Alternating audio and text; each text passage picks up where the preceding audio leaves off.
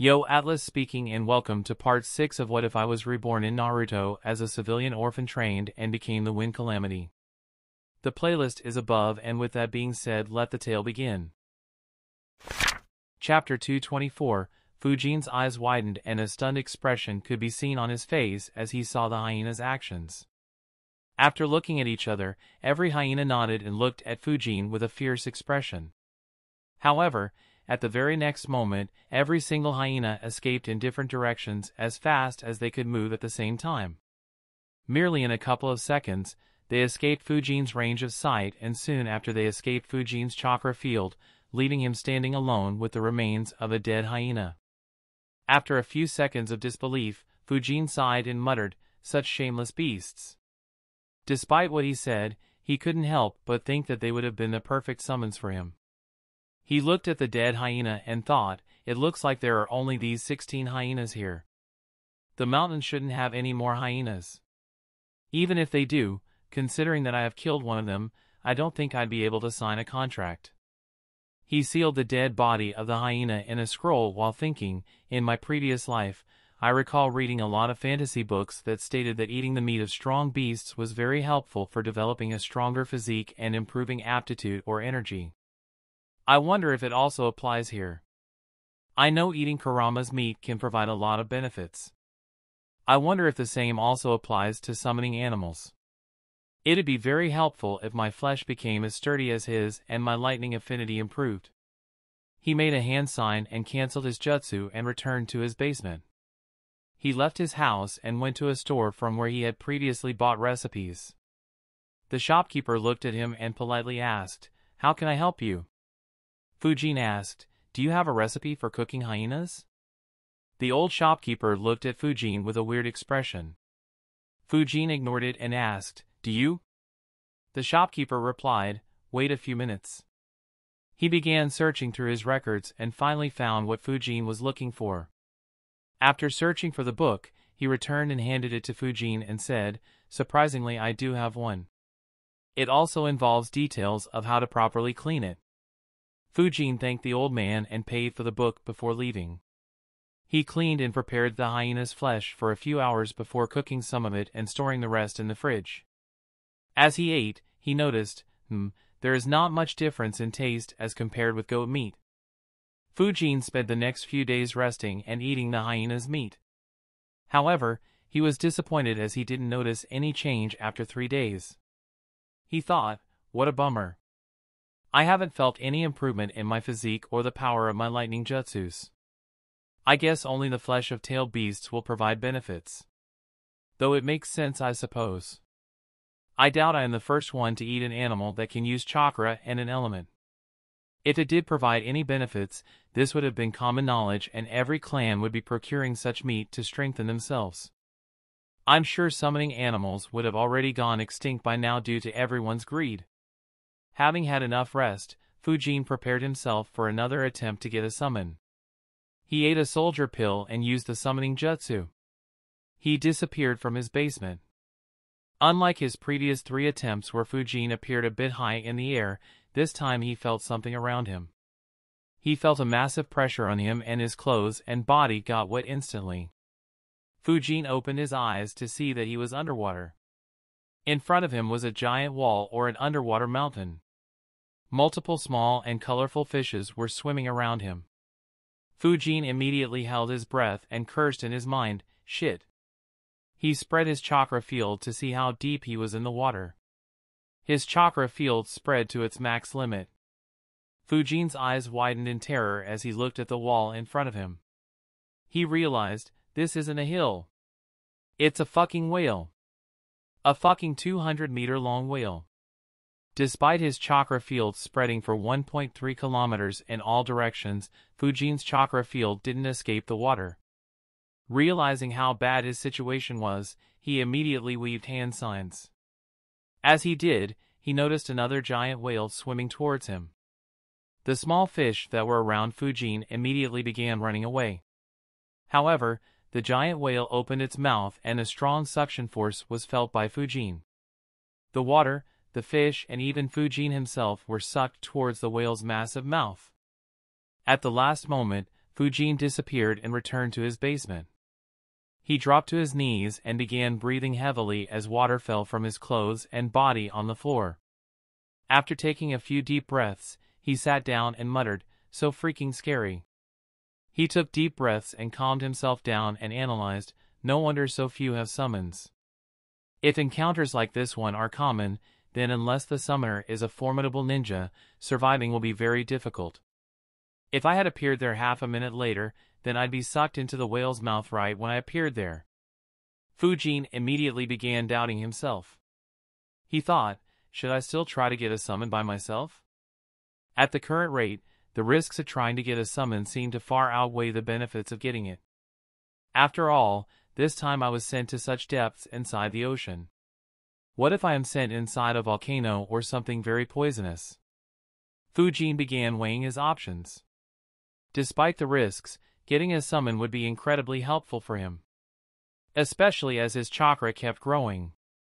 He wondered, should I instead try to get a summoning contract from existing summoners? But whom?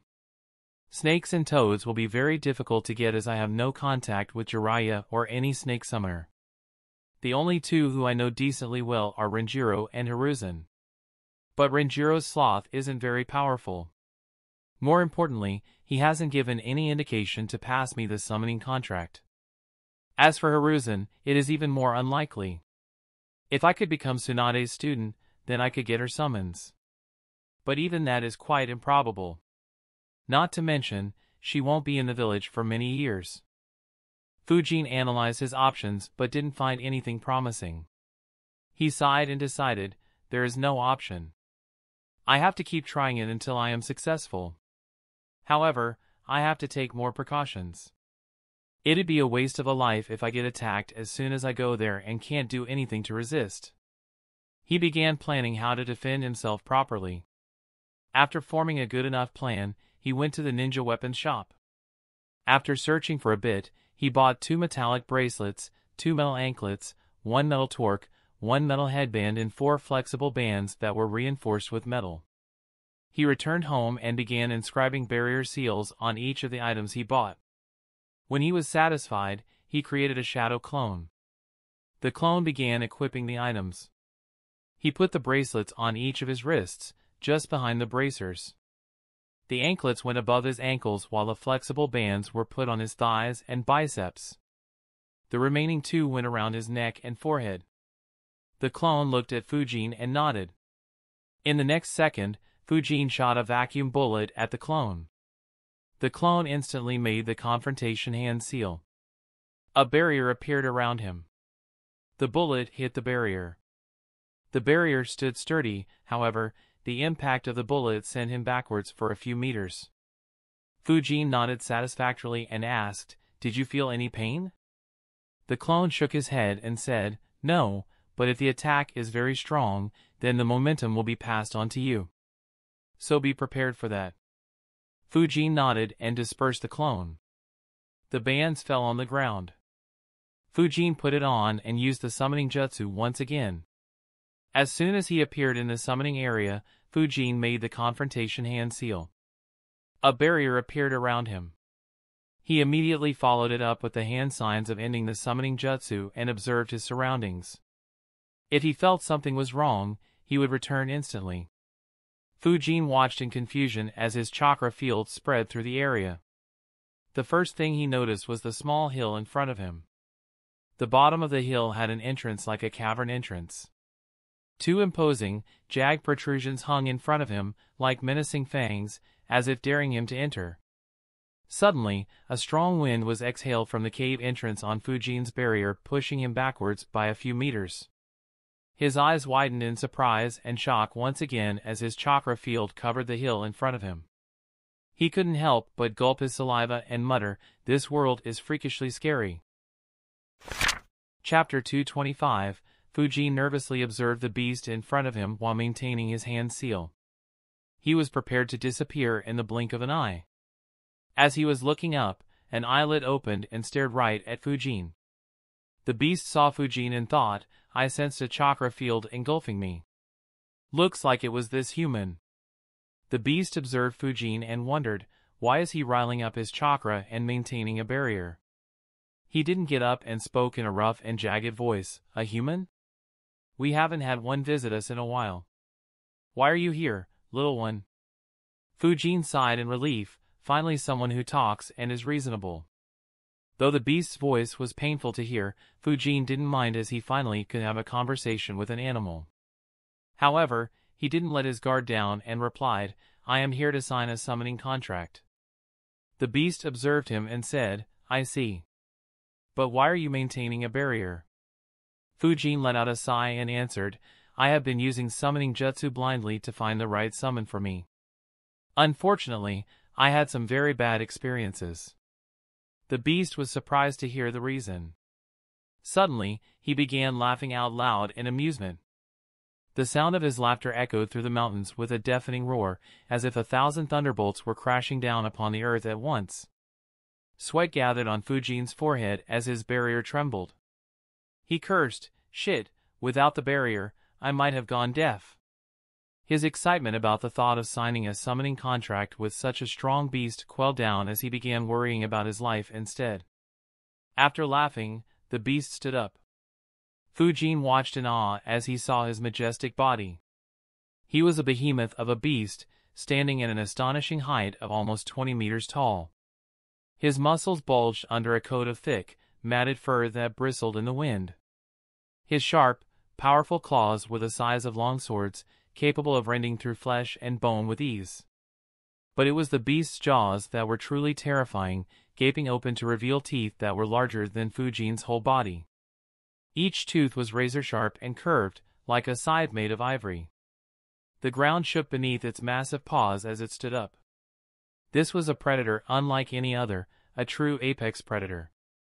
Fujin gulped once again as he recognized the beast, a saber-tooth. The beast said, Drop your barrier and introduce yourself, little one. Don't worry, I won't eat you. You won't even fit the gap between my teeth. He let out a cackling laughter. Fujin agreed with his analysis.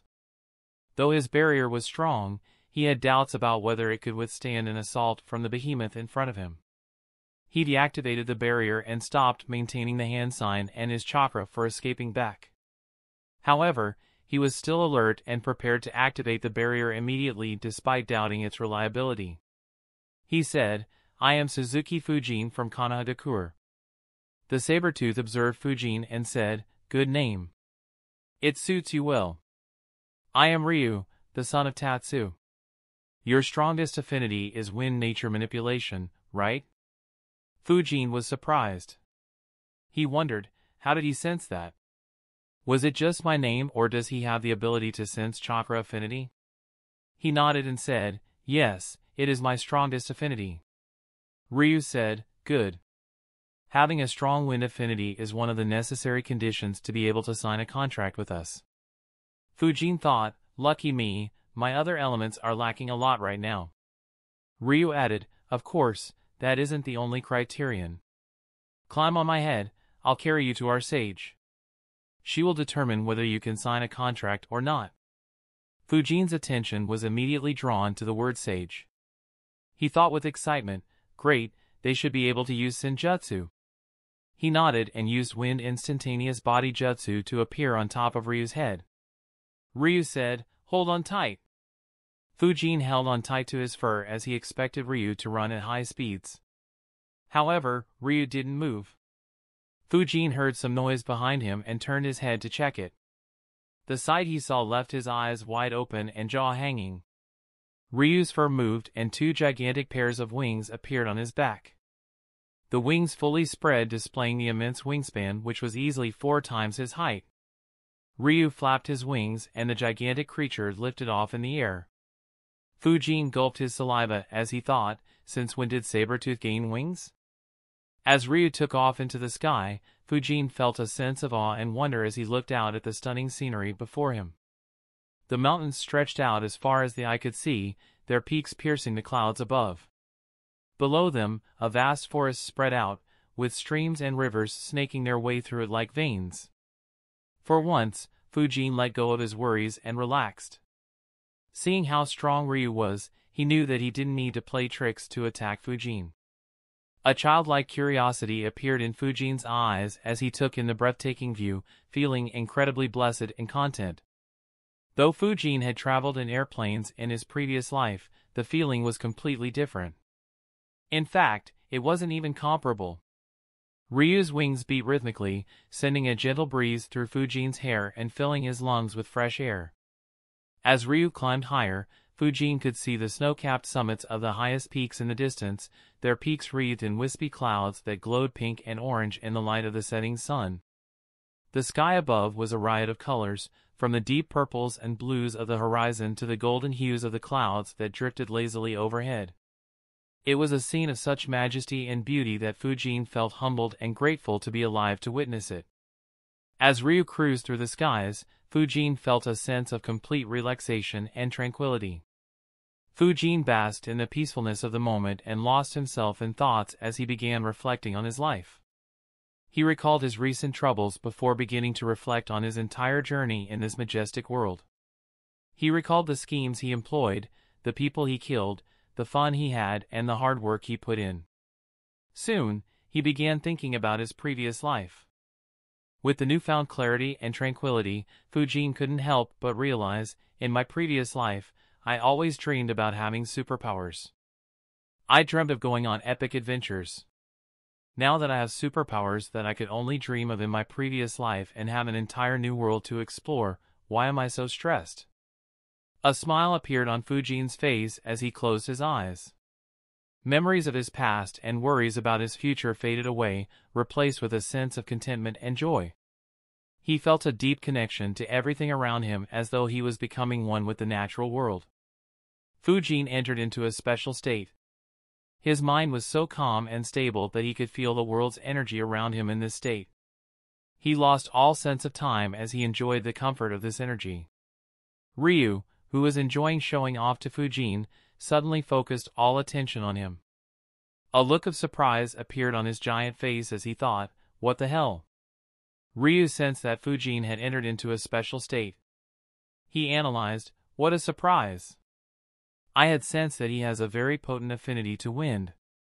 That is why I decided to bring him to our sacred land. This journey was meant to display my might and relax him a bit from his agitated state but I never imagined that he would be able to connect with nature so easily. Looks like we will have a new summoner after 125 years. Ryu didn't want to disturb Fujin and wake him up from the special state he was in. He maintained a constant speed as he headed towards the tallest mountain. As he moved, he thought in relief and excitement, Great grandmother, it looks like our pride's ability might finally advance once again after 500 years. He quelled his excitement, though it will be a long time before he can learn that skill. His chakra reserves are too poor. Even the quality of his chakra is lacking. We will need to improve it first and only then can he have some hope in learning it. As Ryu kept cruising, he moved above the clouds. In front of him was a mountain peak. Fujin finally opened his eyes. He saw the snow-covered peak and was awed by its beauty. Ryu noticed that Fujin had woken up and said, Welcome to Mount Matiki. Chapter 226 Fujin observed Mount Matiki carefully. He could feel that the chakra around the mountain felt different as compared to Konoha and other villages. Ryu asked, So, how are you feeling? Fujin replied, I am feeling great. I have never felt better. Ryu said, Of course. What you just experienced was a special state. And the chakra you feel is nature's chakra. I believe you humans also refer to it as senjutsu. Fujin was surprised. He thought, that was nature's chakra? He fell into a thought as he realized, no wonder I felt so comfortable and my mood was so tranquil. Ryu noticed that Fujin was in thought and said, you only sense nature's chakra and didn't absorb it. In the future, don't try to absorb nature's chakra or even try to feel it yourself. It can be very dangerous. Especially as you aren't ready to handle it yet. Fujin nodded. He knew how dangerous nature's chakra was. He replied, Thanks for the warning. I won't try it without guidance. Fujin wanted to ask a few questions but something caught his eye. He looked ahead to see four saber-tooths flying in the sky while playing around. However, compared to Ryu, they were much smaller with heights in the range of 3 to 4 meters. They noticed Ryu and quickly flew towards him. However, their attention soon fell on Fujin as this was the first time they ever saw a human. Fujin too was observing them. They were about to land on Ryu, when he said, Run along kiddos. I'll be busy. The four saber-tooths immediately flew away. Ryu said, Don't mind them. You are the first human they saw. So expect a lot of curiosity-filled gazes if you manage to sign the contract. Fujin chuckled, all right. Ryu flew to the very top of the peak. However, instead of a pointy peak, there was a shallow crater surrounded by the rocks. It looked quite similar to the opening of a volcano, except that the crater wasn't very deep and instead of lava, it was covered in snow. Ryu landed in the crater in front of another saber-tooth. This one wasn't as big as Ryu but was still about three-fourths of his size. And it looked a bit older. The saber-tooth noticed Fujin and asked in a gentle voice, Which guest have you brought here, Ryu? Fujin was surprised by her voice. Unlike Ryu, it was much more gentle and pleasing to the ears. Ryu said, This is Fujin. He came here to sign a summoning contract. Fujin, get off and introduce yourself. Fujin nodded and jumped down from his head. He landed between the two saber-tooths. He bowed slightly and respectfully said, I am Suzuki Fujin from Kana Kanagakur. I used the summoning jutsu to find a summon and appeared in front of Ryu. The saber-tooth observed Fujin carefully. Ryu said, Fujin, she is the leader of our pride. And the sage of Mount Mitiki and all winged saber-tooths. Fujin had already expected it to be so.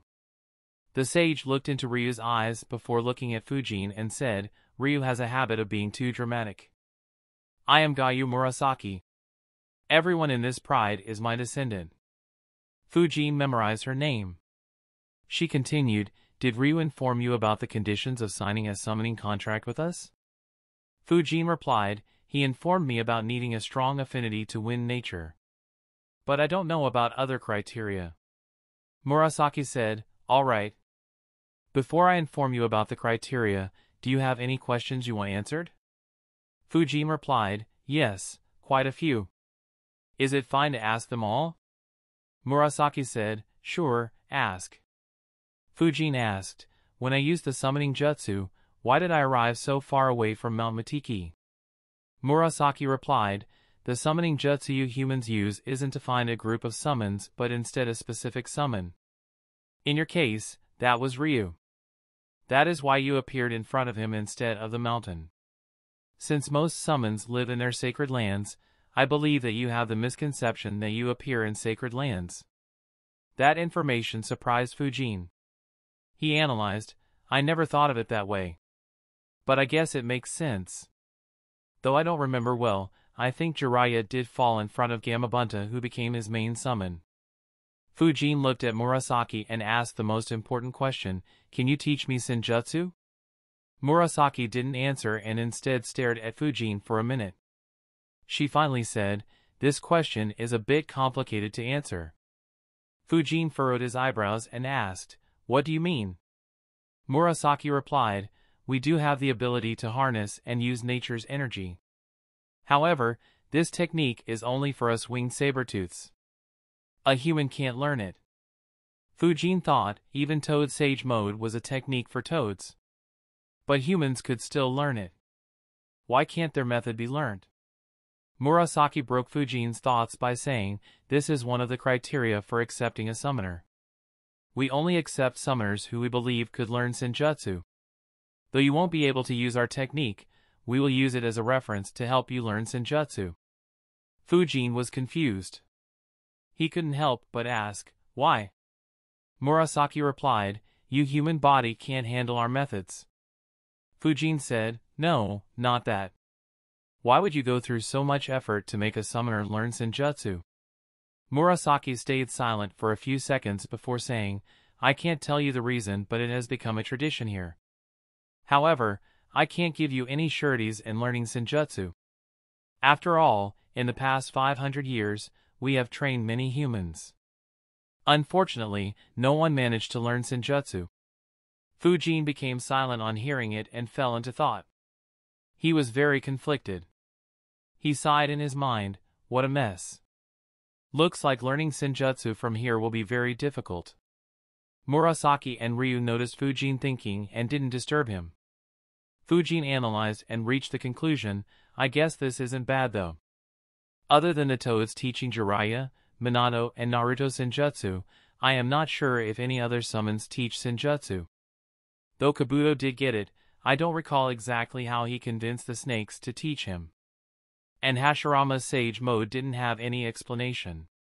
So if these guys are serious about training me to learn Senjutsu, that will probably be my best chance. Of course, their help is definitely not unconditional or selfless. I am sure they have their own goals for wanting to train their summoners to use Senjutsu. Besides, using summoning jutsu blindly is too risky. I'd have to sign a contract even if they didn't know Senjutsu. Fujin said, Alright, I will be in your care. However, I have one more question. Am I allowed to sign more summoning contracts? This time Fujin heard Ryu's jagged voice from behind and he sounded offended. Kid, why do you want to sign other contracts when you have us? Fujin looked back and calmly said, When I learn about the summoning jutsu, I plan to sign at least three summoning contracts. One for fighting on land, one for fighting in the air and one for scouting and spying.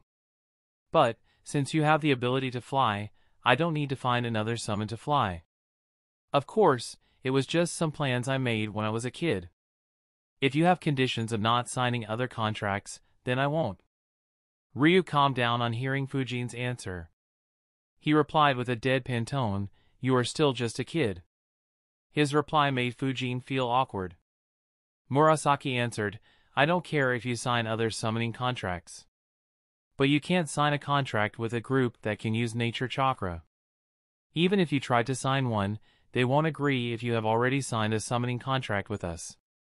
Also, though your plan seems good, don't try it until your strength grows considerably. With your current strength, there are many summons that can kill you with ease. So it will be pointless and risky.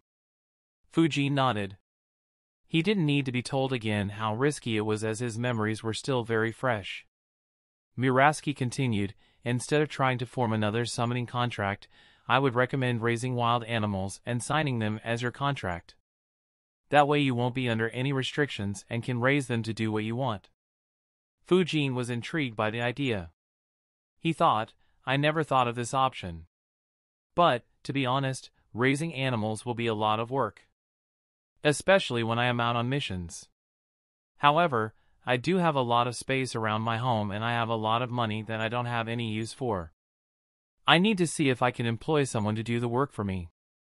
Fujin looked at Murasaki and said, That's all the questions I had, Lady Murasaki. Ryu watched awkwardly at Fujin as he called her a lady. He wondered, this lady is over 800 years old. I wonder when was the last time anyone called her lady. Murasaki said, You can call me Granny. As for your criteria for signing a contract, there are just two. She looked at Ryu and said, The one in front of whom you appear should agree to accept you as a summoner. She looked back at Fujin and said, And you should show talent to be able to learn Senjutsu in the future. Fujin thought, as I thought. They gained something from teaching me Senjutsu. Ryu said, I agree. And Fujin has passed the second criterion as well. Fujin looked at Ryu in surprise. Ryu said, the flight to this place was a test to see how in tune you can become with nature. My goal is to calm you down and make you experience peace and tranquility by showing you that scenery. As you manage to sense nature chakra, you have passed the criteria. Fujin was left speechless. He thought, first I needed a good wind affinity. And then I needed to feel nature's chakra which I coincidentally managed to do. I guess good luck does follow bad luck. Fujin replied with a smile, That's great. When do we sign the contract? Chapter 227 Fujin signed the contract right away with his blood. Ryu carried him away from the peak and flew down the mountain. As they were flying, Fujin asked, Ryu, are there others like you guys who can use senjutsu but can't pass it on to humans? Ryu replied, Of course, there are numerous. The number of species that can use senjutsu is at least a couple of dozen. And there are numerous wild beasts who manage to learn it on their own. Some of them are very wild and dangerous. Even I wouldn't want to face them in a single combat. Fujin was surprised to learn that. After all, he didn't see any such creature make a move during the Fourth Great Ninja War. But soon he realized, now that I think about it, none of the summons made any major moves during that war. The Toads had a larger participation in the fight against Pain rather than against Obito and Madara. Weird considering that they were endangered during the latter rather than the former. Ryu continued, as far as I am aware, only the places you humans consider as the three sacred places have techniques to pass down their methods of harnessing nature energy to humans. Others don't have them or are not interested in passing them down. A giant cave appeared before them. Ryu stepped into the cave and roared loudly.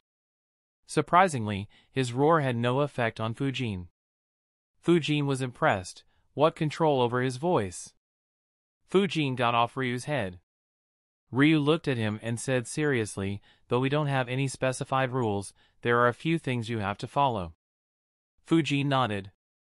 Ryu said, First, none of the winged saber-tooths you summon should die.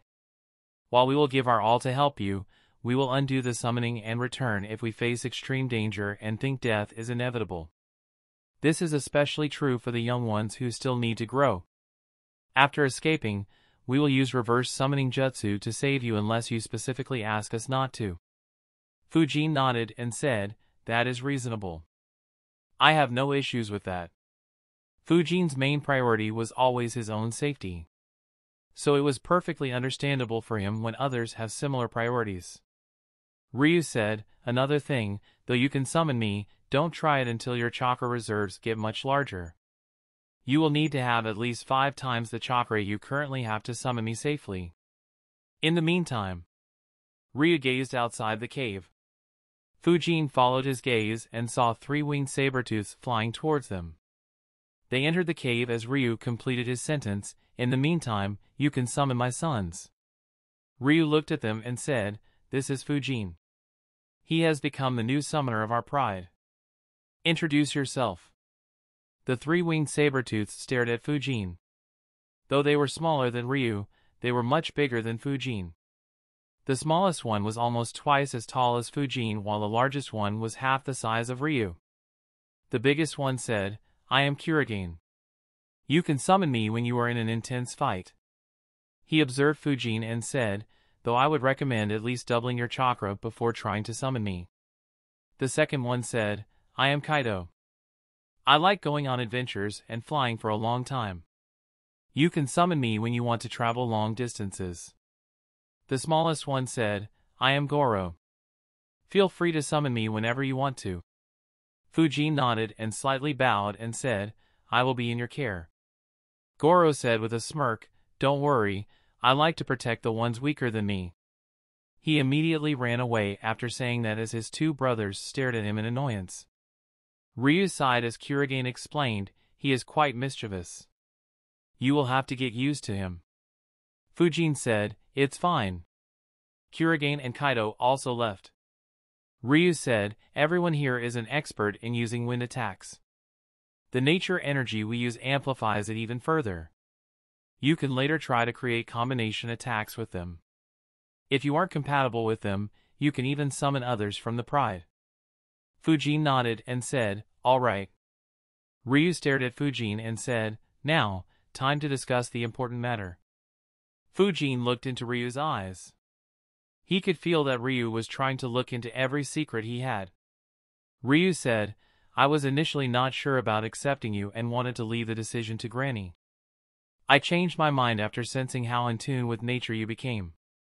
The reason I was doubtful is that your potential isn't very high. Fujin furrowed his eyebrows and asked, What do you mean? Ryu said, From what I can see, your body and chakras should be stronger than most humans that are your age. However, you have only managed to do so with extreme hard work. Isn't that right? Fujin was uncomfortable at how easily Ryu gained information regarding his chakra and abilities. Fujin nodded, that is true. Ryu said, every being has a limit to which they can grow. For some, it is higher, while for others it is much lower. What you have done through intense training is bring forth all your potential in order to gain power quickly. Due to this, you will soon reach your limit and your chakra reserves will stop increasing. In fact, the speed of the growth of your chakra reserves should have already slowed. Fujin frowned. He thought, I have monitored my chakra ever since I became a sensor. My chakra grew by two to three times every year during the last two years in the academy.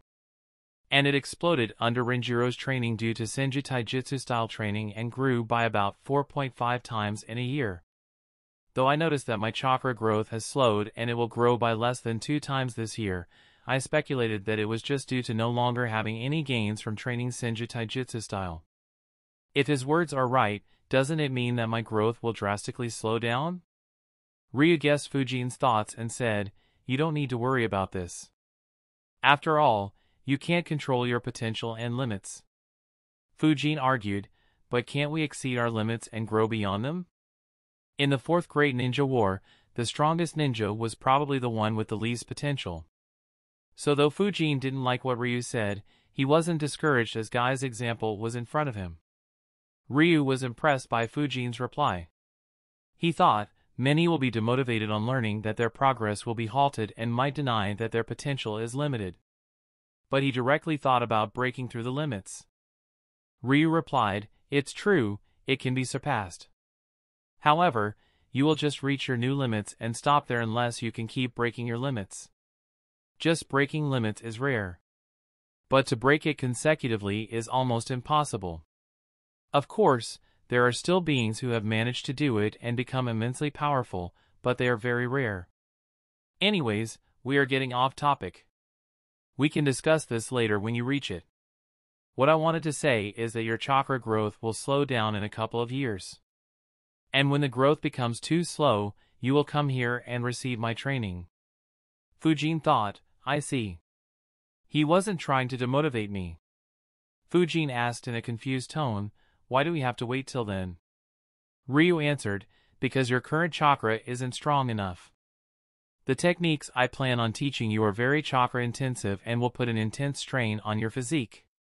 So you will need at least three to four times your current chakra and a much stronger physique before I can safely teach you.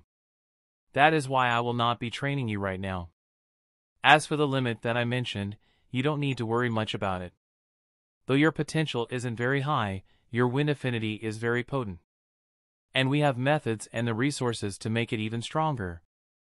As for chakra reserves, though it is difficult, even they can be artificially boosted. However, it is very troublesome to do so and the methods that we have are more effective on someone whose growth has come to a halt. In addition, there are various restrictions and limits on those methods, but we will talk about it when you reach the limit. Of course, if you manage to keep breaking past your limits, then I can begin your training after you reach the necessary levels of chakra reserves and physique. Fujin consumed all the information Ryu just stated. He was beyond surprised. He analyzed, he can do that? Increasing wind affinity is understandable if they have access to wind elemental crystals. But how can they increase chakra reserves? At the same time, his mood became a bit grim, since they are willing to invest so many resources into me, what exactly do they gain from training me in Senjutsu? Fujin didn't let his mood reflect on his face. Instead, he showed an excited expression and said, Alright, that sounds great. Thanks a lot in advance, Ryu. Ryu said, That is all for now. Return to your place and don't attempt to sense nature chakra without my presence. Fujin replied, Don't worry. I won't risk my life pointlessly. Ryu nodded. Fujin weaved hand signs and returned to his basement. He looked around himself and let out a sigh, finally. I don't need to experience any more crazy situations like those. Fujin was very happy with the summon he signed. However, a thought appeared in his mind, should I keep my summon a secret? Chapter 228, Fujin analyzed the pros and cons of keeping his summon a secret. Finally, he decided, the winged saber-tooth will be my main summon. There isn't much point in keeping them a secret as it will get out eventually. Of course, I should keep this card hidden until I can but there is no need to keep it hidden from the ones I can trust. Instead, I should probably take the initiative to mention this to Hiruzen. While it is good news that they want to teach me Senjutsu, they definitely have some ulterior motives. Though my gut tells me that their ultimate motives won't be harmful to me and even if it is, they won't do anything to me until I learn Senjutsu, it would be better to get some information from Hiruzen. If it is harmful, then he could warn me and help me terminate the contract or help me scheme against them. If it is beneficial, then Hiruzen might look more favorably towards me as these saber-tooths are quite strong and could increase Konoha's strength considerably. Also, I could use Ryu's dialogue and add some false news to maybe get a few elemental crystals from Hiruzen. For instance, instead of telling him about their methods and resources to strengthen me, I could tell him that they will teach me Senjutsu only if I reach the required strength. Fujin made a few plans until he was satisfied and went to sleep after eating dinner. Meanwhile, at the peak of Mount Mitiki, Ryu appeared in front of Murasaki. Murasaki looked at him and said, I am surprised that you agreed so readily. Is the boy that impressive? Ryu replied, You didn't see him connect to nature, great-grandmother. It was almost instinctual to him. He didn't even need 15 minutes to sense nature energy and managed to maintain that state for two hours. I had to keep flying around the mountain for over an hour to not disturb him. Among the summoners we contracted in the last 400 years, he is our best shot. Murasaki sighed and asked, Are you still hoping that the prophecy your grandfather had comes true? Ryu didn't answer her question and instead said, 500 years ago, you mastered nature energy and helped our pride advance to the next level. However, we haven't made any progress since then. Grandfather and Grand Uncle Genji believe that we will advance to the next level with the help of a human who could learn our senjutsu. I'd rather believe it instead of wasting away hundreds of years pointlessly. Murasaki looked at Ryu, however, he didn't budge. She sighed and said, do whatever you want. Ryu nodded and left. Murasaki saw him leading the mountain as her memories surfaced, for children, seven grandchildren and nineteen great-grandchildren of mine have died as a result of that prophecy. Some sacrificed themselves to protect the human they chose while some were killed by the betrayal of the very human they raised and one ingrate even invaded our sacred lands. I hope you don't join them, Ryu. She closed her eyes and went back to meditating. A very strong chakra could be seen around her, a chakra that brightened the peak of Mount Mitiki and would have been visible from a long distance if the peak wasn't hidden above the clouds. A slash in, would love to hear your thoughts and ideas on a power beyond Senjutsu. But don't involve anything related to tailed beasts or Otsutsuki. The next day, Fujin was standing outside a building. It was Konoha's hospital. He entered it and approached the lady sitting in the reception. She looked at Fujin and greeted him with a smile, Fujin-kun, who are you here to visit? Or are you injured? Fujin smiled back at her. He had been a rather common face in the hospital. He especially became well known when Renjiro brought his injured and unconscious body to the hospital on his shoulder multiple times in a single month. He replied, I am fine and haven't come to visit anyone Akemi-san. I have come here to register for medical ninja training. Akemi was surprised. She asked, You want to become a medical ninja? Fujin replied, No, I just want to learn the basic healing jutsu so that I can help my teammates if we don't have a medical ninja with us. Akemi replied, Oh. Alright. Wait a minute. Akemi wasn't surprised by Fujin's request. Quite a few ninjas would show up for learning the mystical palm jutsu without bothering to learn the remaining knowledge needed to become a medical ninja. Konoha had a system in place for ninjas like these. Though they would prefer for more ninjas to become a proper and capable medical ninja, very few had the interest, talent, and patience to become one. After all, it would require years or even a decade to become a good medical ninja.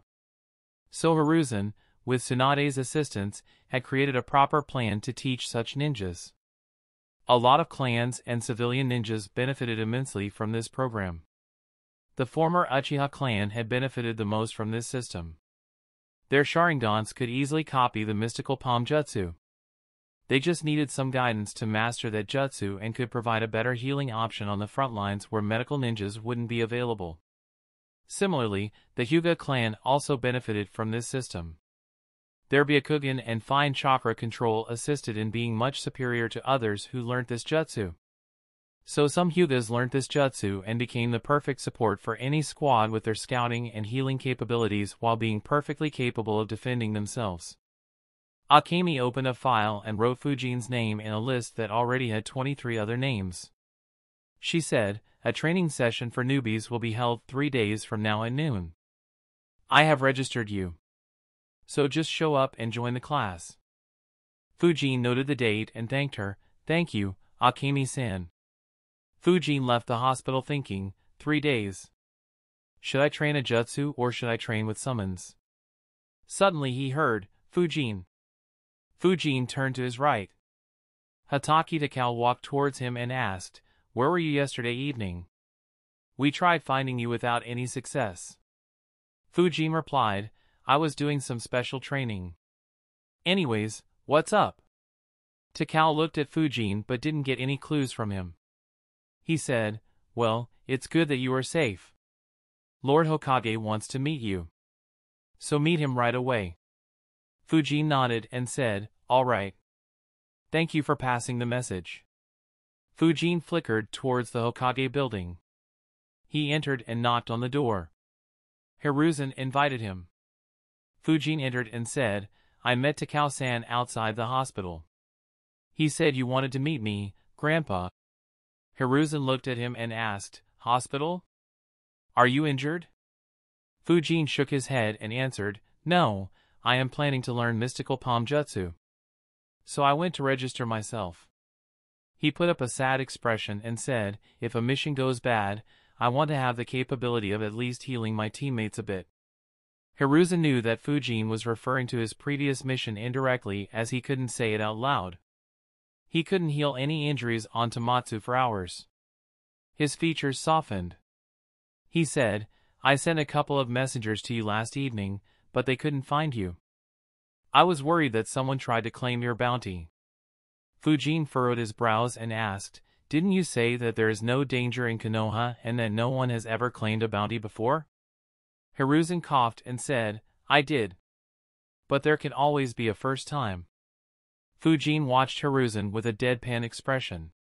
He thought, this old fox is unbelievable. Hiruzen changed the subject and asked, anyways, where were you? Fujin replied, I was trying to find a summon. Hiruzen's eyes widened. He immediately scolded, why did you try it on your own? That is very dangerous. Fujin nodded and said, yeah. You don't need to tell me, Grandpa, it was very scary. I had to face a wolf tide and even saw gigantic whales. Hiruzen squinted his eyes and asked, You tried it more than once? Fuji nodded and said, Yeah. It was so scary that I wanted to stop. But I couldn't help but think about your words and my teammates and kept going until I succeeded. Hiruzen's features softened. He thought, though it was risky and he is usually greedy, the will of fire burns bright in him. As long as he can grow safely for two to three more years, he can fulfill the gap left by Tamatsu's squad by himself. Hiruzen said, It's good that you managed to get it done. Who did you sign the contract with? Fujin answered, They are winged saber-tooths. Have you heard about them, Grandpa? Hiruzen thought for a bit before shaking his head. He replied, I haven't heard about anyone having these summons. How do they look and how strong are they?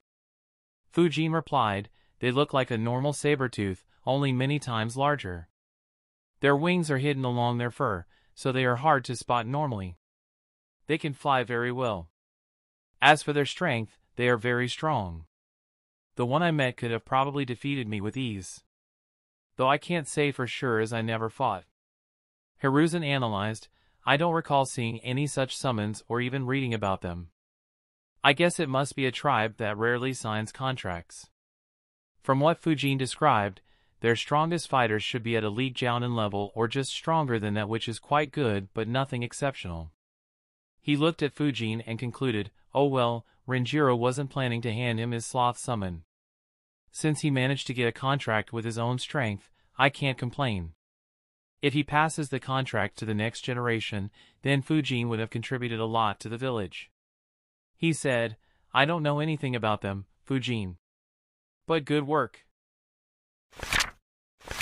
Chapter 229 Hiruzen lifted a couple of boxes from under his desk and placed them on his desk and said, This arrived yesterday evening.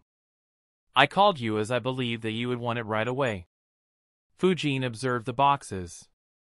His attention was immediately drawn to their ornate designs. Their lids were carved with intricate patterns of dragons and tigers. And it was made from a wood that had an ancient feeling to it. Fujin realized and quickly exclaimed, My swords are here? Hiruzen nodded and said, Fuji arrived here from the land of iron yesterday. A slash in, Fujin and Hiruzen met Furatani Fuji in chapter 111. Fujin moved forward and lifted one of the lids to see a soft, plush lining that cradled his sword. He grabbed the sheath and picked up his sword. The sheath was an art in itself. Swirling designs were etched into its glossy black lacquer. As Fujin ran his fingers along the sheath, he felt the satisfying smoothness of the fine craftsmanship. Finally, he drew out the sword. The blade was long and thin with a very slight curve to it. Both its edges were very sharp. When the light fell on it, it shimmered with a greenish hue that caught Fujin's eye. The hilt was made of polished green jade that fit comfortably in Fujin's hands. Fujin moved the sword around. It felt very light and almost as if it was an extension of his arm. A smile appeared on his face as chakra began flowing along the blade. He muttered, the chakra flow along this blade is so smooth. Fujin's chakra flowed through the blade without any obstruction. It was charged with wind chakra almost instantaneously. Fujin had no doubts that if he swung his sword, the entire Hokage building would collapse. Hiruzen smiled and said, the sword has some chakra metal that assists in wind chakra flow. Very few will be able to stop your sword in the future. Of course, do be careful about them. The swords are very expensive and could get some unwanted attention. Fujin replied, if they are greedy, they might try to get my head first. But I will keep it in mind, Grandpa. Fujin immediately began checking his other sword leaving Hiruzen a bit awkward as he recalled that Fujin's head was worth more than those swords. The second sword was just as good as the first one. Fujin kept his sword back in the sheaths. Hiruzen instructed, keep the sheaths and boxes properly. The blacksmiths attach a lot of importance to making them so destroying them or throwing them away is seen as an insult by them. Also, the sheath is made of special materials which help preserve the chakra metal properties in the sword. So when you don't use them, keep them in their sheaths. Fujin replied, I didn't know about that. But seeing how well the sheath and the box are made, I guess it makes sense. I'll store them properly.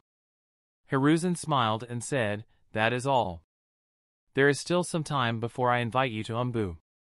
Use it to master Mystical Palm and create a bond and develop teamwork with your summons. Fujin nodded and left the room. He thought, I guess Ryu wasn't kidding when he said that the younger ones hadn't ever seen a human. It should have been a long time since they had a summoner. Kinda sucks. I was hoping that Hiruzen knew how impressive they were and used that fact to get some wind crystals. Anyways, since he doesn't know, I doubt he could warn me about their plans. On the plus side, I will be able to keep my sage training a secret. If I do master it, my strength will grow phenomenally. And since there is no way to sense it unless I use it, it will become my strongest ace in the hole. A smile formed on his face as he wondered who would fall prey to this hidden card. Of course, that would be a long time away and would need a lot of hard work and perhaps some luck to achieve. Fujin returned home. Two symbols glowed on his bracers and his old swords appeared. Fujin calculated, Hiruzen asked me to keep the new swords in their sheaths. I will have to modify the storage seal so that my new swords fit. That isn't an issue. The problem is that I have to store them with their sheaths. So when I summon the sword, I will get the sword with the sheath instead of just the sword. And while that may look cool, it will be very inefficient. So what to do? Fujin analyzed a lot and began recalling all the seals he had learned. After a few minutes, he prepared a plan that would allow him to store the swords in the sheaths but summon just the swords. However, before he could work on it, he had an idea. Fujin thought, wait a minute. Though Anbu ninjas wear a mask to hide their identity, I doubt that it would be a 100% effective. After all, every ninja has unique features. Someone like Kakashi is very easy to identify despite his Anbu mask. So it's safe to assume that every village will try to keep information about the Anbu ninjas of enemy villages. If that is the case, then I should give them something to identify me with myself instead of them figuring out something I can't change and don't know. A mischievous smile appeared on Fujin's face as he thought of a plan to mess with the minds of the ones that might want to target him in the future. He stored the new swords in a scroll and kept the old swords back in his bracers. He left his house and went to the training ground. He bit his thumb and weaved a few hand signs and slammed his right palm on the ground. Summoning Jutsu! Smoke appeared in front of Fujin. In the smoke, the silhouette of a three-meter-tall saber-tooth was visible. Meanwhile, Fujin's breath became heavy. He was alarmed, damn. A single summoning jutsu exhausted more than 40% of my chakra. The smoke dispersed showing Goro. He looked at Fujin and exclaimed in joy, I knew it. I knew it! I dared my brothers to make a bet with me that you would summon me first. They didn't even dare to accept my bet. Ha ha ha ha. Fujin watched with a deadpan expression. He sighed in his mind, looks like this jutsu is a waste until I can summon his brothers. Goro asked, so, why did you summon me? Tell me whose ass you want to be bitten. You can rely on me 100%. Fujin replied, sure I can. But I am not facing any enemy. I just want to see how a great winged saber-tooth like you fights. And I want to build good teamwork between us. Goro answered with a bit less excitement in his voice, oh, that sounds boring. But since you can see how great I am, I will show you. Fujin said, I am not sure how much we can fly here. Can you summon me to your mountain? We can experiment there. Goro nodded, alright alright, I will see you in a minute. He disappeared. Fujin sighed, did he fall on his head as a child or did Ryu spoil him rotten for him to develop such a personality? I hope he fights well. Otherwise, it'd be completely hopeless. Fujin suddenly disappeared from the training ground and appeared at Mount Mitiki in front of Goro. Fujin's sudden appearance was noticed by a few winged saber-tooths but they ignored him. Goro asked, so, what do you want to see first? Fujin looked around him. He was in a small cave with just Goro. He said, I want to see how a winged saber-tooth fights. Then, I can see how we can work together. Goro said, alright, climb on my back. Fujin climbed on his back. Goro said, hold tight. He spread his wings and jumped out of the cave. He flapped his wings a few times and began flying at a very fast speed. Chakra gathered in Fujin's eyes to keep them safe from the strong winds. Goro said with pride, the first thing you should know about us is that we fly very fast. Even most of the birds can't keep up with us. That is especially true for Kaido. He loves flying. He can fly as fast as lightning and can keep that speed up for days. Fujin was surprised. He analyzed, speed of lightning is unrealistic. But if I assume that he flies twice as fast as Goro and can maintain that speed for hours, then he would be a very good aid in escaping. Chapter 230 Goro moved towards a boulder on the huge mountain. He said, this should be a no-brainer, but we also have very high strength. He raised his paw and brought it down on the boulder with a lot of force. His paw split the boulder into two and turned a lot of it into dust. Fujin wasn't surprised. He expected such physical prowess from them. Goro said, See see. How I turned it into dust with a wave of my paw. That's how strong I am. Fujin replied, yeah, that is very strong. I wouldn't want to be on the receiving end of it. Goro laughed, of course, you wouldn't. I could bite that stone too, but I don't want dust and soil in my mouth. Fujin said, it's fine. I can guess what a bite from you can do. Show me your other skills. Goro said, cool. He flapped his wings and moved away from the mountain and said, watch. This is the skill that makes us the apex predators. Goro's body suddenly became still. Chakra gathered on his wings. Fujin sensed it and was surprised, nature chakra. Even the younger ones can use senjutsu? Goro flapped his wings again. This time, he didn't move. Instead, very strong winds flew downwards. Fujin was surprised.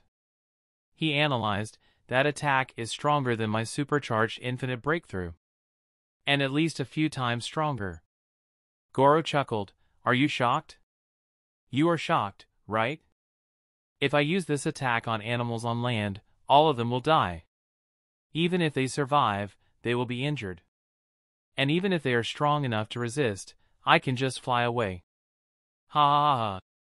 If anyone else heard Goro's words, they might feel contempt for his attitude. However, Fujin wasn't one of them. He agreed with Goro's strategy wholeheartedly. In Fujin's books, other than winning a war without fighting, the best way to fight was to maintain distance and keep attacking the enemy without allowing the enemy to attack back. And if the enemy is stronger, he can always run away and turn the fight into a game of tag. It was why Fujin learned so many jutsus that allowed him to hide and escape. Fujin thought, looks like I was hasty. He is good. Goro said, in addition, we can also do this.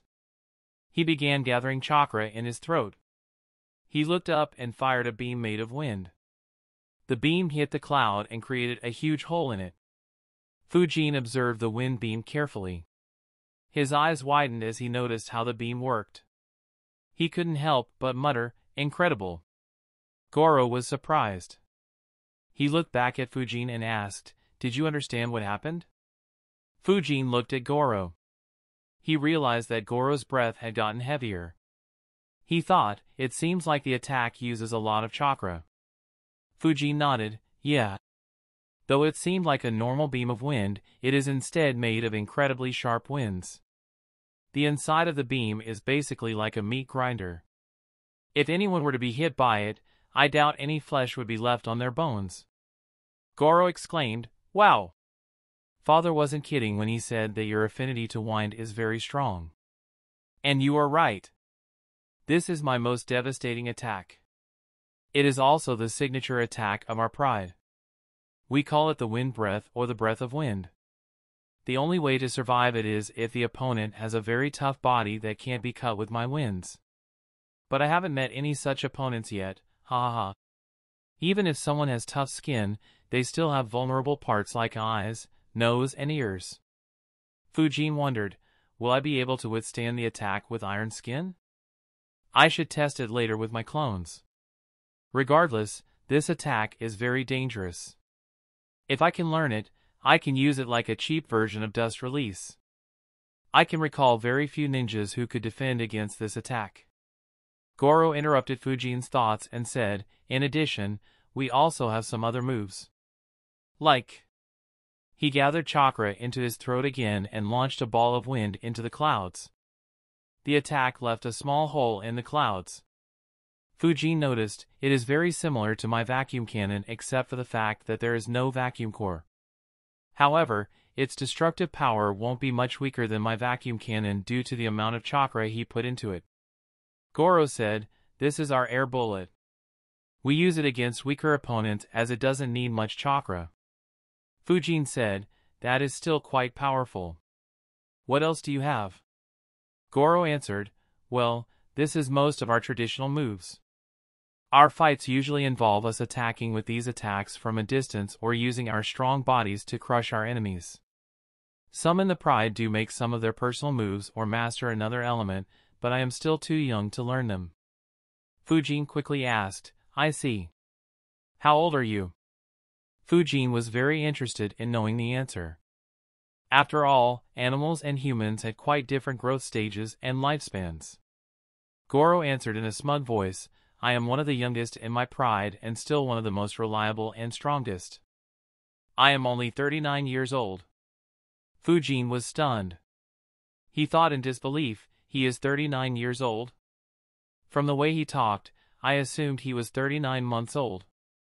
Goro noticed that Fujin was speechless. He looked back and asked, You can't believe how young I am, right? Seeing my strength, I bet you thought I am some 300 years old monster, right? Ha ha ha. Fujin was left speechless. Though he had been very polite so far and praised Goro a few times to fan his ego so that he could get along better, he wasn't sure what he could say without being insulting. Luckily, Goro changed the subject. Now that you have seen what I can do, what ideas did you come up with for cooperation and teamwork? Fujin became serious and said, I haven't thought of much. Like you, I also specialize in wind manipulation. The only idea I had so far is launching my attacks at the same time as you to double our power or launching them alternatingly to double our attack frequency. Goro looked at Fujin suspiciously and asked, Do you think that your wind attacks are as strong as mine? Fujin replied, Your wind breath is stronger than anything I can do right now. But others, I can amplify with my own attacks. For instance, Fujin built up around 15% of his chakra and looked above. Wind Release, Infinite Breakthrough Jutsu. He released the supercharged jutsu at the clouds above them. Goro observed and commented, Wow! That was good. Not as strong as mine, but good nonetheless. Fujin didn't answer and used another jutsu. Wind Release, Air Bullet Jutsu. He fired 15 air bullets. Goro said, not bad. They are much smaller in size, but the quantity is go. His eyes suddenly went wide open in shock. Fujin swung his sword and released a sword wave that split the clouds into two for over a hundred meters. Goro exclaimed, that was fucking good. You are strong. Fujin said, I also have techniques to pierce into the strongest armor.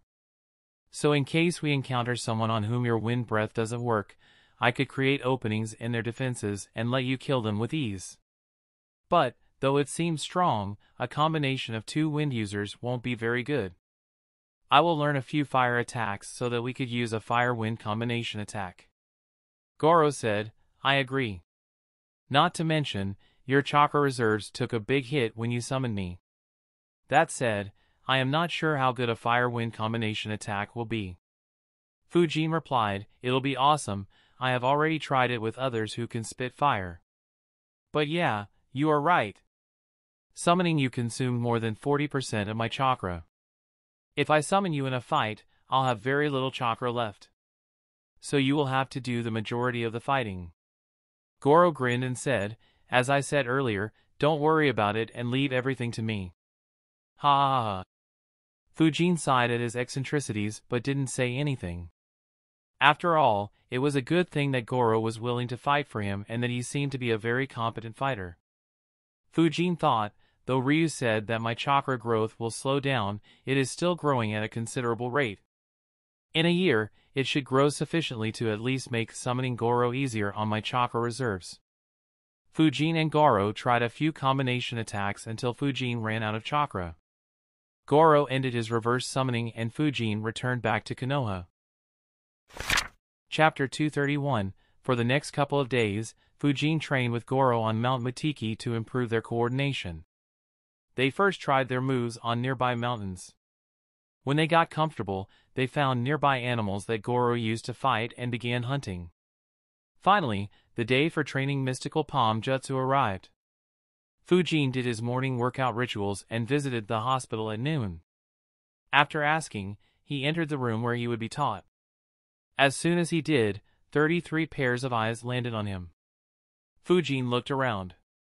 The room was very spacious. It had a huge blackboard on the opposite side of the entry door. It also had a long but thin indoor pool in the shape of an arc and curved tables lined up along its edge. A few fish swam in it. Fujin observed the other people in the room. He didn't recognize any of them.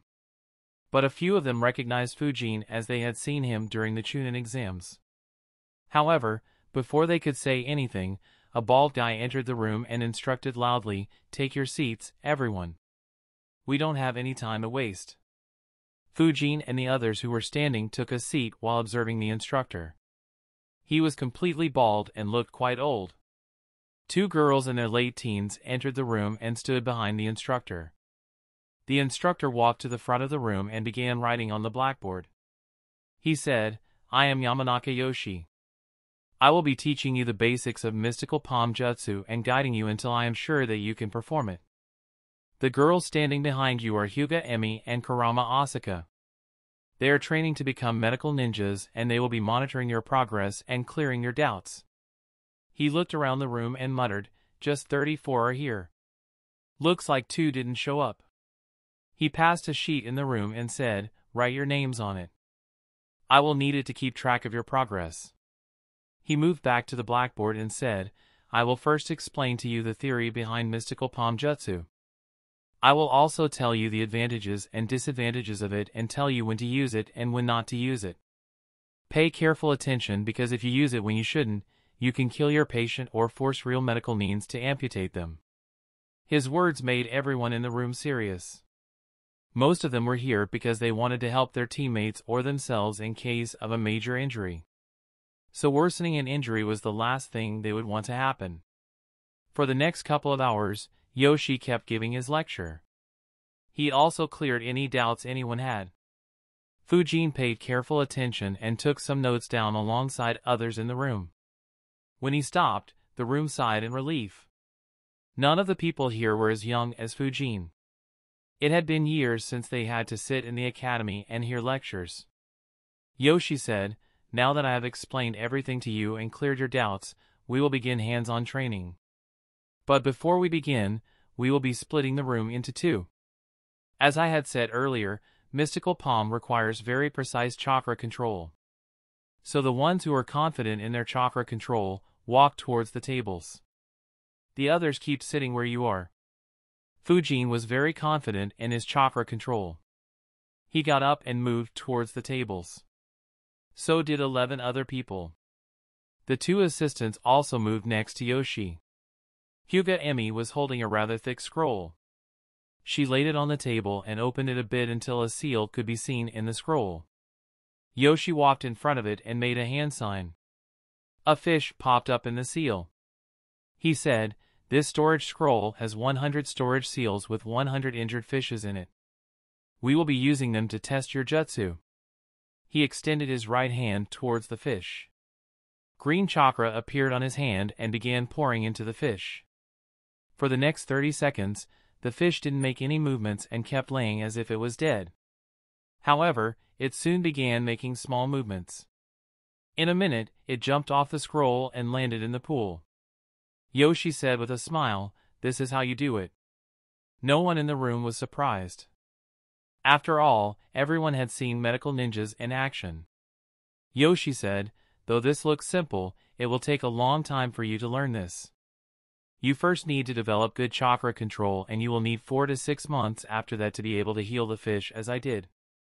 You will require another 6 months of training to be able to use this jutsu safely on ninjas. His words surprised everyone in the room.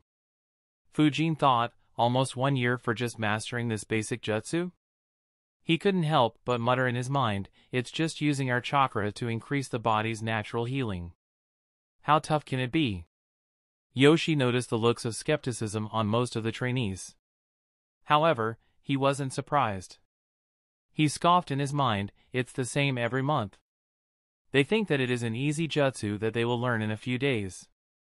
Half of them won't even have the patience to dedicate enough time to this jutsu to master it. He looked at the twelve who had claimed that they had good chakra control and said, You try it first. Be careful about the amount of chakra you use. Hyuga Emi and Kurama Asaka rolled the scroll until twelve seals were visible and summoned twelve fishes. Fujin and the rest stepped forward. Fujin observed his fish and observed, this fish almost looks dead. I wonder how they put fish in such a state. The seal looks similar to the one Uchiha Sora used to store the dead body. so it should have slowed time to preserve the fish in this state. He extended his palm towards the fish and began releasing an extremely tiny amount of chakra. The chakra touched the body of the fish and began entering it. Fujin frowned but stayed steady as he realized, my chakra isn't entering his body without any resistance. The fish's body is resisting my chakra making healing tougher. In addition, if I increase power, it will probably destroy the fish's body instead of healing it. Fujin kept at it while releasing chakra as slowly as he could. However, even after three minutes, there wasn't any change in the fish.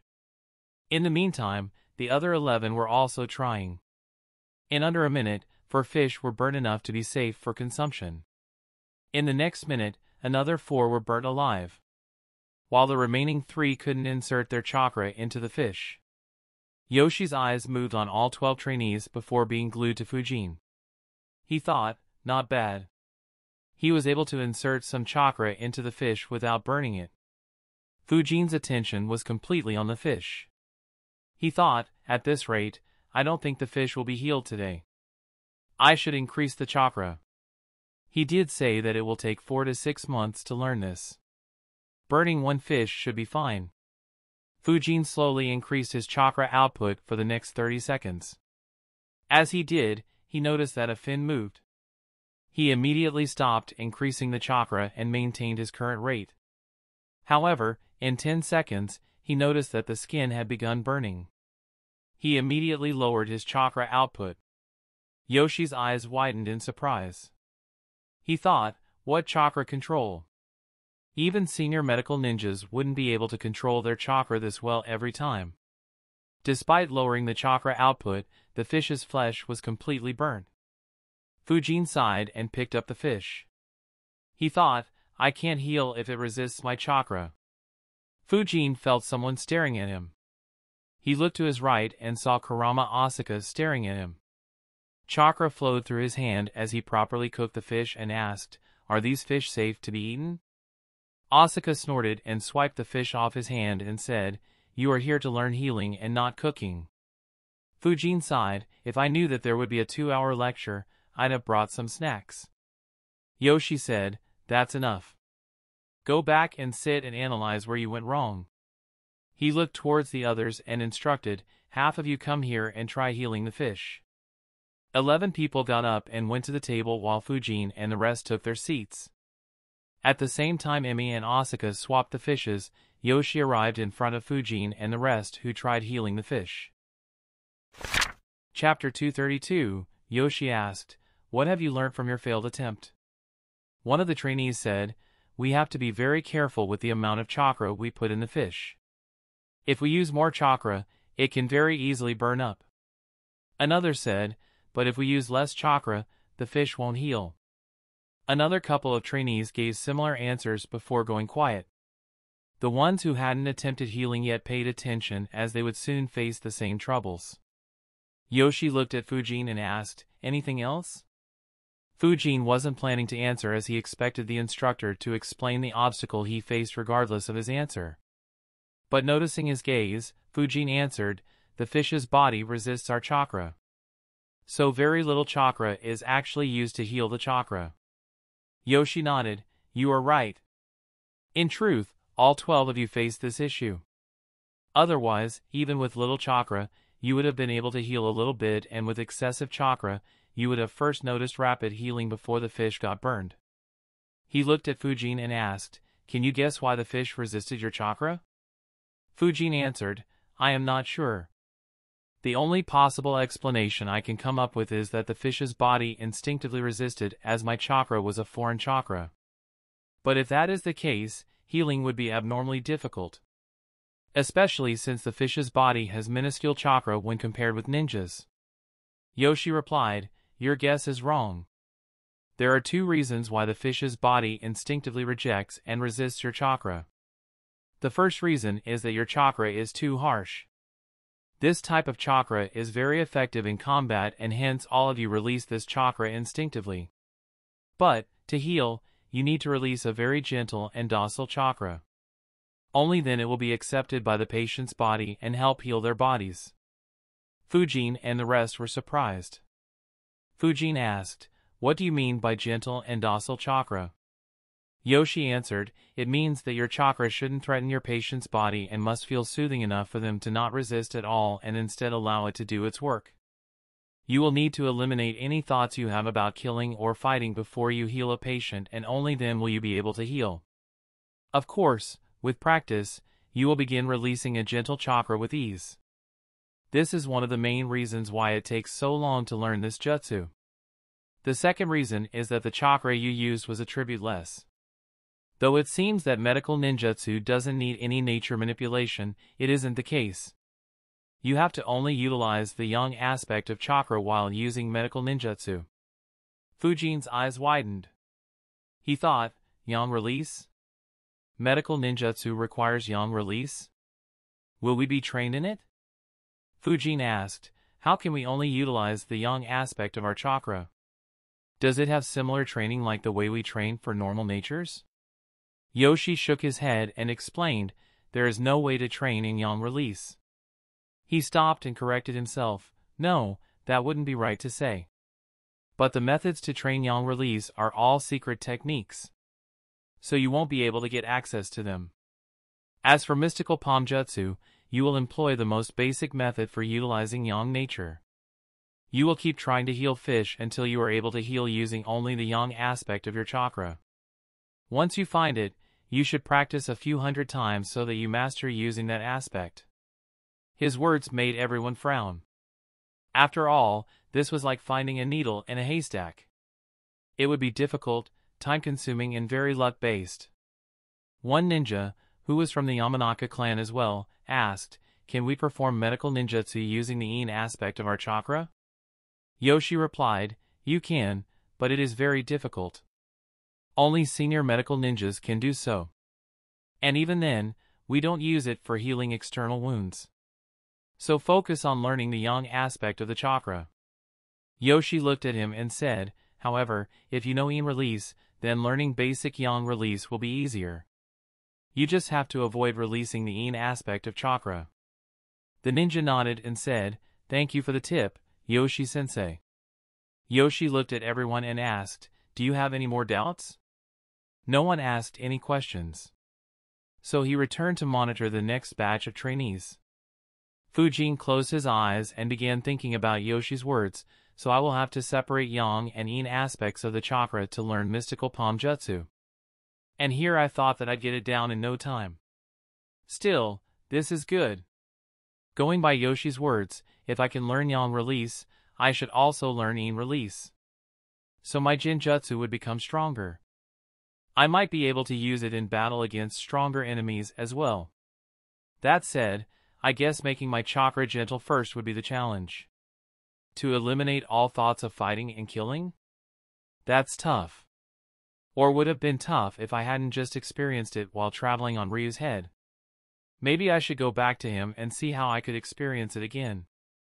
Though I guess that I should first take a look at what methods the village has. After all, I did feel that I was able to slightly heal the fish. It is probably why Yoshi asked me a question specifically. The remaining 22 people tried healing the fish and met with similar obstacles. Yoshi didn't see anyone noteworthy among them. So once everyone was done, he had a similar exchange with the remaining trainees. Once all doubts were resolved, he summarized, as you have already tried healing, you would have realized the three major aspects of healing. The first is having a gentle chakra that doesn't make the patient feel any threat. The second is utilizing the yang aspect of your chakra and the last is having very good chakra control. He looked at everyone and said, That's it for today. We will meet again after seven days at noon. In these seven days, I want you to do only one thing. Meditate for as long as you can, and while meditating, think of happy thoughts or pleasant memories. The next time you attempt healing, you will try to think of those memories before healing. Fujin watched him with a dumbfounded look. He thought, what the hell? That's how you make your chakra gentle? You couldn't come with any other bullshit? And this is the village that has the most advanced medical ninjutsu? No wonder Hiruzen shot down Tsunade's proposal of training a lot of medical ninjas. Imagine thousands of ninjas thinking happy thoughts while the rest fought. Like Fujin, many were speechless by what Yoshi asked them to do. However, if they knew what Yoshi's thoughts were, they would begin cursing him right away. Yoshi enjoyed the look of disbelief on the trainees. He thought, making your chakra gentle isn't difficult. As they keep practicing this jutsu, their chakra will automatically become gentle and docile unless they keep getting angry or frustrated. But, since every one of them thinks that learning this jutsu is easy, I might as well have some fun with them. Just the thought of them meditating while having pleasant thoughts is hilarious. It'll be even more fun when they get annoyed as it won't work, ha ha. Yoshi dismissed everyone. When the room was empty, a smile appeared on Yoshi's face. Emi and Asaka sighed thinking, this old geezer is messing around once again. Fujin moved to Ichiraku while thinking, that old geezer was definitely messing with us when he said that. Something seemed off. Though I didn't sense a lie, he is a medical ninja from the Yamanaka clan. So he might be a good sensor as well. It won't be difficult for him to lie without being sensed. That said, meditation in itself isn't bad. I should stabilize my mind by meditating for a few hours and eliminating all thoughts before I visit next week. More importantly, I should focus on the yang release. Fujin reached Ichiraku and ate while thinking about yang release. Chapter 233 Fujin sat in his meditation room and sat in a meditative position. Soon, chakra could be seen surrounding his body. Fujin's mind was analyzing his chakra, yang in nature. How can I segregate the two? As Fujin inspected his chakra, he analyzed, yang release is described as the physical energy that governs vitality, growth, and life force. Meanwhile, Yin release is described as the spiritual energy that governs imagination, creativity, and the formation of shape and form. If I have to compare them with techniques, then Yang release is often connected with Taijutsu while Yin release is linked with Genjutsu. Ninjutsu needs a balance of both of them. But, when we train Taijutsu, Genjutsu or Ninjutsu, we don't feel the Yang or Yin aspects of chakra. Fujin clenched his fist and raised it in front of his hands as continued analyzing, if yang release is just the physical energy, then can this be considered as yang release? After all, it enhances my physique. Chakra appeared around his fist. The chakra grew larger and at the same time, Fujin's fist became stronger. Fujin's eyes widened and began glowing as he realized, no, the chakra on my fist is just normal chakra. After all, I haven't segregated the chakra. But, when I focus the chakra on my fist, my fist itself becomes much more resilient. Otherwise, every time I punch something, my fist will become a bloody mess due to the recoil. The chakra that enhances my fist is the yang aspect of my chakra. Fujin didn't analyze anything for a couple of minutes and let the realization sink in. Finally, he let out a sigh and muttered, so learning Senju Taijutsu Chakra automatically teaches us Yang Release. So I have known how to use Yang Release for more than a year without knowing that I know it. He lowered his fist and thought, Sigh, you could have at least told me Renjiro. Do these guys get a kick out of keeping some details a secret? Still, to think that he taught me Yang Release. He wasn't kidding about the magnanimity of the Senju clan. No way any other clan would teach Yin or Yang Release to outsiders. Fujin focused his chakra once again. This time, a thin layer of chakra gathered on his entire body. However, the chakra began decreasing and soon dissipated.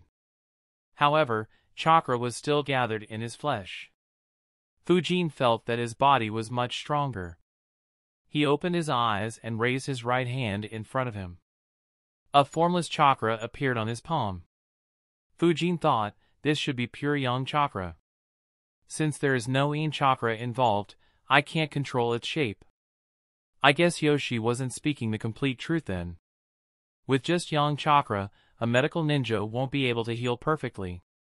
They will need a little bit of Yin chakra to control the Yang chakra so that they can heal effectively.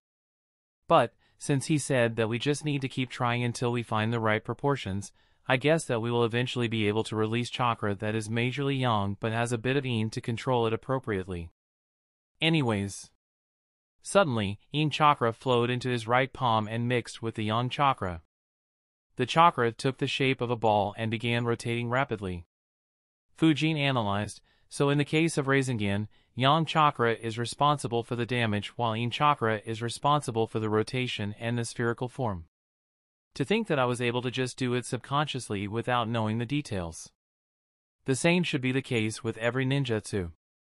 Fujin went into the lowest basement and began experimenting with all his ninjutsus. He began studying how Yin and Yang chakra worked in every ninjutsu. Three days later, Fujin was standing in his basement. He made a few hand signs. Bringer of Darkness Jutsu. Immediately, the entire room went dark. A smile formed on Fujin's face. Great. The time needed to reduce this jutsu has been reduced by three times. Though I spent three days studying Yang and Yin release, it was time well spent. I will be able to improve my ninjutsus as well. Though they wouldn't have such a huge improvement, it is still better than nothing. Fujin left the basement and freshened himself up. He had barely rested for three days. He thought, since I have learnt both Yang and Yin releases, it's time for a treat. Fujin spent the remaining day visiting all his favorite restaurants in Konoha until he was full. The next day, Fujin summoned Goro and asked Goro to reverse summon him. When Fujin appeared on Mount Matiki, Goro asked, What do you want to train in today? Fujin replied, I want to talk with your father. Can you take me to him? Goro nodded, sure. Climb on my majestic back. Goro carried Fujin on his back and flew away from Mount Matiki. En route, Fujin said, by the way, I had a few more ideas for combination jutsus. You will love the next one. Goro grinned and said, I can't wait to try. Thanks to you, I have become even more amazing. I will leave both Kurigan and Kaido in the dust, ha ha. In a few minutes, they arrived before Ryu's humongous body. Ryu was resting, however, he opened an eye to see Goro flying towards him. Goro landed in front of him and said, Father, Fujin wanted to see you, so he summoned the most amazing winged saber-tooth to help him. See ya! He dropped Fujin and flew away without waiting for Ryu's reply. Ryu sighed at his son's antics and muttered in a sleepy tone, What do you want? Fujin replied, I want to experience the nature chakra once again. Can you monitor me? Ryu asked with one eye closed, Why do you want to experience that again? Fujin answered, I am trying to learn mystical palm jutsu. The instructor said that we need to have a very calm and pleasant mind in order to learn it. And I felt the most calm and pleasant when we flew to Mount Matiki last time. Ryu stared at Fujin and asked lazily, Is mystical palm jutsu that healing jutsu? Fujin nodded. Ryu said in the same tone, So you want to tell me that you need to sense nature chakra in order to learn a basic healing jutsu? Fujin felt awkward upon hearing his question. He said, Well, it isn't a necessity. But it will be of great help. Ryu said, If you keep sensing nature chakra again and again, you will inevitably begin absorbing it as well. And you aren't ready to absorb it. If you do, the only result will be your death. So stop using excuses to achieve that state once again. I know that it feels great and you would want to feel it again and again, but be patient for a few years. Ryu closed his eye and Fujin disappeared leading a cloud of smoke. Fujin appeared back in his basement. A look of surprise could be seen on his face as he muttered, Did he end Goro's summons so casually? He got up and sighed, that state felt so peaceful and heavenly. Perhaps it truly felt addictive. I guess Ryu was right in calling the reason an excuse. Oh well, I'll see how it goes in the next training session. For now, it's time to retrain my jutsus. Fujin went to the training ground. He began using the jutsus that he had already mastered and began using them while properly applying yang and yin chakras. He decided, I will begin with the infinite breakthrough jutsu. He gathered chakra in his throat while segregating it into yang and yin. He used the yang chakra to provide power to the jutsu and used the yin chakra to decide the shape and range of the jutsu. Then, he exhaled a normal infinite breakthrough jutsu. Fujin analyzed, the speed of performing the jutsu is much slower. But it's understandable as I am not doing it the normal way. I will need to keep practicing to see how much the speed will improve. If it still takes longer, then it won't be worth it. Fujin kept practicing. As he did, his speed increased and a smile formed on his face as he could see the benefits of this new way. He ate a soldier pill so that he could train for longer. Soon, the skies went dark. Fujin gathered chakra once again and instinctively split it into yang and yin. He exhaled another infinite breakthrough jutsu. The jutsu traveled in a straight line like a beam with a 2-meter radius. It destroyed all trees in its path for over 100 meters. Fujin grinned, amazing. Though my speed is still a bit slower, the benefits of performing jutsus this way are just amazing. By controlling yang chakra, I can easily decide how much power I want to put into the jutsu. If I want to supercharge it, I only have to increase the yang chakra and don't have to increase the yin chakra. So I can save yin chakra while supercharging this jutsu. However, more than yang chakra, I am impressed by the abilities of yin chakra. I didn't expect such a result. With a grin on his face, he observed his surroundings. It was a complete mess. Some trees had hundreds of holes in their trunk while some had hundreds of cuts on them. A few trees were completely shredded. If anyone visited this place, they would be terrified by the destruction. Fujin was very happy. It was as if a whole new realm of possibilities had opened up for him. A terrifying new realm. Chapter 234 For the next couple of days, Fujin kept practicing infinite breakthrough jutsu with yin-yang amplifications until he was satisfied. Soon, it was the day of visiting the hospital. Fujin trained his body in the morning and spent a couple of hours meditating to relax his mind and eliminate all needless thoughts and distractions. He left his house for the hospital but suddenly he had a thought, wait a minute. Yoshi said last time that we need to think about happy and pleasant thoughts. So we need to be happy. And I am happy after eating delicious food. I should stuff my stomach before going. Otherwise, if I keep thinking about eating the fish, I don't think I could heal it, haha. Having decided, he visited Ichiraku once again and enjoyed himself while blissfully ignoring the time for Yoshi's training session. At noon, Yoshi entered the same room and saw 28 people in the room. He looked around and his face fell as he thought, six quit already including that youngster. A shame. I had high hopes for him. But, if he doesn't have the discipline of sticking for a week, then there is no way he can become a medical ninja. He began by giving a short lecture and started guiding the trainees to use the mystical palm jutsu. Half an hour later, Fujin knocked on the door and entered the room. Once again, he attracted everyone's attention. Yoshi squinted his eyes. He didn't know how to feel. On one hand, he was happy that Fujin wanted to continue while on the other hand, he was disappointed by his indiscipline. He walked towards Fujin and said, You are late. Fujin nodded but he had a smile on his face. Yoshi's eyes twitched. He commented in his mind, did that Hatake brat spread his influence on the youngsters? Yoshi put up a serious face and said strictly, I won't allow any tardy ninja to learn medical ninjutsu. So you better give me a good reason for being late. Otherwise, I won't be teaching you. His words were loud enough to be heard by everyone in the room. They all had their attention on Fujin. For half an hour, they had been trying unsuccessfully. So seeing another person get yelled at felt refreshing.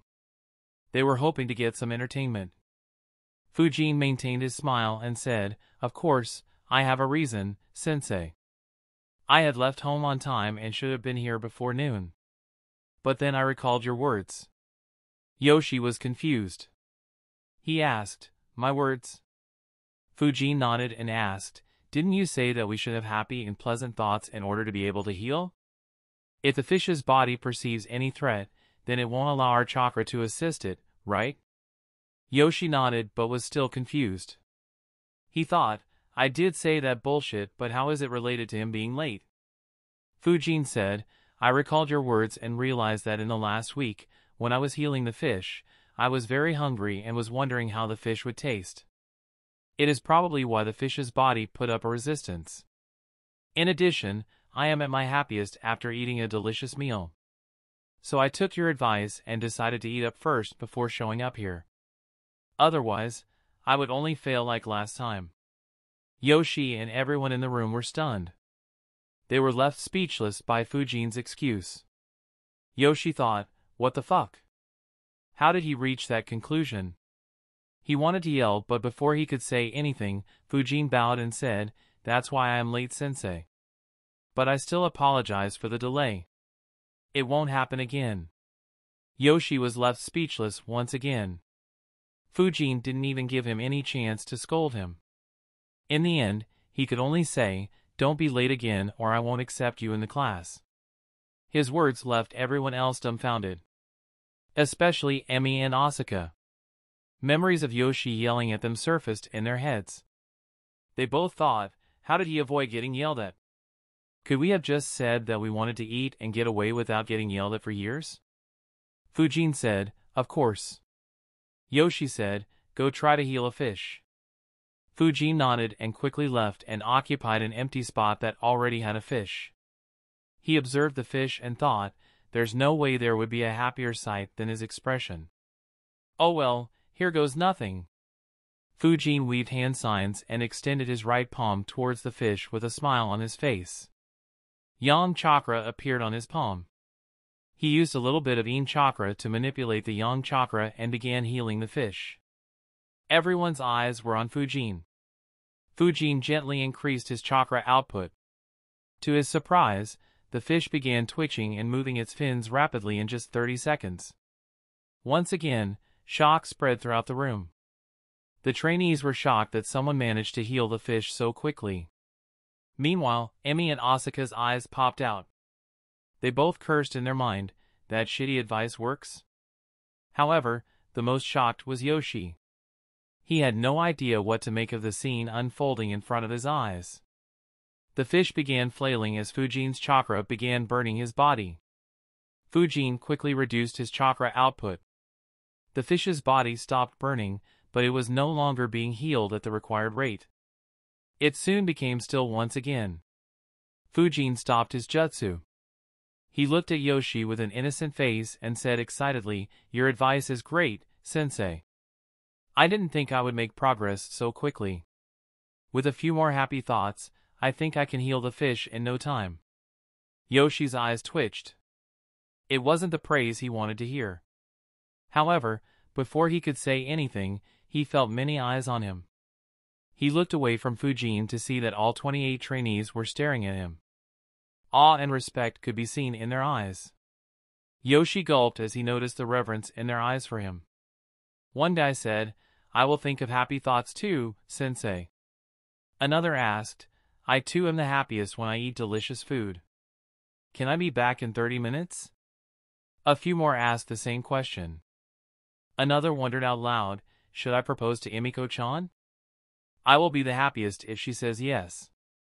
However, the guy next to him said, but if she says no, then I am afraid that you will never learn this jutsu. The guy shivered and said, you are right. Another guy overheard their conversation and chimed in, we should try to get instant happiness.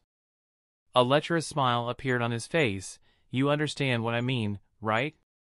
His statement made everyone feel awkward. They immediately moved two steps away from him.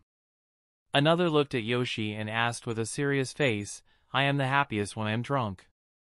But how can I control my chakra properly when I am drunk? Similar statements began flowing through the room. Yoshi saw the chaos in the room with a dumbfounded expression.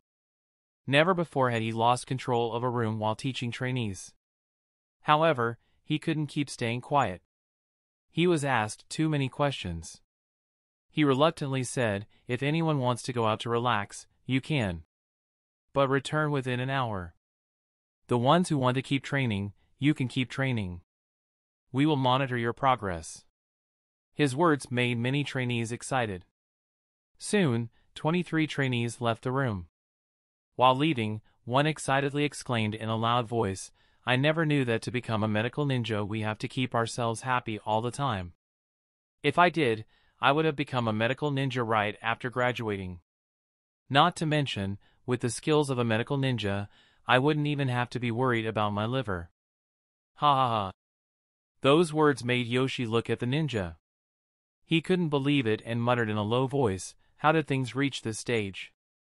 He couldn't help but look at Fujin who still had that innocent smile on his face.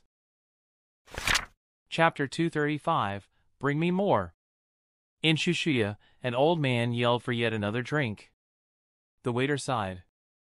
He took the bottle of sake to his table and poured him more sake while thinking, why does he keep yelling?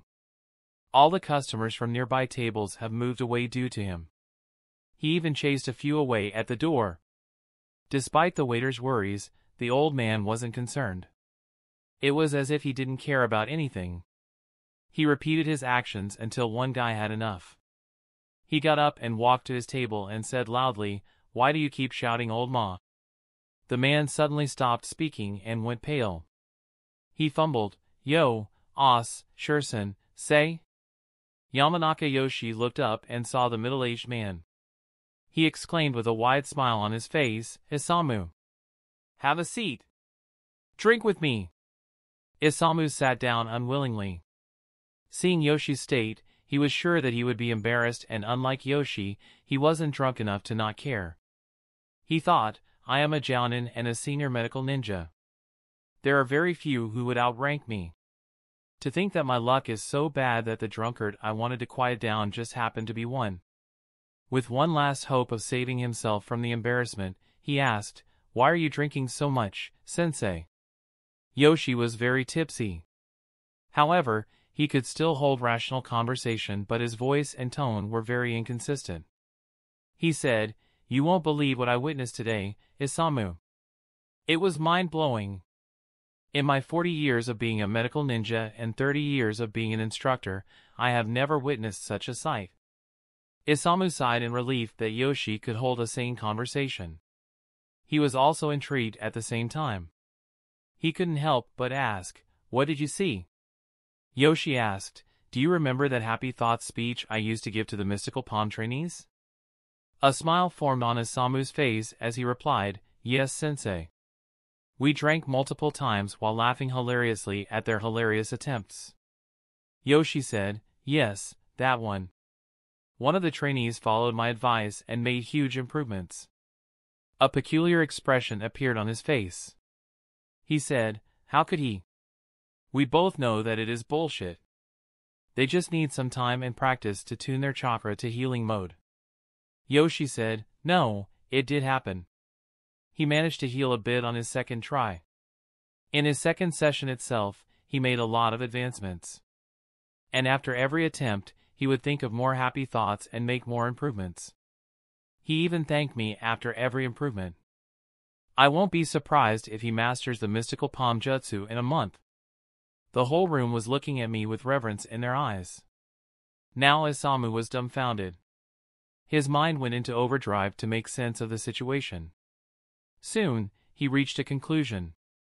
He asked, Are you sure that he hasn't already learned the jutsu? Or perhaps someone else is tutoring him? Unlike Yoshi, Isamu wasn't overwhelmed by the situation. So he could think with a stable mind. However, Yoshi shook his head and said, No way.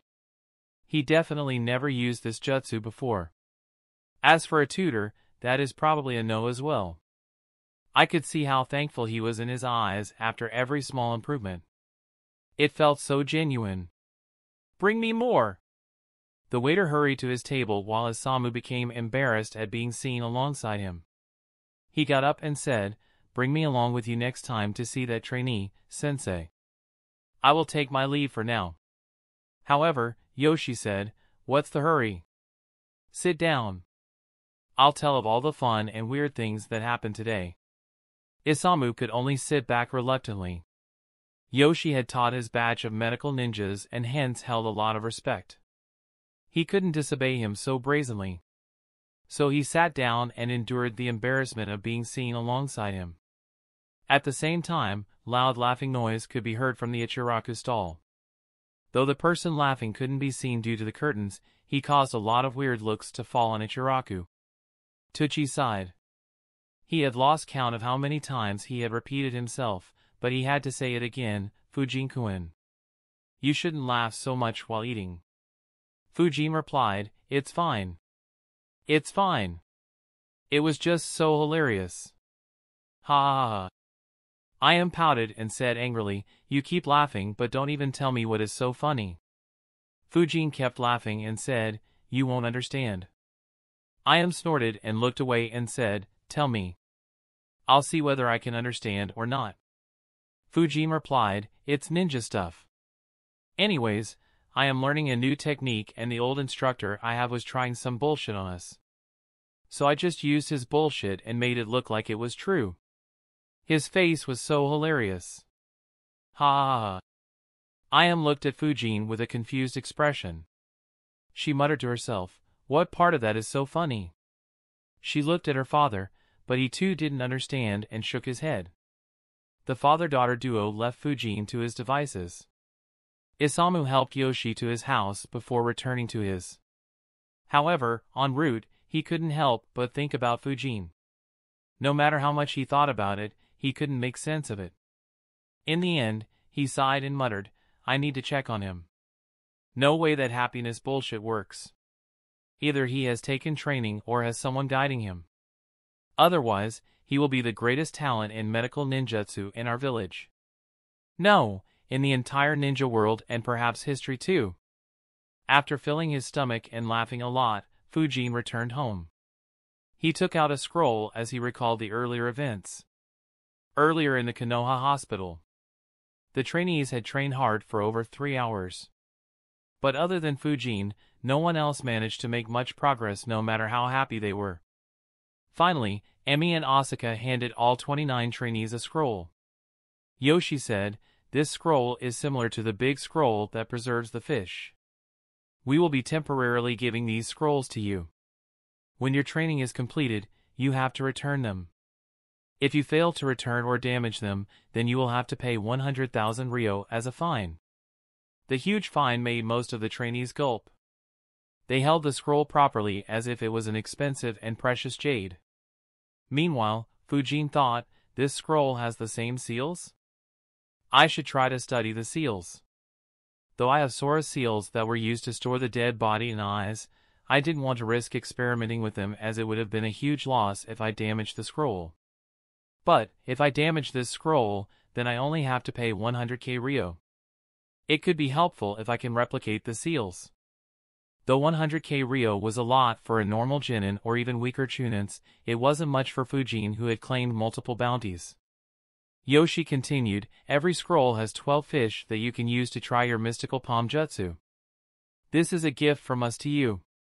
In the future, you can ask for more fish at the reception, but you will have to pay for them. Is that understood? Everyone nodded. Yoshi said, try to heal the fish by yourselves until we meet next week. You will have to practice a lot in order to succeed. Now leave. At his home, Fujin looked at the scroll and muttered, It looks like Konoha wants as many ninjas to learn this jutsu as they can. Otherwise, they wouldn't use so many resources on us. After all, we are just one batch. From what I heard, a new batch is started every month. And Yoshi claimed that it normally takes around 8 to 12 months to learn this jutsu and use it without any risks. So there might be another 12 batches being trained alongside us. Now that I think about it, it is kinda surprising that Tamatsu's squad didn't have anyone who could heal. Fujin opened the scroll and summoned a fish. He observed, hmm, it seems to be the same seal. Good. I'll first use up the fish and then try to study the seals. Fujin began practicing the mystical palm jutsu once again. Chapter 236 In an hour, Fujin had gone through all 12 fishes without completely healing any. He sighed, I feel like I am close, but I still can't heal it without burning its flesh. Still, I have a feeling that it should just be a matter of practice. I should get a hang of this jutsu soon. Fujin turned his attention towards the seal and began testing it. After a while, he concluded, interesting seal. It has the base of a normal storage seal that should be used to create a space in the seal. In addition, there are seals to preserve life and not pose any harm to it as well as to keep the air fresh and rich in oxygen. I can replicate these with ease. However, there are a few additional seals that I don't recognize.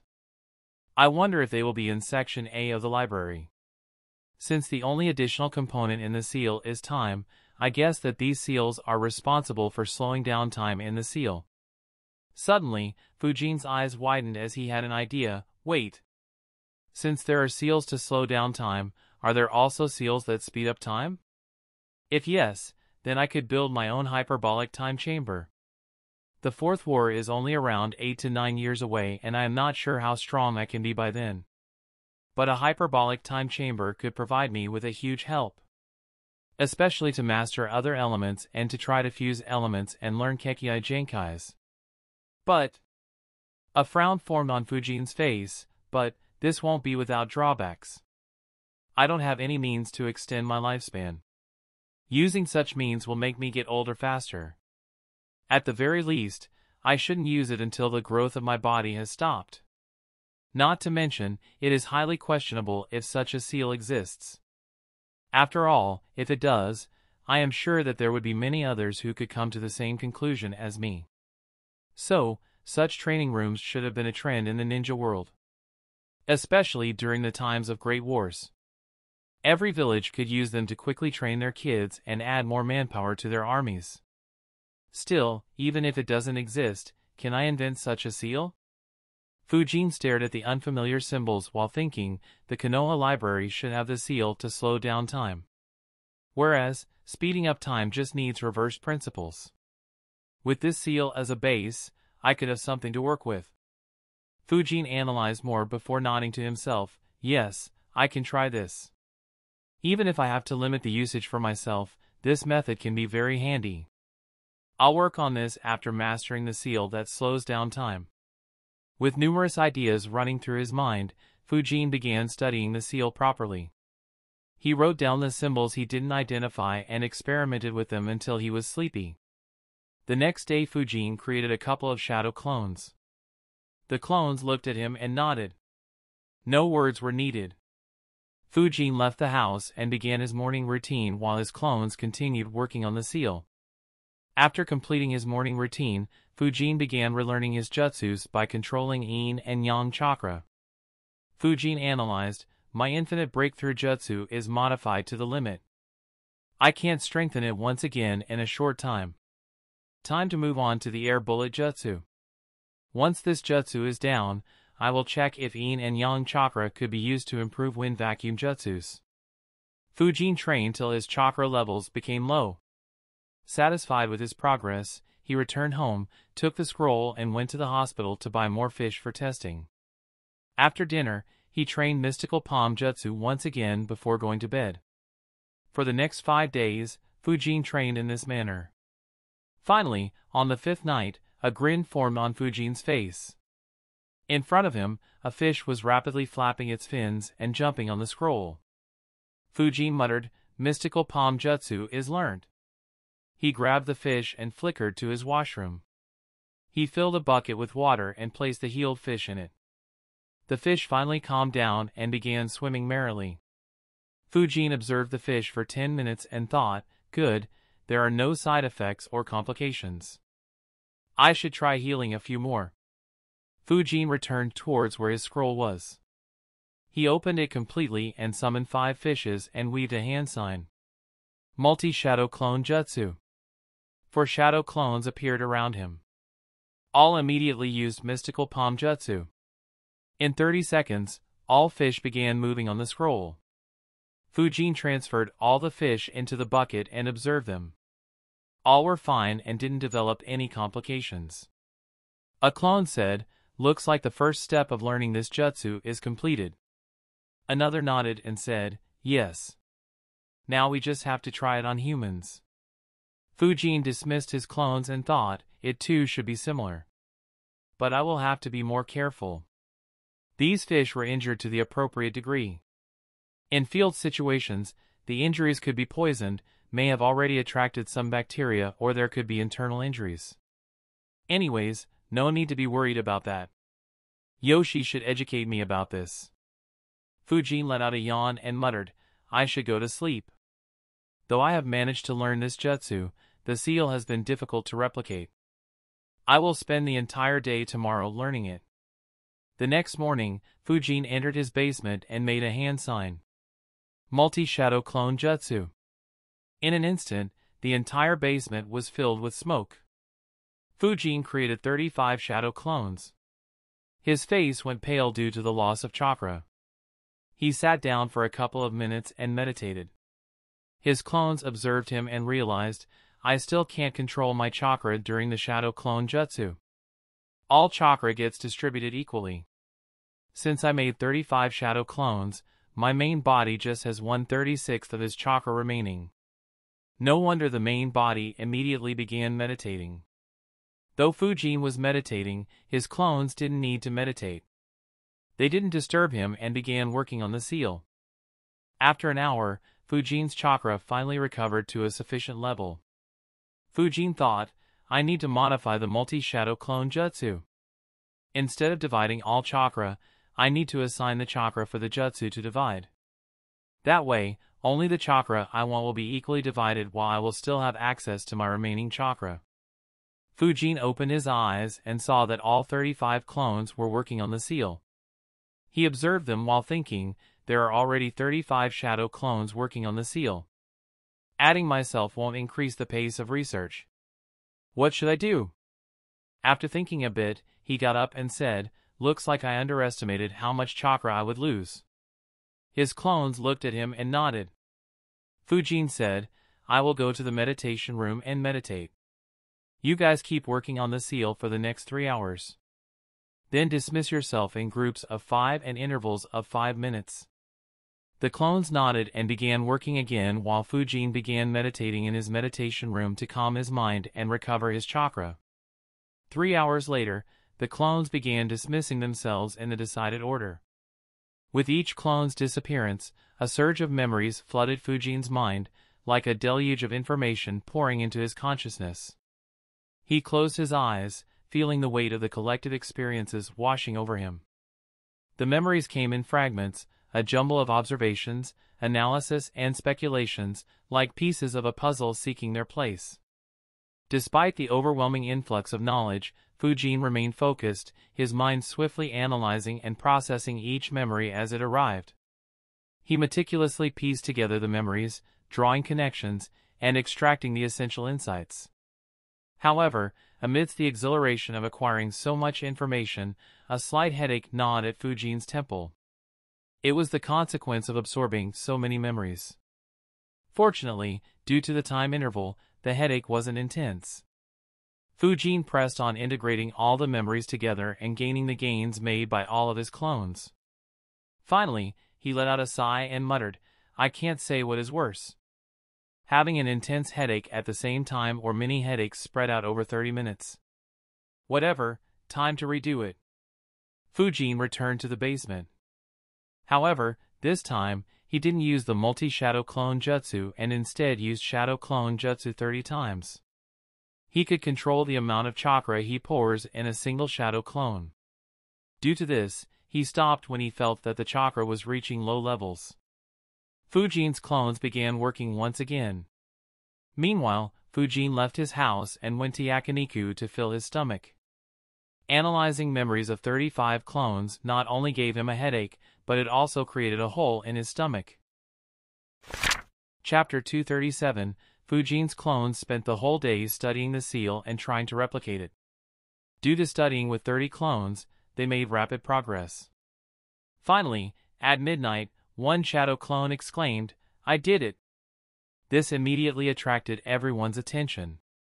They began moving closer to him to observe the seal. But the clone said with a chuckle, no need to be impatient. He dispelled himself and sent memories to Fujin and all his clones. All the clones absorbed the memories and realized. Immediately, they began creating the seal. Meanwhile, Fujin, who was meditating in the meditation room, opened his eyes.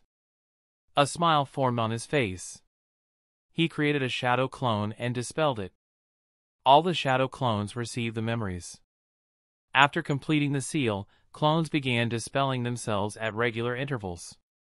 After absorbing everyone's memories, Fujin returned to the basement. He collected all the scrolls and opened up a new one.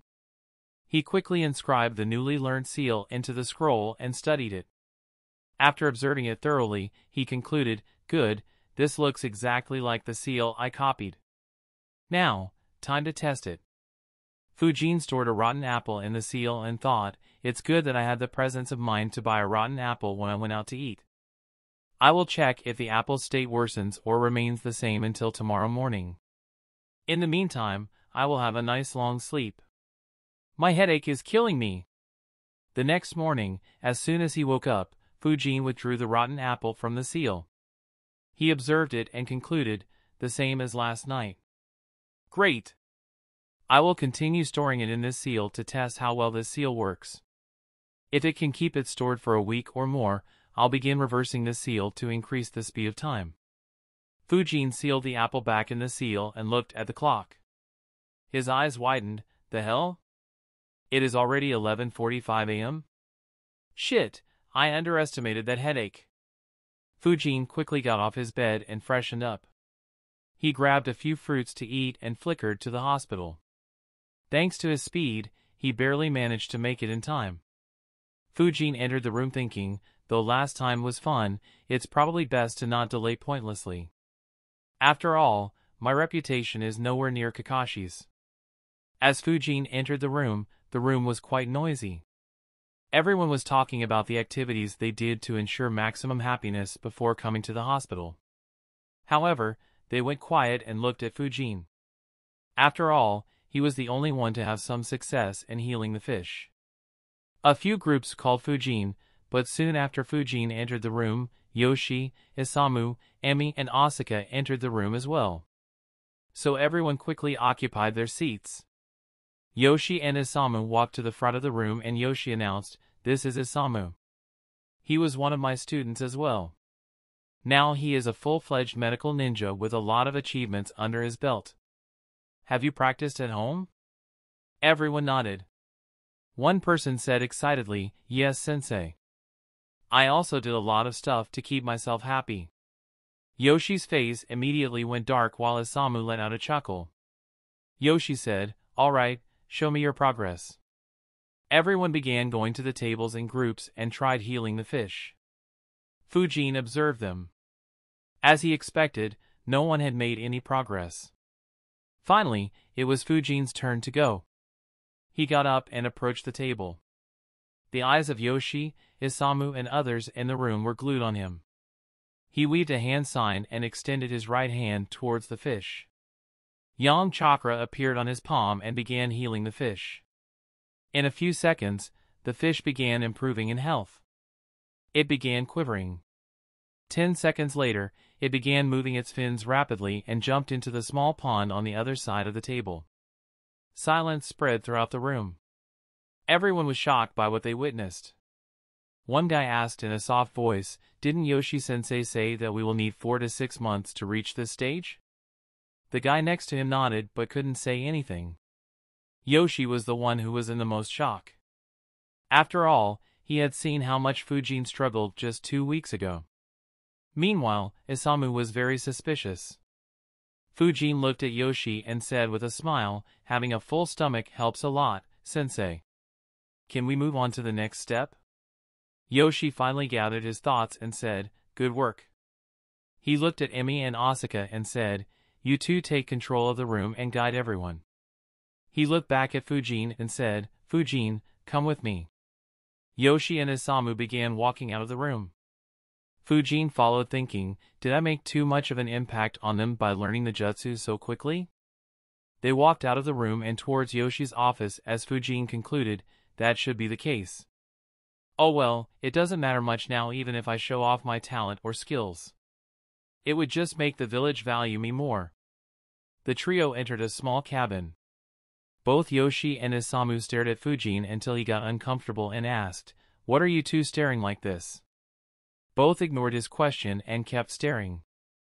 Isamu asked, Fujin, tell us the truth. Have you learnt or practiced the mystical palm jutsu earlier? Fujin replied, Nope. Isamu asked again, did anyone else guide you privately after you visited the hospital two weeks ago? Fujin tilted his head and asked, Do we also get private tutors for learning mystical palm jutsu? He looked at Yoshi and asked, Why didn't you tell me earlier, sensei? Sweat formed on Yoshi and Isamu's heads.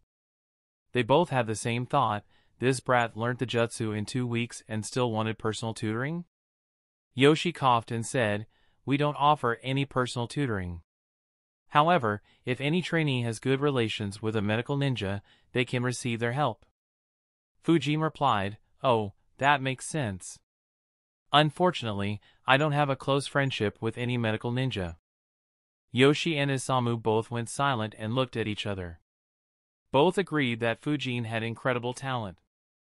Yoshi looked back at Fujin and asked, Fujin, do you want to become a medical ninja? Fujin frowned. He thought for a bit and shook his head.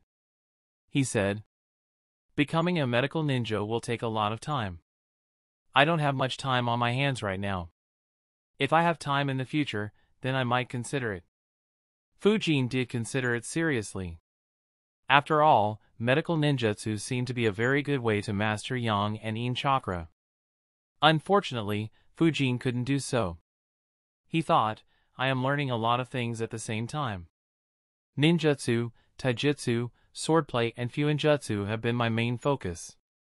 And I have also learned some genjutsu.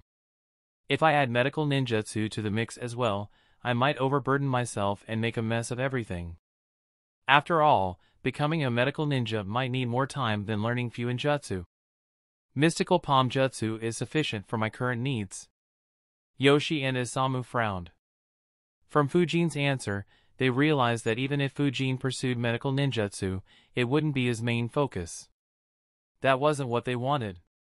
Yoshi said, Fujin, I think you misunderstood me. I want you to abandon your other options and focus completely on becoming a medical ninja. As he was speaking, both he and Isamu figured out the answer from Fujin's face. So before Fujin could refuse, Isamu said, We will be honest with you Fujin. I didn't want to tell you this right now in case you become overconfident, but I will because if you don't, then it will be a huge loss for Konoha. Your talent for medical ninjutsu is very high. If you become a medical ninja, then you will become a very good one in a few years. Also, your fighting capabilities won't be wasted as you can use them to protect yourself on the front lines. Yoshi nodded in agreement. However, Fujin shook his head. This time he didn't even need to think. He was learning mystical palm jutsu to ensure that he could last longer in fights and quickly heal himself if he took lethal damage. Focusing on medical ninjutsu would be reversing his priorities. He answered, Sorry, I don't intend to do so. Yoshi and Isamu were surprised. They didn't expect Fujin to turn them down so directly. They both sighed. Yoshi said, Alright. I will teach you the complexities of mystical palm jutsu and how to use it on your allies. I and Isamu will guide you for three days. If you change your mind later, you know where to find us. Fujin nodded and quickly thanked them. Yoshi and Isamu began teaching Fujin with a lot of enthusiasm and made the lessons as entertaining as they could. They wanted to use this opportunity to make Fujin change his mind. Chapter 238 Yoshi and Isamu train Fujin for three continuous days. Fujin absorbed all their teachings and became capable enough to use this jutsu on humans. However, despite his rapid progress, Yoshi and Isamu weren't happy as they weren't able to change Fujin's mind. Fujin thanked them once again before leaving. After exiting the talent, Fujin let out a sigh. He could see reluctance in the eyes of Yoshi and Isamu. He thought, they really wanted me to pursue medical ninjutsu. Unfortunately, that's not the path I want to move on. That said, I understood why they wanted me to pursue this path. It isn't that they think that my talent is good, they probably think that my talent is the greatest due to how quickly I learned the jutsu. Unfortunately, that isn't the case. If it was, perhaps I'd be tempted to take this path at the beginning. Back in the hospital, Isamu let out a sigh and said, we couldn't change his mind. Yoshi nodded and said, yes. But I know someone who can. Come with me. Isamu was surprised. He looked at Yoshi and asked, who are you talking about, sensei? Yoshi smirked and said, Oh, you know him. He is the best in the world at influencing kids. Isamu was still confused. He couldn't figure out who Yoshi was referring to. However, he didn't ask as it looked like Yoshi wanted to keep him in suspense. He quickly followed Yoshi. After a few minutes, both entered into a room. Isamu's eyes twitched as he muttered, I should have known. Yoshi smirked and bowed slightly, Lord Hokage. Hiruzen looked at them and said, Yoshi, Isamu, how have you two been? Yoshi replied, We have been great, Lord Hokage. We have come here because we have a request for you and hope that you can do it. It will provide a huge boost to our medical capabilities. Hiruzen was surprised at his claim. He thought, since Tsunade left, our medical ninjutsu hasn't made much progress. What did these two find? He asked, What is your request? Yoshi said, We met a young kid who has incredible talent at medical ninjutsu. We believe that it may even surpass Tsunade's talent. He managed to learn the mystical palm jutsu with minimal guidance in two weeks. Unfortunately, he isn't interested in pursuing medical ninjutsu. Can you convince him to do so? Hiruzen asked, Who is the kid? Yoshi answered, Suzuki Fujin. Hiruzen went silent for a few seconds as thoughts ran through his mind. He shook his head and said, No. Yoshi was surprised. He quickly asked, Why no? However, Hiruzen interrupted him, You two are mistaken. He isn't talented in medical ninjutsu. Yoshi and Isamu weren't expecting such a response. Hiruzen corrected himself, well, he could be. But mystical palm jutsu won't be a good measure of his talent. Fujin has had excellent chakra control since his academy days. And he has learned the Senju Taijutsu style. So he is accustomed to both yang chakra and excellent chakra control. That is why he learnt mystical palm jutsu so quickly. Yoshi and Isamu were dumbfounded by that answer. They looked into each other's eyes. Both were so excited by Fujin's talent and prospects that they never thought from this angle. Isamu muttered, Is he related to the Senju clan? Hiruzen answered, No. But his sensei was from the Senju clan. Yoshi and Isamu let out a sigh. Yoshi said, We got excited about nothing. Sorry for wasting your time, Lord Hokage. Hiruzen replied with a chuckle, It's fine. It was good to see you after a long time. You can leave. Yoshi and Isamu nodded and left. Hiruzen saw their backs while thinking, though it doesn't show his talent in medical ninjutsu, it definitely shows his talent in yang release. After all, I doubt Renjiro would have spoon-fed him everything. No, he certainly didn't know about it when I trained him. Now that he has learned it, I wonder if he will manage to use Yang and Yin chakra to modify his jutsus and make them stronger. Hiruzen obviously knew how to use Yin and Yang chakra to amplify his jutsus. When Fujin arrived to collect the swords, he was surprised to learn that Fujin wanted to learn mystical palm jutsu. Knowing that it would mean that he would have to learn how to use Yang chakra, Hiruzen insisted that Fujin learn the jutsu before he was recruited into Anbu. The next day, Fujin once again began using Yin and Yang chakra to modify his jutsus. However, he was stuck. He analyzed, just like Infinite Breakthrough Jutsu, the Air Bullet Jutsu also showed results quickly. But I haven't been able to modify Vacuum Bullet and Vacuum Sphere Jutsus at all. I guess the reason is that they have already reached the limits of modification. After all, I could modify the Vacuum Cannon Jutsu. But even that was very little. Since it was based on the Vacuum Bullet, it too was quite close to perfection. Oh well, I will just focus on my other jutsus. I will start with Wind Sword and Spinning Shield of Wind Jutsus and then follow it up with Wind Gale Wolf and Wind Dragon Jutsus. Following it, I will work on the rank D and E Wind Jutsus before working on Earth Wall Jutsu and Lightning Jutsus. Fujin began training. In the next four days, he modified Wind Sword and Spinning Shield of Wind Jutsus and began working on the Wind Gale Jutsu. However, he decided to take a break and decided to work on another important project. He opened a scroll and withdrew an apple from it. The apple was rotten. Fujin observed it and concluded, good. The apple hasn't rotted any further despite it being a week. Time to create a seal with the opposite effect. Fujin created 30 shadow clones one by one and all began thinking about how to reverse the seal. For the next three days, they constantly racked their brains thinking about how to reverse the seal. Hundreds of empty scrolls were used up to try their experiments. Finally, one of the clones sighed and said aloud, This is impossible. We have no leads at all. The other clones didn't reply. After all, they had experienced nothing but failure for three days. Considering that Fujin was training with 30 clones, it was equivalent to spending three months trying to reverse the seal.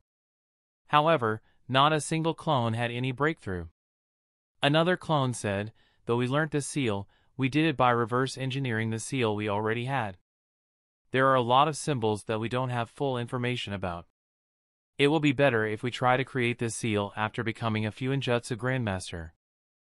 Fujin agreed with his clone's analysis. One by one, he began dispelling his clones. The tiredness set into his body as he went to sleep. The next day, he had just finished his morning training when an Anbu ninja entered the training ground.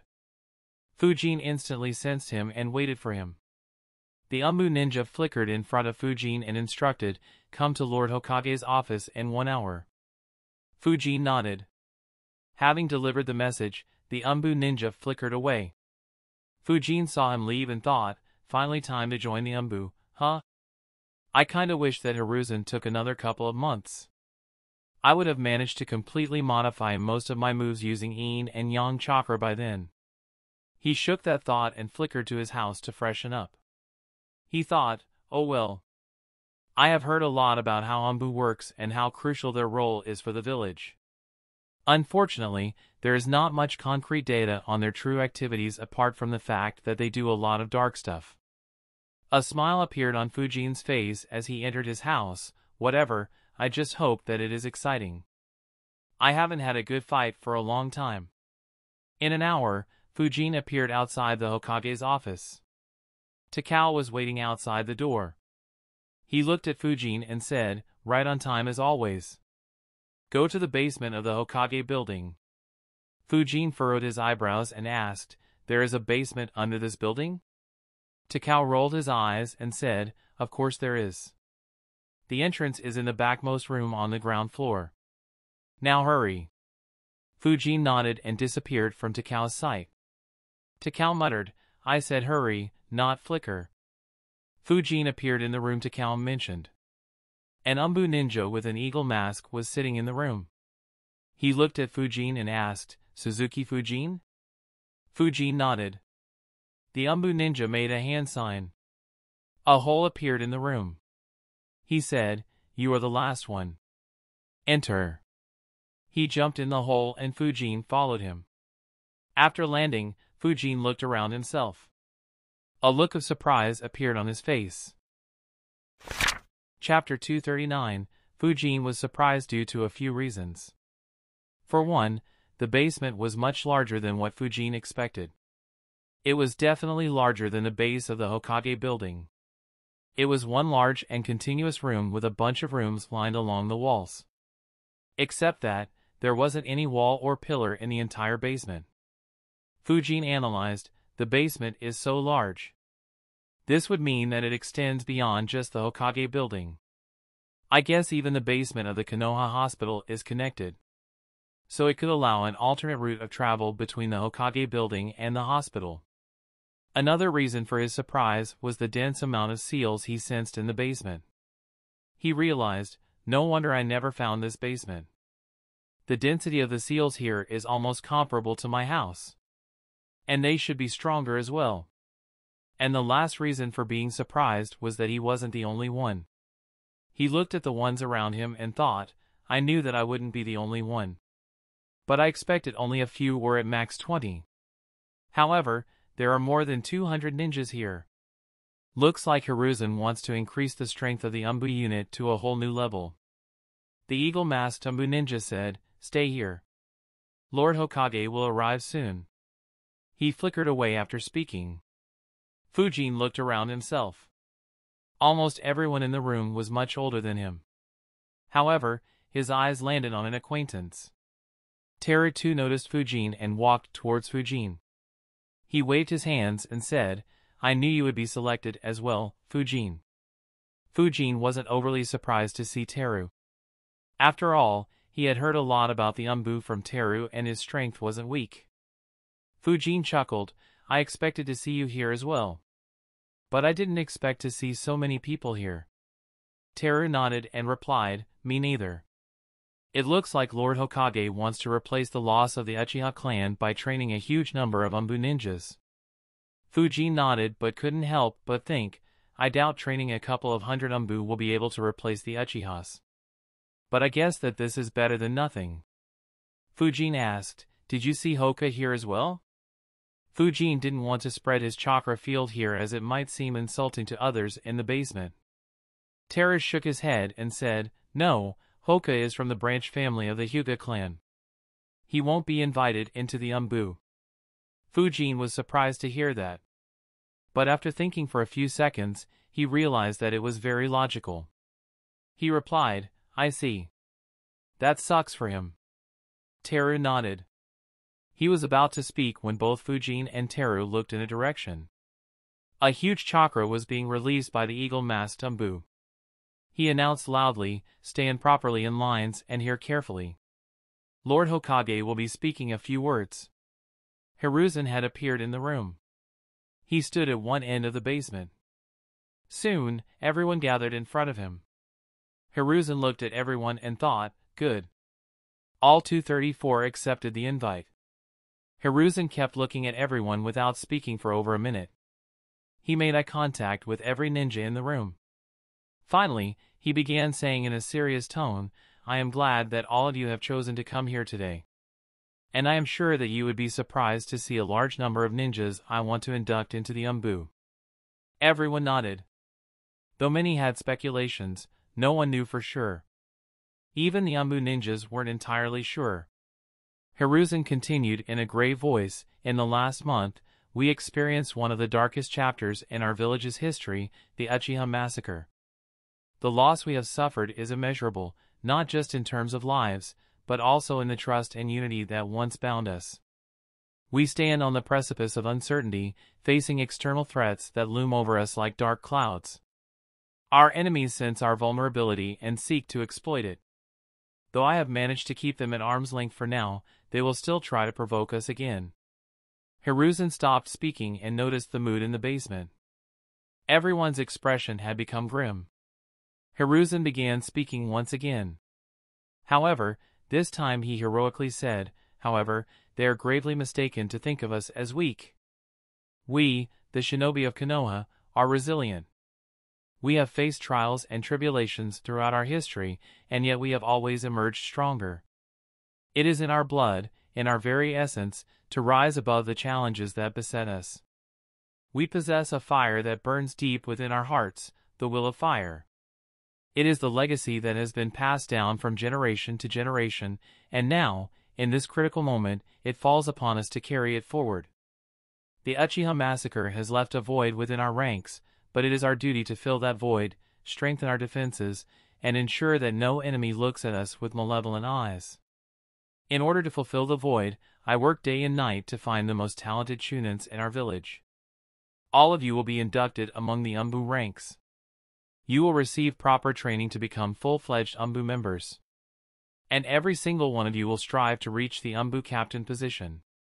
I have no doubts that every single one of you will reach the level of the Jounins. With 234 new Jounins, not a single enemy village will dare look at us with malevolent eyes. You shall become the shield that protects our village, the sword that strikes fear into the hearts of our enemies. I have faith in each and every one of you, in your skills, your dedication, and your unwavering spirit. Together, we shall rise above the shadows that seek to engulf us. We shall write a new chapter in the history of Konoha, one of resilience, growth, and triumph. Remember, my fellow shinobi, that our legacy is not defined by the tragedies we endure, but by how we rise above them. Let us stand tall, shoulder to shoulder, as we face the challenges that lie ahead.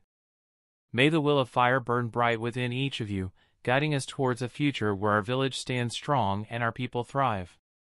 For Konoha, and for the fallen Uchiha, we shall honor their memory through our unwavering resolve. Now, let us embark on this journey together. From today onwards, I welcome you all into the ranks of Konoha's and Satsu's Senjutsu Tokushu Butai. Hiruzen's words sent goosebumps throughout the crowd. They made everyone's blood boil. Even the hardened Anbu ninjas got excited and more patriotic than ever. Most of the trainees shouted together, Yes, Lord Hokage. Sweat gathered on Fujin's forehead. He stared at Hiruzen as he thought, holy shit. His speeches keep improving by the day. Even I felt goosebumps.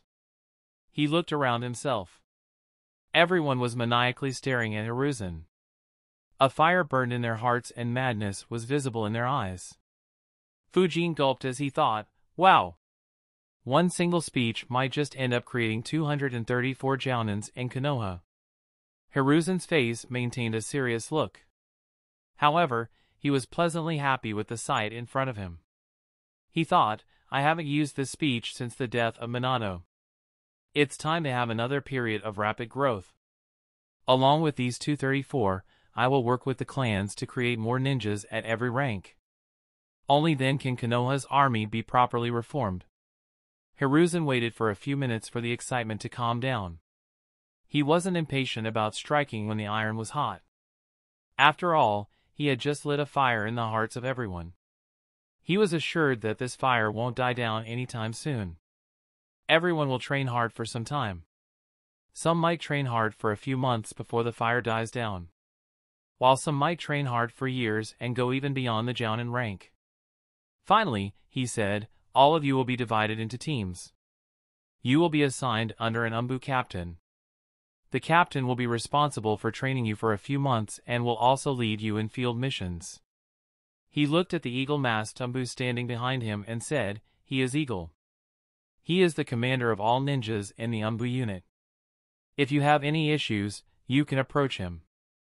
He looked back at the crowd and said, he will begin assigning you to Anbu captains.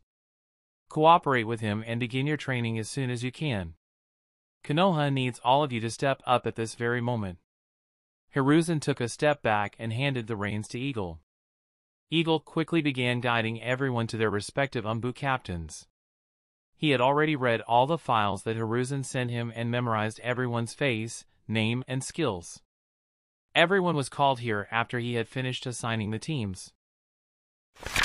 Chapter 240 Eagle was busy informing everyone about their Anbu captain. Soon, he arrived in front of Fujin and Teru. He looked at them and said, Good, you are together. Both of you are assigned under Kuma. He pointed towards a bear-masked Anbu and said, That's him, go and introduce yourselves. Fujin and Teru walked to him. Another young Chunin was already standing next to the bear-marked Anbu. The Anbu with the code name Kuma was leaning against the wall. He was a very large person. He was easily over seven feet in height and had a large physique. In addition, he wore plate armor and had a metal staff next to him. Both Fujin and Teru speculated that he was from the Akimichi clan. The youngster next to Kuma looked at Teru and said with a smile, looks like we are in the same team once again.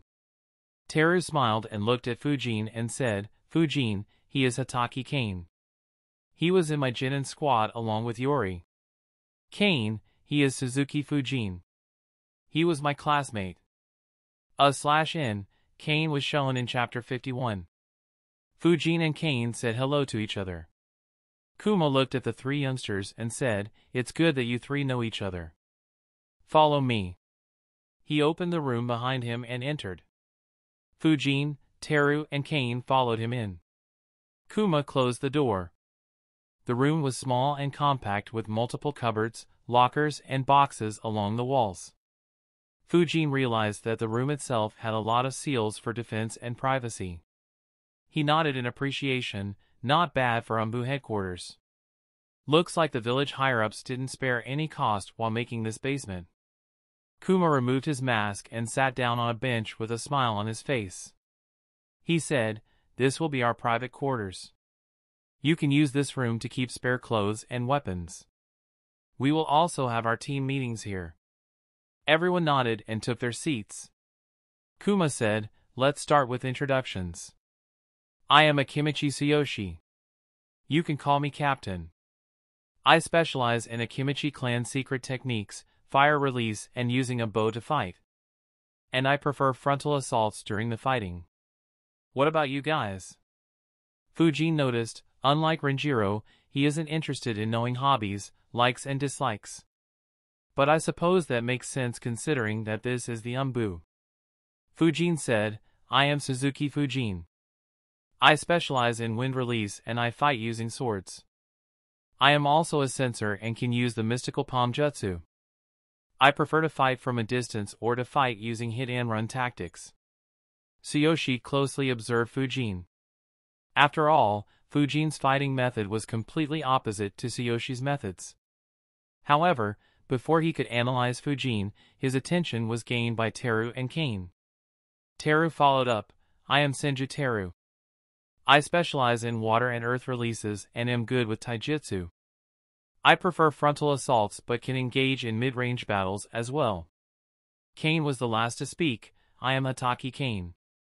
I specialize in lightning release and I use a short blade to engage in Hatake Kenjutsu. I can use the mystical palm jutsu as well. I prefer high-speed combat that keeps the enemy on their toes and inflicts multiple small damages to the enemy.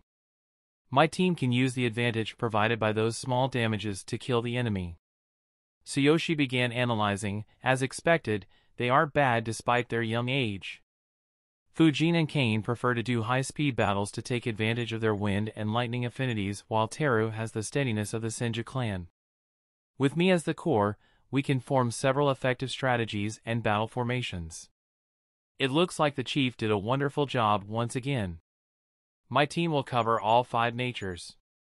In addition, with Fujin's sensor capabilities and his and Kane's healing jutsu, we will have a rather all-round squad for Anbu. He said, good. It looks like you have a good base. I will first tell you about some basic rules of Anbu. The trio paid attention to his words. Tsuyoshi said, for an Anbu, maintaining secrecy is a must. You will never talk about any Anbu mission you do with anyone outside your chain of command. In fact, you shouldn't even be telling anyone that you are selected into the Anbu. To maintain anonymity, you will choose a mask and codename for you. You will always call the other Anbu ninjas by their codenames whenever you are on a mission. And when we meet off duty, you should never call me or any other Anbu ninja using their codenames. As you know, my codename is Kuma.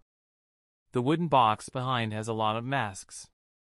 Choose whichever one you want. Also, choose a code name for yourselves. Fujin, Teru, and Kane nodded. They quickly opened up the box and saw a bunch of animal masks in it. The boys took some time to decide on their masks and tried them on to check which size fitted them properly.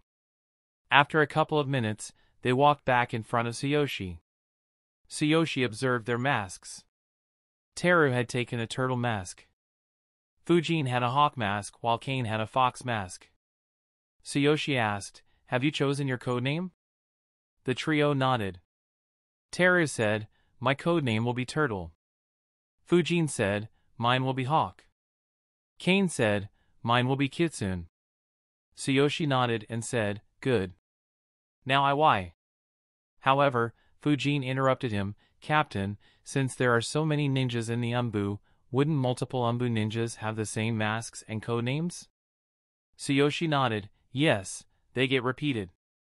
I know at least 11 other Anbu ninjas with the hawk mask and codename. But you don't need to worry as it is a good thing. Our enemies can't recognize us easily from the mask due to how many there are. Also, you don't need to worry about confusion in our ranks. Lord Hokage and our commander have very large memories. They will always recognize you and give you the right task. Fujin nodded and said, All right. Tsuyoshi continued, I will first give you a brief description of my training plan. So listen carefully. Fujin, Teru, and Kane once again paid full attention. Tsuyoshi said, Since you have been selected to the Anbu, it shows that you already have good training, discipline, and decent strength. So your training won't involve any jutsus or techniques to make you stronger. Instead, your training will focus on making you act and fight like an Anbu ninja. I will train you in various formations and battle tactics that we will be using in field missions.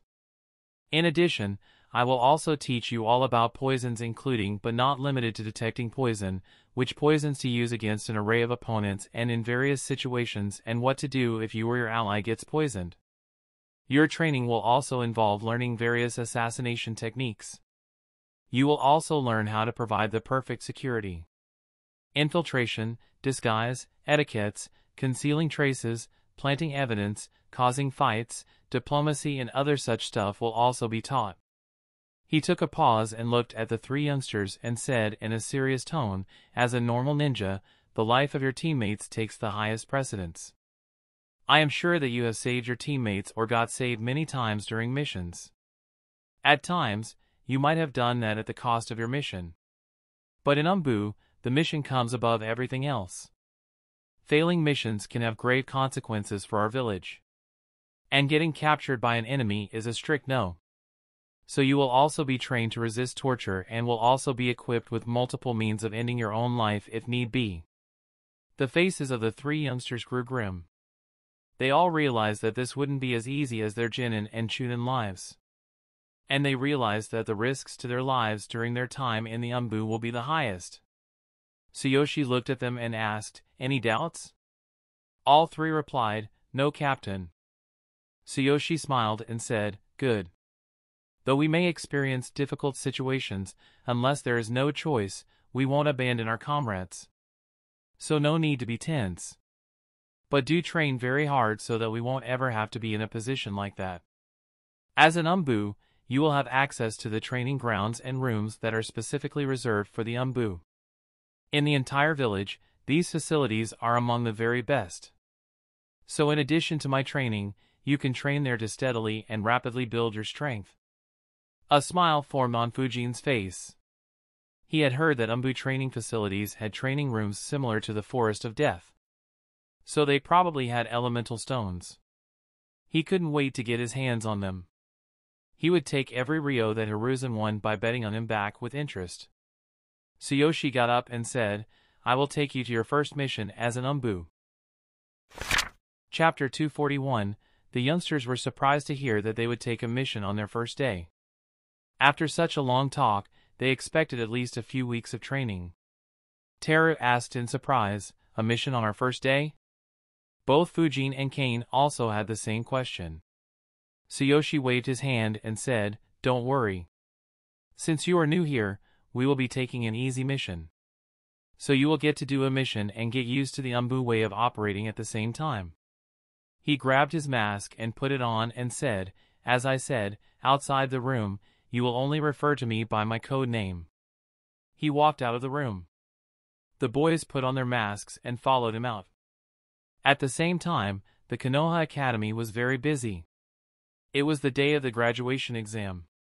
359 students from the final year were taking the exam in various classrooms.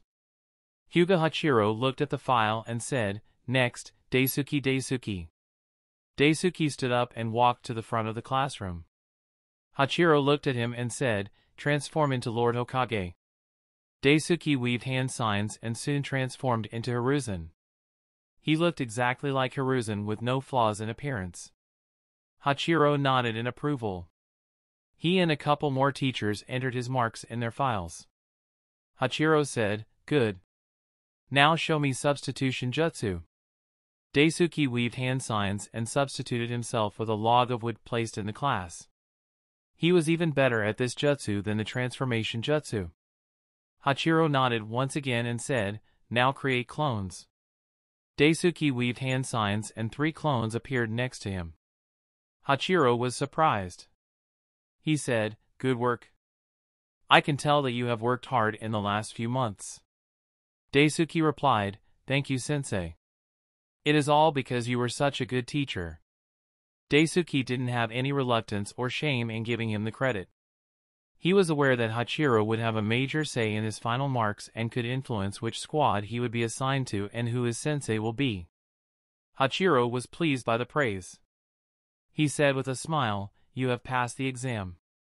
Go back to your seat. Next, Anze Buncho. Daisuke returned while Buncho took his place. Just like Daisuke, Buncho too did the three jutsu perfectly. Hachiro was surprised once again. He wondered, both Daisuke and Buncho were struggling a lot a few months ago. I was sure that they would fail the exam. How did they suddenly improve so much? He looked at the other three orphans in the classroom and wondered, have these three improved as well? He called out Irie Ryoma next. Just like the ones before him, he too completed the three jutsus. Hachiro praised him as well and called out, next, Yuzuki Tatsuya. Tatsuya walked up to the front. Like others, he too performed all the three jutsus. This time, Hachiro wasn't surprised, but he was very curious about how they improved so suddenly. He said, Good, you have passed the exam as well. Next. However, Tatsuya interrupted him, Sensei, I have a question. Hachiro looked at him and said, Ask. Tatsuya asked, Can I perform other jutsus to improve my score even further? Hachiro was surprised. He nodded and said, Sure, go ahead. However, he thought, what is going on? Not only has he mastered the three jutsus, but even mastered more? A frown formed on his face, I already sent all the talented people from my class to the elite batch. Did I misjudge their talent? No, they definitely weren't this good half a year ago. Tatsuya's question also surprised the kids in the classroom. They didn't expect Tatsuya to learn a new jutsu in addition to learning the three required jutsus. After all, most of them had a hard time mastering those three basic jutsus. Daisuke, Buncho, and Ryoma especially stared at him. Despite being close friends, they weren't aware that Tatsuya learned another jutsu. Tatsuya weaved hand signs and pointed a finger at the log of wood. Fire release, one jutsu. A fire ray was released from the tip of his finger and landed on the wood. Soon, Smoke appeared from the point of contact and after a few seconds, it caught fire. Hachiro quickly made a move and doused the fire. At the same time, the entire class looked at Tatsuya in awe. Among the 50 students who took the exam, he was the only one to perform another jutsu. Hachiro patted Tatsuya's shoulder and praised, Great work Tatsuya. This will improve your score a lot. Do you have any other jutsu you want to show? Tatsuya shook his head and said, I have just learnt one jutsu so far, sensei. I am also training in fire release, two jutsu, but I haven't learned it yet. Hachiro said, that is a rank D jutsu. You will need some time to learn it. But it's good that you have taken the initiative to learn by yourself. Keep working hard. Tatsuya excitedly said, Yes, sensei. Tatsuya returned to his seat as everyone stared at him. He felt very pleased with himself. Hachiro called out, Next, Handa Bunjiro. Bunjiro walked to the front. He was very pumped after seeing Tatsuya's performance. He performed the three jutsus and said, Sensei, I also want to perform another jutsu. Hachiro didn't show his surprise and allowed him. Bunjiro quickly weaved hand signs. Water release, water pellet jutsu.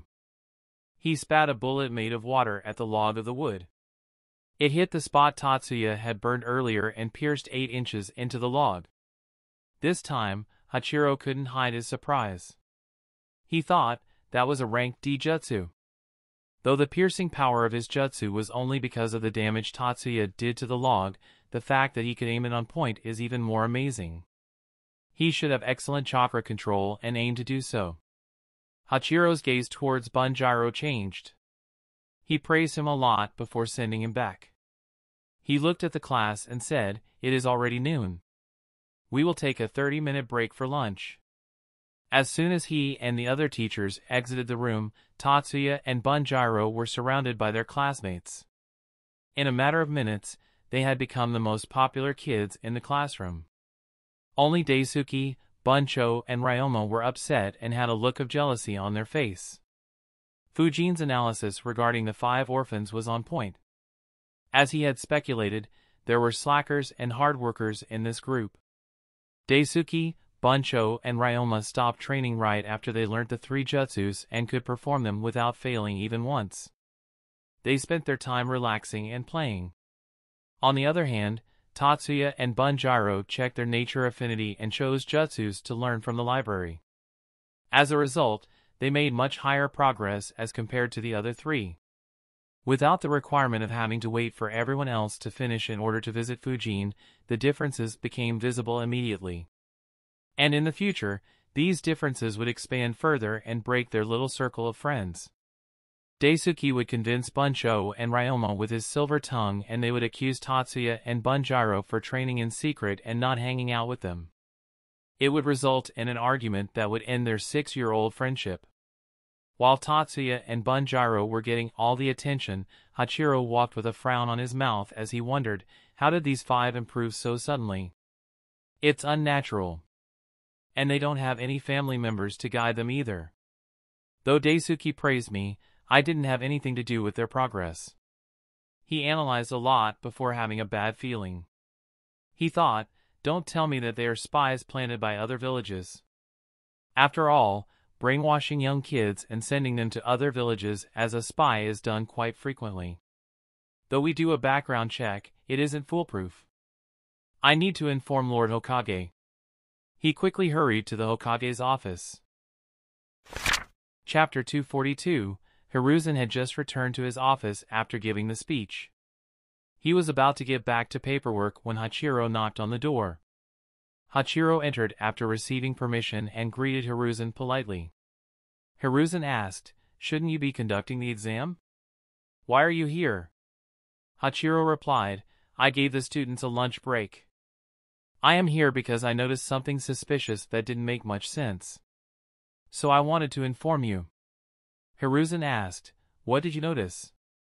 Hachiro informed him, My class has five orphans who always hang out together. Until a few months ago, I was sure that they would fail. But today, all five of them performed all the three jutsus perfectly. A couple of them even performed elemental jutsus. A look of surprise appeared on Hiruzen's face. He said, That's good. I didn't expect that we would have anyone outside the elite classrooms to learn elemental jutsus. Hachiro replied, Me neither. That is why I am suspicious. However, Hiruzen wasn't worried. He asked, What are their names? Hachiro reported their names. Hiruzen nodded. The names were as he expected.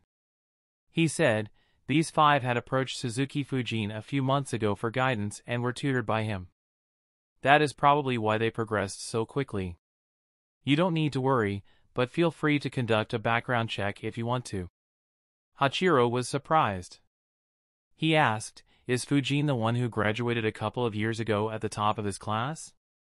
Hiruzen nodded and said, A few of them were in the same orphanage. Hachiro realized. He quickly thanked Hiruzen for providing the info and left. Hiruzen thought, that boy keeps on giving me surprises. I didn't expect him to be good at teaching as well. Still, from my reports, he spent very little time with them. How did they improve so quickly? Hiruzen wondered for a couple of minutes before stopping. He shook his head and thought, it isn't important how you manage that. The important fact is that he did. From Hachiro's words, those five children would have entered the Genin Reserve Force and wouldn't have achieved anything else. But now, since two managed to learn elemental jutsus, it's safe to say that those two will at least become chunins. If they work hard or have good luck, they might even become a jounin. After all, though it might not seem much to learn an elemental jutsu at the age of 12, the fact is that they made the progress in just a few months. If they could maintain that zeal for a few years, it'd be great. Regardless, this is a great achievement for Fujin. Hiruzen was very impressed with what Fujin did. The act of training five children in a village that has thousands of ninjas might seem insignificant. But from Hiruzen's point of view, it was very significant. After all, there were hundreds of ninjas in Konoha who could be considered veterans and were far more experienced than Fujin. If these ninjas also guided a few orphans or civilians in the academy and ensured that those kids reached the Chunin rank, Konoha's strength would grow exponentially. Hiruzen thought, Initially, we didn't need any such training as all the clans would train their next generation with all their heart. But, after three great wars, the strength and numbers of the clan ninjas have severely dropped. Right now, the highest number of ninjas are from civilian families or orphans. It is unlikely that this would change in the future. However, these civilian students don't get the same level of guidance as the clan children. After all, there is no way a teacher can make a difference when teaching so many students who have different levels of talents in every different phi. Suddenly, Hiruzen had an idea. He thought, wait, instead of just hoping that someone guides these kids, how about I start a mentorship program? Hiruzen thought more about his idea and immediately began figuring out the details. In a couple of minutes, he decided, yes, this can be great. I will first make a list of ninjas that can provide good guidance. Then I will assign five students to each of them. They won't have to do anything actively. But once a month, they will have to spend a couple of hours with the students, solve their doubts and provide them with some guidance on how to proceed further and create a decent training plan for them. This way, we will be able to find all the hardworking or talented students that go under the radar. And I can even make some use of the retired ninjas who don't have anything to do. I could even ensure that most of such mentors are civilians or orphans themselves so that they would feel an emotional connection with the students and take them more seriously. Hiruzen saw Hatake Takao entering the office with a bunch of files. Takao said, Lord Hawk. However, Hiruzen interrupted him and instructed, keep those files to the side and call Shikaku to meet me at this moment. Takao was surprised to see how impatient Hiruzen sounded. He immediately placed the files in a corner and left. At the same time, Fujin, Teru and Kane were hiding in the village while keeping a watch. Every single one of them was pissed off.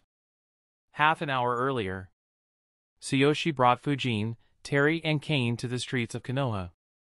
He looked at them and asked in a serious tone, Are you aware of where the new Konoha prison is? The boys nodded. The old prison was close to the Uchiha compound. The new one was built next to the torture and interrogation department. Tsuyoshi said, since the Uchiha massacre, the duties of policing the village have also fallen on the Anbu. Your first mission is to hide out of plain sight and keep a watch on the village. If any fight is happening, you should break it off. If a crime is taking place, stop it and arrest the criminal and escort him or her to the prison. If it isn't, then keep hiding. Don't show yourself unless a situation occurs. We will meet back in the same room at 8 p.m. After saying that, he flickered away. Fujin, Teru and Kane watched with dumbfounded expressions as their captain gave them the most boring of the jobs and ran away. Fujin immediately cursed, what the fuck? He looked at Teru and said, you said Anbu missions are thrilling. Teru was left speechless. Kane sighed and said, I had heard that all Akimichi clan members are polite, straightforward, and kind-hearted. It looks like it isn't correct. The group was still shocked at how seriously Tsuyoshi had informed them about the mission and ran away before they could react. Teru said in a dejected tone, I didn't know that Anbu were also given the duty of policing the streets. No wonder Lord Hokage recruited so many new Anbu. It looks like the newbies will be made to police the village until the training is done. Fujin said with a sigh, I never expected that I'd say that the bandit extermination missions were more interesting. Seeing that Fujin and Teru were dejected, Kane, being the oldest one in the group, took responsibility and said, Alright, that's enough brooding. Though the mission is boring, we should still do it seriously. It would be the worst if we do a bad job and they make us keep doing this mission as a punishment. Teru looked at him and said, on the contrary, they might permanently put us in charge of policing if we do a very good job. Kane's eyes twitched. He said, stop behaving like kids and keep a watch seriously. Fujin looked at him with a deadpan expression and said, we are watching over civilians. Why are you talking as if two S-rank ninjas are going to clash in this street in the next couple of seconds? Kane was left speechless. Though he tried to instill seriousness, Fujin was on point. They didn't need to be serious while watching over civilians. At the same moment, all three stared at the street and kept staring for a few seconds. However, nothing happened. Teru sighed and said, You suck at jinxing, Fujin. Looks like we will have a boring day.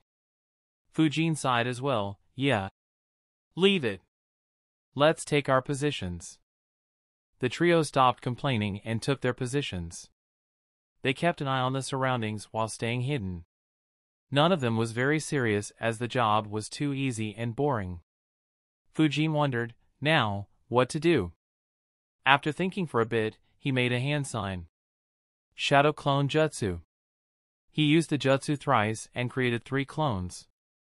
Two clones had 10% of his maximum chakra while the third had 40% of his chakra. The clone with the maximum chakra moved to the 23rd training ground. He continued his training and modifying his jutsus with yin and yang chakra and relearning them. Meanwhile, the remaining two clones went to the library. Fujin analyzed, the chances of any incident happening is low. Even if it does, the involved parties should be very weak. I will keep 40% of my chakra with me in case of an emergency. As long as nothing happens, my chakra will regenerate throughout the day. Meanwhile, one clone will keep modifying my jutsus. And the other two clones will begin training in fire manipulation. If we receive the same mission tomorrow as well, then I will begin training in fire manipulation seriously while keeping an eye as well. Fujin let out a chuckle as he realized, I expected to receive some very difficult missions in Anbu. To think that I would get a rank D mission like when I became a Genin and that I would sneakily train an element as I did during the academy days. Life is strange, ha ha. Anyways, this is good too. Though it will take a bit longer now, I will still manage to modify all my jutsus in a few months. And I also learn fire release jutsus. That should improve my combination of jutsus with the summons considerably. It'd be best if I can complete all of that before having to go on the deadly missions. Just like Fujin, around 80 other Anbu ninjas were keeping an eye on the village. 90% of them were inducted into the Anbu on that day. Though their excitement was doused as well, the fire lit by Hiruzen still existed in their hearts. Like Fujin, they too began thinking about the ways they could get stronger. In the following period of peace, their strength would grow rapidly. And along with them, Konoha too would close its chapter of weakness and revive its military might. Chapter 243 The Land of Waterfall The Land of Waterfall was a country filled with mountains, rivers, and waterfalls. Due to the same reason, it also had various valleys which added to the beautiful scenery of the country. In one such unnamed valley was a secret base. Twelve ninjas were busy staring at a map and making plans. All twelve ninjas had hidden their faces using demon-faced masks.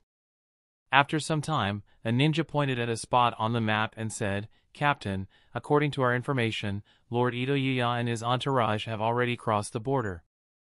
They will cross this bridge in around two hours. The captain nodded. He didn't make any decision. A ninja standing next to him said in a soft voice, Yes, but he is guarded by Hara Yudo. Even with us twelve acting together, defeating him will be difficult. He is an expert at water release. He could defend the noble Yuya and counterattack at the same time. The captain nodded grimly and said, Yudo was away on a secret mission for a long time. I didn't expect him to return along with Yuya. It complicates our situation. Suddenly, a snort was heard. The twelve ninjas looked towards the source of the sound. Two more masked ninjas were sitting in the cave as well. One was wearing an elephant mask while the other was wearing a red ape mask. The ape masked ninja scolded, What are you afraid of with us here? Do your attack as planned. We will sneak attack Hara Yudo and kill him. Even if he is an expert in water release, it is weak against our earth release. The mission will go as planned. The captain looked at him and nodded, with your assurance, I can rest assured. He looked at his subordinates and said with determination in his voice, Our Kawaguchi family has been suppressed by the Ito family for far too long. Today, with the aid of our friend from Iwagakure, we will eliminate their successor and their strongest guardian. With this first step, our family will rise up steadily and take control of the northwestern area of our country. His words sent a wave of excitement through his subordinates. They all shouted in excitement, Yes, Captain. The Anbu from IWA saw their excitement and sniggered secretly. They thought, what fools! Getting excited about ruling just one small part of this small rural country. However, they didn't say anything. Their orders were to slowly expand Iwagakure's influence in Takigakure. If they succeed, then in the next war, Iwagakure could attack the Land of Fire through three countries without having to face much resistance. It would force Konoha's forces to spread too thin. After all, Konoha's location meant that it would have to defend against all four major villages. The captain began laying out the plans. He set a few pieces on the map and said, We will set up our ambush just away from this bridge. This place doesn't have any water bodies close by, so Yua's water manipulation will be restricted. After we kill them, we will burn their bodies and dump them close to the land of fire. We will plant some pieces of evidence that they were attacked by Konoha who retreated after killing them. This way, no suspicion will be cast upon us and Lord Daimyo will restrict the country's dealings with the Land of Fire. Everyone nodded. The Anbu ninjas from Iwagakure were also satisfied with the plan. The captain looked at their satisfaction and sighed in relief. Though their family had ambitions, they definitely didn't have the power to lord over one region. It was only due to the support from Iwagakure that they had the guts to make such a plan. So he had to ensure that the IWA Anbu were satisfied. With the preparations made, they set off immediately. They moved out of the valley and moved rapidly and stealthily on top of the trees. Within five minutes, they reached close to the spot where they were planning to set an ambush. Suddenly, one of the Iwagakure Anbu shouted, Look out! His shout alerted everyone. However, even before they could raise their guard, they saw air bullets ripping through the trees to their right and coming straight at them. Their eyes widened. The bullets were too close to move away. One ninja was too close to the air bullets. Even before he could see them, an air bullet pierced through his head and he dropped dead. The others watched the air bullets and reacted however they could. Some bent forward for the bullets to pass from above while some gathered chakra in their feet and stamped their legs on the ground to stop themselves and saw the bullets pass in front of their eyes. However, some air bullets still pierced through the limbs of a couple of ninjas. The Iwagakure ninjas frowned. Their plan was perfect. They didn't expect to be ambushed. Immediately, all the remaining 11 Takigakure ninjas and two Iwagakure Anbu looked angrily at the spot from where air bullets were fired at them. However, they couldn't sense anyone. Suddenly, the bare-masked IWA Anbu slammed his hands on the ground. Earth Release, Earth Dome Jutsu. An Earth Dome appeared from the ground and began surrounding all of them. The Takigakure ninjas watched with eyes widened as they saw a strong windstorm coming at them from the opposite direction. Luckily, the Earth Dome was formed in time. The strong wind currents hit the dome and caused tremors to pass through the dome. Dust began falling inside the dome due to those tremors. However, the dome didn't collapse. Sweat formed behind the masks of Takigakure ninjas. The captain gulped and said, Luckily you noticed the attack. However, the Iwagakure Anbu ninjas were still frowning. The Ape-masked Anbu said, Be careful. I can't sense the attacker. He could be very stro. Suddenly, his body moved out of the way instinctively. A hole appeared in the dome and a very strong bullet made of wind pierced into the dome. The bullet hit the side of his jacket and left a cut along the sides of his abdomen. At the same time, nine more vacuum bullets pierced into the Earth Dome. Unlike the war-hardened Iwagakure Anbu, the ninjas from Takigakure didn't have the same survival instincts. Five vacuum bullets pierced through the vital organs of the Takigakure ninjas. The remaining bullets could only leave some cuts on the bodies of the remaining ninjas. The Takigakure ninjas were horrified and left tongue-tied. The captain's heart ached as he saw the dead ninjas and thought, we worked so hard to raise them to Chunin level. The family spent countless resources on them. But in less than a minute, more than half of them are dead? Fear could be seen on his face. The Iwagakure Anbu noticed their emotions and frowned. At the same time, they were on guard due to how brutal and efficient their opponent was. The elephant-masked IWA Anbu once again slammed his hands on the ground while thinking, we can't stay hidden here if the dome can't protect us. We will just be sitting ducks. Small spikes began appearing on the surface of the Earth Dome. The spikes were launched in all directions as the Earth Dome collapsed. The spikes buried themselves in the trees but didn't hit their attacker. They watched with frowns on their face as they still couldn't find who attacked them. The Ape-masked Anbu instructed, keep an eye in all directions. I will find that bastard. He weaved hand signs and slammed his hands on the ground. Earth release, Earth sensing jutsu. A vibration was sent through the ground. Every animal who was in a 1.5 kilometer radius felt the vibration passing under their feet. They quickly began running away from the point of impact. Despite the large scale of vibration, the Anbu still didn't sense anyone. A frown formed on his face.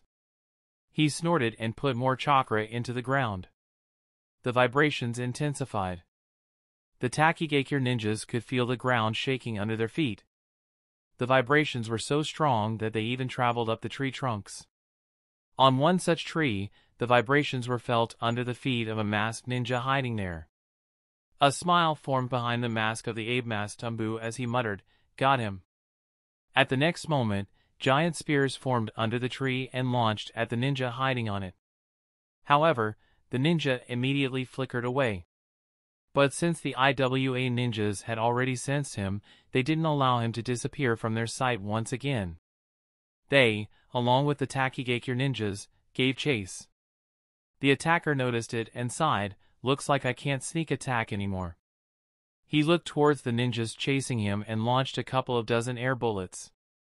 The IWA and Taki ninjas saw the attack and dodged it with ease. Due to the distance between them and since they knew the attack was coming, it was much easier to dodge. However, using that short moment of distraction, the ninja disappeared once again. The ape-masked ninja frowned and quickly began feeling the vibrations under his feet. Suddenly, he turned around and shouted, Behind us. All the ninjas quickly turned around. To their surprise, the attacker was very close. The Taki ninja who was the farthest in the back watched the attacker swing his sword at him. The scenes of his comrades falling dead ran through his brain. In a rage, he grabbed his kunai and swung it at the attacker's sword and yelled, Die!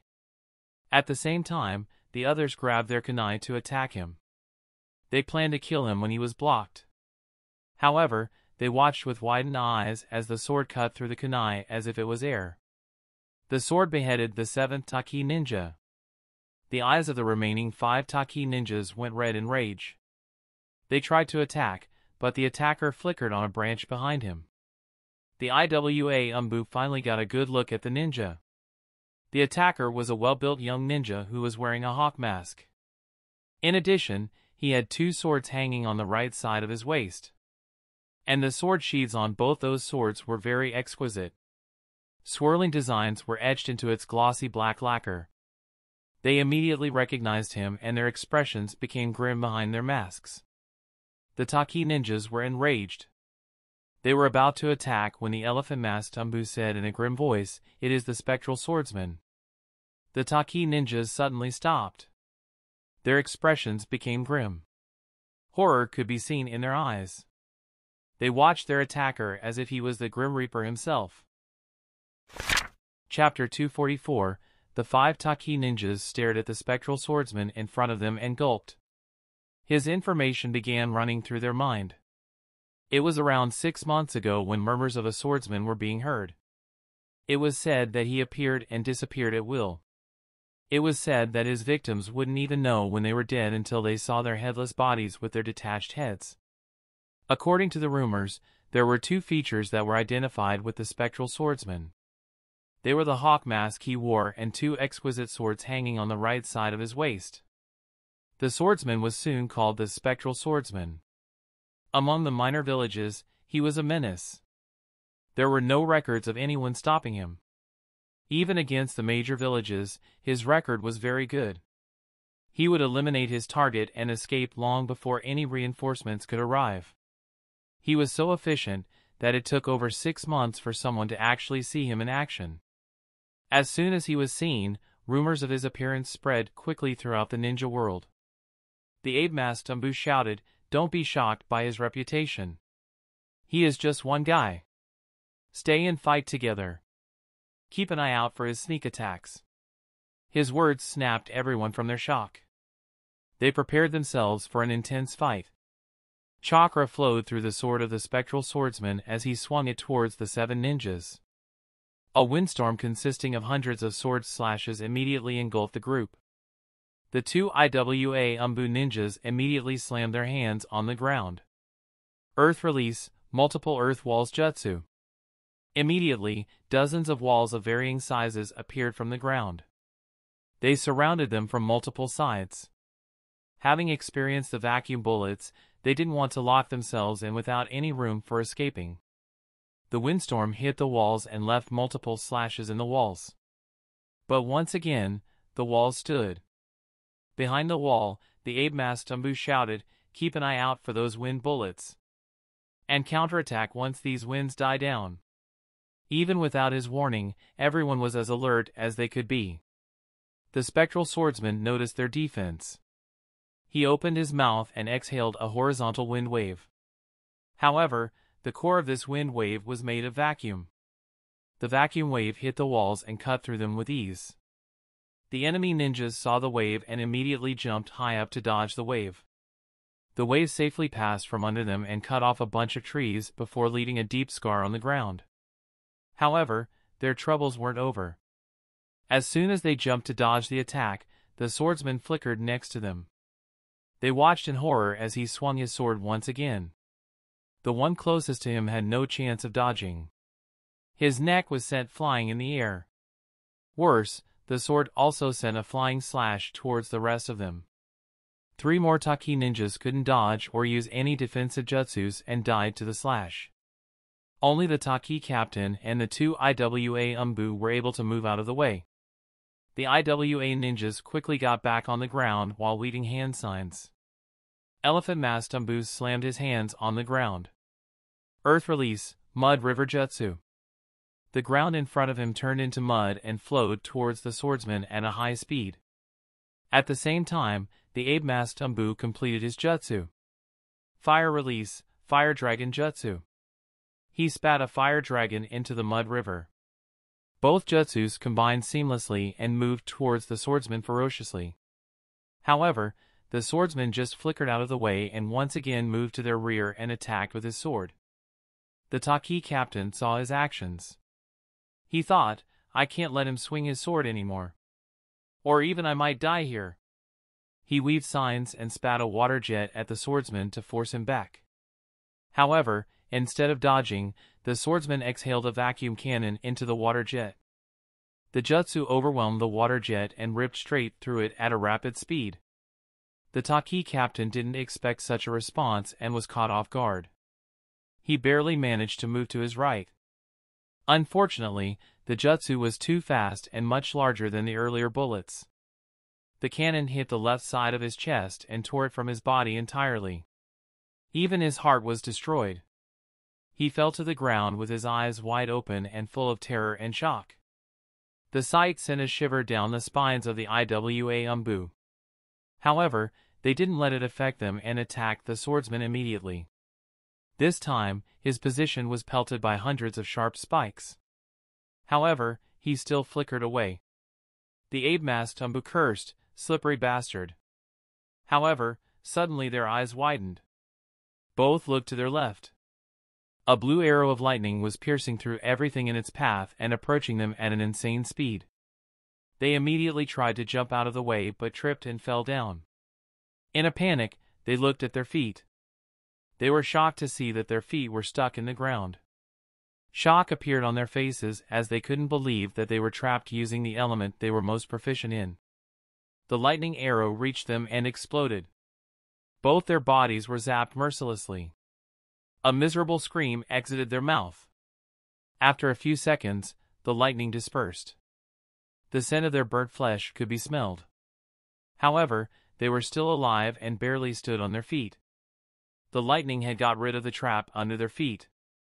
Unfortunately, the swordsman appeared behind them and beheaded them both with a single swing of his sword. All fourteen ninjas were killed. The swordsman looked at the dead ninjas and thought, it doesn't matter how many times it happens, your intelligence still shocks me, Shikaku. He looked up to see a turtle-masked Anbu appearing from the ground. He was the one who trapped their feet. Turtle sighed and said, Your speed keeps amazing me, Hawk. It's as if you get faster every day. The victory was overwhelming.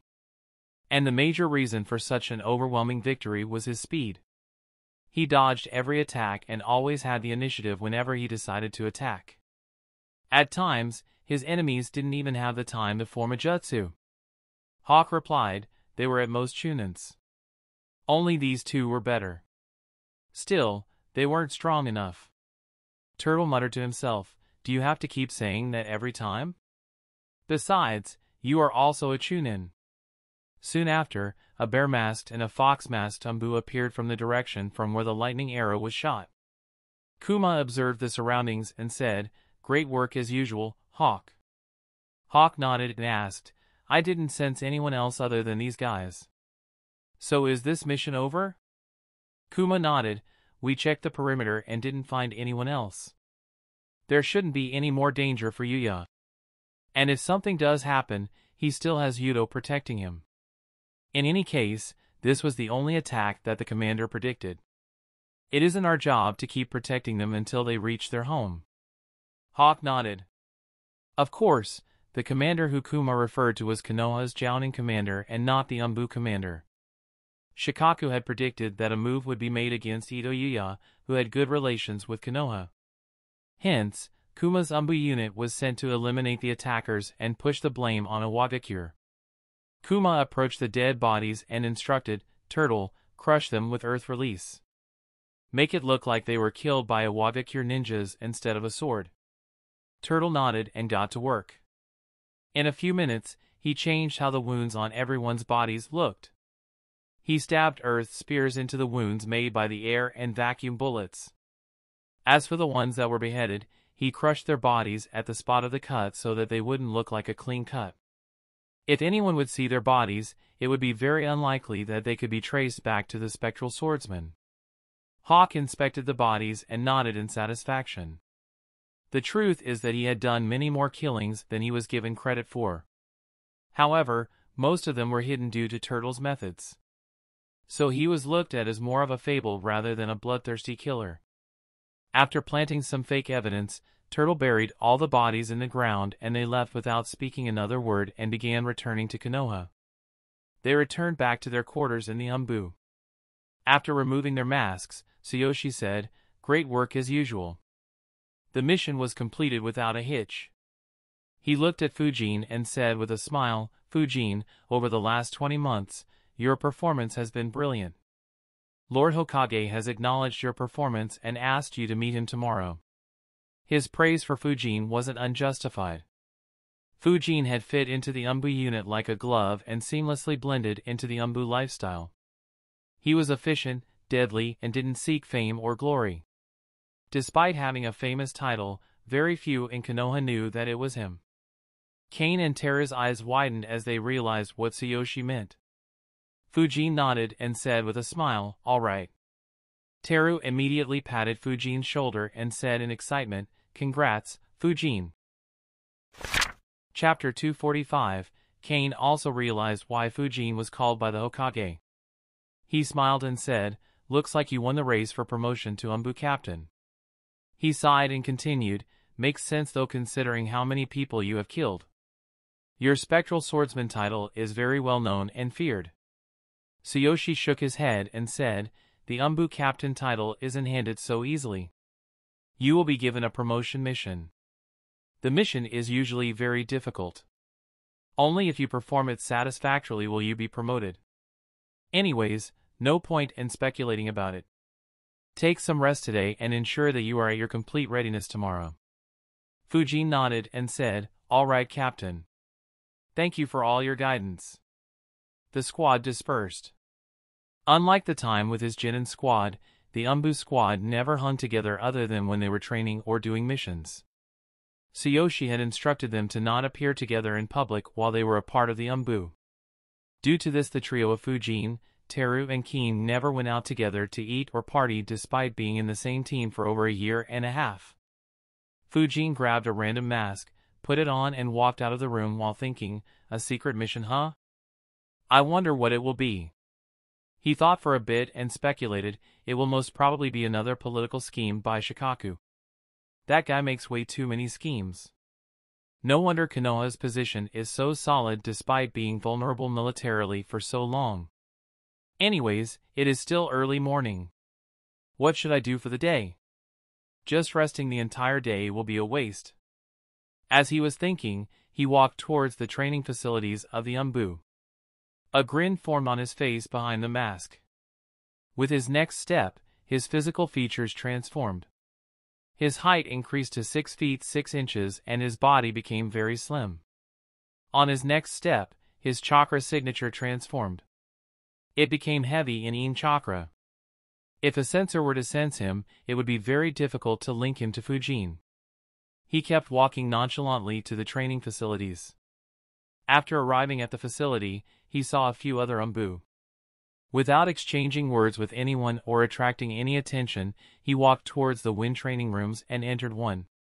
His eyes immediately roamed through the room. All the seals in the room that were inscribed and hidden in the room became visible to him. Many of these seals were for inspection and spying. He acted as if he didn't notice any of them and sat in the center of the room and began meditating. Just like in the tower in the Forest of Death, these rooms also had elemental crystals. Fujin began absorbing the energy from the crystal. The room didn't initially have any methods of investigation and spying. But, shortly after Fujin entered the Anbu, he began using these rooms and his rate of absorbing the energy from wind crystals skyrocketed. He initially needed to meditate for 4 hours for 12 days to completely absorb all the energy in one wind crystal. But in a few months, he got used to absorbing energy from the wind crystal. He began exhausting an entire crystal in one meditation session of 4 hours. This development alarmed Hiruzen. Wind crystals used to be the ones that used to be the slowest to be exhausted. But suddenly, its rate of absorption became second to only fire crystals. He immediately tried to investigate but didn't find anything. So he resorted to inscribing seals in the wind training rooms. Unfortunately, Fujin was a seal master as well. He easily identified the seals and played around with them. Hiruzen couldn't figure out how the crystal was getting absorbed so quickly. Numerous times, he also sent some Anbu to spy on the meditation rooms. But in that case, Fujin would absorb very little energy from the wind crystal. Due to this, no one could blame him. Instead, the Anbu ninjas that were keeping an eye became his perfect alibi. Of course, Hiruzen did suspect him. After all, the number of wind users was very low in Konoha. After failing to find any suspect, he thought very hard, the absorption rate of wind crystals increased suddenly after the new Anbu were inducted. Of those 234, only 5 specialize in wind release. But, I can't disregard others or the older Anbu as it is possible that they are developing wind as their second or third element.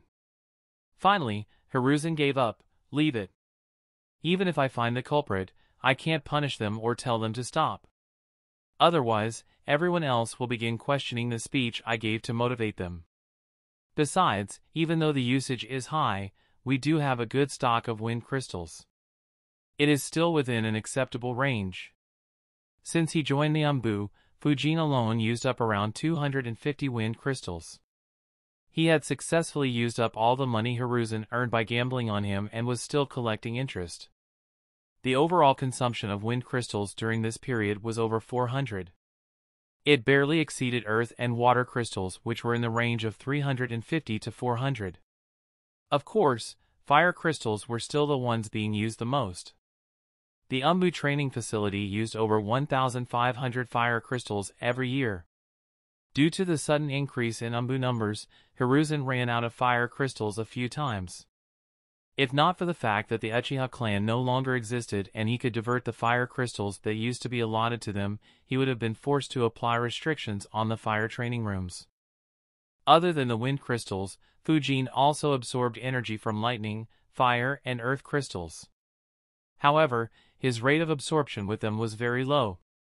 His rate of absorbing wind energy kept increasing rapidly until he hit a limit. But his other elements didn't experience such an increase in the rate of absorption and he reached their limits much sooner. Fujin had expected such a result from fire and earth crystals but he was disappointed when he couldn't increase the speed of absorption from lightning crystals. Of course, despite the slower rate of absorption, it was still very helpful in improving his affinity with those elements. In around three and a half hours, Fujin emptied the wind crystal. He got up and went into a lightning training room. These rooms didn't have the same level of investigative seals. The seals in the wind training room didn't detect that the crystal was empty until another Anbu visited to train his wind element and realized that it was empty. Fujin spent most of his day in the training facility and only returned home late at night. He had dinner and went to sleep. The next day, he once again began his morning with an intense morning workout. Unless he was out on a mission, Fujin never missed his morning workout for even a single day. Instead, his morning workout had gotten even more intense. He had managed to use his previous training seal at its 100% capacity. He created a new seal for himself that had a maximum limit four times higher than the seal Hiruzen had created for him. Fujin returned home after the workout and freshened up for the meeting with Hiruzen. While getting prepared, he took a look at his bracers and thought, I have been using these bracers since I became a Genin. Time to change it. He took off his bracers. A grin formed on his face as he thought, the spectral swordsman identity has become too well known. All the Anbu ninjas from the four major villages identify me on sight. Even though they don't know about most of my capabilities, it is annoying when they get on full alert and don't provide any openings. It's time to play that card. He discarded his old bracers and put on new ones. Unlike his previous ones, these were very thin and of the same color as his skin. So from a distance, it was very difficult to spot them. In addition, he had inscribed dozens of small storage seals on each bracer and stored a variety of weapons in it. His chakra metal swords were also stored in the bracers. Of course, despite being very thin, they were much harder than his previous bracers as they used better metals and Fujin himself worked with the blacksmith to inscribe seals into them to make them as tough as he could. With all preparations made, he placed the seal on his door and flickered towards the Hokage building. Chapter 246 Fujin knocked and entered the Hokage's office he noticed that Shikaku was also in the room. However, apart from them, no one else was in the room. Even the four Anbu ninjas that usually guarded Hiruzen weren't there. Hiruzen smiled and asked, Fujin, how have you been? He noticed the new bracers Fujin was wearing and immediately noticed the high number of seals inscribed in them.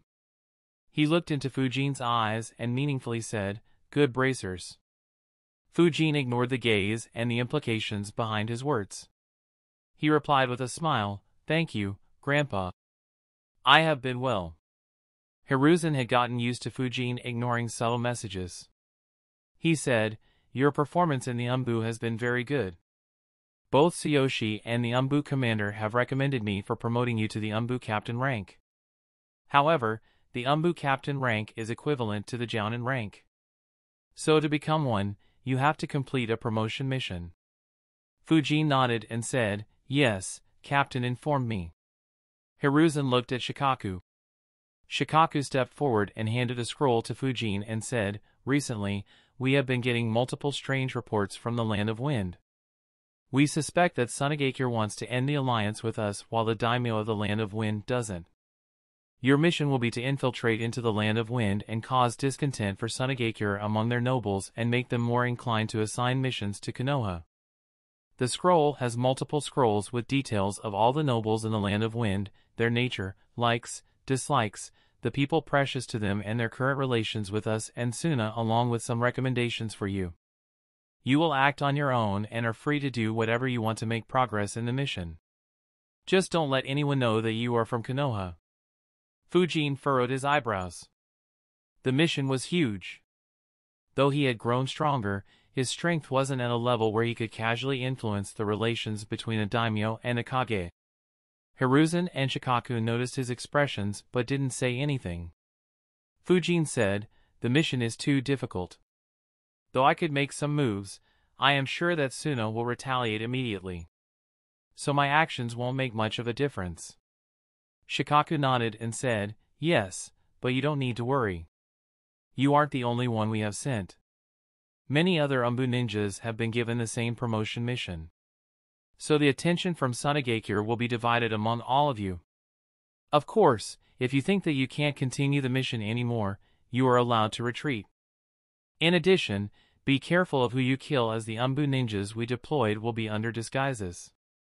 A frown formed on Fujin's face. The mission was not only difficult but it also had several complexities. He sighed and thought, despite the training, most of my missions in the Anbu were straightforward assassination, elimination, or protection missions. I guess that Hiruzen wanted me to focus on those skills. Looks like my guess was wrong. This mission will be a pain in the ass. Fujin asked, How long do I have to stay there? Shikaku replied, As long as you can. Retreat when you think that your cover might be blown or you don't think you can make any further progress towards the mission. The success or failure of the mission will be decided by how long you manage to stay in the land of wind and the result of your actions there. Fujin digested the information. Shikaku asked, Any more questions? Fujin shook his head and said, No. But I would like to have the attire of a Suna Anbu ninja along with a new mask that is popular among their ranks. Shikaku had expected such a request from Fujin. He handed Fujin another scroll and said, This scroll has what you asked for. It also has enough ration bars and water to last half a year. Fujin accepted the scroll. At the same time, he got an idea of how long he was expected to stay undercover in the Land of Wind. Shikaku asked, Are you ready to move out or do you need some time to prepare? Fujin replied, I can move out right away. Shikaku nodded and said, Good. We have one more mission for you. This one isn't related to your promotion mission, but a good performance could influence our decision if your performance in the Land of Wind is subpar. Fujin looked at Shikaku without changing his expression and thought, Do you still not know that such manipulation tactics don't work on me? Shikaku obviously knew it. He had interacted several times with Fujin. But he was just too lazy to change his ways for just one person. From his point of view, regardless of how he spoke, Fujin would act the same way. So he didn't bother changing his dialogue. Shikaku said, In recent times, we have noticed the movement of some bounty hunter rogue ninjas in the forests around our village. I speculate that they have an accomplice in the village who monitors the movements of ninjas and informs his group outside the village. We tried trapping them but haven't had any success so far as they are very careful with their targets. Hiruzen added, You haven't been seen much since a bounty was put on your head as your Anbu achievements haven't been credited to you yet. So you will be the perfect bait for them. Go through the village gate without any disguise and let them see you. Hopefully, they will think of you as the perfect target and ambush you outside the village. We will send a Jounin squad to follow you stealthily from a distance. They will reinforce you as soon as the battle begins or you send a signal. Fujin thought for a few seconds and said, All right. Do we have any intel on who the rogue bounty hunters are? Hiruzen shook his head, we have eliminated one group who had rogue ninjas from IWA, but they didn't have any intel on others. According to our calculations, there are three more groups. Fujin said, Okay. I will move out now. He left the office and began walking casually towards the village gate while thinking, bounty hunters. I haven't encountered any in this world other than Kakuzu. Anyways, as long as he or any other S-rank ninjas aren't involved, I should be fine. If they are weak, I can eliminate them myself. Otherwise, I will just have to stall them. Fujin reached the gate and felt a few eyes on himself. He analyzed, hmm, though there are a bunch of eyes on me, it will be difficult to say who is with the bounty hunters. After all, there are always a bunch of eyes on the village gate. Oh well, let's see. As soon as Fujin left the village, Two pairs of eyes sparkled in greed. One of these pairs belonged to a man in his twenties with an ordinary appearance and was operating a fireworks shop near the village gate. He observed the direction in which Fujin left and couldn't help but lick his lips. He thought, when we made a list of the good targets, this boy topped it.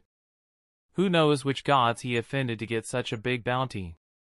Unfortunately, this coward didn't leave the village for so long. But finally, it's time. The man looked at a stall opposite his. The man in that stall also looked back at him. Their eyes met. Both quickly used their methods to inform their respective groups. However, unknown to both of them, one squad of Jounins left the village secretly and followed Fujin from a few kilometers away. If either of the two bounty hunter groups knew about the existence of these ninjas, they wouldn't dare to approach Fujin even if their courage was amplified a hundred times. After all, this group was led by Konoha's newest elite Jounin, Copy Ninja Kakashi. Fujin didn't sense Kakashi's squad. However, he wasn't surprised as he wouldn't be good bait if they could be sensed so easily. He continued traveling through the woods as if everything was normal, but he didn't move at his max speed to not create any doubts in the minds of the bounty hunters. Two groups of bounty hunters quickly moved towards the route from Konoha to the Land of Rain. The first group was made of rogue ninjas from Kirigakure. They excelled in assassination. Their group contained 11 ninjas. Before betraying, 8 were Chunins and Kiri while the remaining 3 were Jounins. The second group was made of rogue ninjas from the countries of Lands of Rain, River, Grass, Bird, and Bear. This group had 24 people, 11 of whom were Jounins in their village before they went rogue. Both reached the same spot on the route at the same time and got into a standoff. After all, their messengers had also informed them that another group of bounty hunters might also be hunting Fujin and neither wanted the other group to get to Fujin first. Chapter 247 The two groups of bounty hunters stared at each other. Suddenly, Kiyoshiro, one of the Kiri rogues sighed in relief and said loudly, Thankfully we found them. I was worried that these morons might ambush him closer to Konoha and steal our jackpot. His statement irked the bounty hunters in the other group. One of them sneered and said, Aren't you being too cocky? We outnumber you by more than two to one. Do you think you have a chance to compete against us? The leader of the Kiri Rogues grinned. His name was Higashi Renzo. He was a large muscular guy with hideous scars all over his body. He was being trained to be the next generation of the Seven Swordsmen of the Mist. Unfortunately, before he could complete his training, everything went crazy in that country. Renzo said in a hoarse voice, You may outnumber us, but do you weaklings think you have any chance against us? A wave of killing intent washed over the other group of bounty hunters. Their expressions became very grim. Though they haven't ever experienced it, Kiri's cruel methods and the craziness of their ninjas were well known throughout the world. Ogawa Shingo, the leader of this group exerted his chakra to snap his comrades out of the killing intent unleashed by his opponent. The Kiri ninjas were about to attack, but he raised his hand and said, Stop. If we fight here, we will alert the Konoha ninjas and will be hunted until we are all dead. Even if you are strong, against Konoha, you are nothing but bugs. Not only will you not get the bounty, but you will be hunted. So why not team up? We will ambush the kid together and split the reward on his head. We will each get 10 million Ryo and won't have to fight each other to death. Shiro immediately said, Why would we split the rewards with you? As for Konoha ninjas, we will have long killed you all and that brat and left even before those tree huggers sense something is ro. He was interrupted by a Jounin who said, Shut up. Renzo, let's cooperate. The Konoha ninjas are already hunting for us. A huge battle could invite all sorts of trouble. Renzo wanted to fight. However, he couldn't disregard the concerns of the Jounin who just spoke. After all, he was the only sealmaster in their group and was his second in command. Without his help, bounty hunting would become much more risky. Renzo looked at Shingo and said, All right, let's team up. The two groups teamed up and set up an ambush for Fujin. Fujin had a frown on his face. Even after traveling for six hours, no one intercepted or attacked him. He thought, did they sense the trap that Shikaku laid for them? Or were their accomplices on a break when I left the village? He continued moving through the vast forests of the Land of Fire while occasionally activating and spreading his chakra field. Finally, after half an hour, he sensed something off. His speed slowed down as he maintained his chakra field and analyzed, I can't sense for locations. These guys have a seal master within their ranks. That's annoying. I can't check how strong they are. But, this might not be entirely bad. Since they are separated, I will hunt them one by one. The four locations that Fujin's chakra field couldn't sense were small underground rooms constructed using earth release. If it was a normal sensor, he wouldn't feel anything off. But Fujin himself was a seal master. So it couldn't be hidden from him. The four locations were all spread properly. Two were close to the path that Fujin was taking, while the remaining two locations covered the left and the right sides. Fujin locked his eyes on the location to the left. He was about to move when he suddenly stopped. His eyes shrunk as his instincts warned him and he stayed in his location. He thought, why am I having such a bad feeling?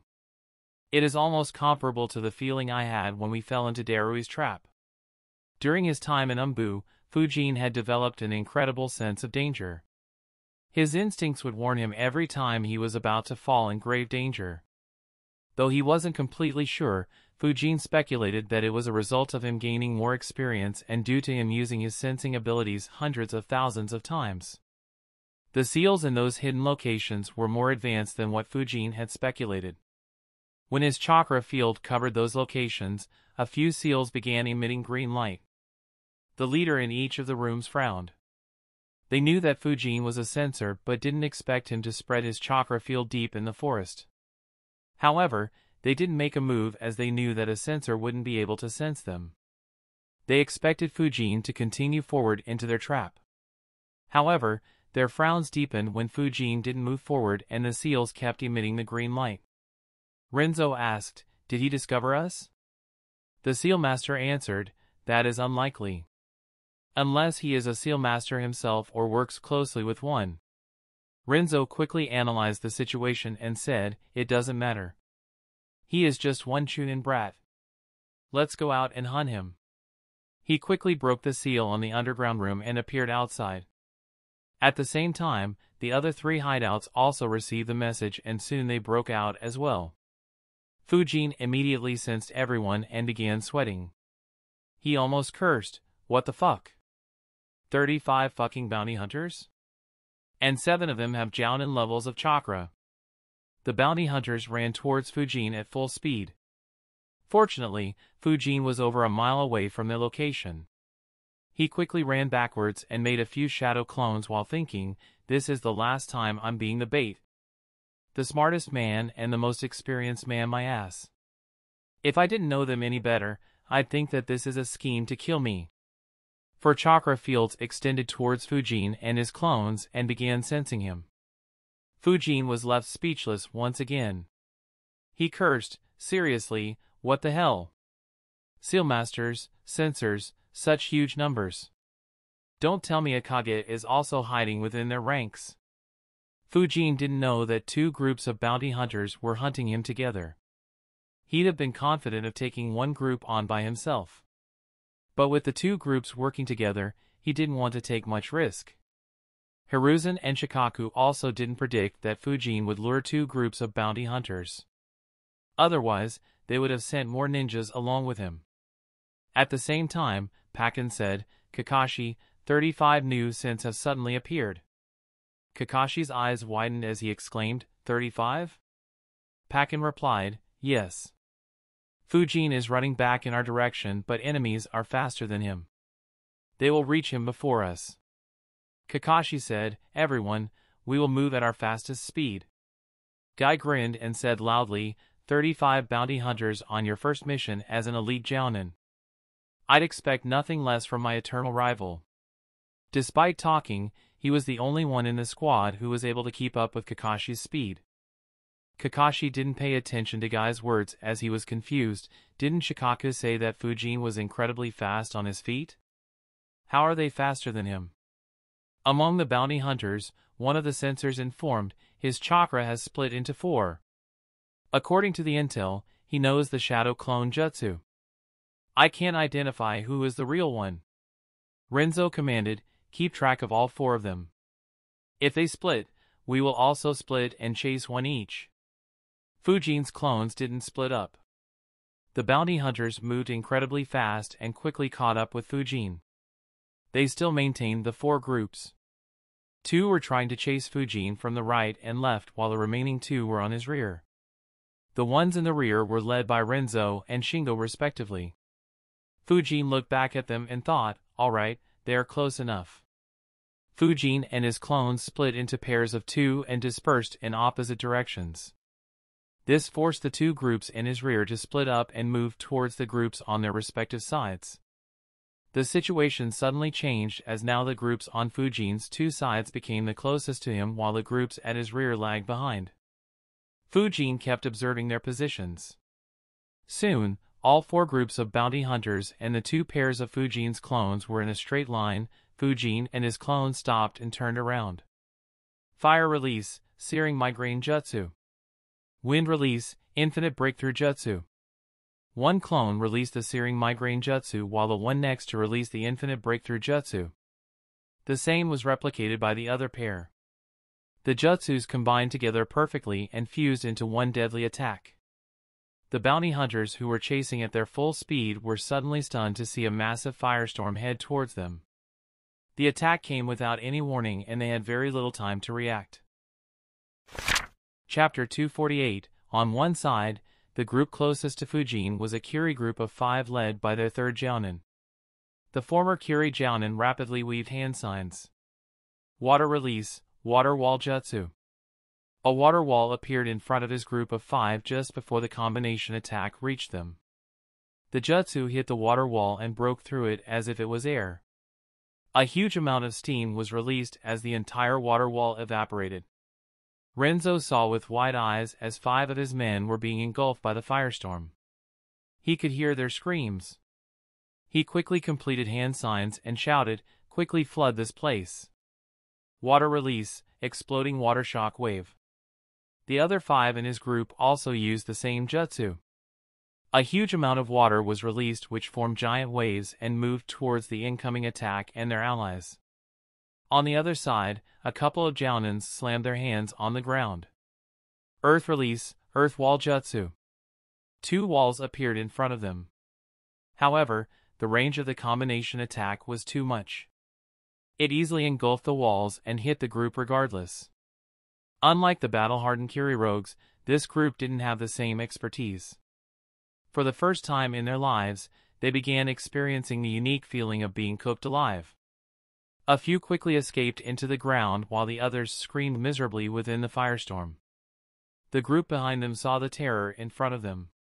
Shingo quickly slammed his hands on the ground. Earth release, Earth Dome. Seeing the mistake made by the group in front of him, he chose a jutsu that would protect them from all sides. The fire-wind combination jutsu engulfed the dome, but the people inside were safe. Water and fire clashed on the other side of the battlefield.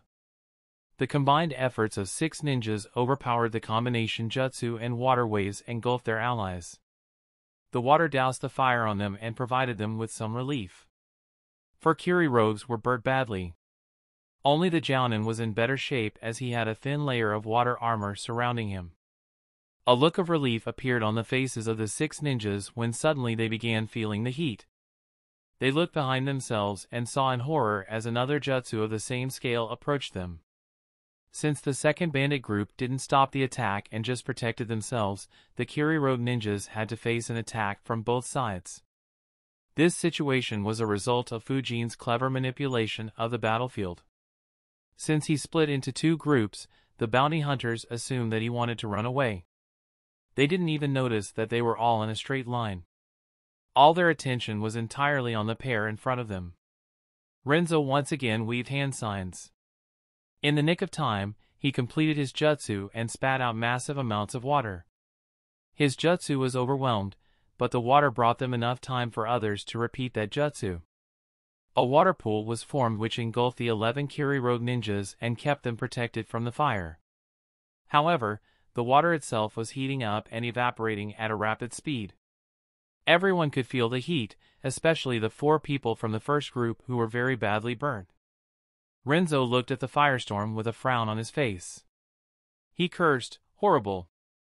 The intel was way off. It didn't mention large-scale wind jutsus. It didn't even say that he knew any fire jutsus. All it said was to be careful of his vacuum jutsus and swordplay. Suddenly, his eyes widened as he realized, vacuum jutsus. Fuck! Despite being underwater, he shouted, be careful. It was a no-brainer that Fujin's ability with the fire release was completely a surprise to them. After all, he had developed it entirely during his time with the Anbu. While he didn't intend to keep it a secret like his lightning release, he hadn't been on any mission without his mask. So very few were aware of it. Fujin's details in the bingo book were almost two years old. Since he was never seen leading the village after getting the bounty, the bounty hunters assumed that he had given up on his ninja career. Fujin's clones observed the bounty hunters. In the group that used earth walls, three had escaped underground while the remaining six were burning. Behind them, fifteen people were hiding in an earth dome. A smirk formed on both their faces. A dozen vacuum bullets formed in both their mouths. They launched them all simultaneously. The group of 15 bounty hunters were feeling safe inside the dome. Suddenly, bullets rained into the dome. They were all caught off guard and couldn't even move. Twelve ninjas had their hearts, brains, or throats pierced they collapsed on the spot. The remaining three were also injured but could still move around.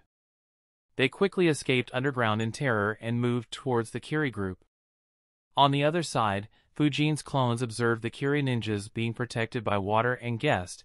This group looks to be exclusively from Kiri. Whereas that squad is only using Earth Release. Does this bounty hunter group have factions within them? Oh well, they'll all be dead anyways. Wind release, vacuum serial wave jutsu. Sharp vacuum blades were launched at the water pool protecting them. The vacuum blades moved through the fire and into the water right when Renzo shouted. The four ninjas that were badly burnt didn't even see the attack coming and were cut into two. The Jounin who was injured tried to dodge as well. He barely moved his body and head out of the way. But one vacuum blade hit below his right knee and cut his leg off the remaining six managed to dodge the attack. Renzo's heart ached. Fortunans were dead while one Jounin would no longer be able to fight. That was a huge loss for his group. He felt a great hatred for Fujin and the messenger. At the same time, he felt regret for choosing Fujin as the target. However, his expression soon became vicious. He decided, since you have caused us so much loss, I will claim your bounty no matter what. I cannot disappoint Lord Mizukage any further. The effects of the fire-wind combination jutsu had finally begun dissipating. Renzo looked at his subordinates that were still fine.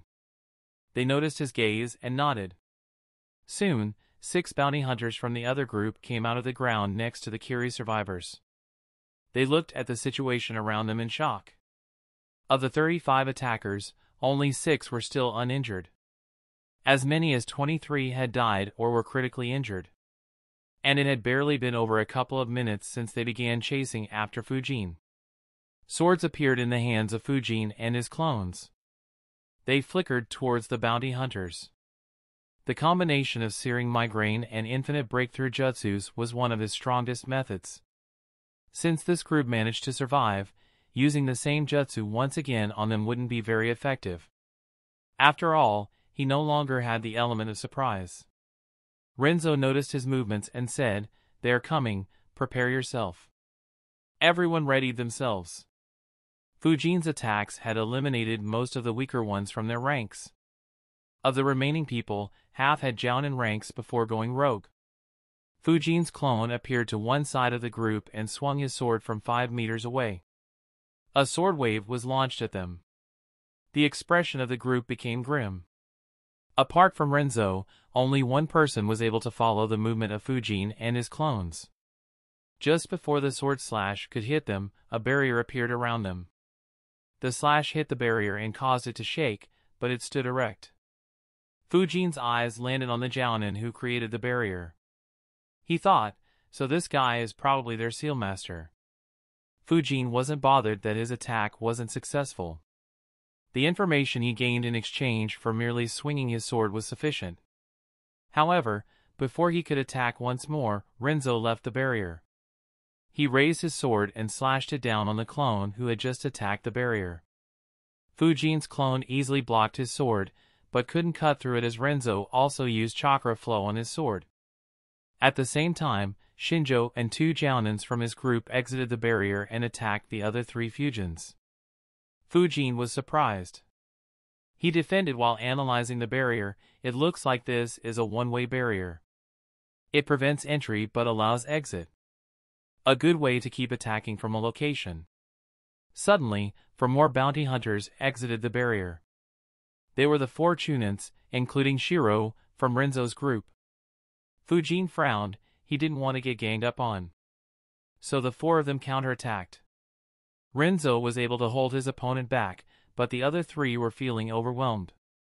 Fujin's clones barely managed to get away from them and were about to attack the four ninjas that exited the barrier when those ninjas avoided Fujin and ran in four different directions.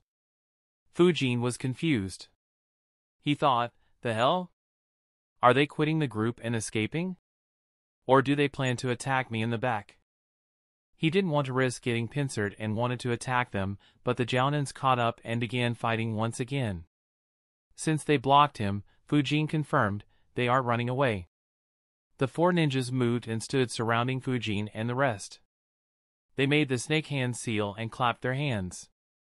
Immediately, a violet barrier began appearing and surrounded Fujin and the other bounty hunters. The barriers formed four walls, a roof and another layer underground, cutting off all means of escape. Fujin was shocked. He muttered, four violet flames formation. No wonder I felt such an intense danger. Chapter 249 A grin spread on Renzo's face. He said, You are now trapped. I was planning to just kill you and get your head. But since you have killed four of my men, I will torture you until you beg for death the morale of the remaining hunters in the barrier finally recovered. Fujin thought, just four? Are there multiple groups here? No fear appeared on Fujin's face. He retorted, torture me?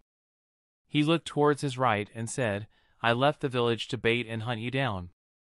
If you dissolve the formation and surrender, you might be able to keep your life. Otherwise, even if you manage to kill me, your only result will be death. The bounty hunters were shocked to hear that Fujin was the bait. Renzo and others followed Fujin's gaze. Their eyes widened as four Konoha ninjas appeared outside the barrier. Shingo muttered with a grim face, we were schemed against. It is Kakashi of the Sharingan. Their morale which had just recovered crashed down. Fujin's words were completely true. They would have a very difficult battle to just kill Fujin facing even stronger Konoha ninjas right after it would be a certain death. Meanwhile, Kakashi's group also had grim faces. Yamanaka Ken said, Fujin is trapped. Kakashi too had a grim face. He said, the barrier has a high demand for chakra. And all four ninjas need to keep supplying chakra continuously. We will target one spot and kill one of them. The battlefield entered a deadlock the Konoha Jounins couldn't interfere. And though the bounty hunters were safe for the moment, they were very fearful for their life. Fujin noticed the distraction and immediately took advantage. The clones gathered chakra. The four Jounins facing them noticed it and reacted. However, a dozen vacuum bullets were already fired at each of them. Despite the low distance and the fast speed of the bullets, they still moved their body as much as they could. Renzo dodged ten bullets and the remaining two he blocked with his sword. However, cracks spread through his sword due to the power behind the bullets. His expression became dark as he realized, if I hadn't used chakra flow on the swords, the bullets might have pierced straight through them. However, the other three weren't as strong as him. They could only move sufficiently for the bullets to miss their vital organs. A bullet grazed the right arm of Shingo. It left a cut so deep that even his bone was visible. The other two were hit by two to three vacuum bullets each. Unfortunately for those two, they were once again standing right behind each other. So despite dodging, they were targeted by the vacuum bullets heading towards them from their back. One of them was very unlucky. A vacuum bullet hit his back and pierced straight through his heart. He dropped dead. The other one had a couple more holes created in his body but luckily avoided any critical injuries. One of Fujin's clones laughed and taunted, this barrier is good. This way, none of you can run away. Ha ha ha. Not wanting to lose any more morale, Renzo immediately attacked the clone closest to him and shouted, Everyone! Attack him! Attack and kill all four of him. Only after he is dead we can plan on how to escape the once outside the barrier. There was still another barrier created inside the four violet flames formation. It still had five people. One was the injured Jounin from Renzo's group. Another was the Sealmaster while three were from the other group. Other than the injured Jounin, the others exited the barrier and attacked Fujin's clones. The Sealmaster said, his chakra has become very low. He won't be able to continue for much longer. Fujin's clones were all low on chakra. They had spent a lot of their chakra on the fire-wind combination jutsu. And after using vacuum jutsus repeatedly, they didn't have much chakra. Outside the barrier, the Konoha ninjas were getting worried. They were bombarding the barrier with ninjutsu at the spot where Shiro was. The barrier shook but still stood erect. However, the four ninjas, especially Shiro, were under a lot of pressure. Their chakra was being drained rapidly. Suddenly, Pakkun noticed something and looked to his left. After observing properly, he said, Kakashi, focus on your smell in that direction. Kakashi was surprised by Pakkun's request. He quickly gathered chakra in his nose and enhanced his sense of smell. Suddenly his expression became very peculiar. Guy noticed and asked, What did you smell? Kakashi shook his head and said, Nothing. Keep an eye on the barrier. We won't attack any more as we might run out of chakra before the barrier breaks. If that happens, we will be in a tougher spot. Guy and the two special Jounins from the Yamanaka clan realized that Kakashi was hiding something. They didn't question him and began paying attention to fighting inside the barrier. Without their attacks, the four ninjas maintaining the formation sighed in relief. They quickly consumed a soldier pill to recover their chakra rapidly. Yamanaka Ken said, though maintaining the barrier needs a lot of chakra, they could rest until they have recovered if they keep using soldier pills. Should we call in reinforcements to prevent that? Kakashi shook his head and replied, no need. There are only 12 left and two are severely injured.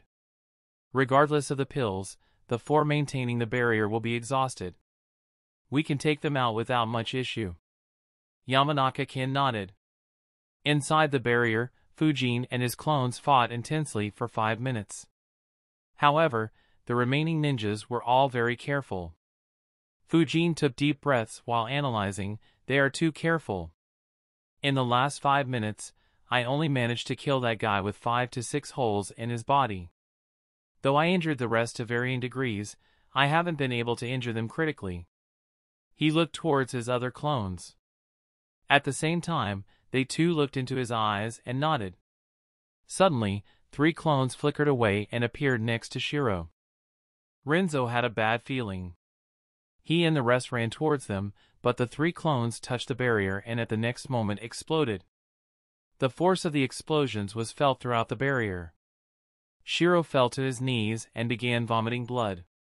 While the remaining three also felt the impact. They began coughing blood. Renzo shouted in panic, Hang on! The barrier must not fall. The four rogue ninjas gritted their teeth and forcefully maintained the formation. Kakashi and the rest didn't manage to enter inside. Renzo looked viciously at Fujin and said, That was stupid. Without clones, you are an easy target for us. He immediately ran towards Fujin who was breathing roughly. Everyone could see that he was exhausted. Guy was getting restless, but Kakashi said, It's fine, just watch. Renzo swung his sword at Fujin. Fujin deflected his blow with his sword and punched him with his left hand. Renzo punched back at his fist. However, Fujin opened his fist at the last moment and caught Renzo's fist. A grin broke on his face. Renzo suddenly had a bad feeling. Without a word, Fujin exploded. All the bounty hunters were stunned. The explosion created a dust cloud. In a second, a body was launched out of the dust cloud. He landed a few meters away. It was Renzo. His left arm was completely blown off. His chest, abdomen, face, and thighs had hideous burns and were covered in blood. In addition to the existing horrible scars, his entire appearance looked similar to that of a terrifying demon. One of the bounty hunters muttered in disbelief, did he explode his main body? Renzo replied with a hoarse voice, it was a shadow clone. A sense of disbelief and shock spread through the four ninjas maintaining the barrier and the remaining seven ninjas inside the barrier. Such huge casualties were inflicted upon them by merely shadow clones. Finally, one said, no wonder he has a 20 million bounty. No, even a 20 million bounty is low for him. Outside the barrier, everyone other than Kakashi and Pakkun was shocked. Yamanaka Ken exclaimed, that was a shadow clone? Where is his real body? On cue, Fujin flickered behind him. They quickly turned around to see him. There wasn't a single scratch on his body. Guy and the others realized that Kakashi and Pakkun had smelled his scent and hence stopped attacking the formation. Kakashi looked at him and memories regarding Fujin's graduation exam surfaced. Fujin had made quite an impact that day by asking for a chakra metal sword. Kakashi never imagined that the boy would become so strong in just a few years. He said, good work. Guy had no idea how Fujin managed to achieve this. But he didn't care. He raised his thumb and said with a grin, You are good. I can feel the power of youth flowing through you. The two Yamanaka ninjas also looked at Fujin with surprise in their eyes. The bounty hunters in the barrier noticed Fujin outside the barrier. They had already expected. However, the eyes of the Sealmaster widened. He exclaimed in horror, his chakra. Chapter 250 Renzo ignored his missing arm and all his injuries and tried to analyze when Fujin switched with a clone. He realized, according to the intel, he moves very fast. That is why we set up the trap and prepared the formation in the first place. However, when he escaped, his speed didn't match the intel. But our minds were too occupied with claiming his bounty and we didn't notice the anomaly. He probably switched himself with a clone even before we exited the hidden bases while his clones moved slowly to catch us off guard with that combination jutsu. Renzo's analysis was very close to the truth. Fujin created a shadow clone with 20% of his chakra and escaped right after sensing that he was facing 35 enemies. He hid his chakra signature and scent and moved without making any sounds or leaving any trail due to which the sensors among the bounty hunters never sensed his main body. Later on, when he saw the four violet flames formation, Fujin realized why he was feeling a sense of danger. After realizing that his backup was Kakashi, he stopped hiding his scent so that Kakashi could smell his scent and stop worrying. While it could expose a flaw to the bounty hunters, Fujin didn't care as the bounty hunters were already in deep trouble. Inside the barrier, everyone looked at the Sealmaster, who was also a sensor, as he exclaimed loudly, his chakra, Renzo looked at him and asked, What about his chakra? The Sealmaster gulped and said, It's massive. It's almost twice your maximum chakra, Renzo. He likely only used around 20 to 25% of his chakra on those four shadow clones. The eyes of the ninjas inside the barrier widened in horror as they took a look at Fujin once again. Though Fujin had improved a lot during his time in the Anbu, his biggest improvement was the increase in his chakra reserves. As Ryu had speculated, the growth in Fujin's chakra reserves had begun slowing down. But thanks to the fact that his chakra reserves were already comparable to a Jounin and the aid provided by the elemental crystals, his growth was still massive. His chakra reserves had grown by three times in the last 20 months. In another six months, his chakra reserves would reach the same level as Renjiro's. However, Fujin did sense that his growth was slowing down rapidly. So he wasn't sure about reaching Hiruzen's level of chakra at his current rate. Kakashi looked at the spot where Fujin's three clones had exploded and said, Focus your jutsus on that ninja again. The Konoha ninjas were about to attack when Fujin said, Wait, I'll give them a few more explosions. He created six shadow clones, each with 5% of his chakra. Three flickered close to Shiro while the other three flickered close to the other three ninjas maintaining the formation. Kakashi nodded and weaved a few hand signs as well. Lightning release, Shadow Clone Jutsu.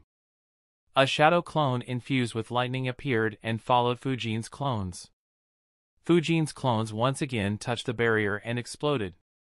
Shiro was prepared this time and poured more chakra into the barrier. However, the explosions were much stronger as the clones were full of chakra. The impact of the explosion was once again sent through the barrier. As the person closest to the explosion, once again the majority of the impact was borne by Shiro. He collapsed on the ground and almost lost consciousness. However, he gritted his teeth and forced himself to stay awake.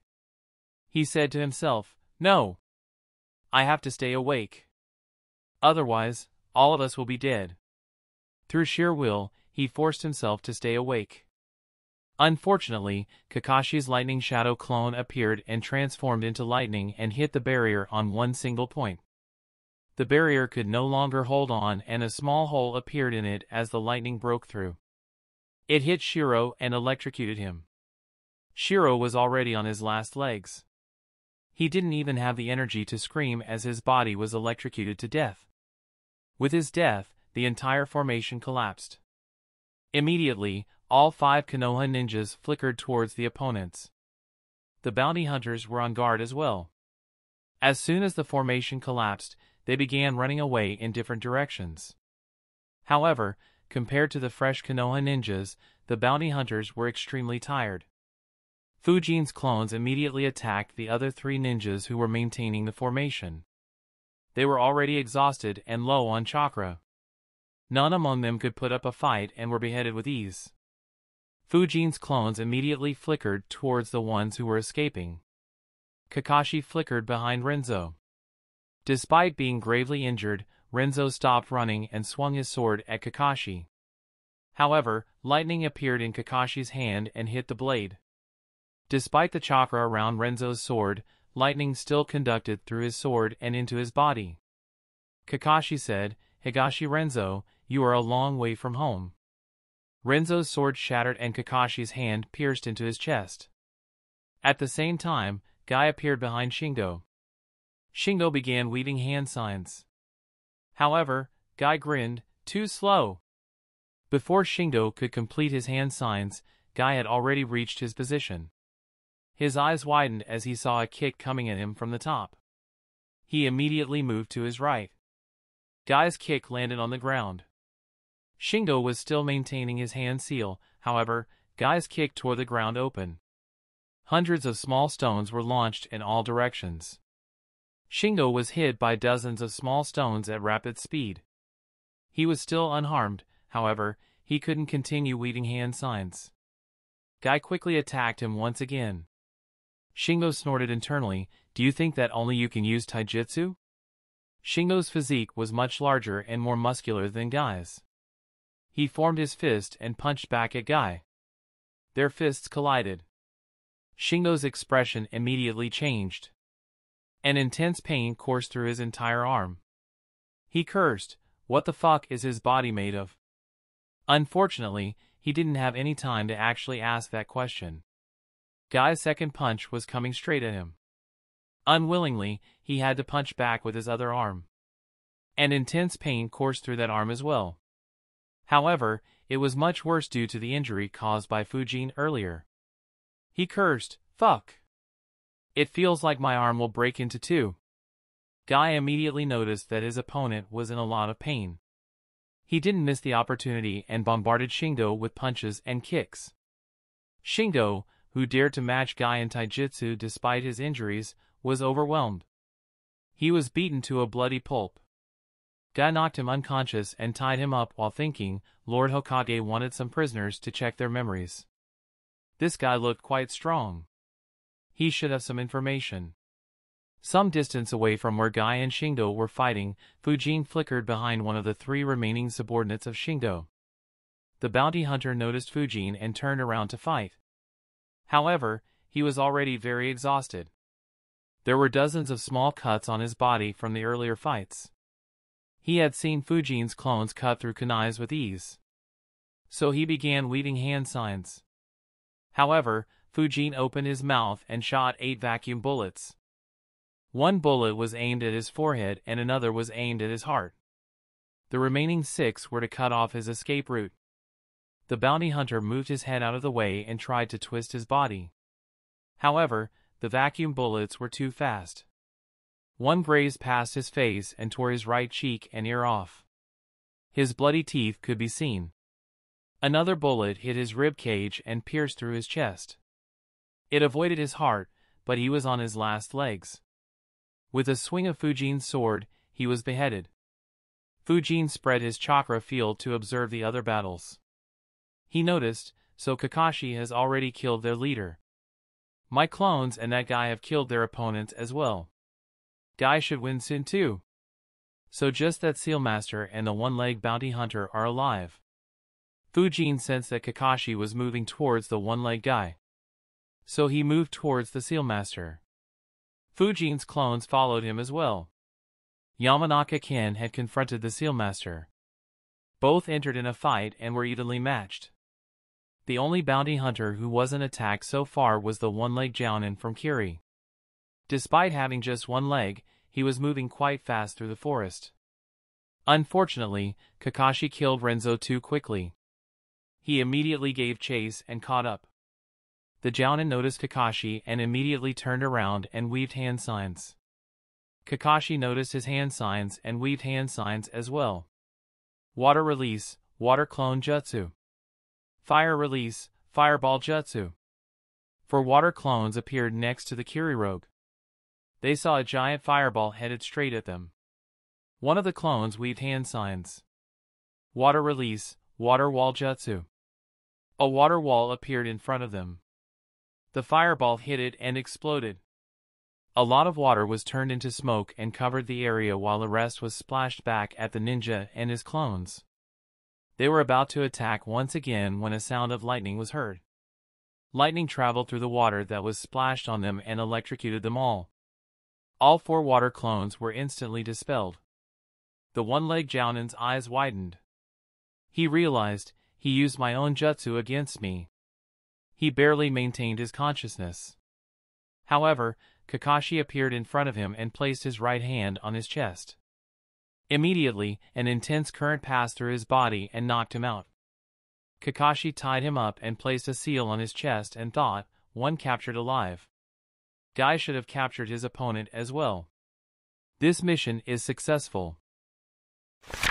Chapter 251, Water Release, Water Needles Jutsu Water split into hundreds of drops.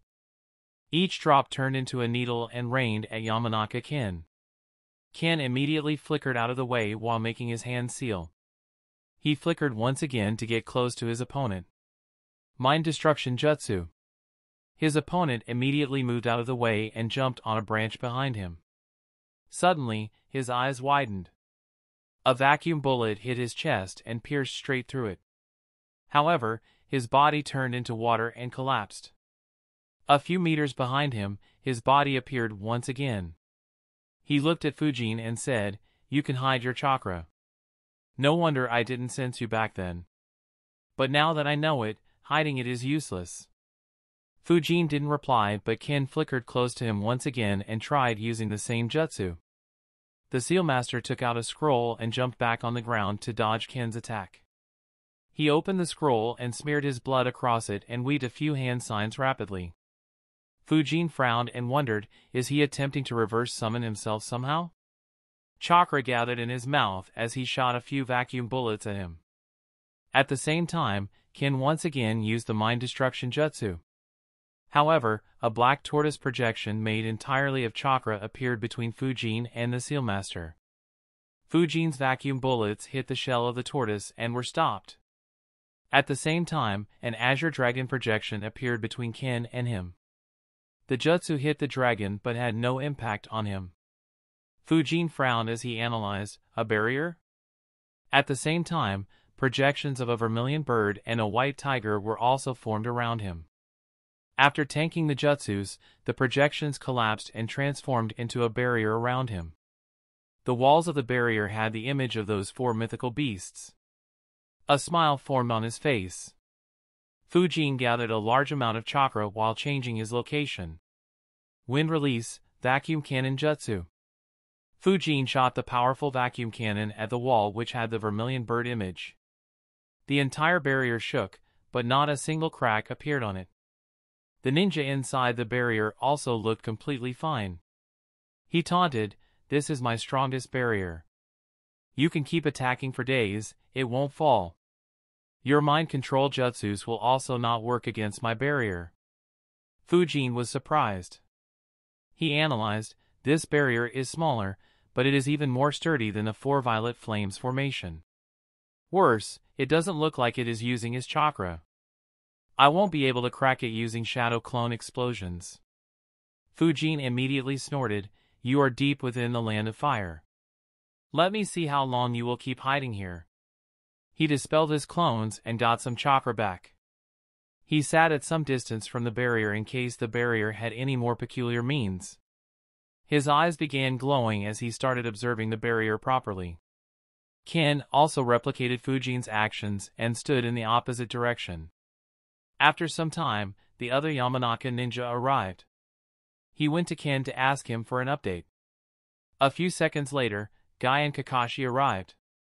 Both were carrying the ones they captured. Guy looked at the barrier and said, I haven't seen such a barrier yet. What is it? Kakashi observed the barrier and replied, Barrier Defense Seal Jutsu, 8-Gate Lockup. It's a wide-range barrier jutsu created by the Uzumaki clan to create a barrier around an entire village.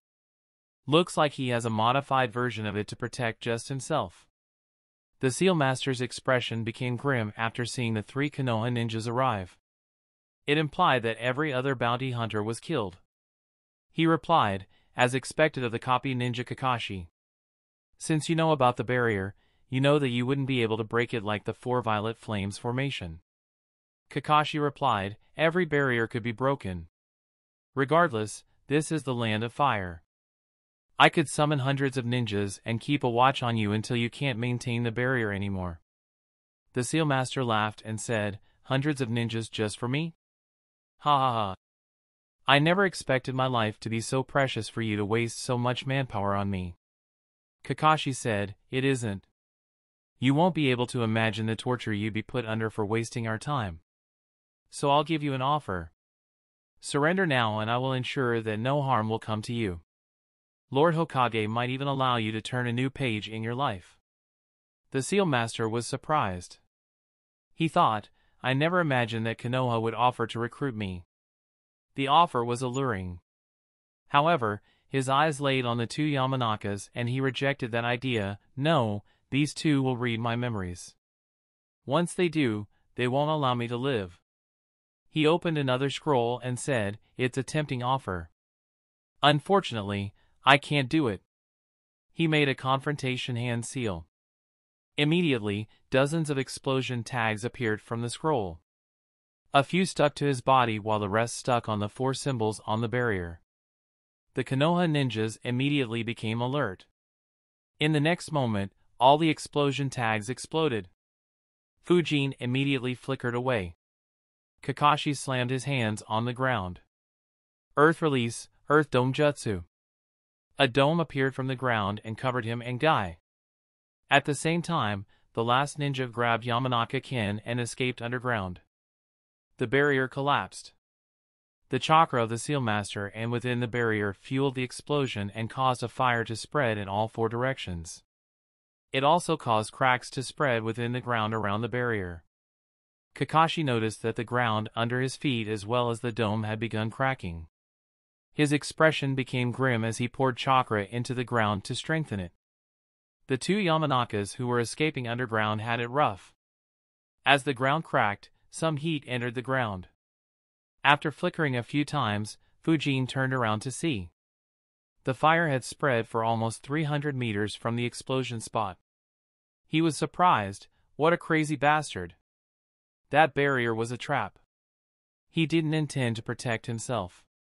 He just wanted to use its chakra to amplify the explosions from those tags. He even used all his own chakra to amplify the explosions. Soon, the explosion died down and only the fire remained. A few water dragons appeared in between the fire and moved through the fire and began dousing it. The water also entered into the cracks in the ground. The two Yamanakas sensed it and left the underground. Fujin sensed that they were all fine. So he flickered back towards where Kakashi was. He first looked at the spot of the explosion. There was no sign of any dead body. The Seal Master's body was completely obliterated. Fujin looked at the two Yamanakas and asked, Are you two alright? Both of them had several burns on their skin. Ken nodded and said, It's fine. It's just minor burns. He looked at Kakashi and asked, Why did that bastard commit suicide? Wouldn't accepting your offer be much better for him? Kakashi replied, More than suicide, it looked like he wanted to burn all the dead bodies. This way, we won't be able to gain any intel from them. Of course, if he managed to kill any of us, that would have been a bonus for him. Ken looked around and frowned, all the dead bodies will have been burned by the fire. We won't be able to read their memories now. It looks like he wanted to hide something crucial. He looked at the two ninjas that Kakashi and Guy had captured and added information that these two wouldn't have. Kakashi nodded and said, yes. I guess he didn't know about this. He took out a scroll and opened it. He made a hand seal and Renzo's body popped out. He said, I had stored his body as he was likely their leader. Read his memories. Yamanaka Ken nodded and immediately got to work. He placed his palm on the forehead of the dead body and inserted his chakra into his head to inspect his memories. Fujin's eyes were glued to him. The Yamanaka clan's ability to read memories of dead bodies was something he had wanted for some time. Unfortunately, he didn't get to visit the TI department frequently. During his time in the Anbu, he had only seen it being done thrice. Fujin analyzed, just like before, the chakra that invades the brain of the dead body is pure Yin chakra. It is almost entirely the opposite of medical ninjutsu. But, how exactly does this work? Despite observing it for the fourth time, he didn't have any idea about the internal workings of the jutsu. Though he had killed hundreds of people, his Anbu squad would always be close by. He never got to experiment on the dead bodies. And he had no intention of experimenting on the only dead body still in his possession. Chapter 252 Ken continued reading his memories for a few minutes. Sweat appeared on Ken's body. It was apparent that reading memories from a dead body was very taxing on him. Finally, he let him go. His expression was grim. Kakashi asked, Did you get any information from him? Ken nodded and said, I couldn't read all his memories, but the ones that I could show that this bounty hunting was a scheme made by Kirigakure. Kakashi furrowed his eyebrows. Ken continued, he hadn't gone rogue. Instead, he was given a mission by an elder from the Mizukage faction from Kirigakure. They currently have a huge advantage against the rebels who are hiding. Since they are hiding, the forces of Mizukage are ideal. But, the rebellion means that no one will issue missions there. So to raise funds, they issued him a mission. He was to go rogue, get in touch with other rogue Kiri ninjas and form a bounty hunter group. After collecting the bounties, they would secretly send the majority of the bounty to Kirigakure. That seal master was assigned as his deputy for this mission. Apart from them, all others were actual rogue nins who got used. Ken's words left the four Konoha ninjas speechless. Even after going rogue, those guys were still being made to work for Kirigakure unknowingly. Fujin couldn't help but think, what a scheme! And what shamelessness! Sigh, Every time I think that I'm getting too shameless, this world gives me a reality check. These bastards are a hundred times more shameless than me. I need to improve myself. Back in Konoha, a chill passed through the spine of Hiruzen. He immediately got alert and observed his surroundings. He didn't notice anything weird and wondered, why did it suddenly feel like someone wanted to take everything from me? Are any of my former students or teammates scheming something? It has been a while since I have paid attention to their movements. Back in the vast forests in the Land of Fire, Kakashi said, it is a great scheme. The high number of ninjas going rogue should weaken them.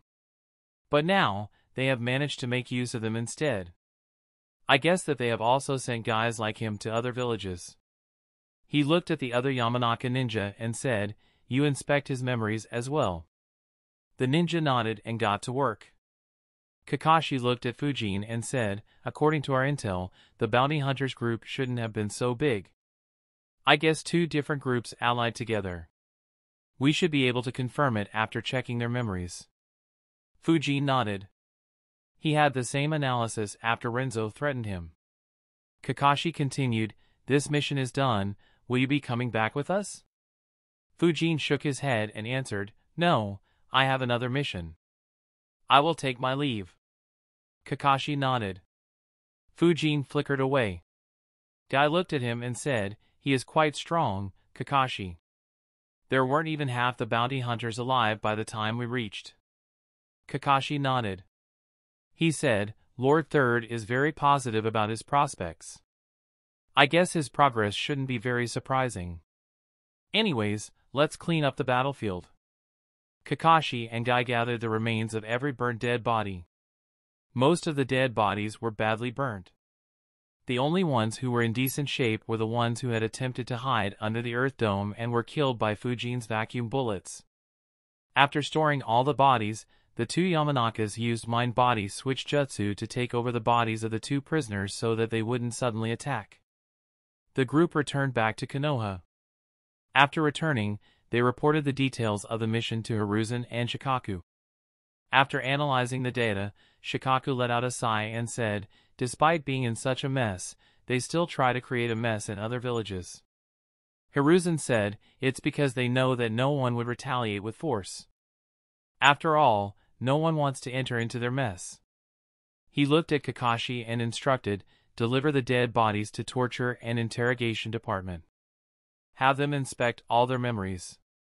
Once we can't find any new memories, deliver their bodies to the underground market and claim their bounties. He looked at Shikaku and said, find a way to spread the news of the death of Higashi Renzo and Kiri. It will improve the morale of the rebels. Though I won't be involved directly, the Mizukage would have underestimated us way too much if he thinks that we can't retaliate at all. Also, form a few patrol squads to roam randomly through the country to find traces of any other rogue Kirigakure ninja. Shikaku and Kakashi nodded and left the office. A frown formed on Hiruzen's face as he analyzed, Kumo has already been trying to scheme a lot against us. Though Suna is allied with us, they are growing restless by the day. IWA is silent for now, but once that fence sitter makes up his mind, they will become extremely problematic. And now even Kiri is making moves. Sigh, these peaceful times might not last very long. In the middle of the desert existed a city that commanded awe and reverence. Amidst the harsh desert environment, this majestic city stood proudly, surrounded by a colossal wall that stretched as far as the eye could see. The towering walls, crafted from sturdy sandstone, created an imposing barrier against the unforgiving desert winds. Samurais clad in desert-hued armor stood vigilant at the city gates. A group of traders approached the towering walls of the city and moved towards the samurais. The samurais noticed their arrival. Among them was Captain Hayashi Ryota who was responsible for the safety of the city gates. One of the traders walked forward and bowed respectfully. The samurais scrutinized the group with a discerning gaze. The trader, dressed in fine desert attire, exuded an air of confidence and respectability. Ryota said, Welcome to the Wind Capital, esteemed travelers. I am Captain Hayashi Ryota. State your purpose and present your trade permits for inspection. The trader said, I am Takahashi Hiroshi. I have heard about your valor, Captain Ryota. I am pleased to make your acquaintance. Ryota's mood improved on being praised. Hiroshi handed him the required documents and said, We are a new traders group from the land of Bird. Ryota and the other guards inspected the documents carefully and verified their authenticity. Satisfied with their findings, Captain Ryota returned the permits to Hiroshi and allowed them to enter the city. Ryota said in a diplomatic tone, As honored guests of our city, we trust that you will adhere to our laws and customs during your stay. Please be mindful of the city's regulations and treat our citizens and fellow traders with respect. Enjoy your time in the Wind Capital and may your business ventures be prosperous. Hiroshi bowed deeply once again and said, We are humbled by your hospitality, Captain Ryota. We shall uphold the highest standards of conduct and contribute positively to the commerce of this remarkable city. Hiroshi and his fellow traders entered the city along with their caravan. As soon as they did, they were immediately captivated by the stunning contrasts and breathtaking sights in the city. The streets wound through the city like intricate mazes and provided shelter from the scorching sun. Buildings of varying heights and styles rose proudly, their architecture inspired by the desert environment. Majestic minarets and ornate domes punctuated the skyline as their golden surfaces glimmered under the brilliant sun. Hiroshi couldn't help but mutter in awe, so beautiful. Ryota smirked and said, Everyone who enters this city for the first time feels the same. Hiroshi nodded and replied, It's difficult to feel anything else. Ryota nodded. Hiroshi said, I'd love to keep watching. Unfortunately, some of my goods are perishable. Could you tell me where the markets are situated, Captain Ryota? Ryota nodded and provided him with the information. Hiroshi and the other traders began moving according to his instructions. Soon they left the side of those samurais. Immediately, every trader's expression changed. The awe and captivation disappeared from their faces. Hiroshi said in a neutral voice, Sell all of our products. All the traders immediately got to work. Hiroshi kept observing the city. They had goods in bulk. So they found appropriate buyers and sold all their goods at low prices. In a few hours, their entire caravan was empty. Hiroshi took all the money and said aloud, Since we made the dangerous journey successfully and have plenty of money, we should enjoy some time in this village. Of course, in our time here, we will also check which goods are the most appropriate and profitable to trade. So enjoy yourself for the next few months. The traders smiled and rejoiced on getting a long break. They split into groups and left in different directions under the envious gazes of some people. Though trading was very risky, if done successfully, it was very rewarding. Hiroshi left alone and booked a room in one of the most expensive hotels in the Wind Capital. He stood on the balcony and saw the sunset. A golden hue was cast across the city making it seem even more breathtaking than ever. A smile formed on his face as he thought, in terms of the scenery, the Wind Capital is leagues ahead of the Fire Capital. Chapter 253 as the sun set, a bunch of memories started popping up in his mind. He analyzed all the memories and thought, good, all my clones have safely dispelled themselves. No one noticed them. Finally, it's time to begin my mission. One week ago. After eliminating the two groups of bounty hunters, Fujin split off from Kakashi's group and continued his journey forward. However, the fight had exhausted nearly half his chakra so he decided to take a break in a nearby town. He entered the town after using the transformation jutsu and looked for an ordinary hotel. After renting a room, Fujin opened the scroll Shikaku had handed him and began reading. The scrolls had a lot of details regarding the nobles in the Land of Wind. It contained a detailed list of all nobles, their families, friends, and their political standings. After a few hours, Fujin let out a sigh. He muttered in his mind, I used to think that the number of ninjas is quite high. But, until I joined the Anbu, I never ever imagined that the number of nobles would be this high. Every major country has at least a couple of thousand people related to the daimyo. Do they spend all their time breeding? And Shikaku's reports have over 500 nobles who he wants to be targeted. Sigh, when we talk about wars, everyone only thinks about the three great wars that have happened.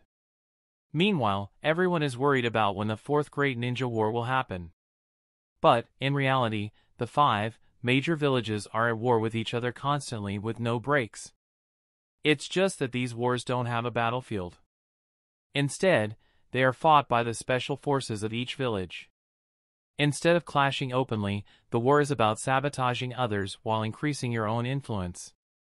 In the last 12 months, I have basically been targeting nobles in the nearby smaller countries who are against Konoha. Like in the previous mission, we killed the forces of that noble from the land of Waterfall who sided with IWA. The end result of such clashes is to make these nobles favor your village and hate the enemy's villages. And in this competition, Konoha has a huge advantage. Other than the land of rain, every neighboring country favors Konoha more than its other neighbors. The superiority of Hiruzen and Shikaku's scheming abilities can be seen through this. Of course, there is another big reason. Konoha has no ambition to claim the lands of other countries. But other countries want Konoha's lands. However, the smaller countries act as a buffer between them. If some country successfully manages to capture territory within the Land of Fire, the smaller countries acting as a buffer will also have to be conquered by them or at least some parts of the country would have to be annexed. And if Konoha couldn't resist them, there's no way any smaller country could resist them. Fujin let out a sigh and thought, when I first read Naruto, I was disgusted by the fact that Kumo tried to kidnap a little girl. If kidnapped, her fate would have been terrible. Just the thought of it was revolting. But, now it doesn't seem very extreme. The chances of kidnapping someone from the Hyuga compound should be close to zero. Perhaps the goal of that kidnapping attempt wasn't to kidnap Hinata but rather to have the kidnapper die in the Hyuga compounds. Perhaps, even if Hiashi didn't kill the kidnapper, as long as he was caught, he'd have committed suicide and died in the Hyuga clan compounds. This way, they would be able to exchange the life of a normal ninja with a strong clan leader. Even though Hiashi preserved his life, Konoha and the Hyuga clan lost an elite jounin. In peacetime, that is a great loss. I guess they also wanted to sow discord between the village leadership and the Hyuga clan. After all, by then, the Uchiha clan were already made to live on the outskirts of Konoha. If the two strongest clans were unsatisfied with the Konoha leadership, the village would become quite unstable. Even if nothing bad happened, as long as the process of recovery is slowed down, Konoha would be in trouble when the next Great War starts. Fujin let out another sigh, the more I get involved, the more I realize how deep the schemes run in this world. And, for some reason, I have a feeling that soon it will be my turn to play these schemes. If I can't, then I won't be able to achieve much in this life either. Fujin rested the night in that hotel before continuing his journey the next day. He crossed the border and entered the land of rivers under a random disguise. He found an unoccupied cave and entered it. He inscribed a few seals in the cave to provide some protection and to stop and misdirect any attempts of scouting that place. He quickly changed into the attire of Suna Anbu and thought, for the next few months, this will be my disguise while doing shady work. He left the cave and journeyed towards the land of wind. The border of the land of wind was as massive as that of the land of fire. However, unlike Konoha, they were suffering from a massive budget crunch. In addition, the desert conditions in the land of wind were many times rougher than the green forests in the land of fire. So very few patrolling teams used to patrol the borders. Fujin had no trouble infiltrating the land of wind. He continued moving rapidly across the vast deserts while thinking, though the rough environment makes patrolling difficult, the vast open desert makes hiding very difficult. After traveling a few hundred kilometers into the desert, Fujin took a break and began making a plan. He analyzed, most of my targets are in the wind capital. I will have to begin from there. But, how should I infiltrate it? Should I just sneak in? Fujin calculated his chances of sneaking in successfully. After some time, he rejected that idea, no. I have been to the fire capital a few times. Though the security wasn't as good as Konoha, it was still very tight. Samurais patrolled the walls and the walls themselves had numerous seals carved in them. Though I could still infiltrate without alarming any seal, it will be incredibly difficult.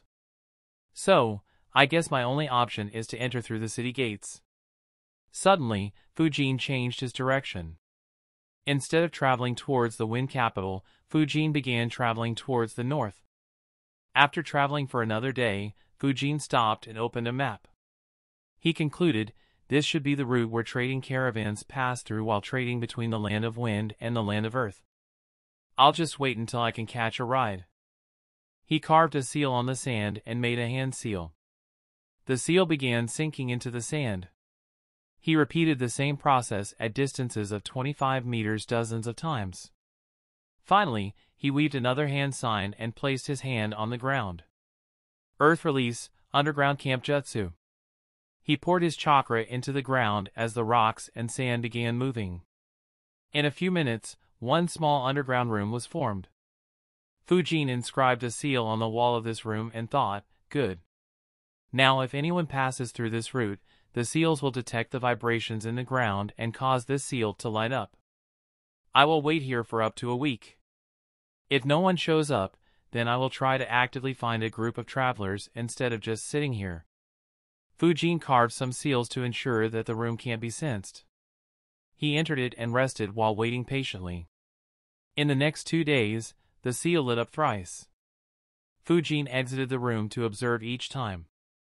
Unfortunately, all three groups were ninja squads from Suna.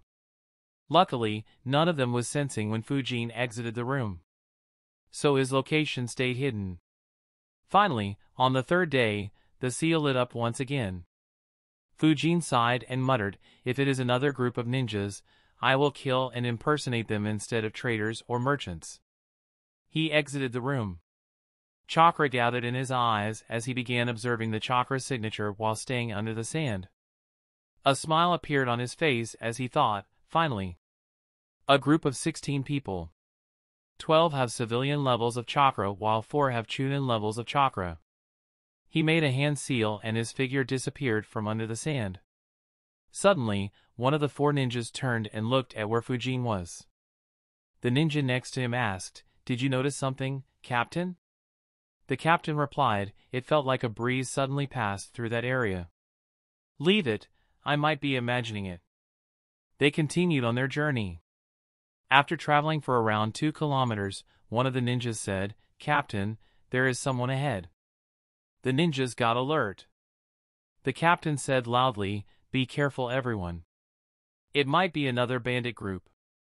However, the ninja shook his head and said, No captain. It is only one person and his chakra is very low. So he isn't a ninja. The group traveled forward carefully. After a couple of hundred meters, they saw the person. He was a man in terrible shape. His clothes were torn in multiple places and dyed in blood. He had multiple injuries on his body. He turned his head towards them and hope appeared in his eyes. Chapter 254 The man immediately got up and walked towards the caravan. However, he was limping. The group noticed a deep cut just above his left knee. The man walked to them with tears running down his face and hurriedly begged, Please help me. I am a trader just like you, but my caravan was attacked by desert bandits. All of us were captured. I luckily managed to escape, but they are still hunting for me. Please help. However, before he could finish speaking, a kick landed on his chest and sent him flying backwards. A look of shock appeared on the face of the man. He looked at them in disbelief. The four ninjas were wearing headbands that didn't belong to any ninja village. The caravan had a flag of the land of bird country. The man still begged, Please help us and save my friends. If not, at least take me with you. I don't want to die here. One of the ninjas looked at him and asked, What do we do with him, Captain? The captain shook his head and said, It's better to kill him. If he is planted by a bandit group, then we might get in trouble. Behind him, the leader of the traders, Hiroshi said, just kill him and get moving. I don't want to delay my first trade. The injured man heard the words carefully. Fear showed on his face. One of the ninjas grinned and walked forward. You heard him. You can say goodbye to your pathetic life. He grabbed a kunai and walked towards the man. The man looked at him with terror in his eyes. He raised the kunai and was about to attack when his head was sent flying into the air. The traders and the ninjas, who were looking at the spectacle with ridicule in their eyes, were suddenly shocked. Before they could even react, the heads of the remaining three ninjas were also sent flying. Terror flooded into the minds of each of the twelve traders as they saw the injured man behead the ninjas they hired for their safety. The injured man said in a cold tone, You have died either way, but your actions avoid any feeling of guilt that I might have felt. He suddenly disappeared. Hiroshi saw as every trader began falling down to the ground one by one. Only he was left standing. The injured man, who was now a Shinigami in his eyes, stood in front of him and looked into his eyes. He couldn't move as the man's hand squeezed his neck. Suddenly, the entire world became pitch black. He couldn't even see the arm that was holding his neck. He heard Fujin speaking, If you want to live, tell me every detail about yourself and your trading caravan. Hiroshi was completely terrified. He screamed, I will speak. Please don't kill me. Hiroshi immediately gave him all the details that he wanted. He also took all the documents from Hiroshi. An electric current passed through Hiroshi's body and knocked him out. Fujin walked towards one of the knocked out traders and lifted him. A current passed through his body and woke him up. Fujin interrogated him to cross-check the information. He repeated the process with all 12 traders. After collecting all the data, Fujin analyzed, I was lucky. This is a perfect group for me to impersonate. It is their first mission, so they shouldn't have any contacts in the wind capital. Not to mention, they come from the land of bird instead of the land of earth. So their backing will be much weaker. In addition, the ninjas they hired don't work for any village. Instead, they work for the mercenary group Kurogane no Sensen. Though this mercenary group is quite influential, it mostly operates in the countries between the lands of wind and earth. It shouldn't have much sway here. And even if they do, they will be much slower than a ninja village to investigate their missing ninjas. Fujin observed everyone around him and thought it'd be a huge waste to just hide their bodies. He walked towards one of the detached heads and extended his right hand towards it while thinking it should work against detached heads too.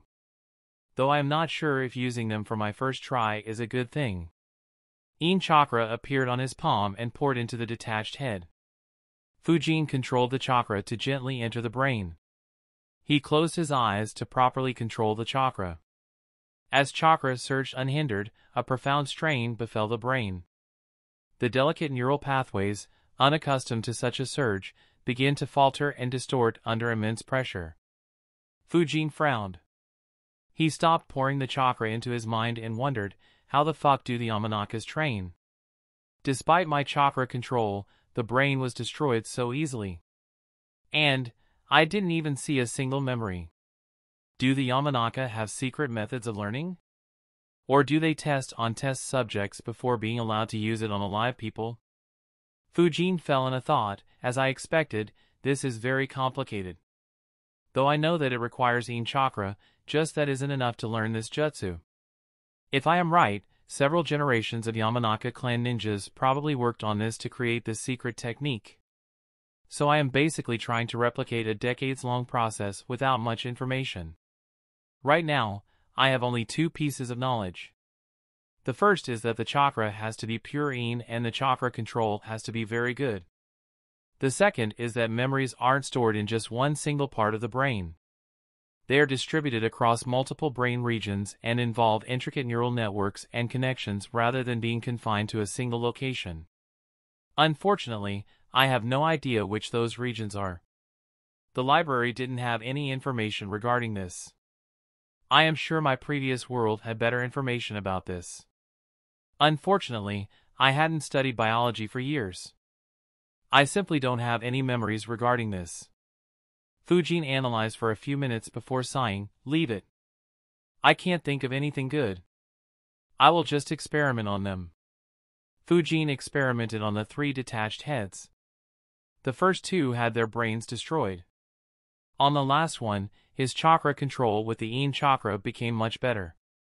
He managed to continue invading his brain with Yin chakra without turning it into mush. However, he didn't get any memories from it. Fujin wondered, do I need to make more modifications to my Yin chakra or move it in a certain way to read memories? He couldn't say for sure. He looked towards the twelve unconscious traders and muttered, I hope I have luck with living test subjects. He walked towards one trader, tied his limbs and woke him up. The trader woke up terrified. He shouted and begged, but Fujin didn't pay any attention to him. He placed a hand on his head and began inserting Yin chakra into his head. He delicately controlled his chakra to enter his brain and access the neural networks in his cerebral cortex. However, the man suddenly yelled. Soon, his expression changed. He spoke gibberish and he began making weird faces. Fujin looked at him with a solemn expression, he has become intellectually impaired. Another reason why I should never let anyone try to read my memories. If they wish to harm me, I won't even be able to resist. Fujin continued trying to read his memories until his brain was destroyed and he stopped moving and dropped dead. Fujin experimented on the remaining 11 traders and all faced the same result. Fujin sighed and began storing everyone's dead bodies and scrolls. He stored the four dead ninjas in one scroll and the 12 dead traders in another. He placed the scroll of the dead ninjas in the underground room he had created and completely sealed it up. He analyzed, if the mercenary group had any means of tracking them, they would be led here. Even if they find the blood where I killed them, they will only find the blood of these four ninjas. Fujin walked back to the caravan and created shadow clones. They transformed into the eleven traders while Fujin transformed into Hiroshi. They buried the sand dyed in blood a few meters below the surface and began their journey to the wind capital. Mid route, Fujin made another shadow clone who traveled a few kilometers and buried the scroll with the dead bodies of the traders deep within the sand. In these vast deserts, the chances of it being found were negligible. Chapter 255 Fujin was enjoying his evening breakfast on his balcony while enjoying the beautiful sunset. He thought, this lifestyle is kinda good. I see why so many ninjas want to be recruited by a daimyo. Unlike the daily life of going through deadly missions and not knowing whether you'd live or not, the life here is just too relaxing and stress-free. Fujin had stayed in the wind capital for a couple of weeks. He spent it relaxing in his luxurious hotel room and sightseeing around the city. He analyzed, there hadn't been any news about anyone looking for Hiroshi or the ninjas protecting them. So I should be able to maintain this identity for some time. He turned his eyes towards a few mansions in the city. They were quite far from his location but still visible. Though he couldn't see every detail, he knew that a few were moving sneakily into those mansions. Just like Fujin, one noble was enjoying his life in one of the mansions Fujin eyed. He was enjoying his luxurious life while thinking, I am so glad that the daimyo decided to favor Konoha instead of Suna. Otherwise, there is no way I would be able to sign such a huge deal with the Kazekage. Once the deal is finalized, money will start rolling into this mansion. Ha ha ha. At that moment, a maid entered the room. She was in her teens and looked very beautiful. The noble, who was in his fifties, lecherously eyed her. She brought a tray filled with various sushi to him and said respectfully, My lord. The noble looked at it and said, It looks delicious. He turned his eyes towards her and said, I am sure it'd taste even better if you feed it to me. He opened his mouth wide open. The maid knew about how perverted he was. Unfortunately, she had no other option. She picked up a piece of sushi and was about to feed him when she saw a red line appearing on his throat.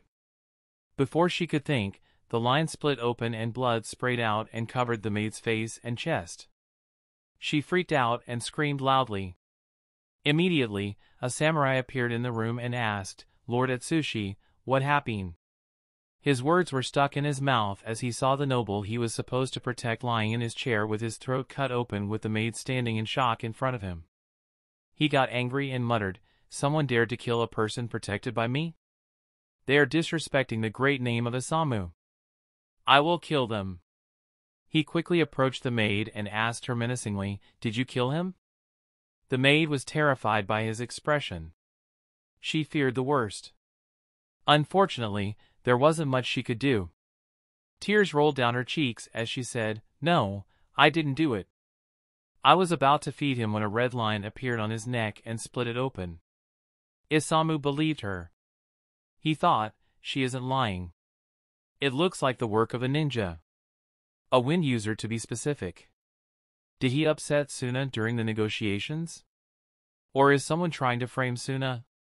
Chakra gathered in his eyes as he began to observe everything in the mansion. Suddenly he discovered, hmm, since when did someone with so much chakra appear in the mansion? He must be the culprit. Chakra flowed through his sword as he stabbed it into the floor. A hole appeared in the floor and he jumped on the floor below. In front of him was a butler. Isamu looked at him and said, Good disguise. If it was someone else, they'd be fooled. A frown formed on the face of the butler. He asked, What do you mean? However, Instead of replying, Isamu swung his sword. A blue sword wave was shot from his sword and approached the butler. The butler immediately moved out of the way, displaying physical skills far beyond what a civilian could display. The samurai moved forward and attacked him with his sword once again. The butler took a kunai and used it to block the sword. Unlike Isamu, he didn't use chakra flow. However, since Isamu's chakra flow wasn't charged with wind nature, his kunai could hold on. However, Isamu used the opportunity to kick his chest. The butler was sent flying backwards and crashed into a wall. His transformation jutsu was dispelled. Isamu saw a ninja wearing a scorpion mask and in the Anbu uniform of Sunagakure. His expression became grim. It looked like he was caught in an internal struggle in the land of wind. The ninja got up and said in a cold tone, I didn't expect you to be so good. However, you should have just looked the other way. Now, I will have to kill you as well. Isamu didn't attack and asked, Why did you kill him? The ninja snorted, Do you think it is so easy to take advantage of our village? Even your land of iron doesn't have the same standing as our village. Let alone some no-name noble. He raised two fingers. Wind began flowing around them. Isamu once again attacked with his sword. However, the Anbu easily dodged the sword slash. Isamu's eyes widened as four cuts appeared on each of his arms. Two of them were right on his elbow and severed his blood vessels and nerves in it. Isamu suddenly felt weak and dropped his swords. The Anbu said, In your next life, don't poke your head into other people's businesses. Wind once again began moving around his two fingers as he pointed them towards the samurai. Though Isamu was wearing armor, a lot of areas on his body weren't protected by it. Dozens of cuts appeared on his legs and neck. Isamu dropped to the ground and lost consciousness. He was no match for the Anbu. Having completed his job, the Anbu disappeared. After the fighting noises stopped, the servants immediately ran towards where the fighting was happening. To their horror, they noticed Isamu lying in a pool of blood. They immediately ran forward and checked on him. Surprisingly, one maid said, he is still breathing. Call for doctors. Also, inform Lord Atsushi about this. Some servants left hurriedly to call for the personal doctor employed in the mansion. A couple of other servants ran to the upper floor. They were horrified to see that their lord Atsushi was dead and the maid was lying unconscious. They carried the maid down to be in the same room as Isamu. After laying her down, they went to the basement to inform the family of the noble who had hidden there immediately after hearing the sounds of a battle. The doctor soon arrived. His expression became grim after checking the samurai. He said, his condition is very bad. Go and call for a medical ninja from the hospital. Hurry! A couple of servants nodded and left. The doctor removed Isamu's armor and clothes around the cuts. He provided first aid and stopped the bleeding. Suddenly, loud wailing was heard from the floor above. The family members of the noble were crying due to his loss. After a couple of minutes, his son walked down and saw the doctor treating Isamu while his father was completely ignored. He shouted, how dare you treat others when my father has died? Leave them to die along with him. His expression became cruel as he said, In fact, all of you should join him too. Fear appeared on the face of all servants. However, the doctor was calm. He continued cleaning the wounds and said without looking at him, Young master, he is a samurai from the land of iron. A proper explanation has to be given every time a samurai dies. If the land of iron finds out that a samurai died because you didn't allow him to be treated, you and your whole family might have to join your father. Even Lord Daimyo won't do anything to save you. His words caused the young master to be covered in sweat. He gritted his teeth and said, I will remember this. He quickly left the room and walked back towards his father. The doctor let out a sigh. He thought, I have completely offended him. Oh well, if I didn't, he'd have killed me anyway. As long as I save Isamu, I will be safe. Soon all the bleeding stopped. The doctor began the blood transfusion to stabilize his condition. He breathed a sigh of relief and said, he will be fine. His words caused relief to spread among the servants in the mansion. The doctor turned his attention towards the maid and inspected her. Soon he got up and said, She has just lost consciousness due to being terrified. She will be fine. The servants tended to both of them while waiting for the medical ninja to arrive. In around an hour, a medical ninja arrived. The doctor exchanged a few words with him and he began inspecting Isamu. He nodded his head and said, You have done a great job. He weaved a few hand signs and extended his palms towards Isamu. Mystical Palm Jutsu Chapter 256 Chakra poured from the medical ninja's hands. One by one, he completely healed every cut on Isamu's body. Only some scars were left behind. Soon, Isamu woke up. The memories of nearly dying returned to his mind. He sat straight and began sweating profusely due to fear. The medical ninja noticed his condition and placed his hand on his shoulder and said, Don't worry, you are all right. Do you recall what happened? His words snapped Isamu out of the shock. He looked down at his body and thought, I thought I was dead for sure. The enemy was much stronger than me. I was no match. Did he assume that I was dead and left in a hurry? He turned his eyes towards the medical ninja and became scared once again. He thought, first Asuna Anbu almost kills me and then a Suna Medical Ninja saves me? What the heck are these guys playing at? The medical ninja saw the fear in Isamu's eyes and frowned. It felt as if Isamu was afraid of him.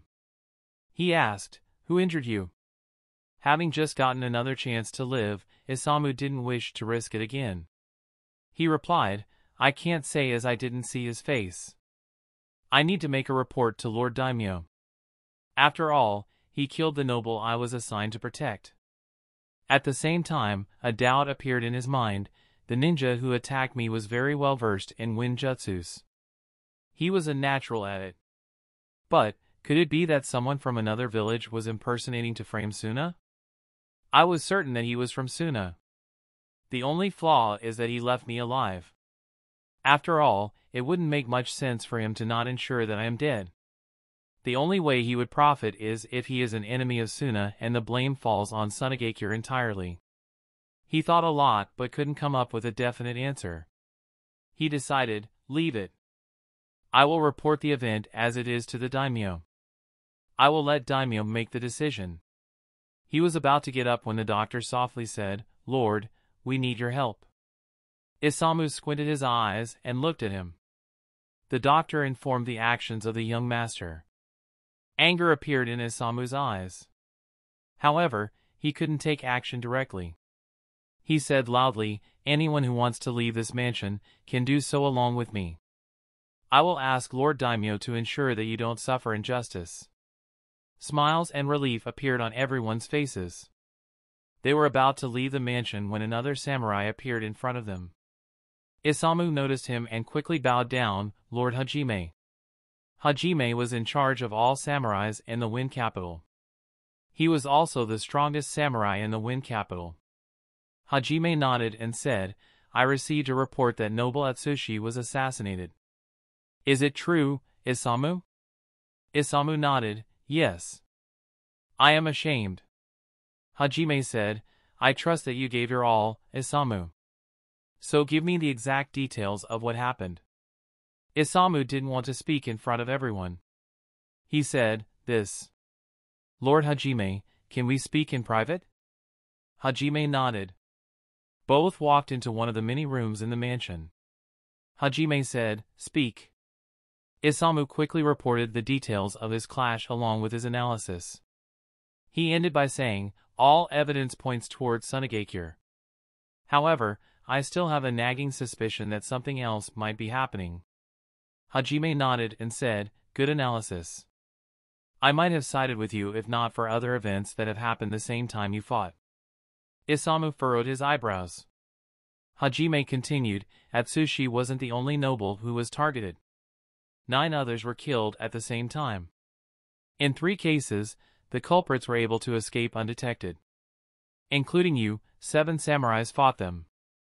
Unfortunately, five are already dead. Apart from you, only one is alive. But his condition is critical. Isamu's eyes widened. His back became covered in sweat. He muttered, I was lucky that he didn't check whether I was alive or dead. Hajime nodded. He added, everyone was injured with blades made of wind. This is a rather commonly used technique among the Jounins of Sunagakure. Though other villages could replicate it, sending 10 expert wind users on the same mission is quite unlikely. Regardless, Daimyo is pissed at Sunagakure.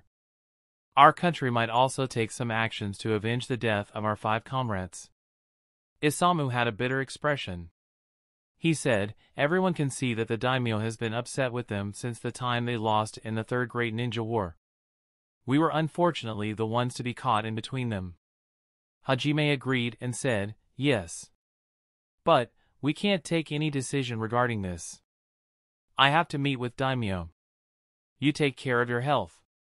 He was about to leave when Isamu stopped him and informed him about the actions of Atsushi's son. Hajime frowned and said, Leave the mansion and take everyone with you. I'll ask Daimyo to take appropriate actions for them. A family that treats people like this will fall no matter how rich or influential they are. He left the mansion. Following him, Isamu and every commoner employed in the mansion left, only leaving Atsushi's stunned family in the mansion. Back in the hotel, Fujin received the memories of his ten clones. He analyzed, everything went as planned. Now it's time to be patient. Throughout the night, samurais kept moving around the city. The security had become very tight. Many sudden inspections were being carried out. However, Fujin wasn't affected. It wasn't surprising as the number of civilians far exceeded the number of samurais and ninjas working under the Wind Daimyo. He did sense numerous chakra fields covering him. However, no one detected anything strange about him. These acts made the city quite tense. The next morning, two pieces of information spread through the city. The first one caused panic and restlessness among the civilian population. After all, ten nobles were murdered in broad daylight. If nobles who were protected by samurais weren't safe, then how could common people feel safe? However, the second news made everyone feel peculiar and amused them. Rumors floated in the city that a noble's family threatened to execute all servants.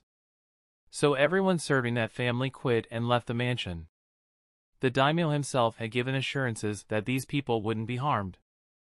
In addition, no new workers signed up to serve that family due to the bad reputation it gained, making them a joke in the wind capital. As the culprit behind the assassinations, Fujin was sitting relaxed in his room. He analyzed, these ten were all very close to Sunagakure according to the scrolls. Now that they are dead and Suna is the first suspect, their families will stop relying on Suna. Since the land of wind and fire are allied, Konoha will become their new reliance soon. Even if they don't ally with Konoha and continue the same level of interaction with Suna, it isn't actually our loss as just the status quo is maintained. In addition, the daimyo and remaining nobles will now be very alert against Sunagakure. Though they can't pin the blame on Suna, seeds of doubt will take root in their minds. Of course, just this isn't enough. I'll have to keep providing water to these seeds to create the required effect. Numerous plans and schemes kept running through Fujin's mind. For quite some time, the Wind Capital was fated to remain restless. Chapter 257 Sunagakure, Kazekage Building A ninja was hurrying inside the Kazekage building. Without waiting to knock and get permission, he opened the door and said loudly, Lord Rasa, we have an important matter. Rasa frowned. He was in a meeting. He looked at them and said, We will continue the talks later. Everyone nodded and left the meeting. Rasa looked with annoyance and asked, What is the rush?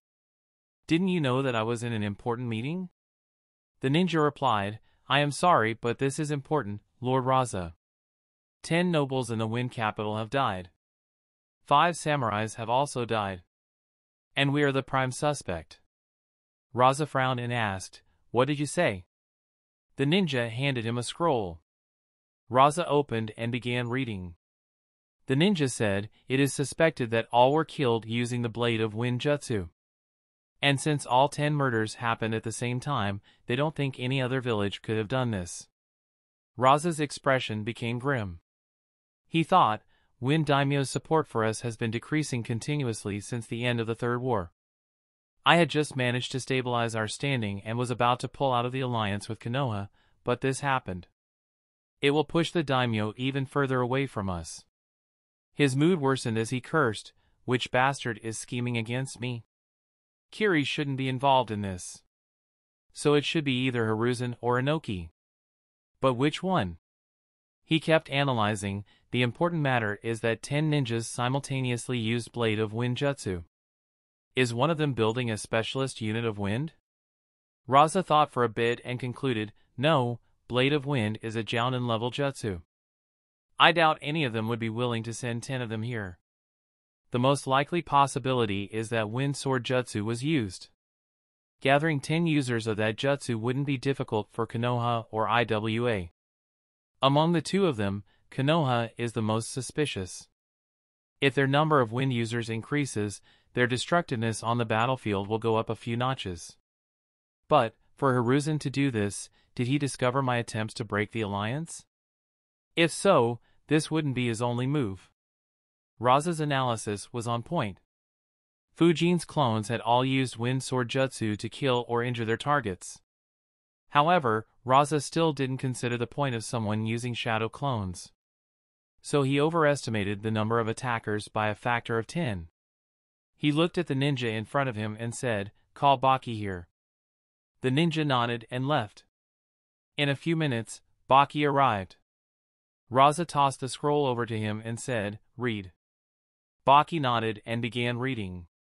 His expression became grim. Rasa said, I want you to lead a squad of 20 ninjas to the Wind Capital. Find who the culprit is and clear our name. If you can't find the culprit, then stay there and ensure that no more incidents occur. At the same time, make sure that our reputation among the nobles and the Wind Capital improves. I suspect that Konoha is behind this incident, but we can't rule out Iwagakure either. They may want us to suspect Konoha and break our alliance. So be on guard against both of them. Baki nodded, yes, Lord Kazekage. He immediately left and began preparations to leave. In a couple of hours, Baki along with 19 ninjas at the rank of Chunin and above left towards the Wind Capital. Wind Capital. Fujin was still staying in the same hotel. Due to being one of the most luxurious hotels in the Wind Capital, the impact of the stricter security and frequent checks wasn't felt much there. However, a samurai still visited to ask him some standard questions before leaving without suspecting anything.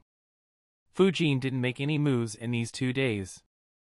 He thought, though I could still kill some targets irrespective of how much security the samurais provide, it won't help my mission. On one hand, the daimyo will begin considering why Suna is attacking despite being the prime suspect. So their suspicion of Suna will decrease instead of increase. On the other hand, if I overdo it, daimyo and the other nobles might get terrified of Suna. They might stop increasing relations with Konoha and obediently support Suna. I am sure Rasa might just go ahead and begin killing the nobles himself as well until the daimyo capitulates, taking full opportunity of my blunder. So my best course of action is to keep striking at regular intervals. Hmm. Fujin's attention was suddenly attracted.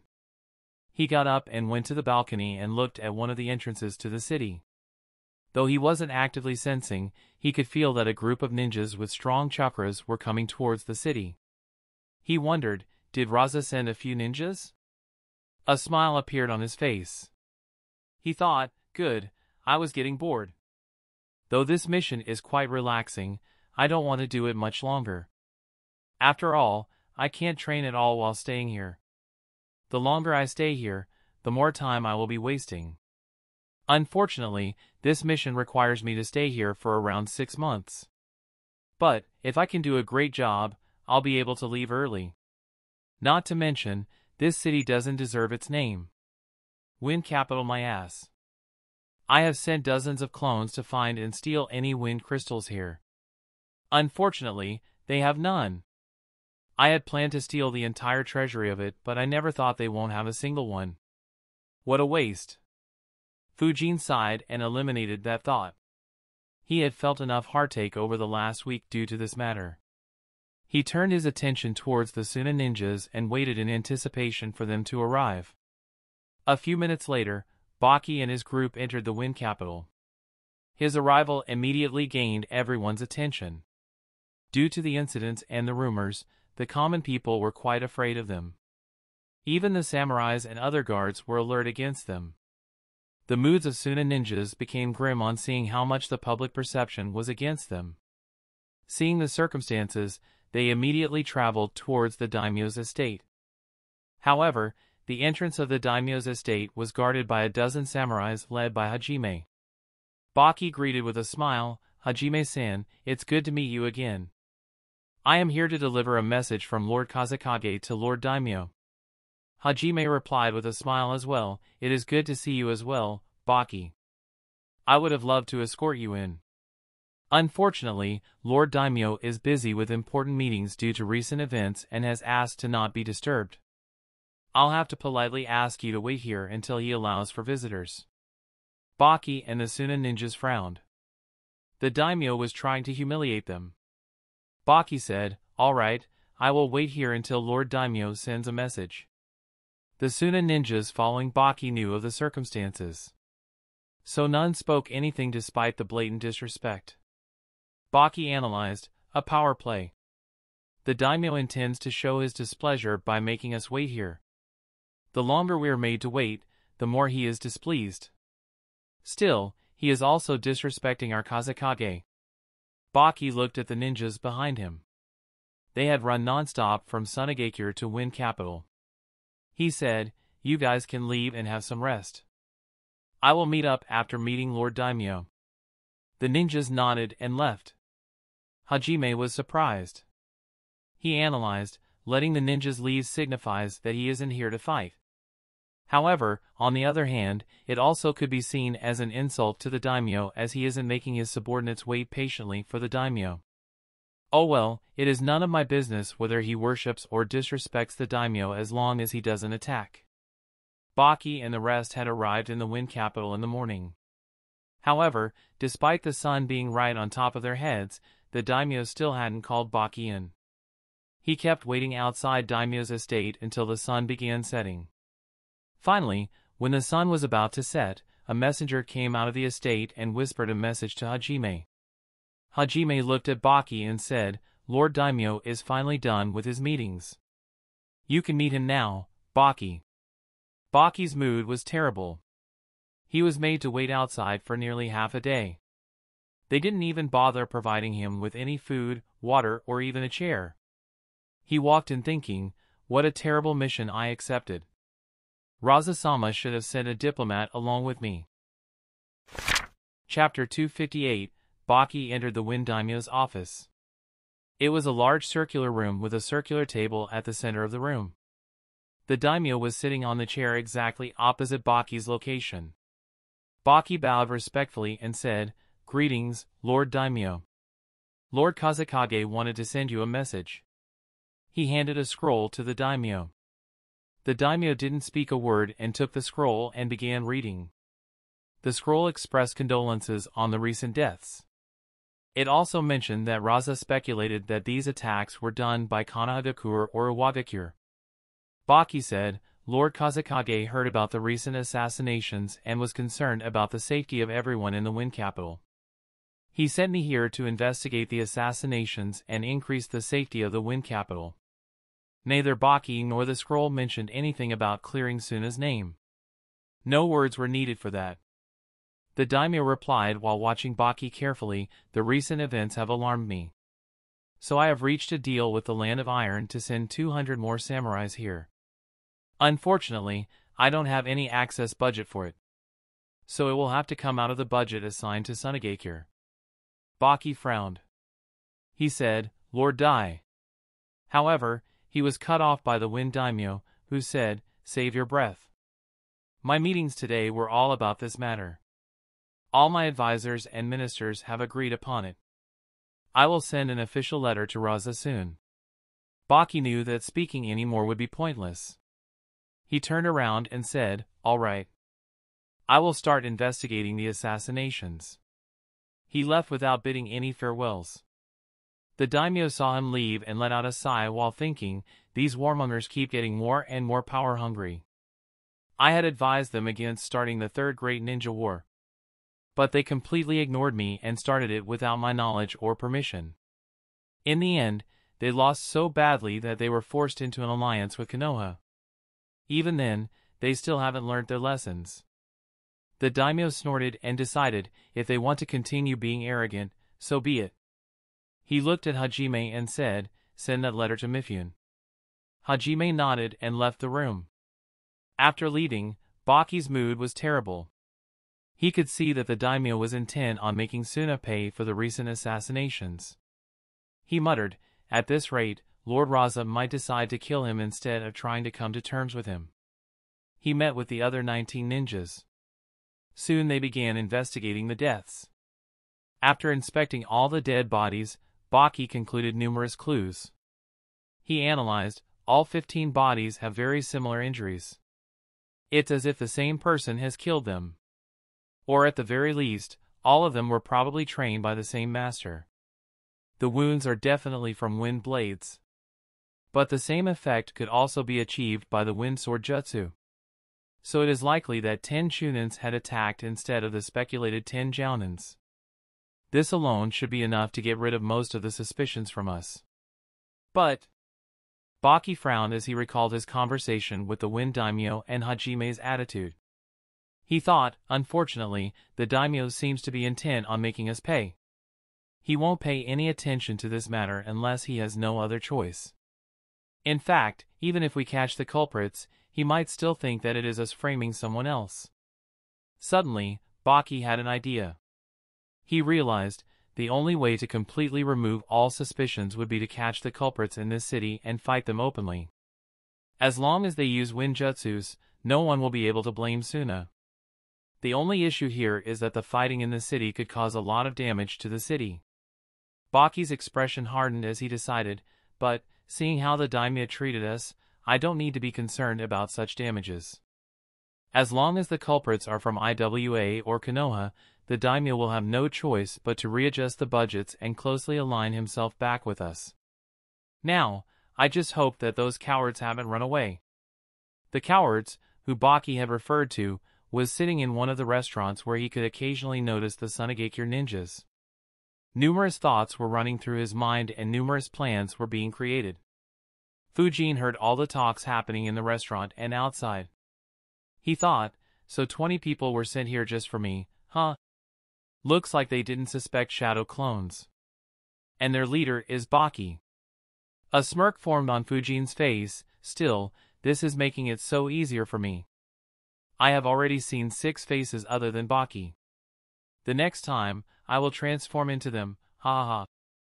I wonder what Rasa's thoughts would be if he received a message that the very ninjas he sent to investigate were being accused of murder. For the next couple of weeks, Baki and his squad searched the entire Wind capital to find the culprits. Unfortunately, they didn't find anyone. In these two weeks, no new incident occurred the Wind Daimyo and Hajime became more and more certain that the assassinations were carried out by the Sunagakure. Hajime wondered, couldn't Suna come up with a better scheme? First they kill nobles and samurais here and then they put up a charade of trying to desperately look for the culprit. Next, they will say that they haven't found any culprit and hence will station some troops here permanently for protection. Even a child could see through this scheme. As Hajime predicted, after two weeks of desperately looking for the culprits, Baki stopped. He and his unit decided to stay there to stop the next wave of attacks. Another week and a half passed by peacefully. Most of the common citizens had begun forgetting about the incident earlier and moved on with their lives. Even the Suna ninjas and the samurai had stopped maintaining full alertness. In one of the numerous mansions in the Wind capital, a teenage girl was watering plants in her room while singing merrily. Suddenly, she felt a pain in the back of her neck. Instantly, she lost consciousness and began falling down. However, a hand held her and stopped her from falling to the ground. At the same time, the door of the room opened. A middle-aged man walked in saying, Kohei, how many times should I te? Who are you? The man suddenly became stunned to see his daughter lying unconscious in the arms of an unknown Suna ninja. Memories of the ten assassinations surfaced in his mind. He was about to yell when the Suna ninja suddenly appeared in front of him and grabbed his mouth and said, Scream and both you and your daughter will die. The man felt an intense bloodlust from the ninja. Without letting the man speak, the ninja said, Did you think that you could double-cross us by forming a secret deal with Amegakure?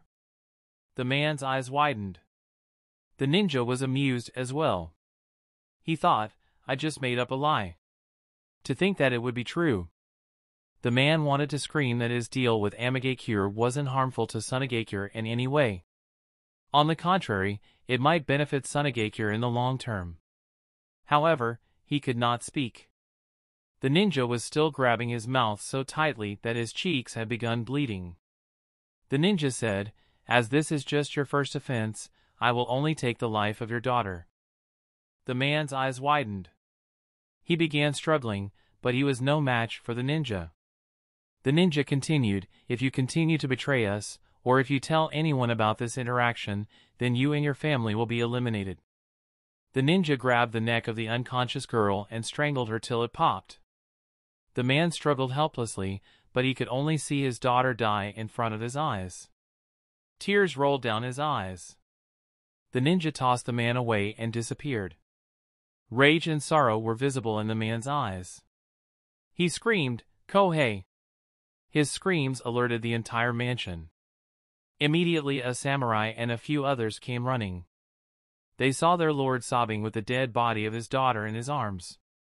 Her mother saw her dead daughter and began crying in disbelief and pain as well. She cried, Who did this, Kojiro? Kojiro's eyes reddened. He said hatefully, Sunagakure. I will never forgive them. He looked at the samurai and said, I want to meet Lord Daimyo. Come with me. But first, call a few more of your comrades to protect my family. The samurai nodded and immediately got to work. After ensuring sufficient protection, Kojiro along with a samurai began moving towards the daimyo's estate. However, he wasn't alone. Eleven more nobles were also walking towards the daimyo's estate in rage and sorrow. Chapter 259 Fujin received all the memories and sighed, I don't mind killing the greedy nobles. None of them have their hands clean. But killing innocent ones always leaves a bad taste. Though the training in Anbu wasn't as messed up as Root training, it still was quite dark. Every new Anbu was made to kill a few innocent people on missions by the Anbu captains. Of course, their deaths would benefit Konoha in some way, but they themselves didn't harm Konoha or anyone else. Hence no one would think that they deserved death. Under normal circumstances, every new Anbu would be made to do this within a month of joining the Anbu. However, since Fujin's group was much younger with ages of just 12 and 13, they were asked to do this on a mission around six months after joining and after they had already completed a few missions. Despite not liking it, all three did it. After the first time, the Anbu commander would ensure that every once in a while, the Anbu ninjas would receive a mission that would include killing innocent civilians. It would be asked of them in a very subtle manner. The method was the complete opposite of the Root. Eventually, after years of serving in the Anbu, the Anbu ninjas would begin considering this as normal. Fujin, despite his intelligence and knowledge about the Naruto world, didn't notice this subtle scheme. But, to be fair, he wasn't the only one. Every Anbu ninja, including the likes of Kakashi and Itachi, was subtly influenced over the years. However, since Fujin's time in the Anbu wasn't very long, he wasn't influenced to an extreme end and would avoid it if he had the option. Of course, if anyone couldn't do this, they were allowed to leave the Anbu. However, the instances of someone leaving Anbu, for this reason, were very low. The main reason was that Hiruzen would be very careful while selecting ninjas into the Anbu ranks. This was why someone like Might Guy was never invited into the Anbu. Daimyo's estate.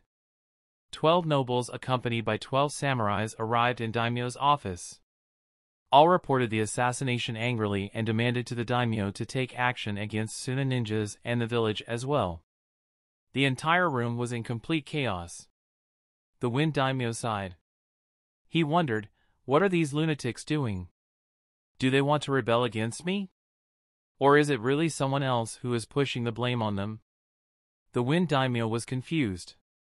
At the same time, he was a bit fearful. After all, even though he held the authority, in terms of power, he was no match for the Kazekage. If the Kazekage decided to kill him, it wouldn't matter how many samurais he hired to protect himself. However, he shook his head and concluded, no, if Rasa attacks me, then he will have to face retaliation from the other daimyos. Though their kages don't have to listen to them, they will as they could all plunder Sunagakure together and divide the benefits among themselves. The only fear is if three or more kage decided to revolt against their daimyo. In that case, we will be history. However, the other kages haven't shown any such indications yet. So Rasa would not dare to make a move against me yet. Though he didn't want to take action, he couldn't let the grievances of the twelve nobles go unanswered. He instructed, call Baki and the other Sunagakure ninjas. Hajime, increase the defenses of the estate. Hajime nodded and said, It will be done, Lord Daimyo. He immediately got to work.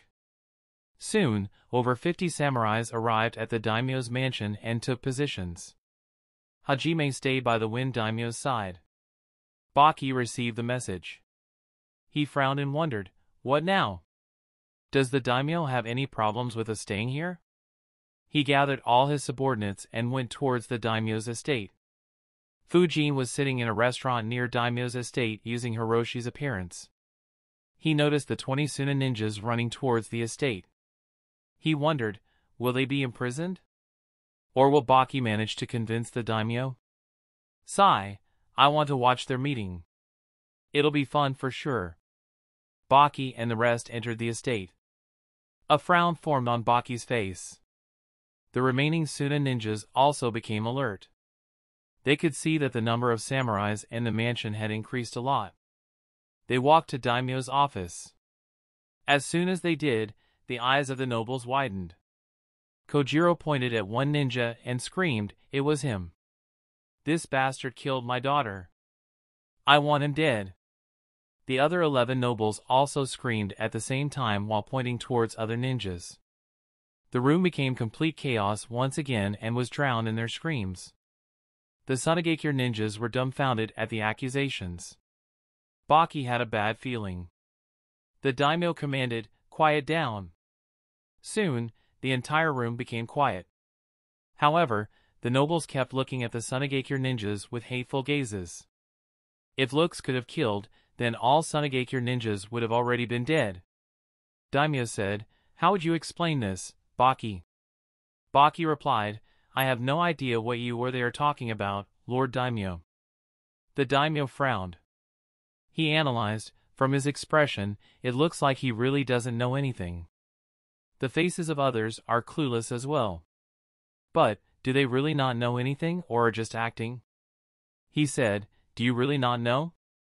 Twelve of your subordinates assassinated family members of these nobles. And you say you have no idea.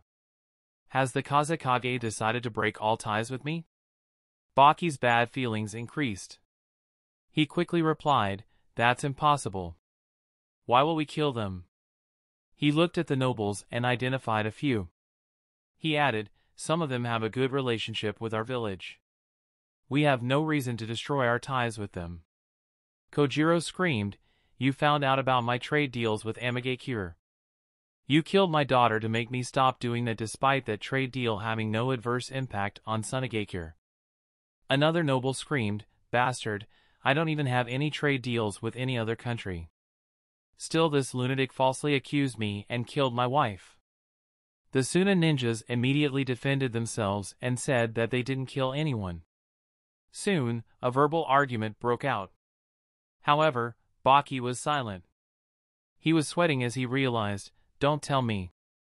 The previous attackers kept hiding in the city until we dropped our guard down.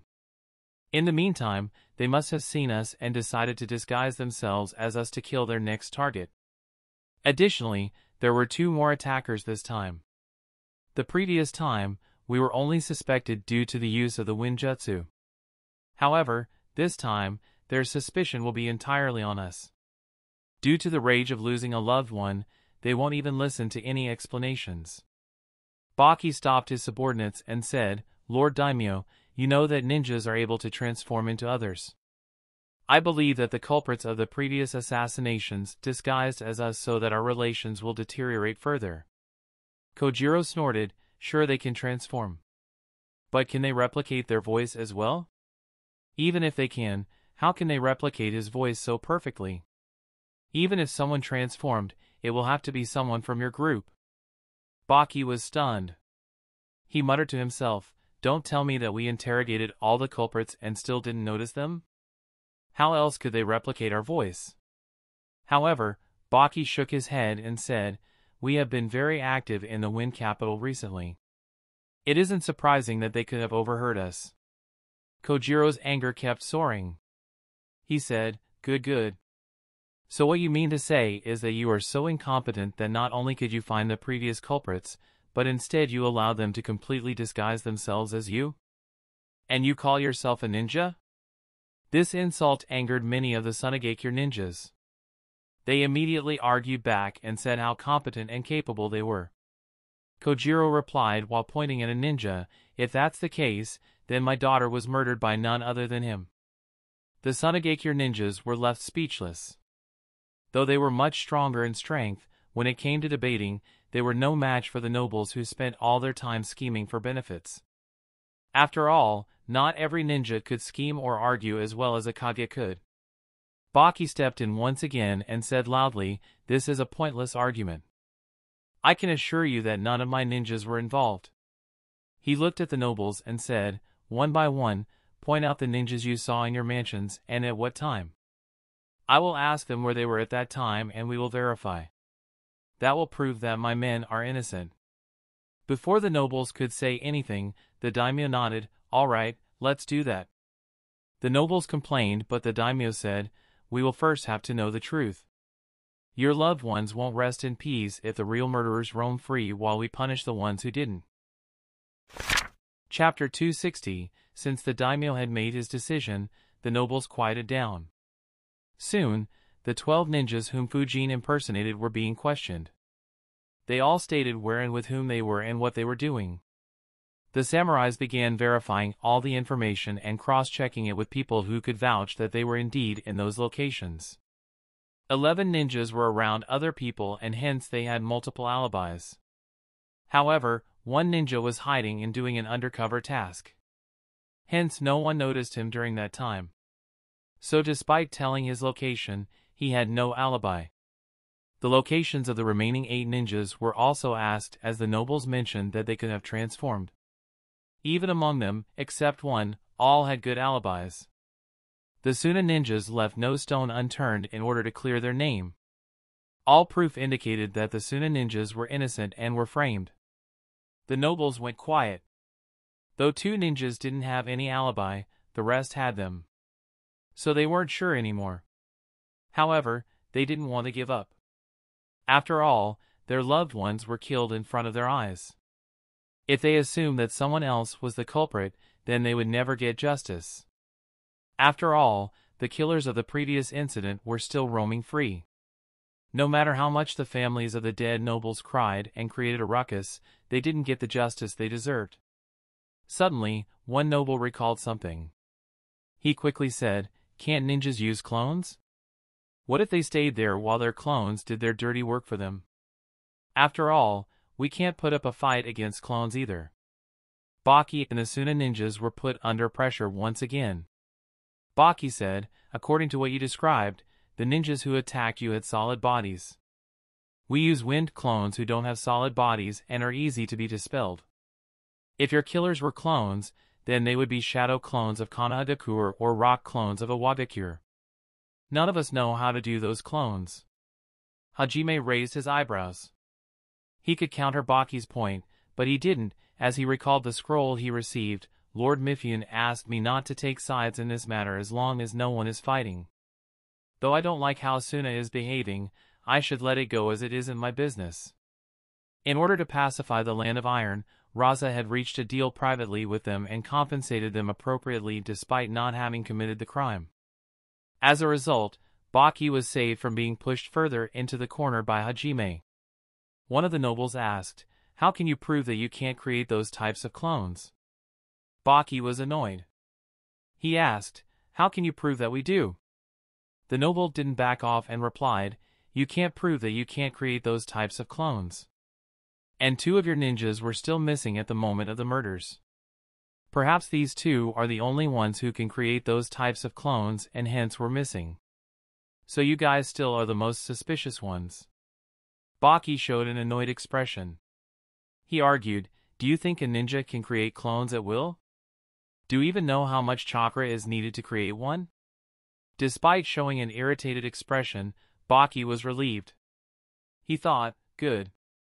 From certainty, they have backed off to just suspicions. They entered another debate which lasted 15 minutes. Finally, the daimyo said, Enough. You have made your point Baki. But Yusuna ninjas are still the most suspicious ones. For the time being, I will be placing the 12 ninjas they saw and the missing ninja under arrest. As for the rest, you will be accompanied by samurais at all times. Baki's expression became ugly. He said, Lord Daimyo, you can't. However, the daimyo interrupted him and said, Calm down.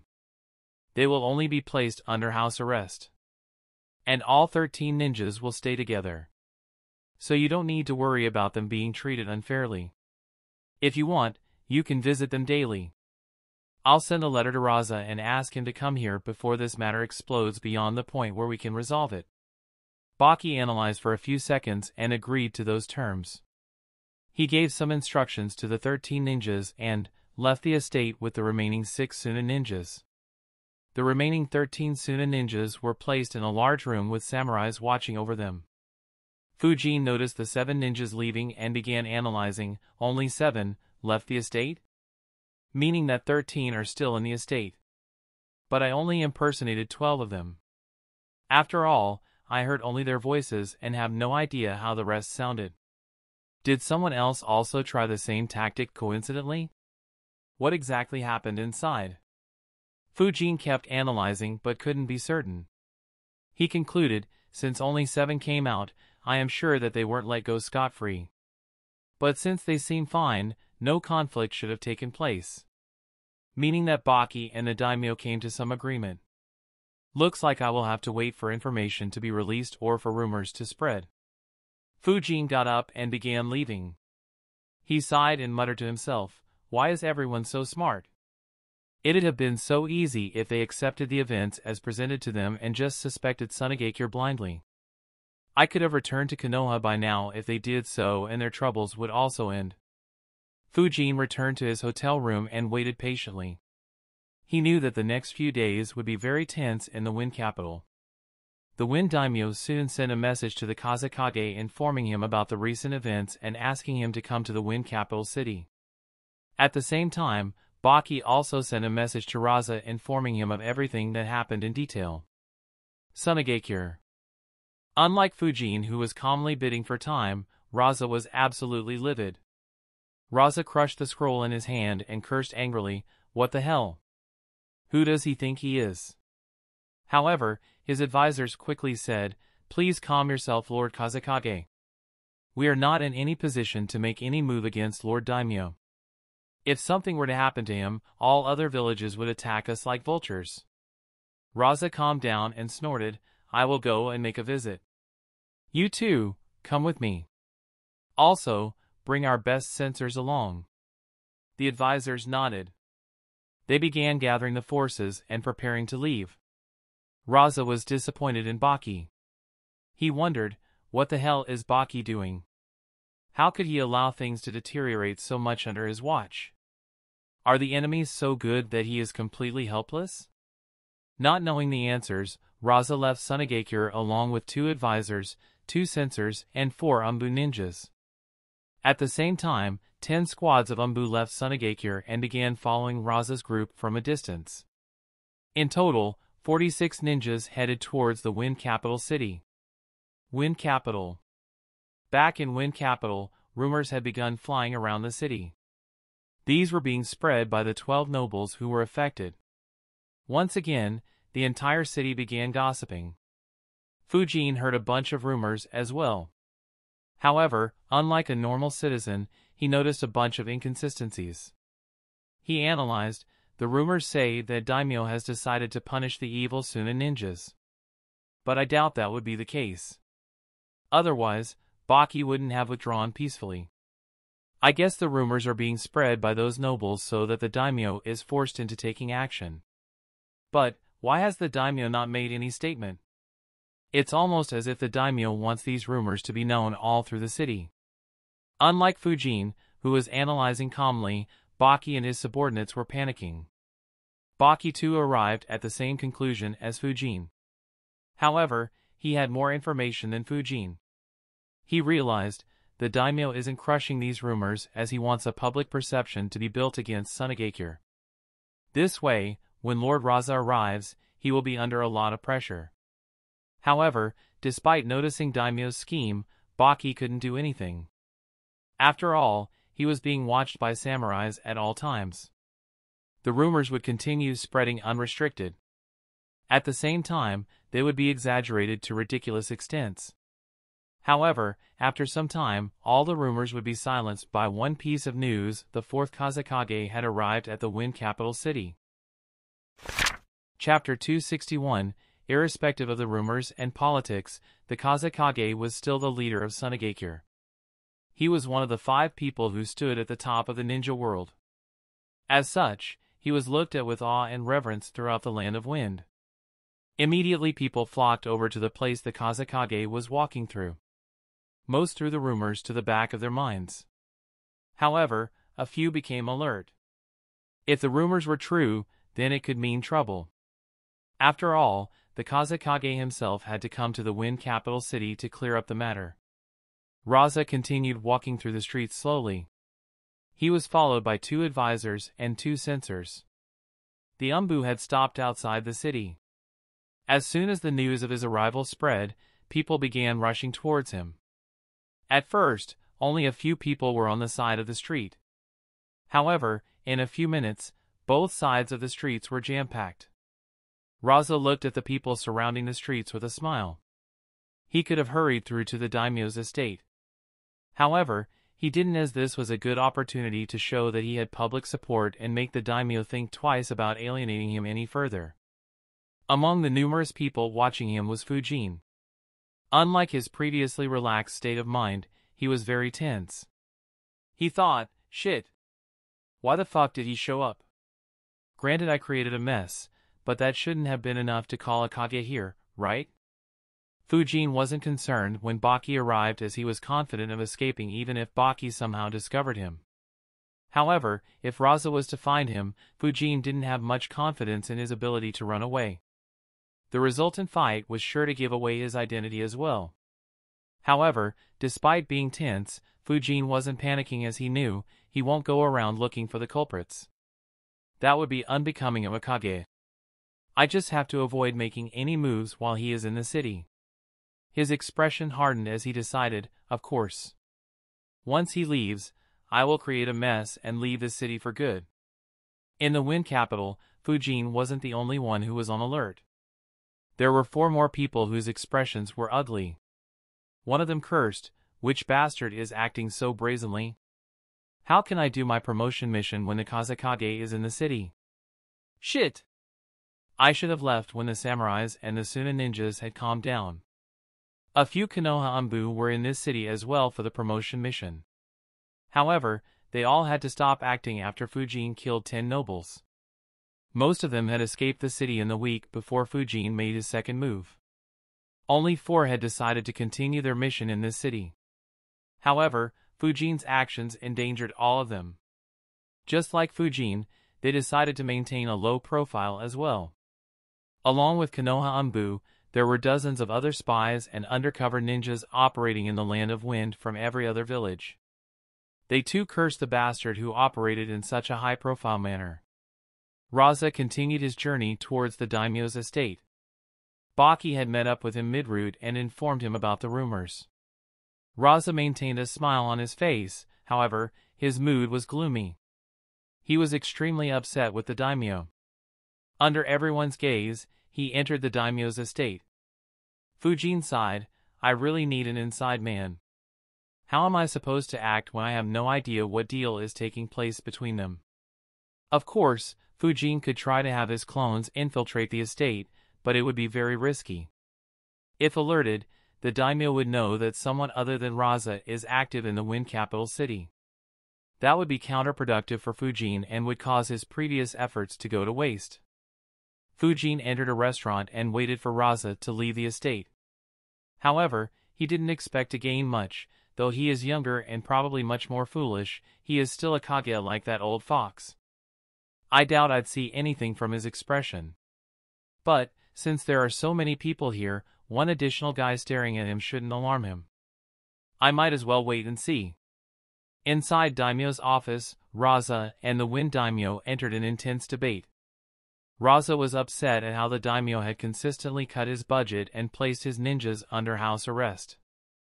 Meanwhile, the daimyo was upset at the blatant killings of his nobles. After a couple of hours of intense discussion, both finally reached a consensus. The daimyo said, All right. For the next 12 months, I won't lower your budget any further. However, you will have to ensure the safety of the nobles and the wind capital. Rasa noticed an opportunity and immediately said, All right, you can issue missions for protection in Sunagakure. I will reserve up to 1,000 ninjas who will be ready to move out on notice. Unlike Konoha, which was suffering from a shortage of manpower, Suna had plenty of spare manpower. Though their total number of ninjas was far lesser than Konoha, the number of missions they received was very less compared to Konoha. So many ninjas didn't have any work to do. Rasa wanted to use this opportunity to alleviate some of that problem. However, the daimyo shook his head and said, No. That won't work. You will have to deploy the ninjas by yourself to ensure their safety. You won't receive any payments for this. Rasa frowned. He said, How can that work? How will I even be able to afford that? The daimyo replied, Your budget has sufficient funds to be diverted here. Besides, most people in this city think that Sunagakure was behind the recent wave of murders. The nobles all think that you were behind the murders as well. So how can they even be willing to hire Sunagakure ninjas for protection? You will have to deploy ninjas in this city without any missions and ensure the safety of all the nobles. In time, they will forget about this event and their trust in Sunagakure will increase. If you don't, then don't expect a single mission from the Wind City. And if any more nobles or their families die and you are the suspect, then they will put pressure on me to reduce your budget.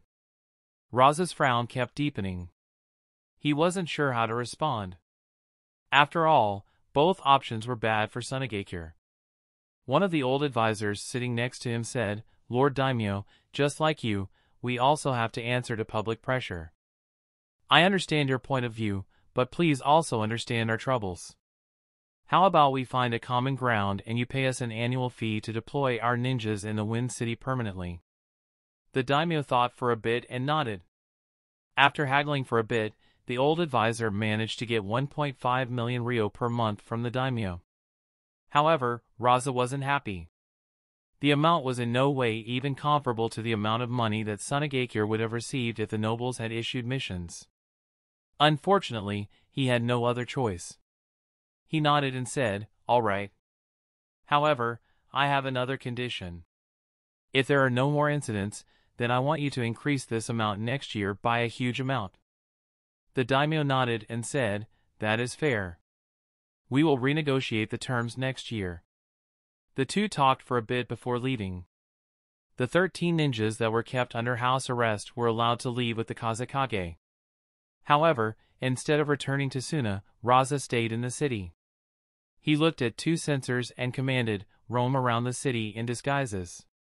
Check if there are any spies or troublemakers and eliminate them. They nodded and left. The news that the Kazekage has decided to stay in the city spread like wildfire. Every spy in the city, no matter from which village they were, immediately went into hiding. They employed every means they had to suppress their chakra levels to civilian levels and stayed hidden within the houses. Fujin stayed in his hotel as well. He had no intention to try his luck against Rasa. However, he began analyzing, I made a Kage move. Will this make my mission a success? After all, Amir Chunin forced a Kage to make a move. Fujin thought for a bit and realized, no, there are two ways to see this. If I was being tested on my ability to make an impact, then this feat would be a very good one. However, my mission is to create a divide between the Wind Daimyo and the Kazekage. If this meeting results in their differences being resolved, then my mission would be a failure. Fujin sighed and muttered, what a mess. He decided, no more undercover missions for me. Though playing the game of chess is fun, I'd much rather just kill all my targets and return to training. Now that I think about it, it's been almost two months since I used the elemental training rooms. Hiruzen for sure would suspect that I was the one who kept draining the wind crystals. Oh well. It's not like he can complain. Even if he discovers, he will stay quiet so that I don't begin using them openly and without any restraints. The two sensors Rasa brought with him kept roaming in the city for three days. Fujin felt chakra fields sensing him several times. In these three days, the two sensors found 13 spies and undercover agents. However, they were all from smaller villages. No one from the other major villages was caught by them. The Sunagakure ninjas quickly made a move on them and neutralized them one by one. Their fights caused some property damage to the city. Unfortunately, none of them were wind users. So Sunagakure couldn't pin the blame on them. After three days, the two sensors met Rasa and said, Apologies, Lord Kazekage. We couldn't sense the culprits who do the assassinations. Rasa replied, It's fine. If they didn't have the confidence to hide, they wouldn't have done something so outrageous in the first place. Anyways, begin preparations to leave. You and Baki will stay back here. I'll send some Anbu to coordinate with you in secret. At that instant, a group of twelve ninjas approached the city. The samurais guarding the city were already on full alert due to the recent events. They immediately noticed them. The group wasn't aware of the recent events in the city and approached the guards. Hayashi Ryota put one hand on the hilt of his sword and said loudly, Halt! State your name and purpose. The ninjas immediately stopped.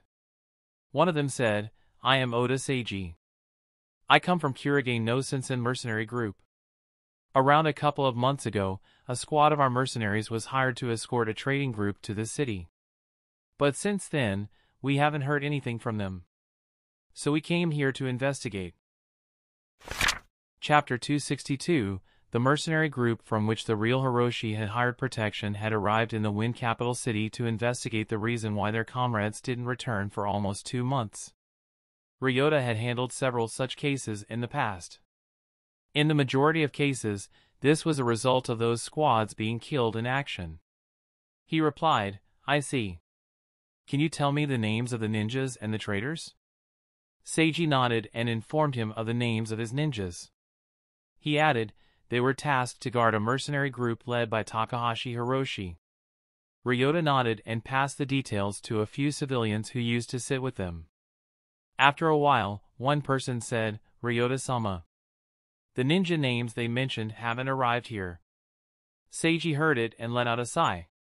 He had expected this result. Suddenly, another person said, Takahashi Hiroshi and his trader group had arrived in this city 51 days ago.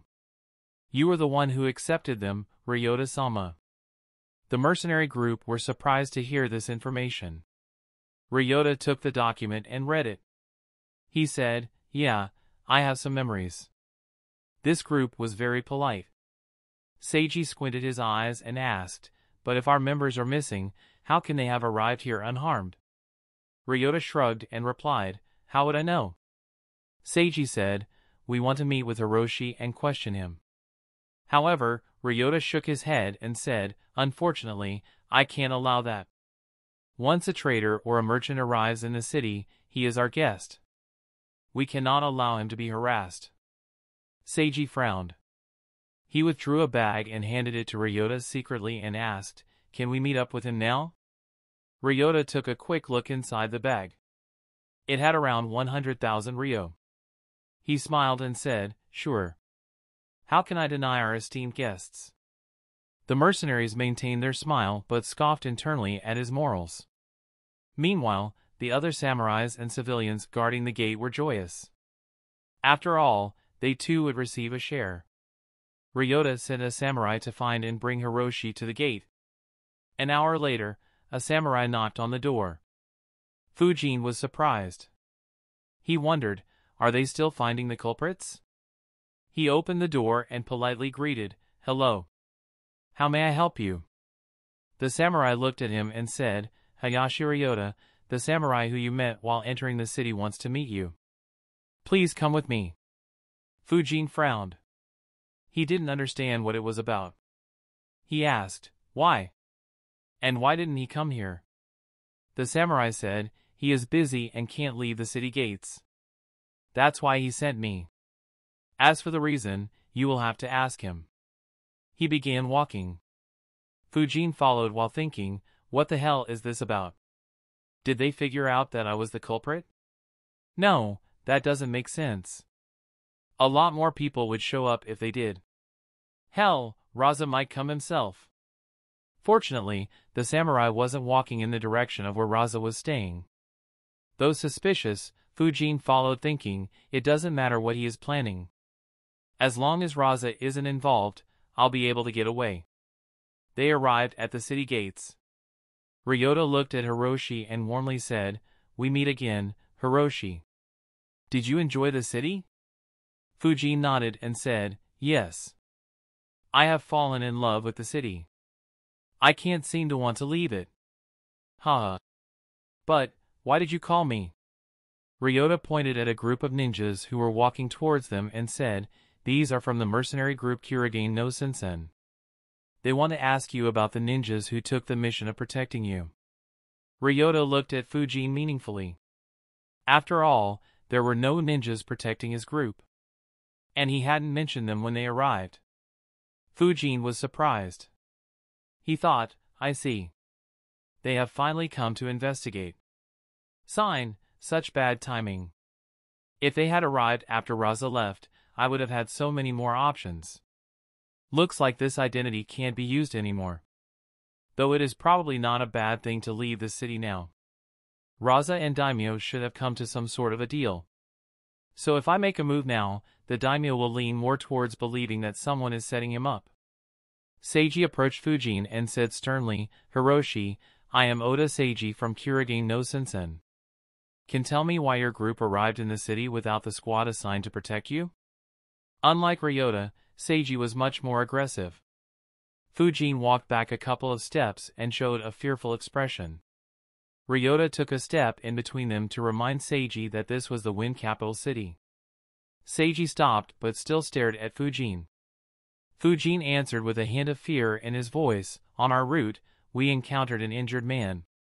He said that his group was attacked by bandits and asked for our help. The ninjas we hired initially refused the injured man. But the man promised to give them all his profits from the goods that he was going to trade. That made them change their mind. Two of the ninjas followed the man while the remaining two escorted us to the city. However, since we didn't hear from those two ninjas again, the other two got worried. So after this city was in sight, they left us and went back to look for them. I don't know what happened after that. Seiji frowned. He analyzed, seeing how scared he is, I doubt he is lying. Besides, we are a mercenary organization. People chasing after more money is very common in our line of work. Did they fall into a trap? And why did the remaining two chase after them? No, something doesn't add up. He asked, Where did you find that man?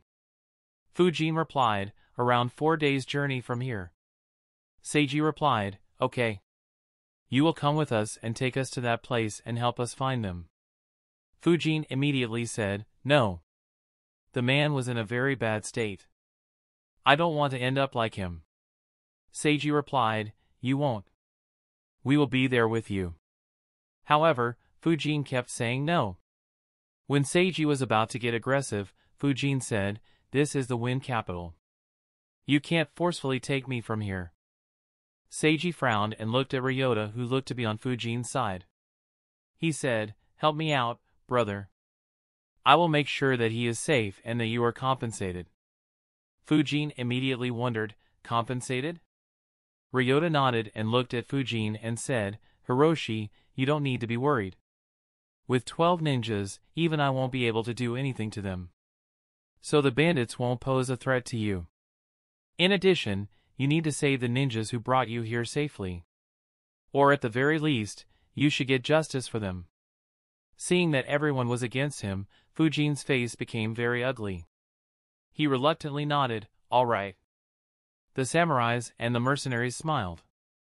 After all, Hiroshi was just an ordinary trader. How could he disobey them? Seiji secretly passed another hundred thousand ryo to Ryota. Fujin obviously noticed it and decided, in the future, if I decide to steal or plunder, I will definitely start with the land of iron. In terms of cash flow, that will definitely be the richest country in this world. This wasn't the first time Fujin had seen an honorable samurai act in this manner. Almost every samurai working for daimyo or in capital cities was very liberal when it came to accepting bribes. In addition, the daimyos also paid them a lot for the protection they provided. In addition, they were also the largest suppliers of basic ninja tools and chakra metal weapons and also mined the last few remaining elemental crystal mines. So a lot of money keeps getting funneled continuously into the land of iron. They were about to leave when suddenly a commotion was heard. The entire group looked back to see the Kazekage walking towards the city gate along with a few Sunagakure ninjas. Everyone immediately became tense. They quickly moved out of the way and stood on one side of the road respectfully. Rasa passed through the gate without paying any attention to them. The mercenary group sighed in relief. However, Rasa suddenly stopped and glanced towards the mercenary group and thought, weird, why do I get a peculiar feeling from this group? Rasa didn't sense anything from this group. However, he just felt as if something about them was off. Chapter 263 One of Rasa's advisors asked, What's the matter, Lord Kazekage? Rasa turned around and continued walking. He asked, Who are those people? Though his voice wasn't soft, Fujin and the mercenaries didn't hear it due to the distance between them. The advisor answered, they are wearing the headband of the mercenary group Kurogane no Sensen. It is the group that is active in the countries between us and Earth. Is there any issue with them? Rasa replied, It's just a feeling. Send three Anbu groups to chase after them. I have a feeling that we will find something important by trailing them. The advisor nodded. The mercenary group had become very tense and nervous when Rasa glanced at them. Even Fujin was the same. He didn't have any desire whatsoever to face Rasa. Especially when they were surrounded by deserts. When Rasa turned around and continued walking, the mercenaries finally began breathing again. Fujin also became visibly relaxed. He decided, alright, no more mess in this city. Though unlikely, if this is his clone and his main body is hiding inside the city, I will be in deep trouble.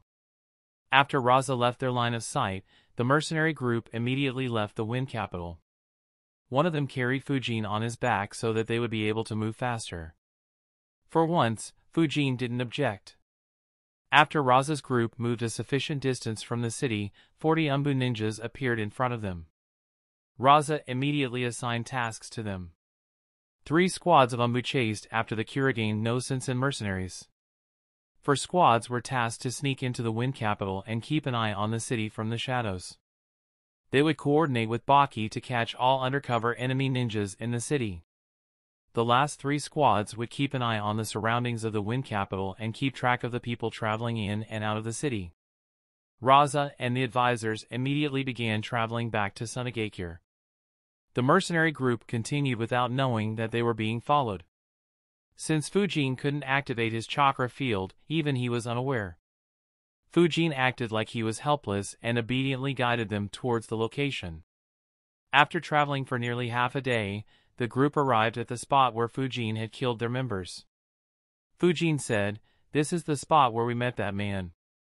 He was sitting here and was covered in blood. Seiji looked at Fujin. Fujin looked very tired and sleepy. The mercenaries didn't find it odd as it was late at night and they had traveled for 12 hours straight. Seiji asked, Are you completely sure? Fujin looked nervous and said, I am confident. However, this is a never-ending desert. Everything looks the same. So I can't be 100% sure. Seiji looked sinisterly and said, You better hope that we find them. Otherwise, you will have hell to pay. Even your family won't be spared. Fujin's face became nervous and said, I am sure that we met that man around here. Seiji looked around and said, Everyone, investigate the nearby area. See if you can find any tracks. Everyone nodded and began looking. The group had a couple of sensors. They spread their chakra fields and began investigating. For a couple of minutes, they didn't find anything. Fujin observed them. The nervousness on his face faded away. He decided, it's time. He was about to flicker when the eyes of one of the sensors widened. He shouted at the top of his lungs, everyone, gather together. Fujin hadn't used his chakra yet.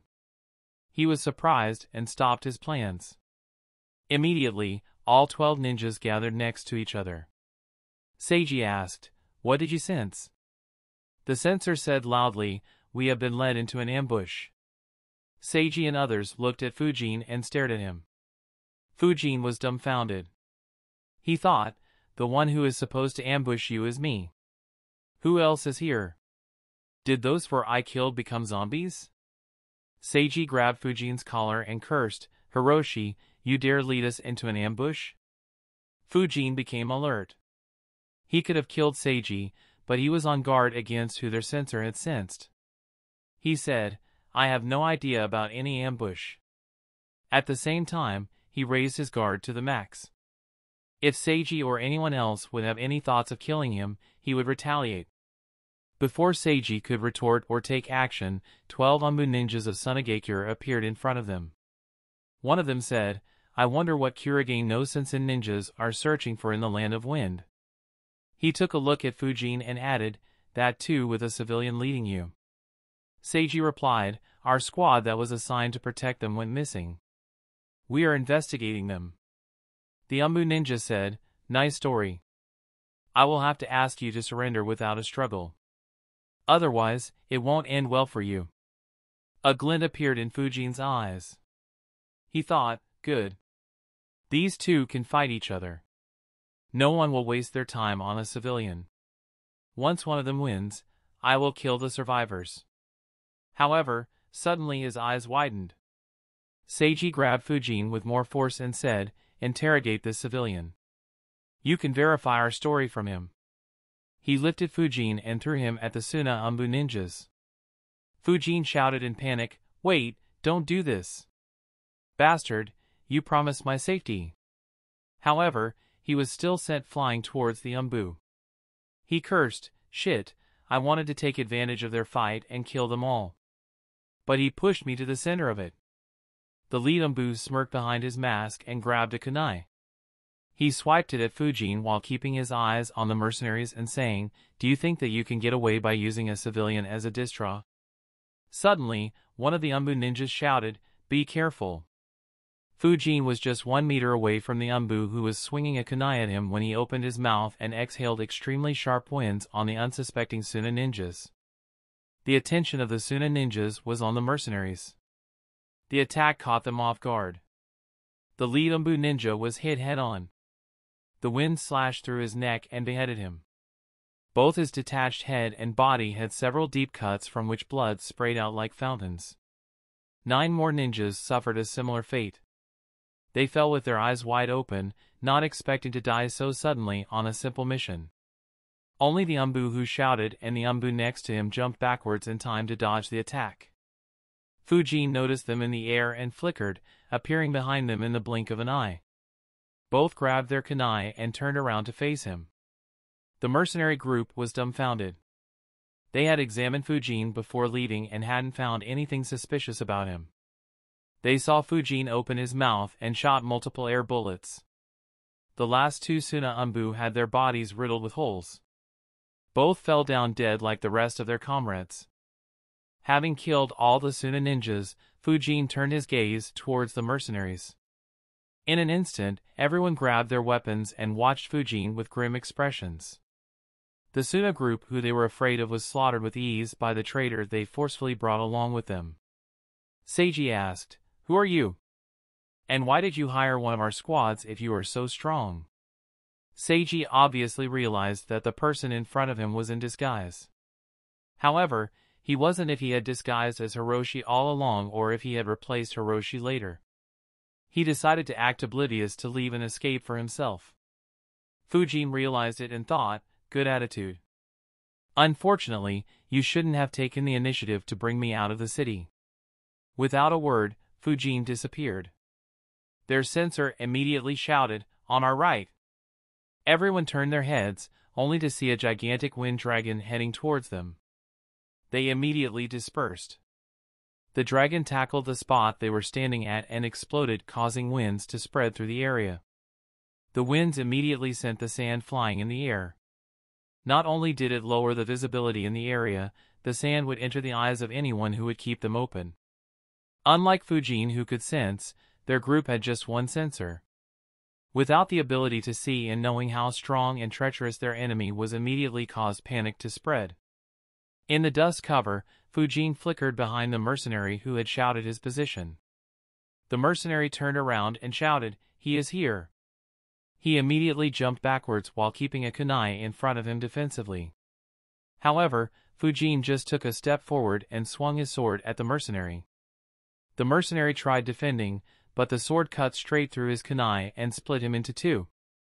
Without the sensor, the remaining mercenaries were left blind in the desert. Fujin killed them all with extreme ease in just a couple of minutes. Chapter 264 The winds died down and the sand settled back in the desert slowly. The blood was automatically buried under the sand. Fujin had already stored all 24 dead bodies and scrolls. He also collected the scroll containing the dead bodies of the four ninjas who were protecting Hiroshi's trading group. He analyzed, with 12 mercenaries and the same number of Suna Anbu missing, the deserts will soon become very chaotic. Returning to Wind Capital will be pointless and very risky. I should eliminate a few targets who are outside the city quickly and return to Konoha. Having made his decision, Fujin began moving towards his targets. Ten minutes after Fujin left, a squad of Sunagakure ninjas arrived where the fighting had taken place. One of the Chunin said, It doesn't look like anyone was here, Captain Yura. Yura frowned and said, It looked like there was a huge battle here. It should have just ended. Inspect the area. We may find some clues. Since Yura was the team leader, everyone obediently followed his instructions. For half an hour, they didn't find anything. Suddenly, one of the ninjas shouted, Everyone, come here. Immediately, everyone approached him.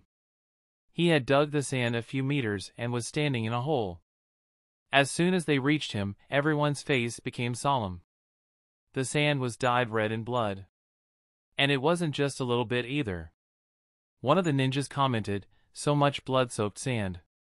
How many people were killed here? The spot they were standing on was where Fujin had killed 10 of the 12 Anbu ninjas from Suna. Though he had collected their bodies, the blood had seeped into the desert. Fujin didn't bother getting rid of it as it would require a lot of effort and time without providing him with any benefits. Yura said, it looks like someone killed a bunch of people here. They didn't bother cleaning up all the evidence thinking that no one would find it there. Unfortunately, they didn't think that we would sense their battle and come investigate so quickly. Unknown to the Suna ninjas, it was their good luck that the killer didn't waste time clearing all the evidence. Otherwise, they would have run into Fujin and joined their comrades on the trip to the afterlife. One of Yura's teammates countered, but who would be so brazen in our country? I think it might be the work of someone from our village. That is why they weren't concerned about others finding out. Yura nodded and said, could be. Regardless, collect as much of this blood-soaked sand as you can. Others will keep scouting this area. If it was an intense battle, then everyone wouldn't die in the same place. We will carry the blood samples to Suna. If it was done by someone else, then it will help the village a lot. His team immediately got to work. They spent over half a day searching the entire area and managed to collect blood samples of all 24 ninjas who were killed. Of course, they didn't know that and kept searching for hours despite finding all the blood samples. Finally, at noon the next day, they stopped searching and continued their journey to Sunagakure. At the same time, Fujin was running across the desert. He let out a sigh and muttered, This country is too damn big. Though the Land of Wind didn't have many resources, in terms of land area, it was the largest country in the ninja world. The deserts went on for thousands of kilometers to the west. Due to this, the country was incredibly difficult to be invaded. It was one of the factors why Konoha didn't push into the Land of Wind despite inflicting grave damage on Suna in every major war. The large size of the country meant that there were some cities in the west that were very far from the Land of Fire. Due to their geographical location, they had no choice but to be completely subservient to Sunagakure. Konoha and the other villages had zero influence in this area. So Shikaku wanted to weaken Suna's influence by targeting cities and towns in this area. Yura's squad traveled a few hours through the desert towards Sunagakure when they encountered another squad. Yura noticed them and immediately stopped and greeted respectfully Elder Manabu. Elder Manabu was in his 50s and a member of the Sunagakure Council. He had an illustrious career and made many contributions during the Second and Third Great Ninja Wars. So Yura was very respectful. Manabu didn't bother making any small talk and asked, Yura, you are coming from the land of Bird, right? Did you see any Anbu or mercenaries on your way here? Yura shook his head and said, No, but the place we passed through had a huge battle. We probably missed it by less than 15 minutes. We didn't see anyone there but a lot of blood was spilled there. We estimated that at least 18 people were gravely injured. Manabu frowned. He had been dispatched by Rasa after they lost communication with that group of Anbu. He analyzed, Kazekage-sama said that he sent three squads of Anbu to chase them. And the mercenary group had 12 ninjas and one civilian. 18 grave injuries could mean that one of the two forces was wiped out. Suddenly, he had a very bad feeling.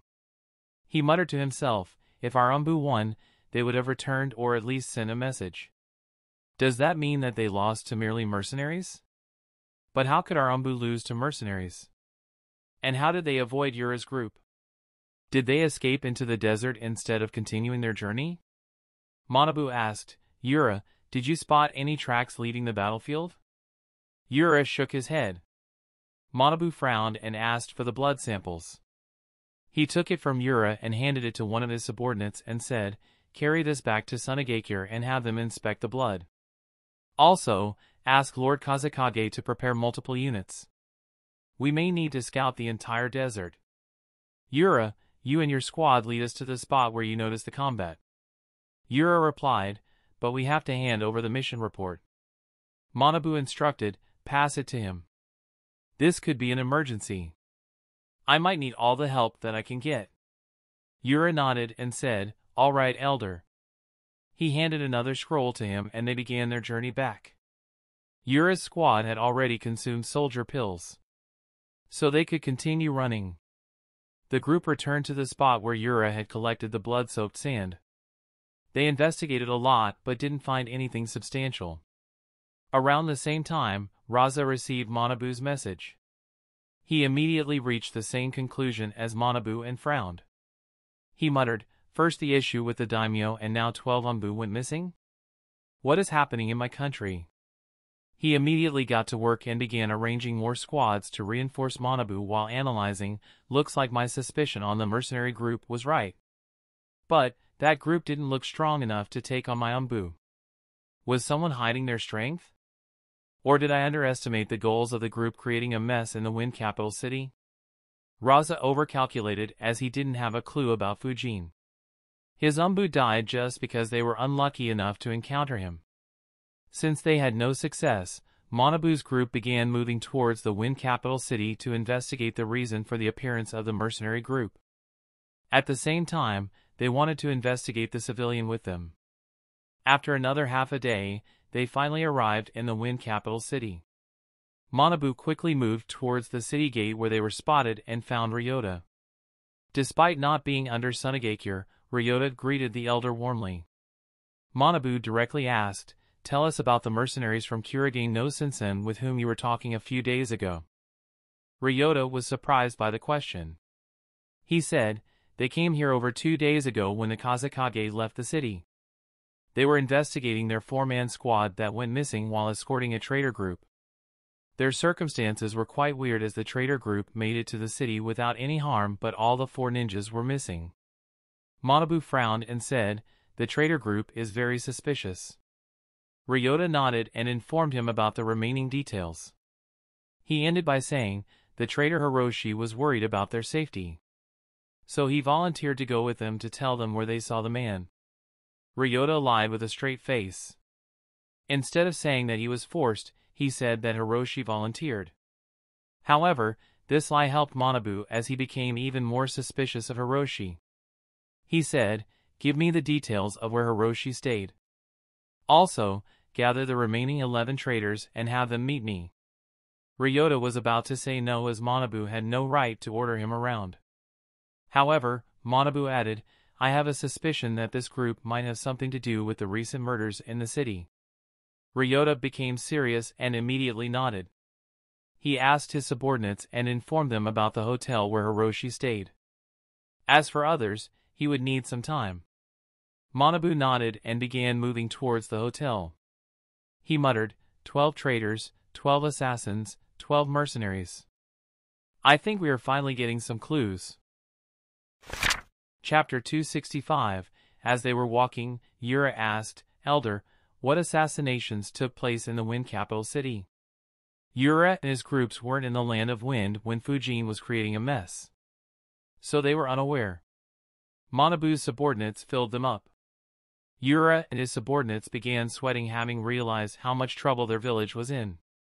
After hearing the circumstances, they couldn't help but suspect that their own village was behind the assassinations. They understood how others would have felt. The group reached the hotel where Fujin had stayed and entered his room. The room was impeccably clean. They began investigating the room. After half an hour, every single one had an ugly face. One of Yura's subordinates said, There is nothing here that could point us to him at all. It's as if no one has lived here for months. Another said, But the hotel staff said that he lived here for over seven weeks. A third ninja commented, maybe the hotel does such a good job cleaning that all evidence is wiped out. However, one of Manabu's subordinates shook his head and said, no. No matter how well they clean, their scent gets left behind. But there is no scent in these rooms. This guy is not a civilian for sure. He should be a well-trained Anbu ninja from some country. Everyone agreed with his analysis. Yura added, if he is, then the other traitors should be as well. And they didn't leave the city. We can catch them and clear our village's name. Manabu nodded and said, Baki is leading our ninjas in this city. Let's meet up with him. He must have an appropriate plan for when we catch the culprits. Everyone nodded and left. When Baki received the news, he was elated. He had been under a lot of stress for the last few weeks. No matter how much he worked, he never found any clue. The entire job was a dead end. Since Manabu cracked the case, he immediately deployed his ninjas in the city to find the remaining 11 traitors. Unfortunately for Baki, even this clue was a dead end. They searched nonstop for two days. However, no matter how much they looked, they didn't even catch a whiff of those 11 traitors. It was as if they had long disappeared from the city. No one even remembered their faces. Only a few merchants who earned big profits from their trade recalled them. But they hadn't seen them again for almost two months. So their memories were useless for Suna ninjas. Baki sighed and muttered, I should have known that it wouldn't be this easy. Manabu nodded and said, they probably changed their disguises after entering the city. He looked in the direction of the city gate and added, Fortunately, we can soon be able to inspect every citizen in this city. Manabu's words confused the Suna ninjas other than Baki. Baki and Manabu moved towards the city walls and jumped on top of it. The other Suna ninjas followed them. As soon as they saw the sight outside, their eyes widened. Most were too stunned to speak. Finally, one muttered, This is insane. Outside the walls were numerous figures running towards the city gates. A total of 334 ninjas were sent by Rasa to keep the Wind City safe in accordance with his deal with the Wind Daimyo. Yura asked in surprise, Did Lord Kazekage send these many ninjas to help us search the deserts? Baki replied, No. They will be stationed in the Wind Capital to prevent such incidents in the future. It was a deal between Lord Kazekage and the daimyo to settle our differences. Seeing that these were their reinforcements, the Suna ninjas were elated. Excitement coursed through their bodies. With such numbers, finding spies would become extremely easy. Sunagakure ninjas received a warm welcome. Baki immediately made arrangements for everyone. After settling them, Baki immediately began acting on his plan. He cooperated with the city guards to get records of every citizen officially living in the city. He informed the ninjas of their task. He planned to inspect each and every person in the city. He wanted to find any person living in the city who was unregistered. That could help him find the 11 traitors who were under different disguises. At the same time, he planned to deploy sensors throughout the city. Those spies could disguise themselves as civilians, completely hiding from sensors inside the city would be much more difficult. Especially since there were a few extremely capable sensors with him. Unfortunately, before Baki could begin his search, another Suna ninja arrived in the Wind capital and rushed straight to Baki and handed him a scroll. Baki opened and read it. His eyes widened and his expression became very grim. Manabu was surprised. He asked, What does the scroll say? Baki handed him the scroll. Manabu read it and immediately became angry. He cursed loudly, which heinous bastard did this? The Suna ninjas became curious. However, the messenger said, Elder Manabu, Lord Kazekage has asked you to travel to Sabaquetsu. Yura will assist you. In addition, five squads of Anbu and 30 squads of varying strengths have moved out of our village and are currently heading towards Sabaquetsu. Manabu nodded. He and Yura along with their squads left immediately. Another scroll with a similar message reached the hands of the daimyo. He too became solemn. Soon, the news spread throughout the city causing panic to spread. Daimyo did his best to quell the panic. His assurances calmed the citizens of the Wind City and brought stability back to the city. Twelve hours ago, Fujin traveled for over three days through the desert to finally reach the city called Sabaquetsu. He let out a sigh and muttered, The distance between this city and Sunagakure is larger than the distance between Konoha and Sunagakure. Though Fujin took a few breaks, he wasn't a fan of traveling for so long through non-stop desert. He couldn't help but wonder, in these three days, I encountered two sandstorms. They didn't affect me due to my expertise in wind release but I can't help but wonder how civilians even trade across these huge and treacherous deserts. Fujin began inspecting the defenses of the city from the outside while recalling the information about the city mentioned in the scrolls provided by Shikaku. Sabaquetsu was a mid-sized city in the far west of the Land of the Wind. Though it wasn't the largest city, it was one of the most important cities for one critical reason. The city was surrounded by numerous oases and received a decent amount of rainfall every year. Due to this, it had the highest agricultural production in the entire land of wind. Overall, around 60% of the total agricultural production in the land of wind would be obtained from this city. Due to this, it provided food to all the cities and villages in this region, thus saving the land of wind a lot of trouble to transport food across the vast desert. In addition, it also sent some food supplies to the wind capital and Sunagakure and helped them reduce dependence on other countries for food. For this reason, Sunagakure permanently deployed eight squads to protect the city. In addition, one elite Jounin would always be deployed in the city. Fujin observed the defenses and analyzed, though the city is important, the defenses aren't very high. The reason for this is that Sunagakure doesn't expect anyone to hit them so far away. In addition, the samurais won't protect this place because of how far into the desert it is. Still, the city does have an elite Jounin. Killing him would be troublesome. Especially if there are Jounins to reinforce him. Unless I can take him by surprise like those Anbu. Fujin analyzed and shook his head, no, that would be difficult. If I fight him and fail to kill him, then he will gain a lot of my information. It would be troublesome if they get enough information to calculate later on that it was me. I shouldn't use my summons or vacuum techniques in my fight unless I am sure that I can kill all who see me use them. The same for my famous swords. Probably best if I avoid using my swords completely. The city had two entrances and was surrounded by huge walls. Each entrance had two ninjas watching over it. The walls did have seals inscribed in them, but they weren't as complicated as the Wind Capital City walls. Fujin planned, I could enter the city through the gates by using disguises of one of the people who leave the city to work in the fields. However, if they follow a certain routine, then entering at odd times will raise suspicions. Fujin thought for a bit and decided, Leave it, it's late at night. They won't leave the city for hours. I'll try to infiltrate directly. If I fail or am detected, I'll just escape and replace one of the citizens working outside. Fujin began working on the seals. He was a bit excited as he had never yet attempted to dismantle the seals of an entire city. The most fun he had with seals was messing with Hiruzen in the wind training rooms and the Anbu training facilities. Chapter 266 Fujin spent a few hours studying the seals on one section of the wall. Due to hiding his chakra and the massive length of the wall, he wasn't detected or seen by anyone. Finally, the sun rose. And at the same time, a smile appeared on Fujin's face. He muttered, It's cracked.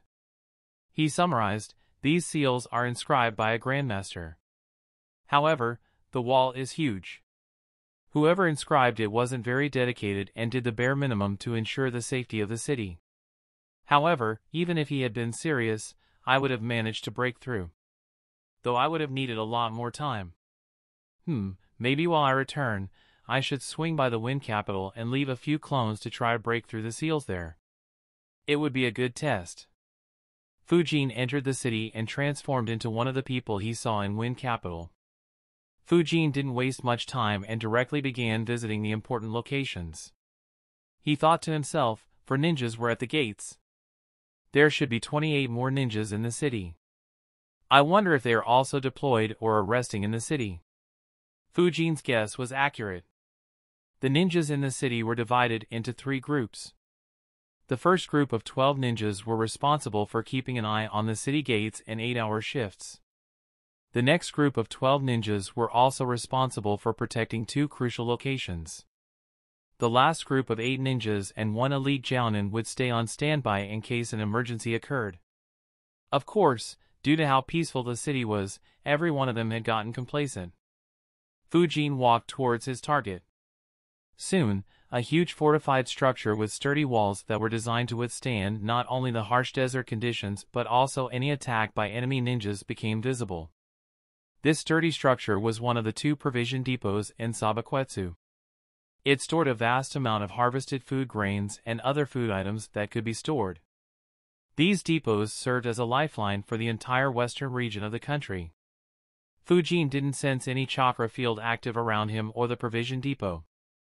So chakra gathered in his eyes and observed inside the depot. He observed, so this place has only two ninjas. I guess the other depot also has two ninjas overlooking them. But what exactly are these guys doing? I can feel that both of them are very tense. Fujin was curious, but he didn't care much. He decided, it doesn't matter. They are only Chunins. His expression became serious as he observed the seals inscribed on the depot walls. He muttered to himself, the seals are much better than outside city walls. And I can't keep studying this one for hours. Looks like it's time for the dynamic entry. Chakra gathered around his fist. The people who were walking around him were surprised and immediately looked towards Fujin. They noticed that his right fist was glowing. One kid said, Mom look. His hand is glowing. Another kid asked, How can I do that, Mom?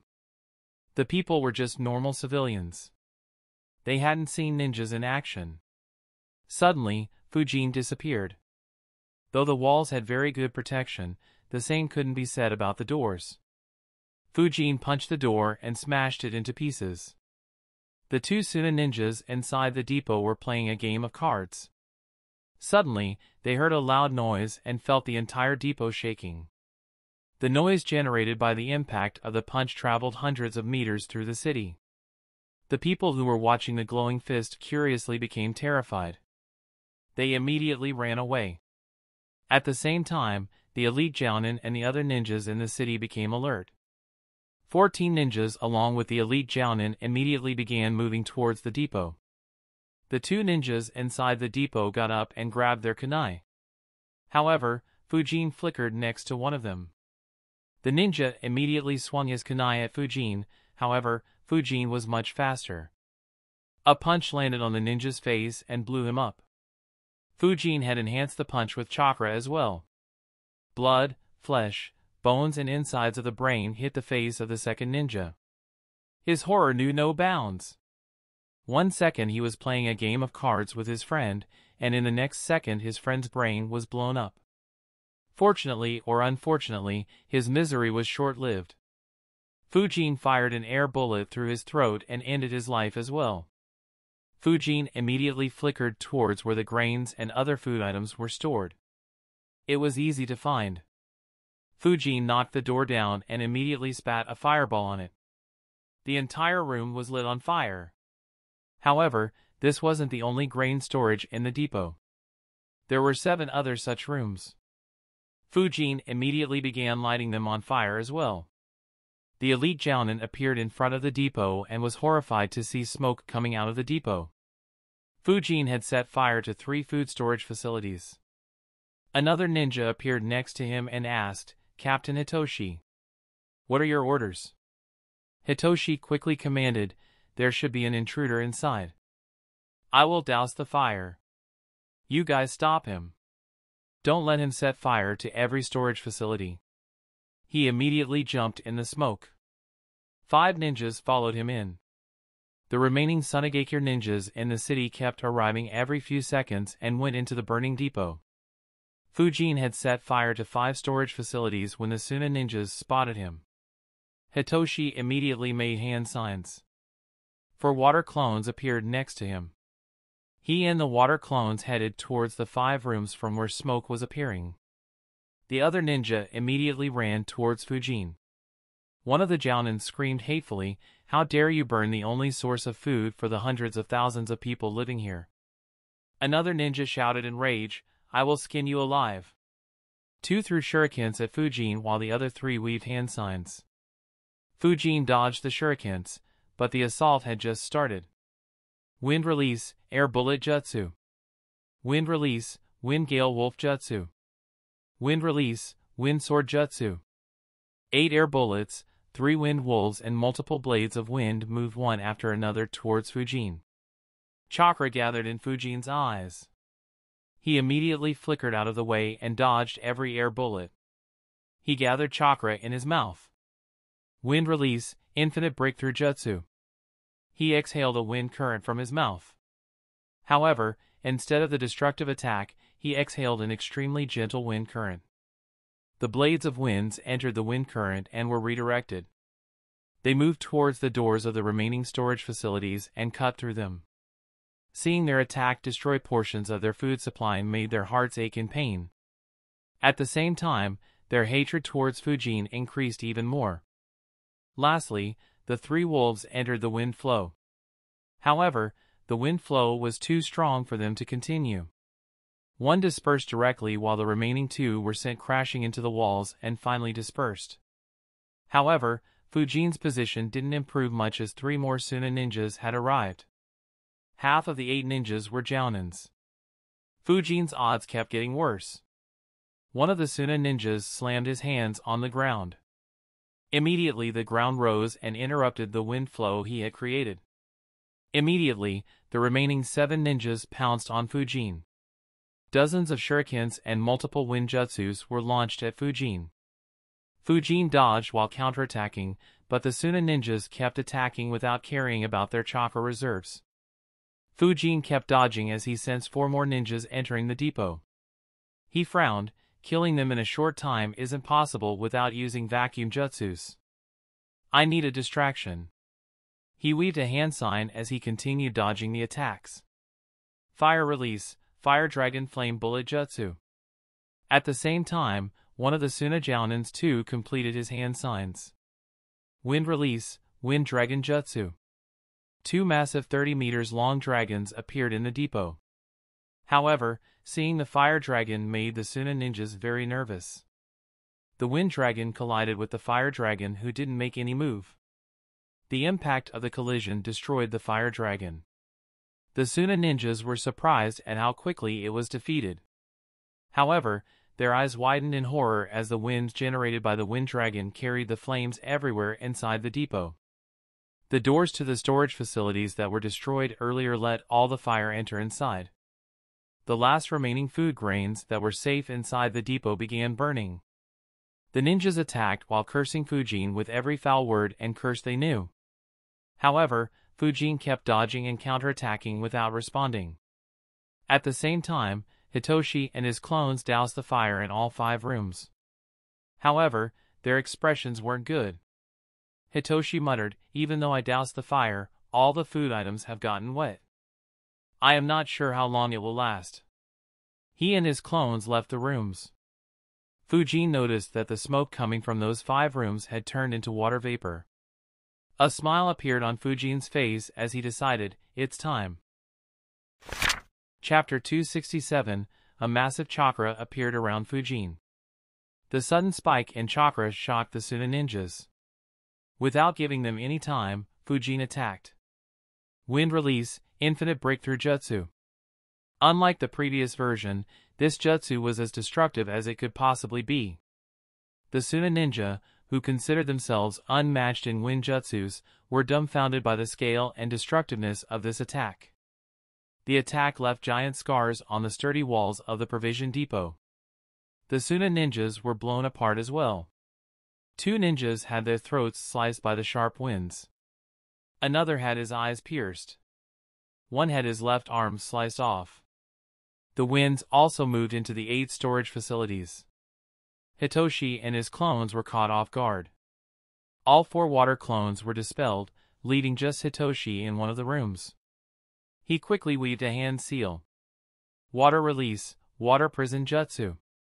A sphere of water surrounded him and saved him from the impact of the winds.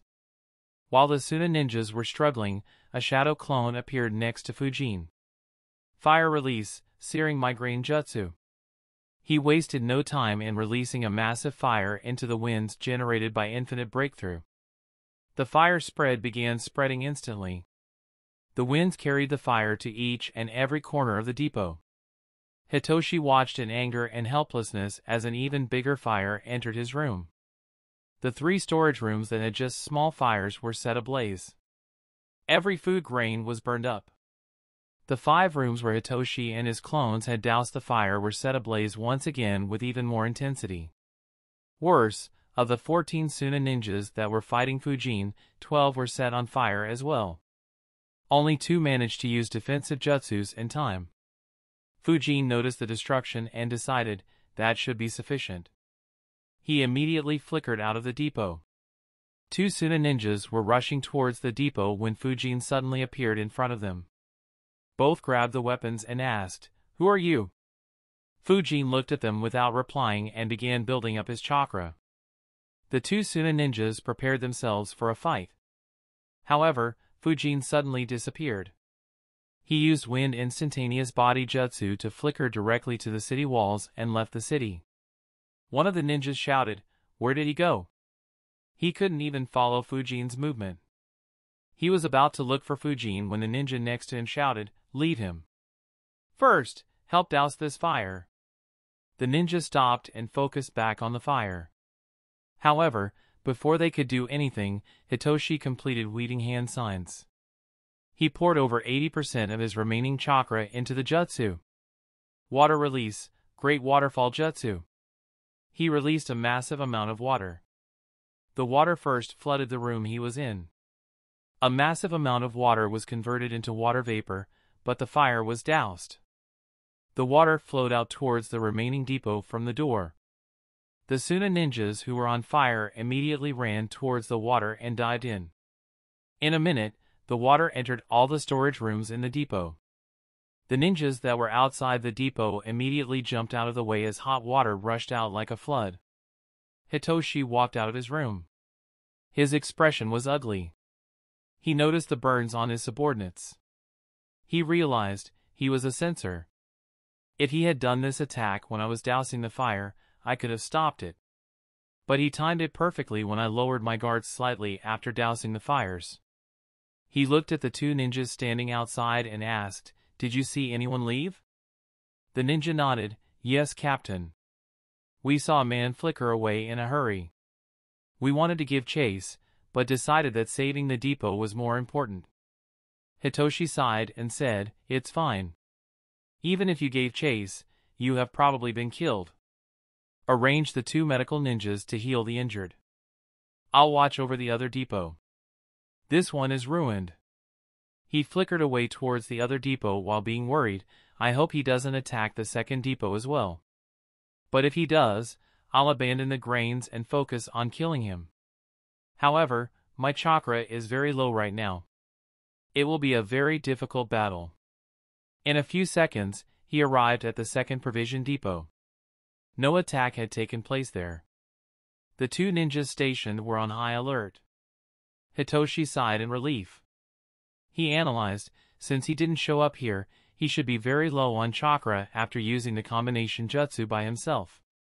He frowned and asked himself, should I have abandoned the provision depot and attacked him instead? I would have had a good chance of killing him. He thought for a bit and shook his head, no. If I had done that, all my subordinates would have died in the fire. And I would have no guarantee of killing him. Besides, if he has any allies, he could have lured me into a trap. Hitoshi cleared up his thoughts and began passing instructions. The security of the second provision depot was increased many-fold.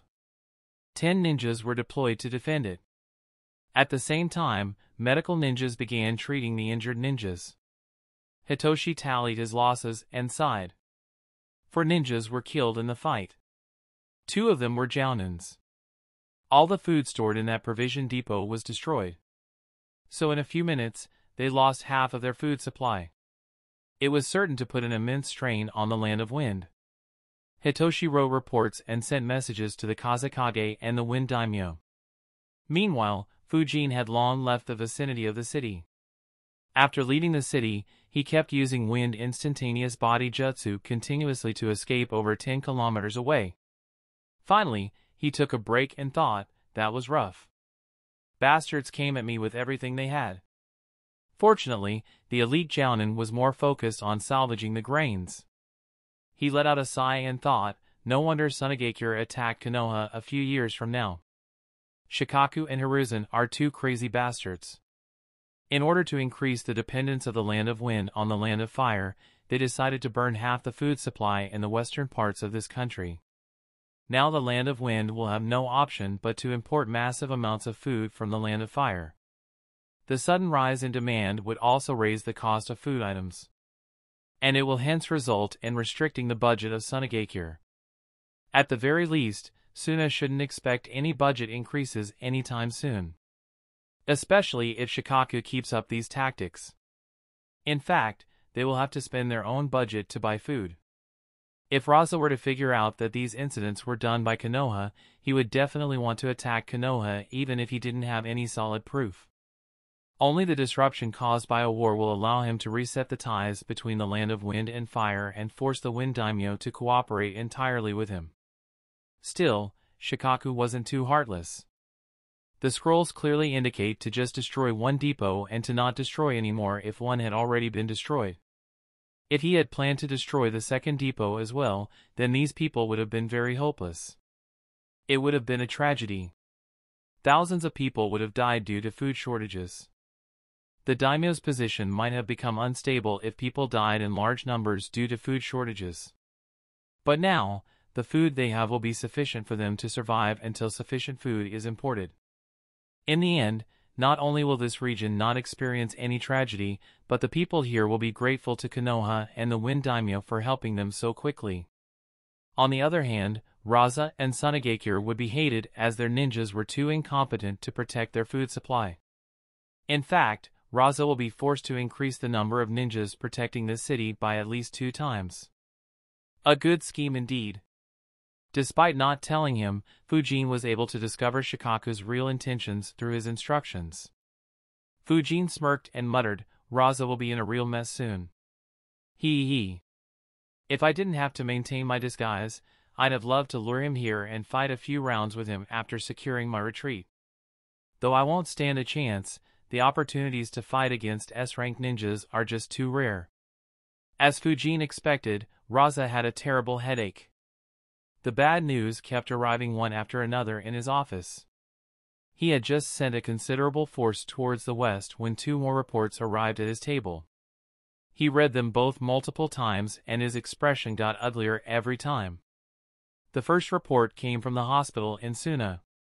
The doctors had checked the blood samples Yura sent back and stated that it was blood samples of 24 different people. The second was sent by Baki. He informed Rasa about Manabu's investigation and about Hiroshi and the 11 traders that came to Wind Capital along with him. Chapter 268 Rasa studied the two reports as he calculated 24 different blood samples. The group had 25 different people, meaning that except one, everyone got injured.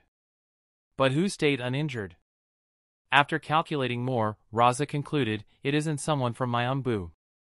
Since they didn't contact me again, it is safe that all 12 of them were killed.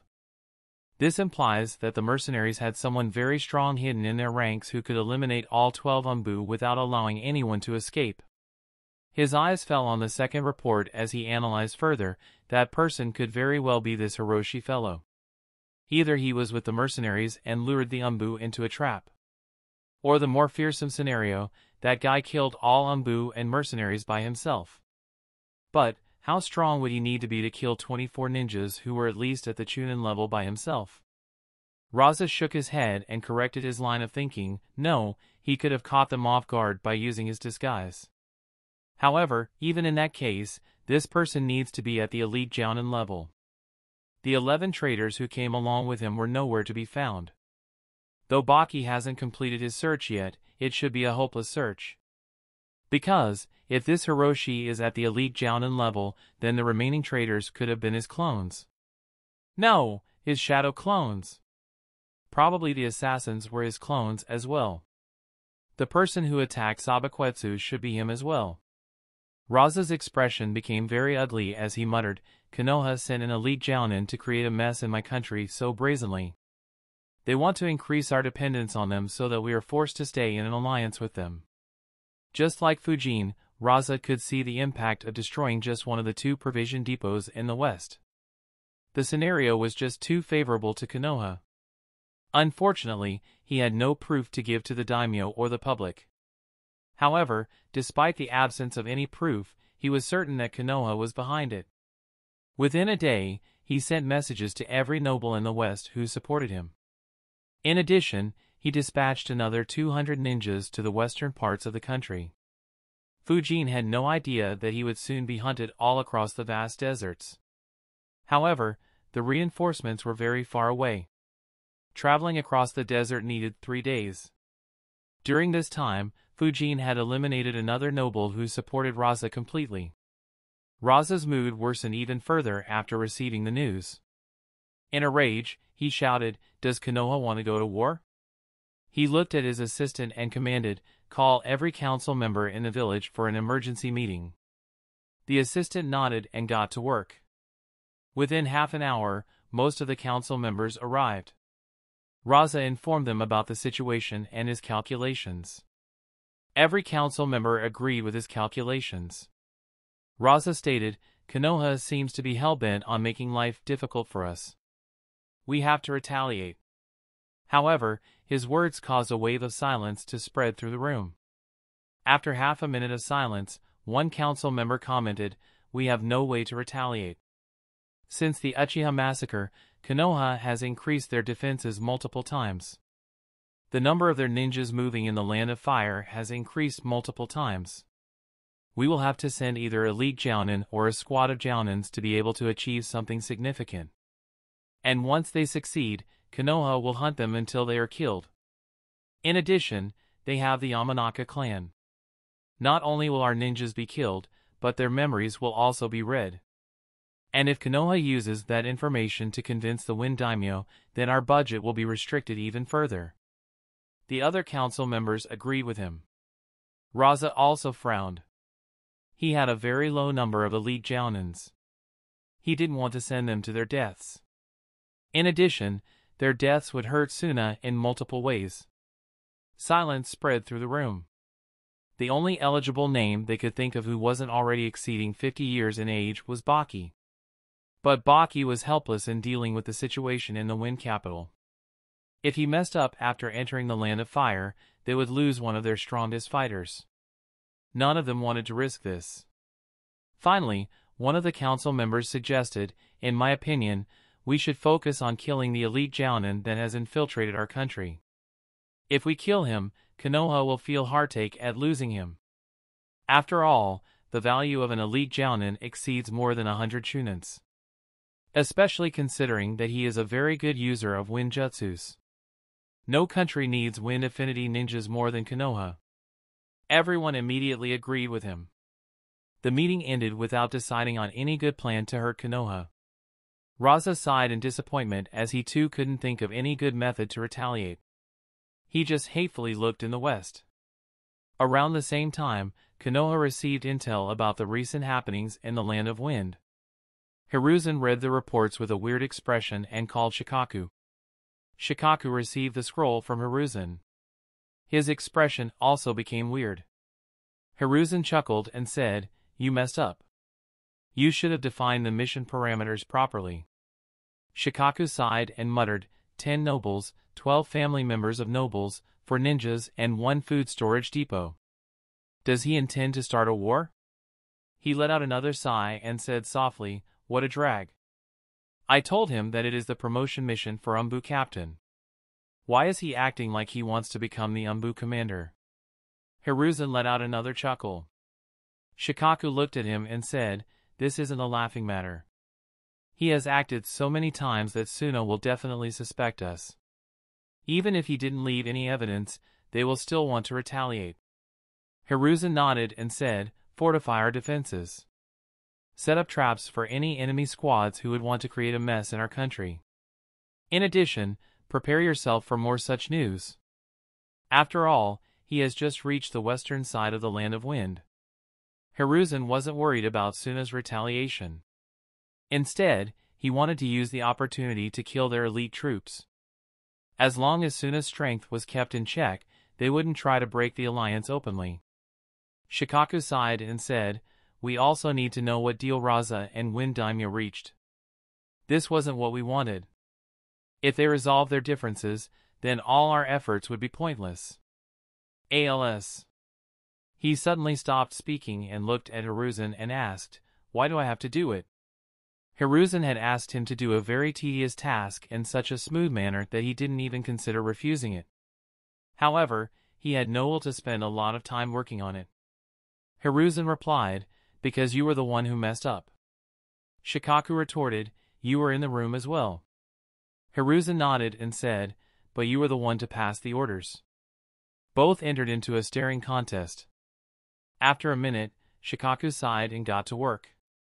As soon as the door closed, Hiruzen chuckled once again. He looked at the reports once again and thought, I should have expected this. But it's all right. Suna was becoming too arrogant. If they aren't reined in, they will soon become more chaotic and break off the alliance. Once that happens, the fourth great ninja war will just be a matter of time. Hiruzen got up and looked out of his window at the stone faces. He let out a sigh as he thought, finally, our strength has recovered. Once I officially promote the current crop of ninjas to Jounin rank, our numbers will have reached sufficient levels officially. However, we still need a few years of peace for this generation of ninjas to fully mature. Then we can afford to enter another war. As he looked at the stone faces, tiredness could be seen on his face. However, suddenly he squinted his eyes and chakra gathered in them. He noticed someone sneakily moving on the Hokage monuments. But, soon he let out a long sigh and muttered, I am getting too old for this shit. I should have dumped this kid on his perverted godfather. The entire village suddenly noticed that the Hokage monuments were painted and made to look hilarious. Soon, Iruka noticed it as well and began chasing after Naruto. While Konoha was peaceful and joyous, the situation in the western territories of the Land of Wind was heating up. 148 Sunagakure ninjas arrived in the city of Sabaquetsu. Manabu, Yura and two more ninjas met up with Hitoshi who told them every detail regarding their short clash with Fujin. Manabu analyzed and said, Kazekage-sama's analysis seems to be on point. This is most likely the same guy. Odaka added, an elite Jounin from Konoha. We have to catch him and give him the most painful death imaginable. But... He scratched his chin and asked, how do we find him in these vast deserts? Yura looked at Odaka and replied, he seems to be targeting the nobles that favor our village. We just have to study his movements and discover his next target. Then we can set up an ambush for him. Odaka looked at Yura carefully. Odaka was one of the few elite Jounins in Suna and a council member as well. He was quite senior as well. Along with Manabu, he was one of the two leaders of the Suna ninjas that arrived in Sabaquetsu. He said, good good. You are good, Yura. It's good to see promising ninjas in the next generation. The last member of their group was an Anbu captain who was assigned as the leader of the 20 Anbu ninjas. He was wearing an eagle mask. He said, let's lay down a map and analyze his movements. We also need to analyze his abilities. Then we can set a trap. The group nodded and entered Hitoshi's office. Chapter 269 After entering his office, Hitoshi laid down a map on a table. All five ninjas stood around it. Odaka asked, Eagle, what do you recommend? Eagle took a marker and circled Sabaquetsu and a nearby town and said, he first burned a provision depot in Sabaquetsu and then killed a noble in this town. The nearest town from there is Korinchi. But that town doesn't have any noble. So according to my estimations, his target could either be the city of Shunkudo or the town of Kaganjima. But, it is difficult to say which one. Manabu and Odaka began analyzing. After a couple of minutes, Manabu sighed and said, it's impossible to say which one he will target. We will split up and guard both cities. Yura and I will go to Shankudo while Odaka and Eagle will go to Kaganjima. Hitoshi, you stay in this city and ensure that the last provision depot stays safe. We will leave 20 additional ninjas with you. The remaining will be divided equally among us.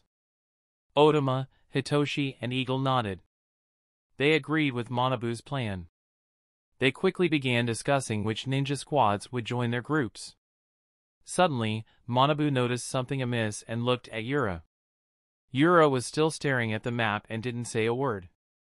Manabu asked, Is something the matter, Yura? Yura snapped out of his thoughts.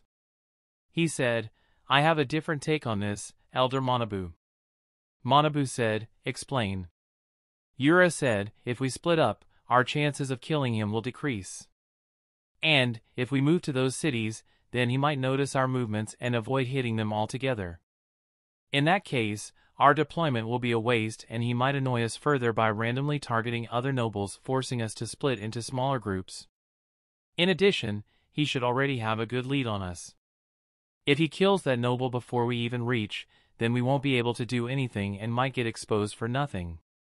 His words made others frown. They had considered these points but not in this detail as they didn't see any other option. Manabu asked, What do you suggest? Yura said, Let's abandon these two nobles. The eyes of the four ninjas widened at how casually Yura asked to sacrifice the two nobles. Yura pointed at a city on the map and said, after he kills the nobles in Shankudo and Kaganjima, he will target the noble living in Mizunashi City. While he is busy killing those two nobles, we can move around this territory and set up a giant trap in Mizunashi before he reaches there. We will hide inside and around the city using Fuinjutsu. When he attacks, we can all surround and kill him. Yura's plan surprised them. They thought about his words and agreed more and more with him. Though two nobles would die, the sacrifice would be worth it if they killed him. It was an exchange they were more than willing to make. Odaka looked at Yura in a new light. He thought, I was just teasing him earlier for pointing out the obvious. But, he is indeed good. This level of talent should be in the council. Manabu said, that is a good plan.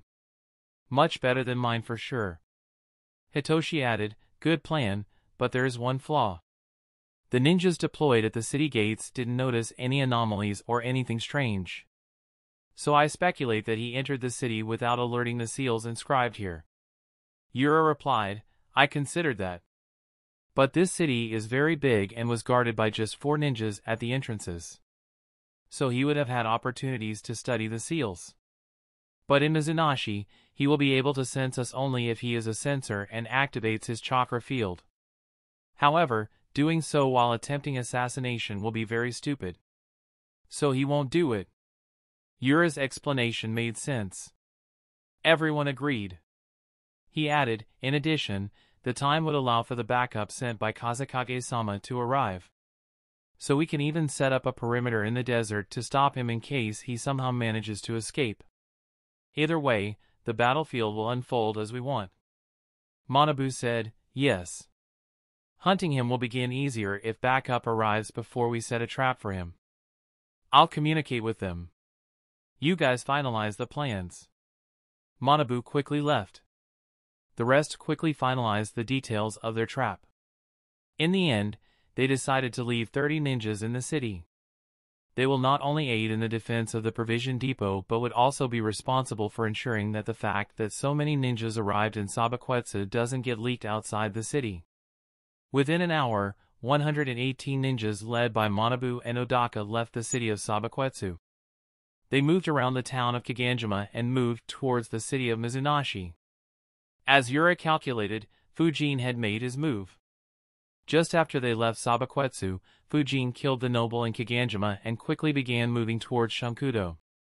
As he moved, Fujin analyzed, as expected, the nobles are being heavily protected. But, there wasn't any Jounin-level ninja protecting him. I guess Rasa wasn't able to send reinforcements so quickly. Or perhaps, the other Anbu who are supposed to be on a promotion mission are also making a mess and forcing Rasa to deploy his ninjas everywhere. I can't be sure which one is the case, but it is better to assume the first one. My next target will probably be the last one without any significant protection. Within a few hours, he arrived outside Shankudo. His eyes glowed as he observed the walls of the city. He muttered, this one has no seals to protect it either. I am disappointed at how lazy Sunagakure has been. Granted these cities are far in the west, but is it really so much work to just ask a Fuinjutsu Grandmaster to visit all these cities and bless the city by carving a few seals? With no seals to block his path, Fujin just entered the city normally while maintaining a disguise. He casually walked into the city while moving towards Noble's mansion.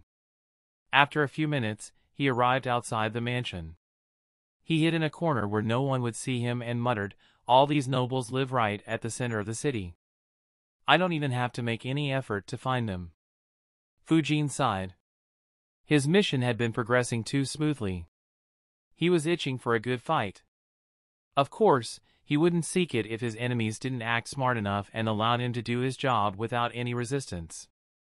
His eyes glowed as he observed the mansion. He analyzed eight ninjas. Two at Chunin level and six at Genin. Rasa is awfully slow. Are they planning to lower my guard by giving me easy kills? He made a hand sign. Earth release, Earth military movement jutsu. Fujin disappeared into the ground and entered the mansion. None of the eight ninjas were sensors and Fujin was suppressing and hiding his chakra. So no one detected him. Fujin moved directly towards the central room where Fujin had detected three people. Two of them were ninjas while the third one was a civilian. This was the room where the noble was hiding. He was sitting in a chair while the two ninjas stood next to him. He nervously asked the ninjas standing next to him, Lord Kazuo, how long do we have to keep hiding here? Kazuo was the Chunin in charge of the defense of this remote city. He replied respectfully, Don't worry, Lord Toshio. Reinforcements from our village will arrive soon. Toshio was still very worried. Kazuo assured him, We are here with you as well, Lord Toshio. Live or die, we will join you. So don't worry. The noble nodded. For some reason, he looked to be very fearful of Kazuo. Suddenly, all three of them looked ahead. A head popped out of the ground. In the blink of an eye, an entire person appeared. Toshio was horrified. Kazuo and the other ninja also had solemn expressions. However, both had determined expressions. They seemed to have accepted their fate. They quickly grabbed their kunai and took a fighting stance. Kazuo asked, Who are you? Fujin didn't bother replying and shot an air bullet at Toshio. The Suna ninjas couldn't even react when the bullet hit Toshio's chest. Toshio's eyes widened. Time slowed down as he felt the pain in his chest. He knew that the Suna ninjas wouldn't be a match for the intruder, but he didn't expect to be killed so quickly. However, instead of sorrow or horror, a gentle smile appeared on his face as he looked at Fujin. His smile surprised Fujin.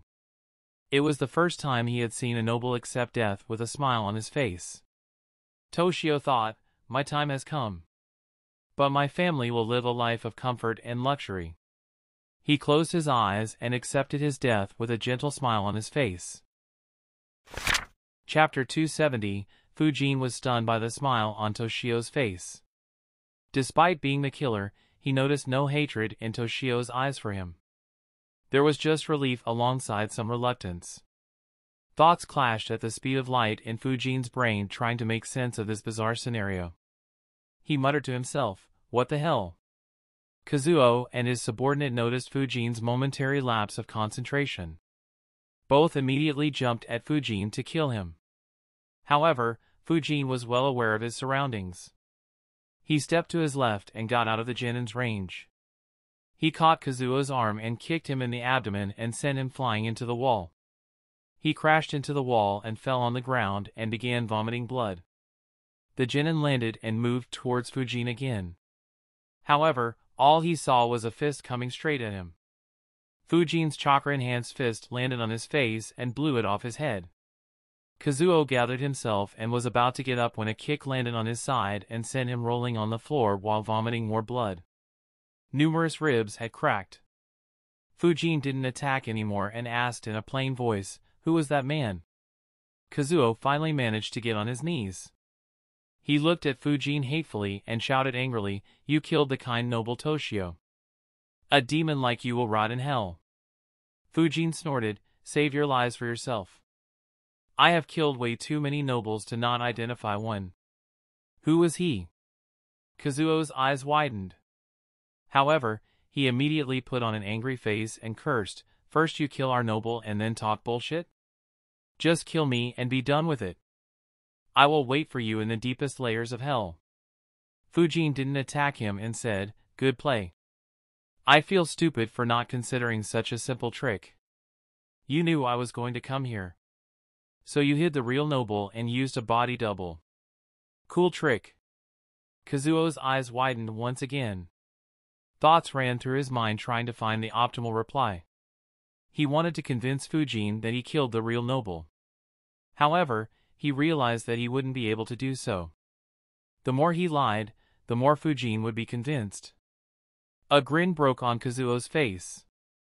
He spoke loudly with pride, that's right. How does it feel to be tricked by the oldest trick in the book? Ha ha ha ha. Fujin didn't mind his taunt. He wasn't petty enough to not give credit where credit was due. It was a fact that he was fooled. If the body double hadn't smiled kindly and behaved like any normal human being, he would have been fooled successfully. He replied plainly, Unfortunately, your plan has failed. Kazuo replied with that huge grin still plastered on his face, It hasn't. Even if you realize the plan, there isn't anything you can do. You don't know where the noble is hiding. No one other than me does. And I will never say it. You want to kill the noble? Then you will have to kill every single person in this city.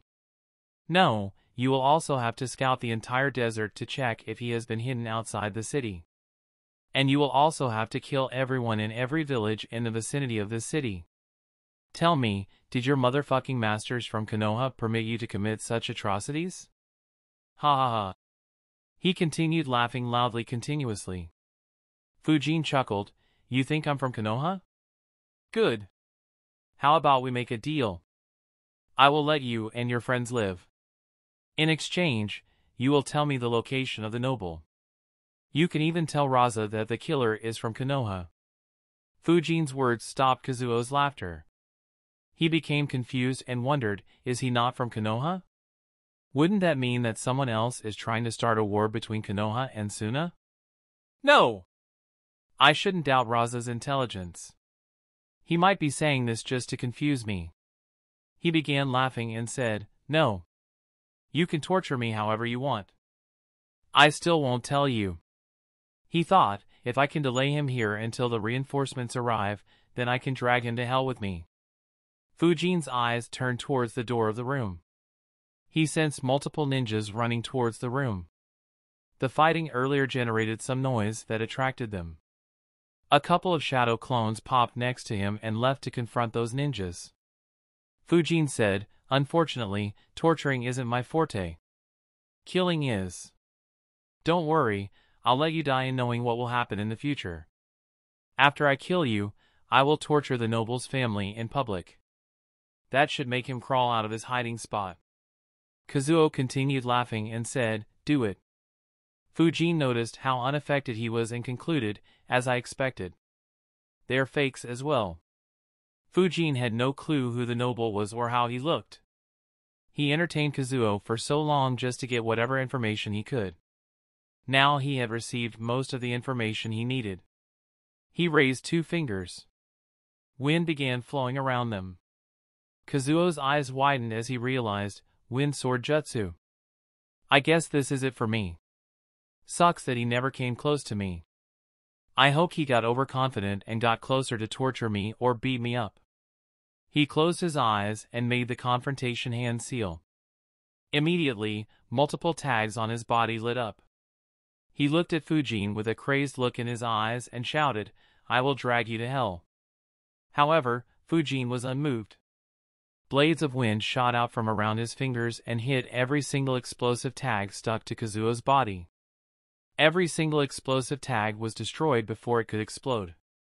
The wind blades also left multiple deep cuts on Kazuo. Kazuo was stunned. Even if he couldn't kill Fujin, he expected to at least injure him. However, he never expected such a result. Fujin said, I respect your intelligence and bravery. I'd have allowed you to die in the way you want, but I need this mansion. Kazuo's eyes widened as he saw Fujin transform into him. Fujin said, Rest in peace. A wind blade sliced Kazuo's throat. However, his eyes were glued to Fujin. As his brain slowly stopped working, numerous questions arose in his mind. How did he know I would explode? Why does he keep speaking in such a plain monotonous tone? Why didn't he get angry no matter how much I taunted him? And why does his face show no emotions at all? Unfortunately, he wouldn't get any answers. He closed his eyes and died without knowing the name or the real face of his killer. Fujin looked at him and sighed, ashamed that his strength was so weak. Had he been stronger, his name might have been famous throughout the ninja world. Fujin concentrated on his chakra. Eight shadow clones appeared. One shadow clone took the disguise of the Genin he killed while one dispelled itself. The two shadow clones Fujin had created earlier received the memories and dispelled themselves. Fujin and his clones received their memories. Four shadow clones transformed into the four ninjas that the clones killed while the last two clones dived into the ground and moved towards the basement. The last two Suna ninjas were hiding there to protect the fake family of the noble. Fujin looked at the person who was disguised as the noble and wondered, why did he smile in such a way? What sort of life would one have to experience to smile at his killer without any hate? Fujin analyzed for a bit but couldn't come up with a definite answer. After all, he had no idea who the man was and what his life story was. Fujin extended his hand towards his head. Yin chakra poured out of his hand and entered the dead man's brain. The Yin chakra gently began falling through his neurons. Fujin kept at it for three minutes before the dead man's brain started to break down. Fujin frowned and muttered to himself, I thought that the desire to truly know the memories could be a factor in reading memories. I guess not. Fujin sighed and gave up. He was very interested in knowing his backstory but had no means to know it. He stored the dead body. Two days ago. The news of the destruction of one provision depot had spread throughout Shankudo. The people were very worried. Meanwhile, Toshio was concerned for his life. He thought, if this is done by the same organization that killed nobles and their families in Wind Capital, then I could be on their hit list. No, my family is in danger as well. He immediately began thinking of a plan to ensure his survival but couldn't come up with any plan. Meanwhile, Kazuo received a message from Sunagakure. He read the scroll and sighed thinking, Rasa has lost a lot of influence due to these recent murders. Whoever is doing this must be crazy strong. He doesn't even care about our lives and just wants the noble to stay safe. Kazuo's impression of Rasa degraded a lot. However, as a loyal ninja, he was willing to sacrifice his life for his country. He wondered, but how do I keep Toshio safe? He thought for a long time before coming up with a decent plan. He walked towards Toshio's office while sighing, with this method, this old fellow will live. But I will survive only if I am extremely lucky. This really sucks. Chapter 271 Kazuo entered Toshio's office and said loudly, Everyone, leave. I need to talk with Toshio-sama alone. All the servants immediately left. Toshio was stressed thinking about ways to live. He looked at Kazuo with a hopeful look on his face while thinking, maybe he can think of something. As soon as everyone left and the doors were locked, Toshio said, It's good you came, Kazuo. I was about to find you as well. I have never been so stressed in my life. Kazuo nodded and asked, worried about the assassination? Toshio nodded. Kazuo replied, you don't need to be worried. Lord Kazekage has asked me to ensure that you and your family stay safe. A look of relief appeared on Toshio's face. He asked, did you think of a way? Kazuo nodded and replied, yes. Listen carefully. You and your family will move out of the mansion. All four of you will stay under disguise by using makeup, wearing ordinary clothes and moving to live in an ordinary house in the city. You won't have any servants or guards. No one other than me will be aware of your location. In the meantime, decoys will have to be arranged to replace you and your family. If the assassin attacks, that decoy will die. As long as the decoy doesn't blow up your cover, you will get to live and the assassin will go away. If your cover is blown, then you will have to stay hidden for a long time until that assassin gives up. I'll probably not be alive by then, so your survival will entirely depend on you. Toshio became excited after hearing the plan. However, he hid his excitement and put up a sad face and asked, Do you have to risk your life? Kazuo easily saw through the fake concern and said, It's the life of a ninja. Stop wasting time and prepare to move out and arrange for decoys. I am not sure how much time we have. Toshio replied, I already have decoys in mind. I'll arrange them for my family. However, I need your help to bring the one for me here. His name is Tetsuo. Toshio gave him the address of Tetsuo and explained his circumstances to Kazuo. Kazuo nodded and left. Toshio immediately got to work. He made three people disguise themselves as his wife and sons and asked them to stay in the basement. They knew the consequences of disobeying him and agreed. At the same time, Kazuo reached the outskirts of the city. He searched for a bit and saw an old house. Outside, a middle-aged man was sitting. He looked very tired and sick. Kazuo approached him and asked, Are you Tetsuo? Tetsuo was surprised. He looked at Kazuo and immediately recognized him. His eyes widened as he got up in a hurry and bowed down, Lord Kazuo.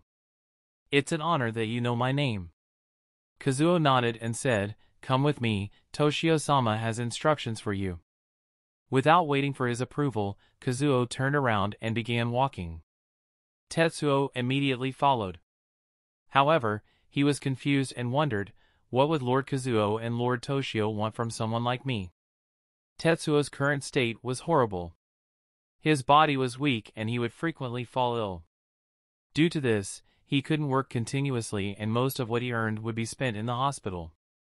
So his family's financial condition was very poor and he was in a lot of debt. He wanted a good life for his family, but no matter how much he tried, it seemed like the entire world was against him. They walked into the mansion.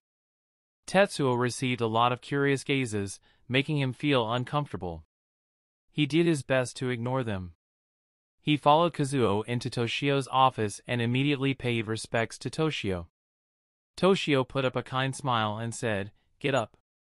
Tetsuo got up and asked, I wonder why you called me here, Lord? Toshio got up and walked past Tetsuo.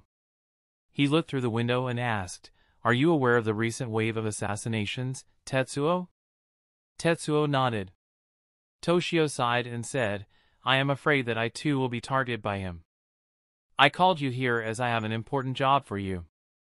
He turned around and looked into Tetsuo's eyes and said, I am willing to die. However, if I die, then our whole city will suffer. My children aren't capable enough to run a city yet. So I want you to disguise as me and take my place in the mansion. His words shocked Tetsuo. Tetsuo involuntarily stepped back. But he crashed into Kazuo and fell to the ground. He looked at Kazuo who was staring straight into his eyes. Tetsuo became frightened as he felt that if he said no, Kazuo would kill him. He immediately looked at Toshio and said, Lord, I have a wife and two young children. Without me, they will become fatherless and no one will be able to look after them or feed them. I would have loved to sacrifice myself for our city but I just can't leave my family alone. Kazuo frowned. If Tetsuo was reluctant, then he wouldn't work as a decoy. Toshio looked at Kazuo and said, It's fine Kazuo. Not everyone can give their lives for the city. He painted Kazuo as the bad guy in Tetsuo's mind while showing himself to be a very just ruler. He looked back at Tetsuo and said, Tetsuo, I am aware of your family conditions as well as your medical health. If you say no, I won't force you, but hear me out first. Tetsuo nodded. Toshio said, If you take my place, Kazuo and the other ninjas will be responsible for your safety. You won't die until they are alive. Irrespective of whether we get attacked or not, as long as you live, I'll reward you abundantly. I will clear all your debt, give you a stable job in the mansion and get the best doctors for you to improve your health. He let out a sigh and said, But if our luck is bad and you die, I will take care of your family. I will clear their debt and give them so much money that even your next nine generations won't be able to spend it. Hearing the offer, Tetsuo went silent. He was well aware that he wasn't capable of providing for his family. But he loved his family and didn't want to leave them. He fell into deep thought. Toshio and Kazuo didn't disturb him. After 20 minutes of struggling, Tetsuo let out a sigh and thought, even if they protect me, I doubt they could stop the assassin. But irrespective of whether I live or not, my family will be taken care of. Though they will be sad about losing me, their sadness will fade away with time. And they will live a fulfilling life. Besides, my death isn't fixed. If my luck changes for once, I will live and my family will not need to worry about money. He got up. Kazuo looked into his eyes and was surprised. He thought, what determination! At the same time, he looked at Toshio and thought, this guy might be a scum, but he understands the human heart very well. In order to ensure that his family lived a good life, Tetsuo was determined to risk his life. No matter what, he wouldn't fail this mission. Tetsuo said, Lord, I am willing to be your decoy. Toshio nodded and said, Shankudo City will remember your bravery. Kazuo will instruct you further. Kazuo nodded and left the room with Tetsuo. As soon as they left, a cruel smile appeared on Toshio's face. He thought, it's hilarious how gullible these fools are. Take care of his family? He he. If he lives, I'll kill him so that no one will know that I hid in the face of danger. If he dies, then I'll burn his body and never tell anyone that he died. His family will think that he just abandoned them. As for what happens to them, how is that my concern? Unfortunately for Tetsuo, even in his final moments, the world still stood against him. He died without being able to provide his family with what he desired. A slash in, I was initially planning to summarize this flashback in a single para without much detail, but I wanted to see how it'll be if I decided to show his backstory instead of just telling it in a single para. Would like to hear your feedback on this. In the future, would you prefer I expand certain summaries in this way, or would you prefer if I just summarized it in one to two paragraphs and moved on with the story? Let me know. Present. Fujin put his thoughts about the man behind him and sighed, what a mess. Just when I thought that the mission was too easy, its difficulty rises to an insane level. Despite complaining, a smile could be seen on his face. He enjoyed fighting intellectually. He thought, I don't know who created this plan, but it's time to dismantle it.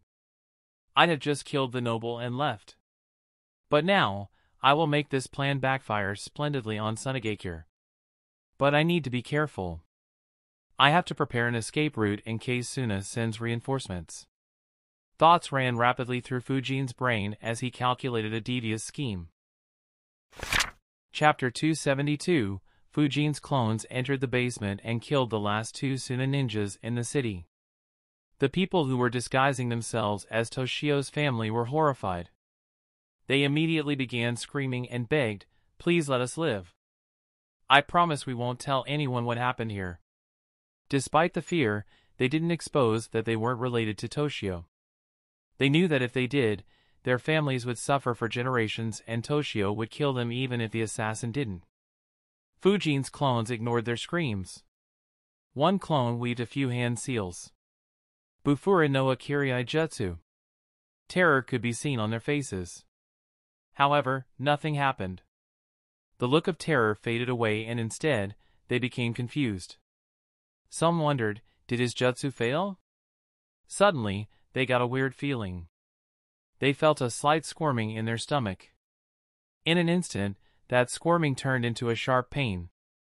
They felt as if their stomach was infested by hundreds of maggots.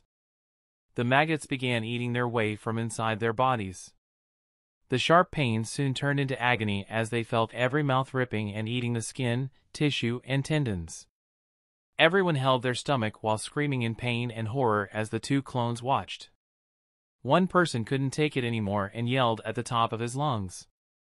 The people around him looked at him. Their eyes widened in horror as his stomach was torn open and hundreds of maggots spilled out and began writhing on the ground.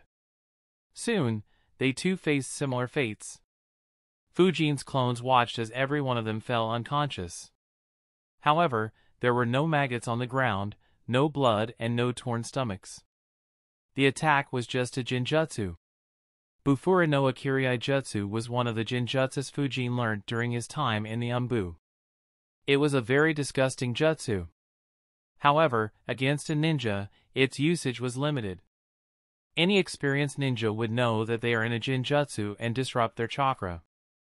So its main usage was to disturb the enemy by causing a weird feeling and pain in their stomachs and use that disruption to attack them. Of course, there was one exception. This genjutsu was disgustingly effective when used by the Aburame clan ninjas. Fujin's clone thought, now they won't wake up for a while. Though I could have used a different genjutsu, this one ensures that they won't wake up for at least half a day. In addition, the horror they experienced will force their brains to forget about this event and the events before they went unconscious. This will make it very difficult for Suna to get the exact information from them. Fujin could have just killed them. But he had killed too many innocent people during this mission. If he could avoid killing more, he would take that option. The clones transformed into the two Suna ninjas they killed, stored their bodies and returned to Fujin. Fujin had finished completing his plan. Sixteen shadow clones popped around him. However, one immediately dispersed. The plan immediately was transmitted to all the remaining shadow clones. The 15 new clones immediately transformed into random people Fujin came across and flickered out. Eight clones rushed out of the city. They spread away at equal distances and formed a perimeter. All of them activated their chakra fields simultaneously, monitoring the city from all sides. If reinforcements from Suna arrive, they would send the message back to Fujin, who would withdraw immediately. The remaining seven clones mixed with the common people in the city. Inside the mansion, Fujin and his clones, disguised as Suna ninjas, left the room. The servants in the mansion were all hiding in fear after the sounds of the fighting spread throughout the mansion. Though the sounds had stopped, they weren't sure who won. Seeing the Suna ninjas walk around the mansion relieved them. Fujin's clones looked at them and said, The assassin is killed. You can relax. The servants all smiled. One said loudly, I knew that any assassin couldn't kill Sunagakure ninjas. We are the strongest ninja village. Fujin's clone chuckled and asked, Is that so? Then why were you hiding? The servant immediately became nervous. He thought, shit, I was just trying to get in their good books. Why is he making it difficult for me? The servants around him also stared at him. They were quite sick of his bootlicking ability. The servant said while stuttering. I. I. I was. Fujin's clone chuckled again and said, It's fine. I have a job for you guys. Leave the mansion and spread the message. The assassin who kept killing the nobles is dead there will be a huge announcement made. So everyone, who can, should arrive around the mansion. The servant immediately said, I will immediately inform everybody. The others also nodded. Fujin's clone added, if you find others hiding, inform them as well. They agreed and left. Fujin's clones found the others who were hiding and gave them the same job. Meanwhile, Fujin began going through items in the mansion. After searching for a bit, he found a photo album. Looking at he muttered, so this is how this noble called Toshio looks. And this is his family. Though, trying to look for him actively will be pointless as he should be wearing a disguise to hide from civilians. Fujin created another shadow clone and dispelled it. The memories transferred to all his clones. The seven clones that had mixed among the civilians began to keep an eye out in case they saw someone who looked familiar.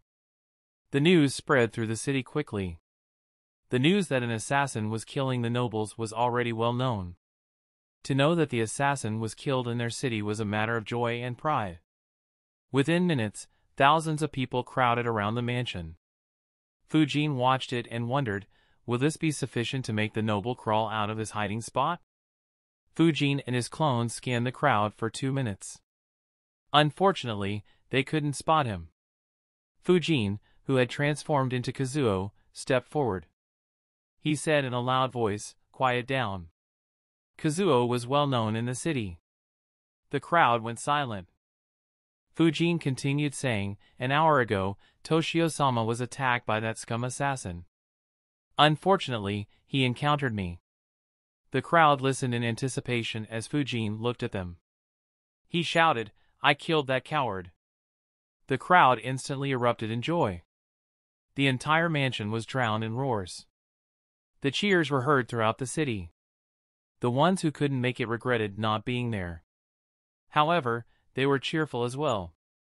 Fujin waited for the noise to lower and said loudly, Tonight, the entire city will celebrate.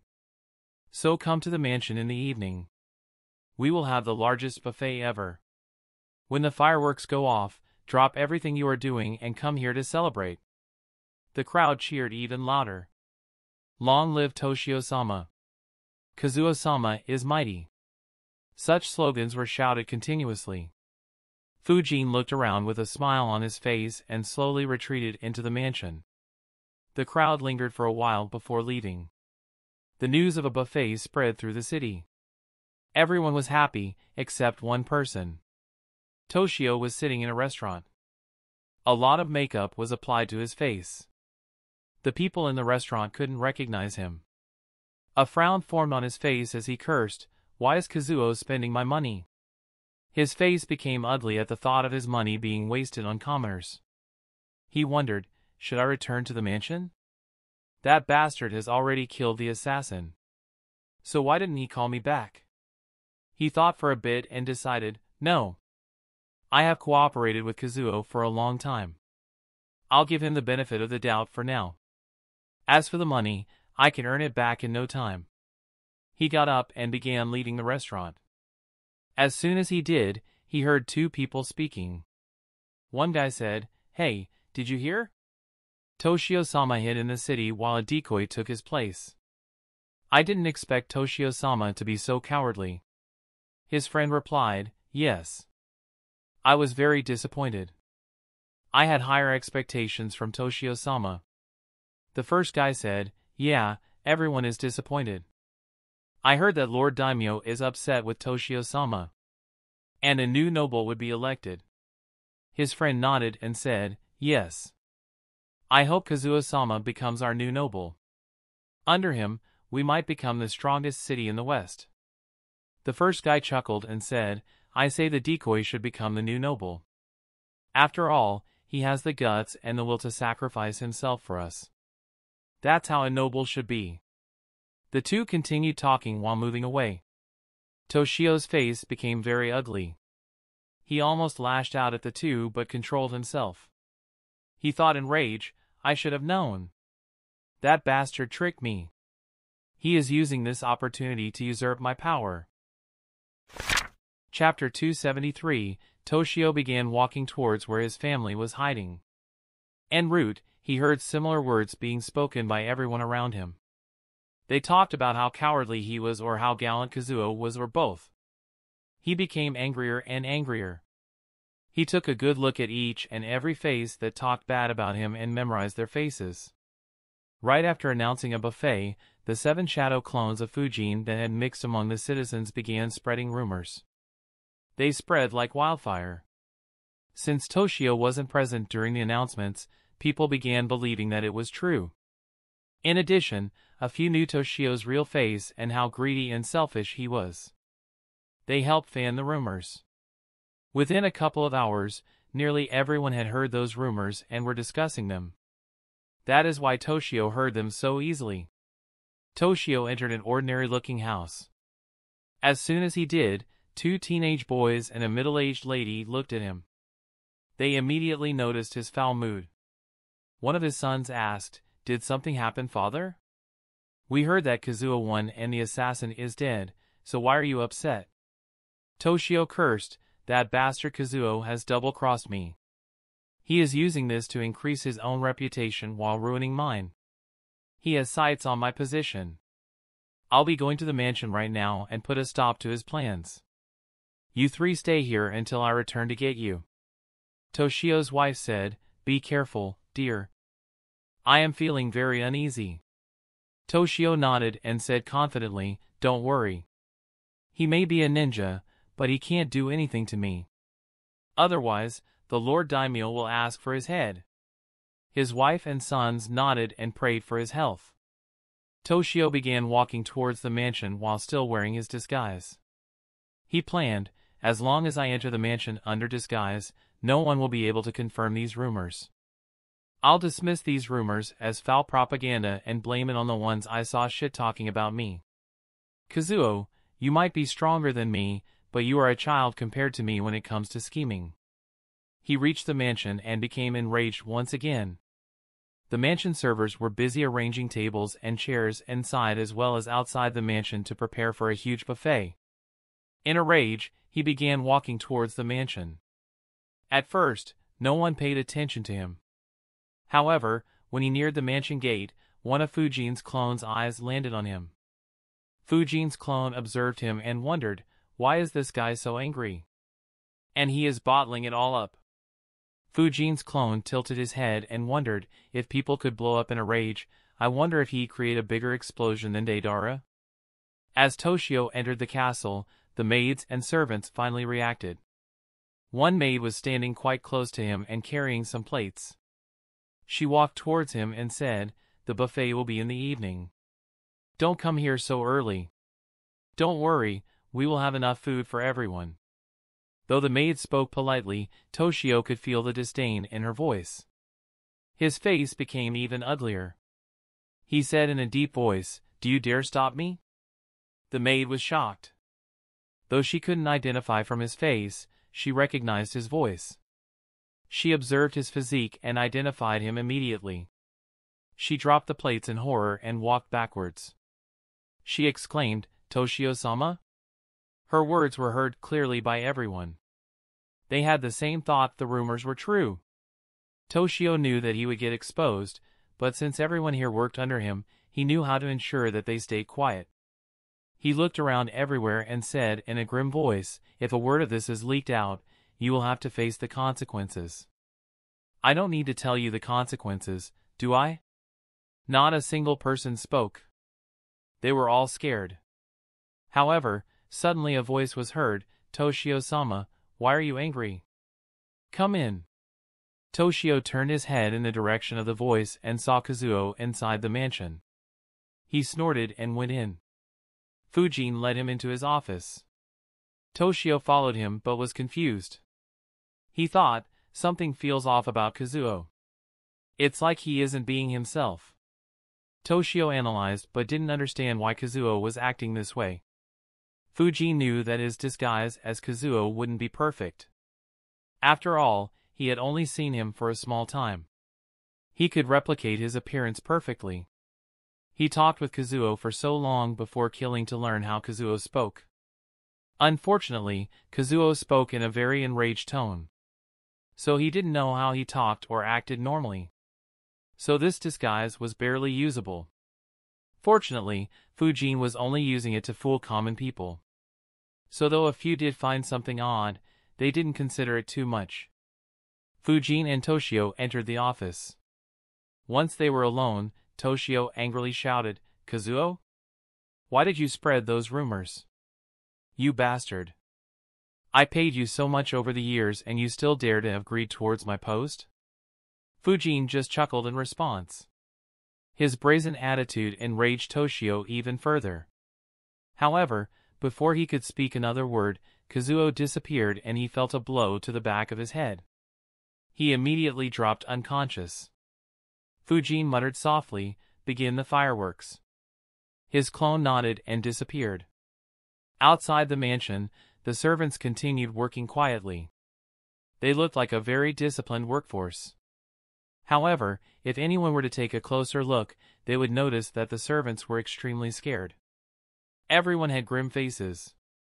A servant prayed, I hope no one here is foolish enough to leak the truth. Otherwise, that vile person will skin us all alive. As they were working, suddenly a loud sound was heard.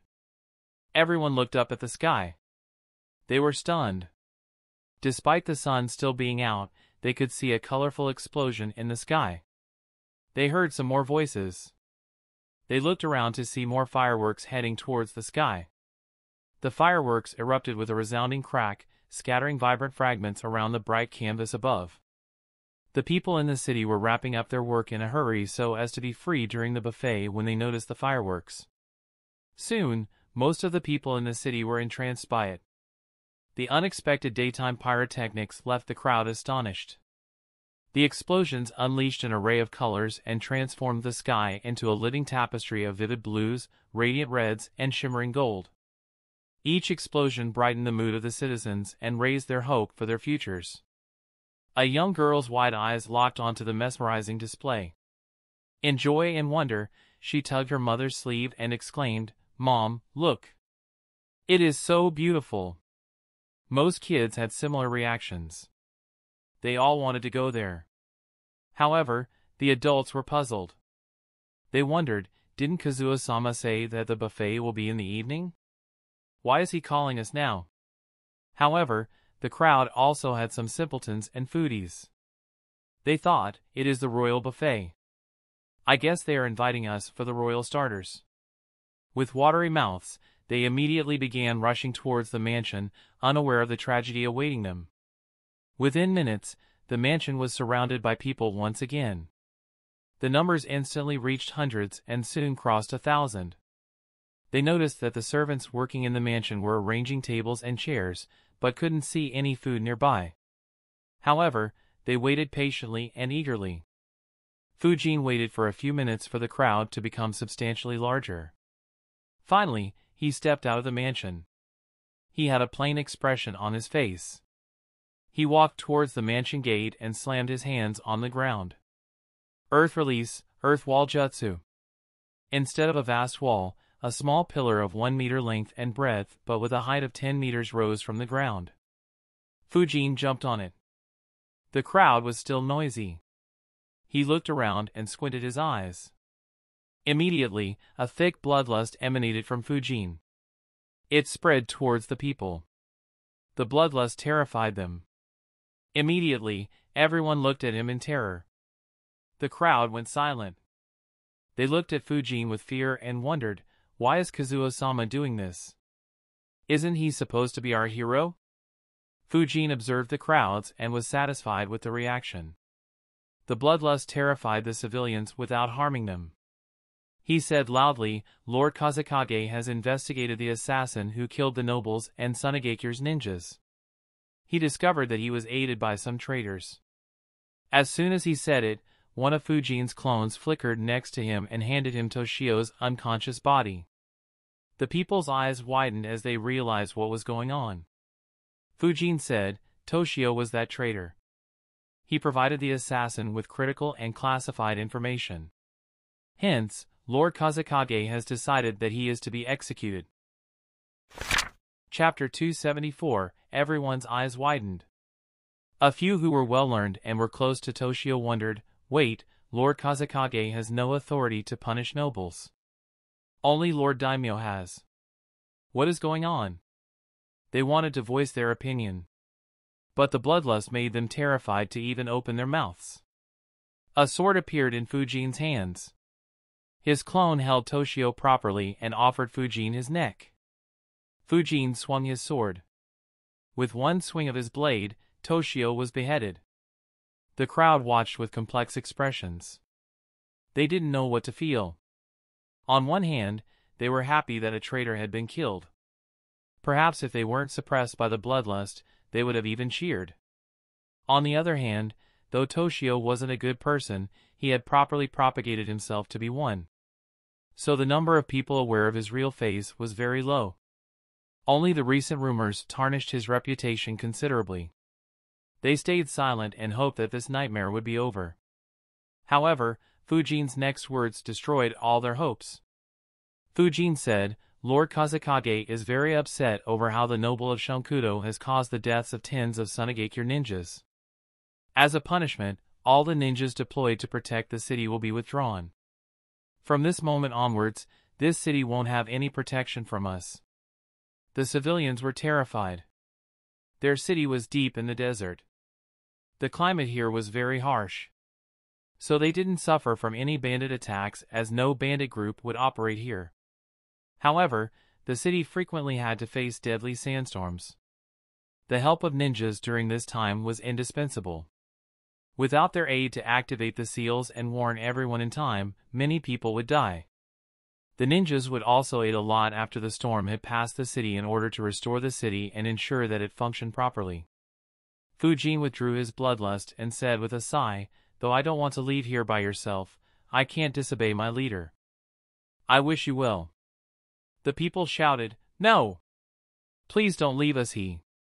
However, their words were stuck in their mouths as Fujin and his clone disappeared. Only Toshio's headless body was left on the stone platform. They looked around and the remaining Suna ninjas had disappeared as well.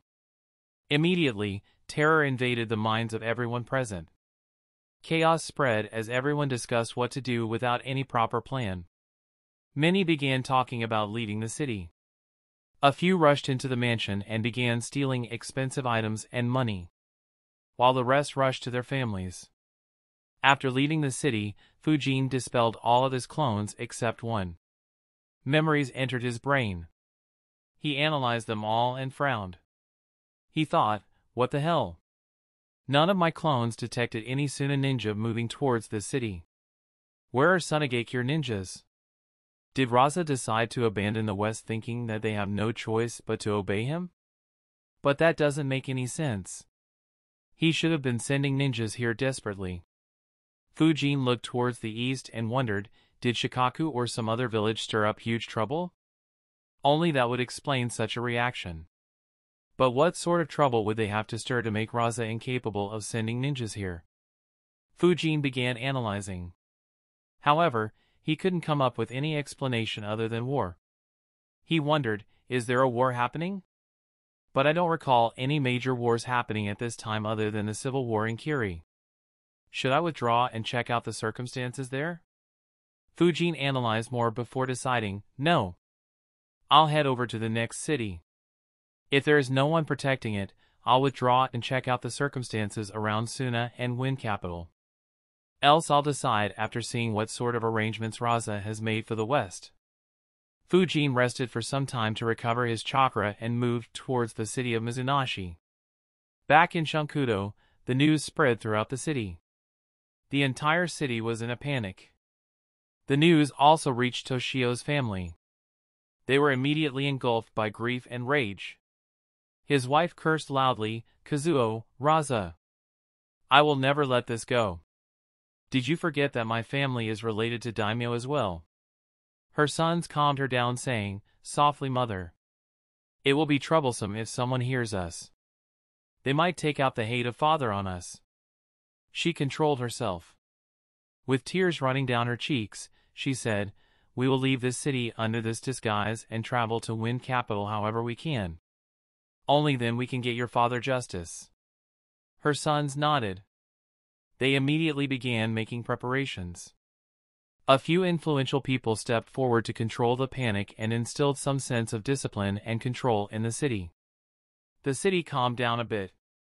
After discussing and making proper arrangements, most of the city decided to leave the city the next day. The next morning, over 80% of the citizens decided to leave the city. Toshio's family also mixed with them. They began traveling across the treacherous deserts and moved towards the nearby cities, towns, and villages. Around the same time, Fujin reached Mizunashi City. Suddenly, his last clone dispelled himself and he received his memories. A smile formed on his face as he thought, as I expected. A vast number of people there will begin migrating. After all, who would want to stay in a dying city? Now, when they enter nearby cities, they will spread the events that happened in their city. Soon, the news will spread like wildfire throughout the land of wind. The news that Rasa ordered the execution of a noble and left a city with tens of thousands of people to fend for themselves. Even though the cities in the east have no option but to stay subservient to Suna, they will become very suspicious of Rasa's intention. And irrespective of what deal the Wind Daimyo and Rasa made, they will enter into conflict once again. After all, that noble's family is still alive. As long as they reach the daimyo, another round of hostilities will begin. Even if they don't manage to, the news alone will make the other nobles pressurize the daimyo. Eventually, some of the people that migrated will migrate to the cities in the east. When they do, Rasa's reputation will be hit even further. He will have to take a hell lot of effort to be able to recover his lost reputation. However, the bad will among the ones who suffered will last for decades. If Shikaku and Hiruzen don't promote me after this and give me access to that section A of the library, I'll make them experience a similar hell. Though I guess they are too smart to make such a silly mistake. Fujin turned his thoughts towards the city in front of him. His eyes were glowing. He muttered, another city without any active seals protecting them. That said, the last assassination was fun. I wonder if this city will make it interesting for me as well. He took a step forward as wind covered his entire body. Before he could land his step, he disappeared from his spot and entered the city. He began walking casually towards the center of the city as usual. As expected, it also had a mansion at the center of the city. Fujin stood in a secluded corner and wondered, what should I do if this noble is also hiding while a decoy is taking his spot? Doing the same trick twice won't be feasible. After all, many would be suspicious of what I pulled in Shunkudo. The same thing happening in two cities will reduce the suspicion on Rasa and people will suspect foul play. So it will be counterproductive. Fujin thought for a bit and gave up, leave it. I'll just kill whoever is acting to be the noble and the Suna ninjas protecting him. Though I should be careful. Kazuo was willing to blow himself up. However, if he had used something original or unpredictable, then I could have had some trouble. As he was deciding, he felt eyes on himself. He turned his head and saw a man approaching him. He laughed awkwardly and asked, Young man, can you tell me where the flower shop is? I lost my way around here, ha ha. Fujin nodded and said, Sure. Travel three streets down this road. Then take a right and then the second left. You'll find the most famous flower shop in this city. The man quickly said, Thank you, young man. You saved me. He quickly left. Fujin watched his back. But this time, he didn't dare to use his chakra. He thought, suspicious. I didn't sense any chakra from him, but something about him feels off. He approached me right after I used some chakra. Fujin turned around and left in the opposite direction. The man didn't look back at Fujin and continued walking while thinking, I didn't expect him to know where the flower shop is. Did he just luckily come across the flower shop? Or is he an old spy? But why would someone place a spy in this remote city? Unless. Chapter 275 The man was none other than the elite Jounin, Odaka. He was hanging around the mansion under the disguise of an old man when he felt some chakra being used by Fujin so he decided to check him out. However, Fujin gave him the answer spontaneously. Odaka looked at another young man around him and asked once again, Young man. I want to buy flowers for my wife. It's our anniversary.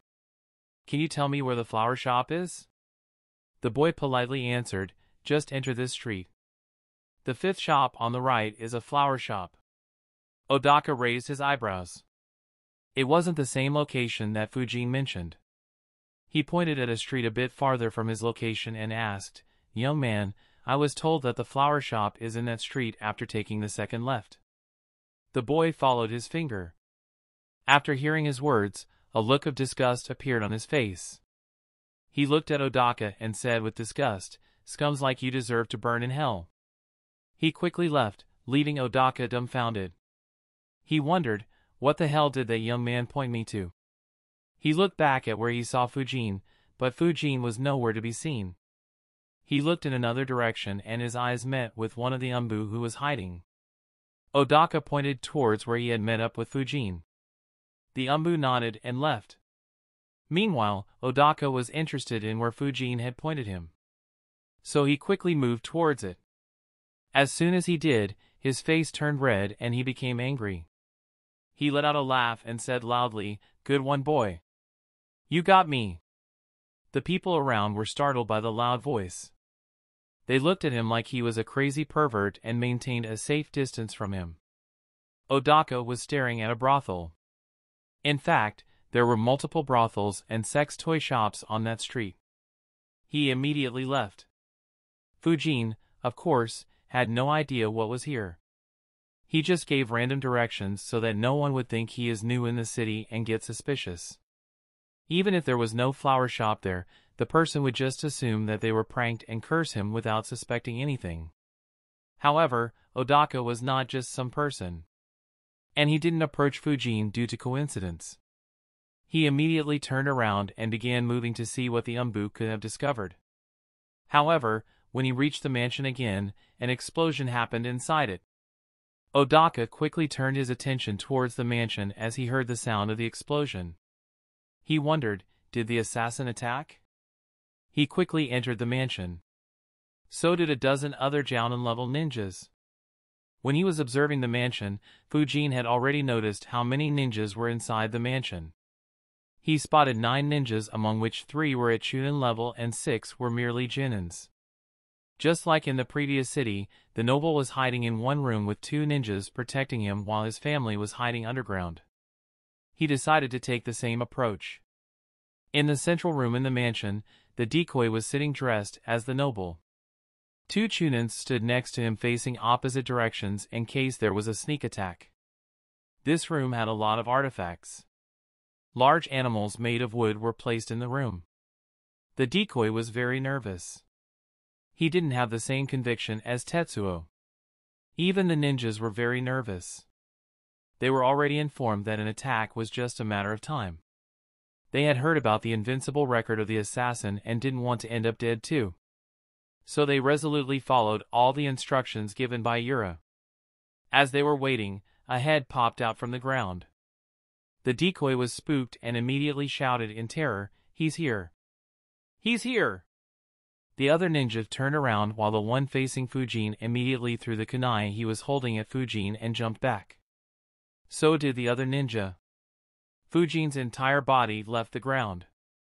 He observed the kunai closely as it had an explosion tag attached to it. He immediately shot an air bullet at it. However, before the air bullet could hit the kunai, the explosion tag exploded. Fujin instantly jumped back and refined his chakra into wind while wondering, what the hell? Why did it explode so far away from me? Wind release, infinite breakthrough jutsu.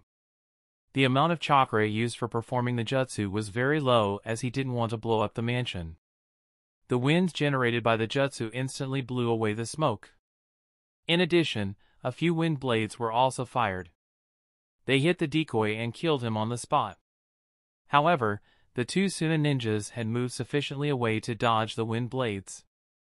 As the smoke cleared, Fujin noticed that the Suna ninjas had backed to the wall while the noble was dead. A frown formed on his face as he saw the two Suna Chunins. They were both wearing a gas mask to cover their nose and mouth. Fujin frowned and asked, the explosion tag contained poison?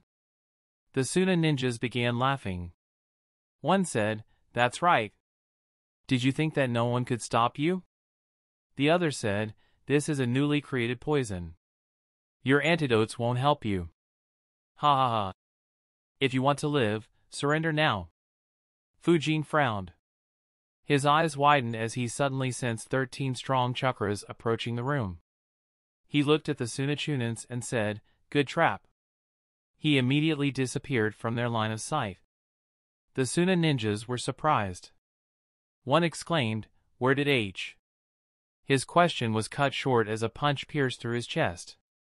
His partner turned his head and saw in horror as a punch came straight at his face. He was too slow to even react. His last thought was, so fast. The punch landed on his face and killed him as well. Immediately, the door was smashed as three Jounins entered the room. Soon after, the walls were knocked out and even more Jounins entered. Odaka was the last one to enter. They surrounded Fujin from all directions.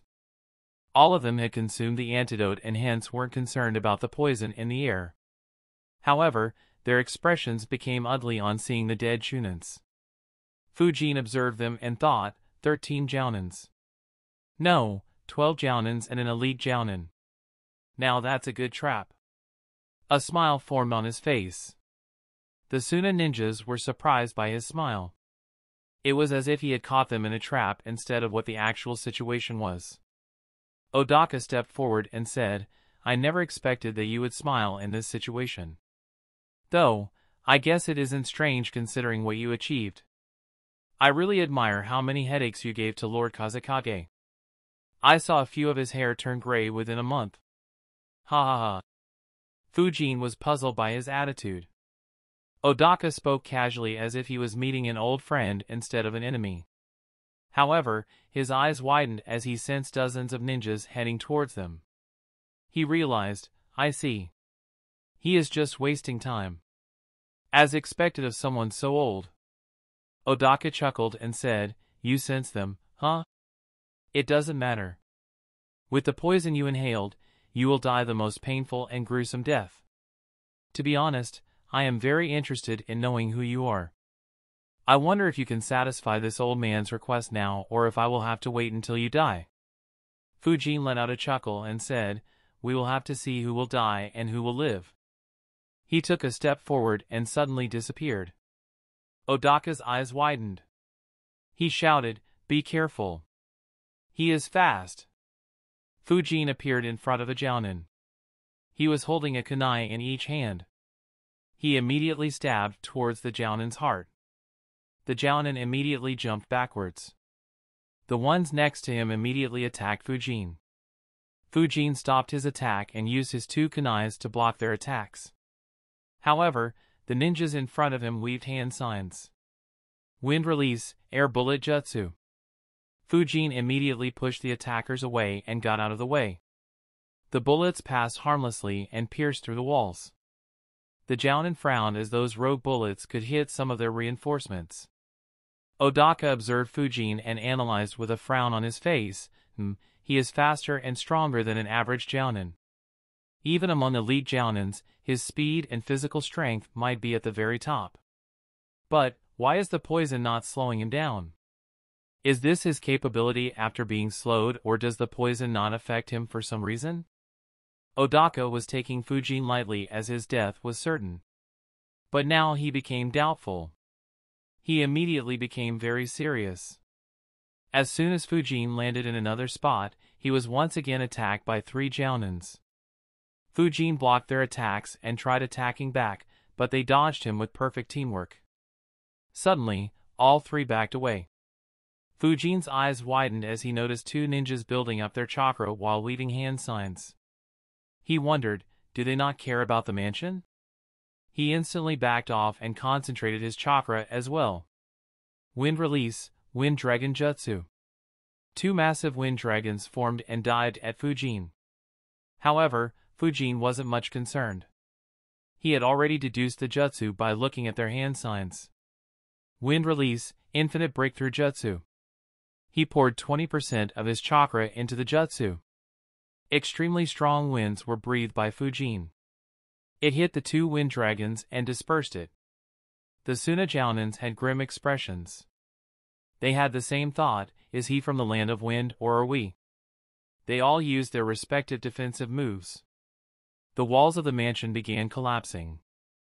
Fujin was about to pour even more chakra into the jutsu and cause maximum damage to the Suna ninjas by dismantling their defensive jutsus when he suddenly jumped towards his right and looked behind. His eyes widened as he saw the wooden horse behind him open its mouth wide and shoot hundreds of needles at him. Fujin continued blowing the infinite breakthrough, but this time, he used it towards his left so that his body would be pushed to his right. However, it was too late.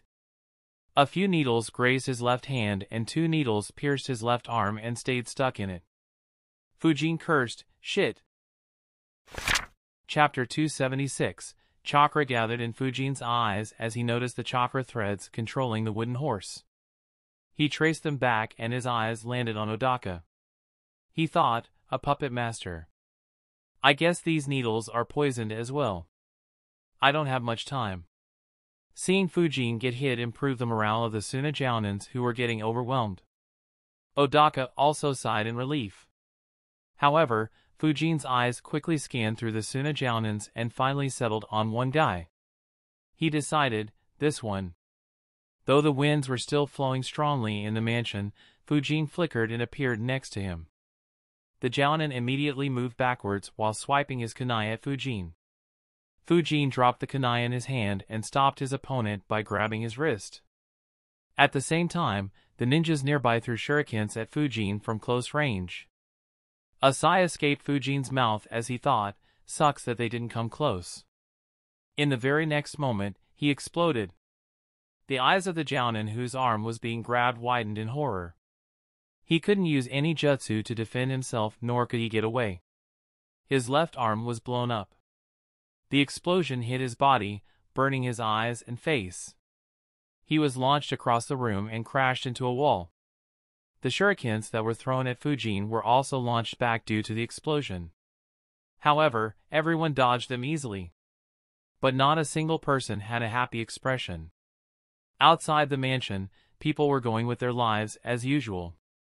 A few people who were around the mansion noticed the sounds of explosions and clashes inside the mansion and began wondering what was happening. Suddenly, a massive explosion occurred. A corner of the mansion was blown up.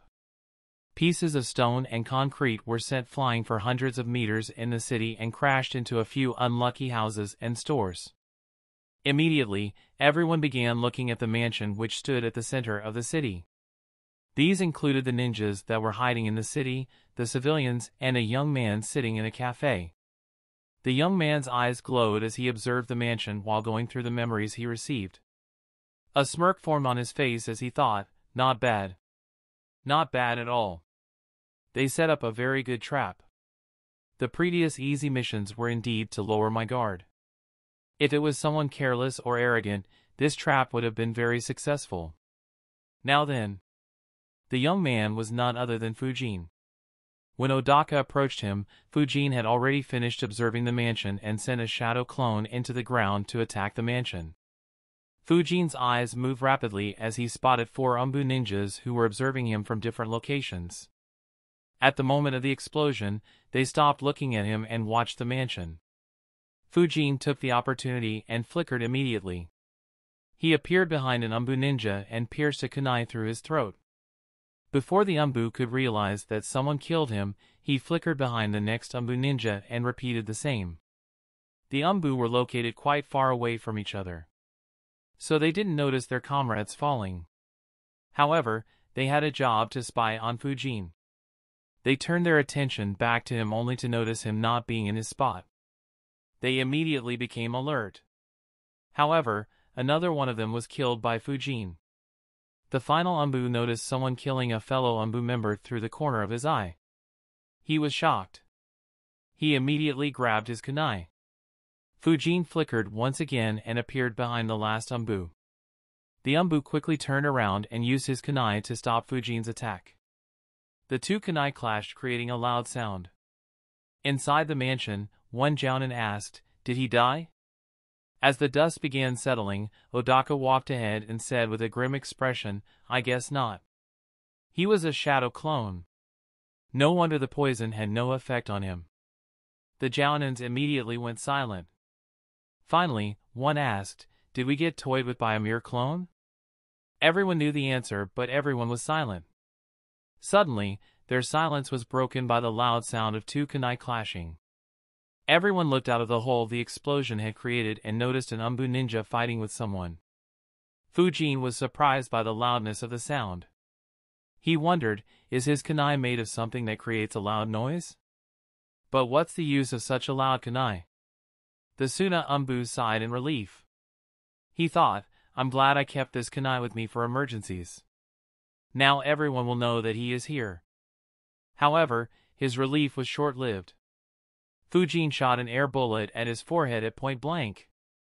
The Anbu had no time to dodge. A hole was left in his forehead as he dropped dead. However, the loud sound had done its job. Over a hundred ninjas were staring at Fujin. The Jounins led by Odaka immediately flickered towards Fujin. Yura and his subordinates were close to Fujin as well. They quickly moved towards him as well. Fujin watched them as his body was enveloped in wind. Odaka's eyes widened. Dozens of poison needles appeared in his hands and he threw them all at Fujin. However, before they could reach him, Fujin had already disappeared. The Jounins all landed where Fujin was standing. Immediately wind enveloped them as well as they weaved hand seals and cursed, Do you think only you know the wind instantaneous body jutsu? Immediately, all the Jounins used the same jutsu and began their chase. Apart from these twelve, the others in the city who could use that jutsu began the chase as well. Fujin turned around and noticed a few dozen ninjas chasing after him. He thought, the area around the city is a complete desert. There is nothing that can hide me. If this was the land of fire, they wouldn't even know where to chase me. Still, it's fine. The chase depends on the expertise in this jutsu and stamina. I'll just keep running until they can't keep up anymore. Fujin looked ahead and continued running. Apart from this, he had another choice. That was to use shadow clones and split in different directions. It would force the Suna ninjas to split up as well. He could then hunt them one by one. Fujin did think of this idea, but he dismissed it immediately. He thought, though I could kill a good number of them, it's too risky. My shadow clones can't be poisoned, but I can be.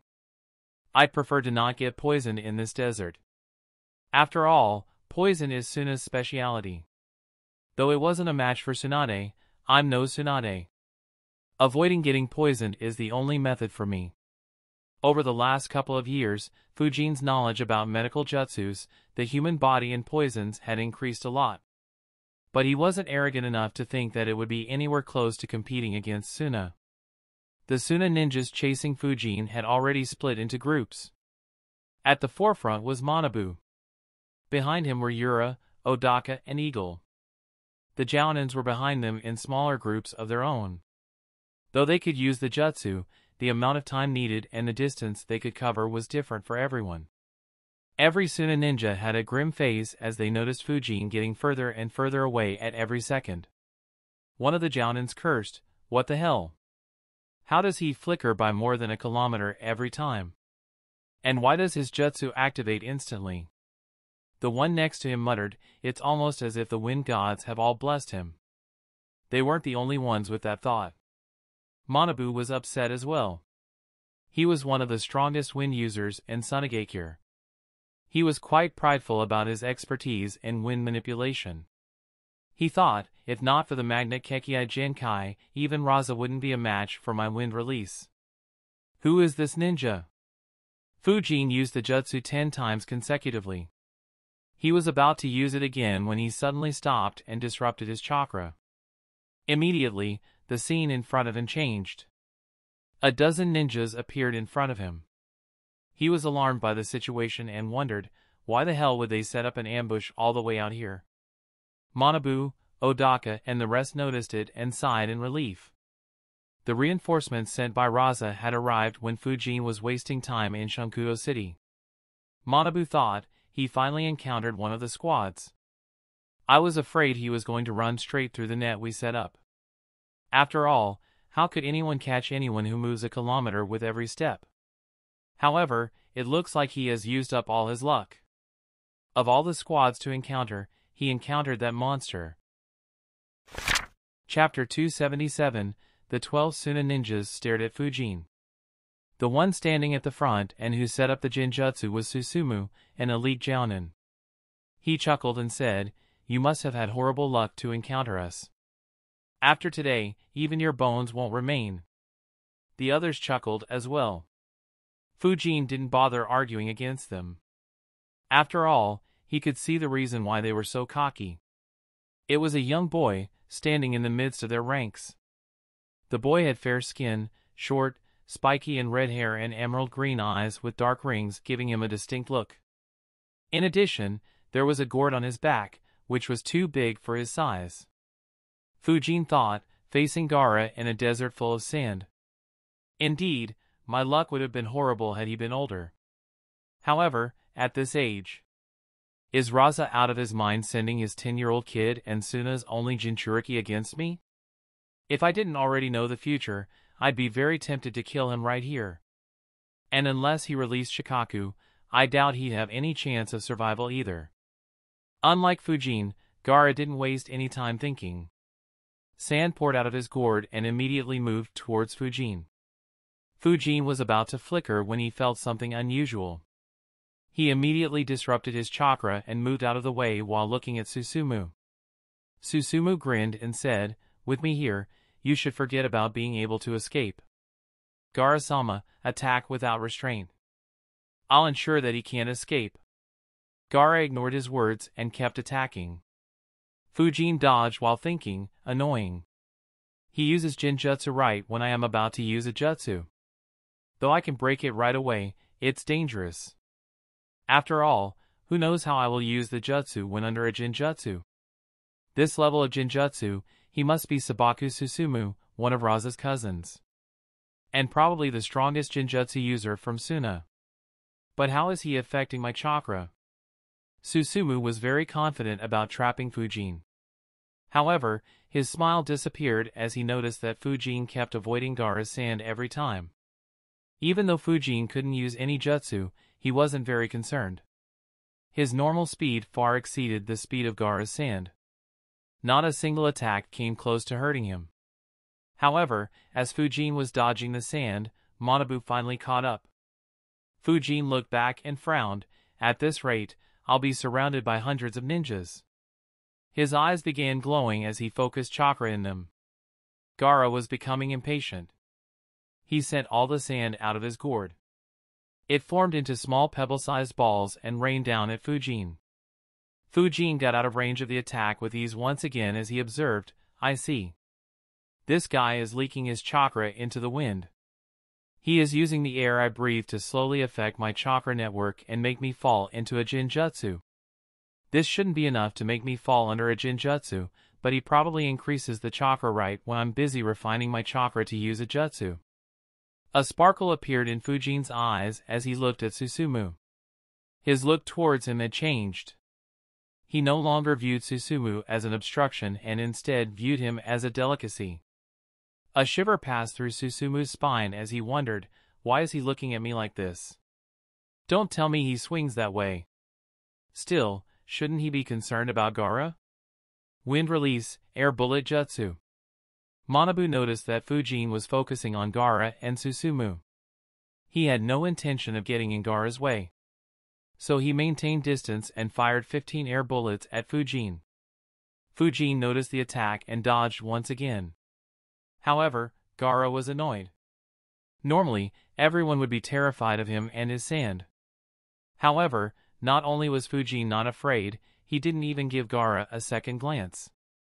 It was as if Fujin didn't consider him a threat at all. Gaara exerted more chakra.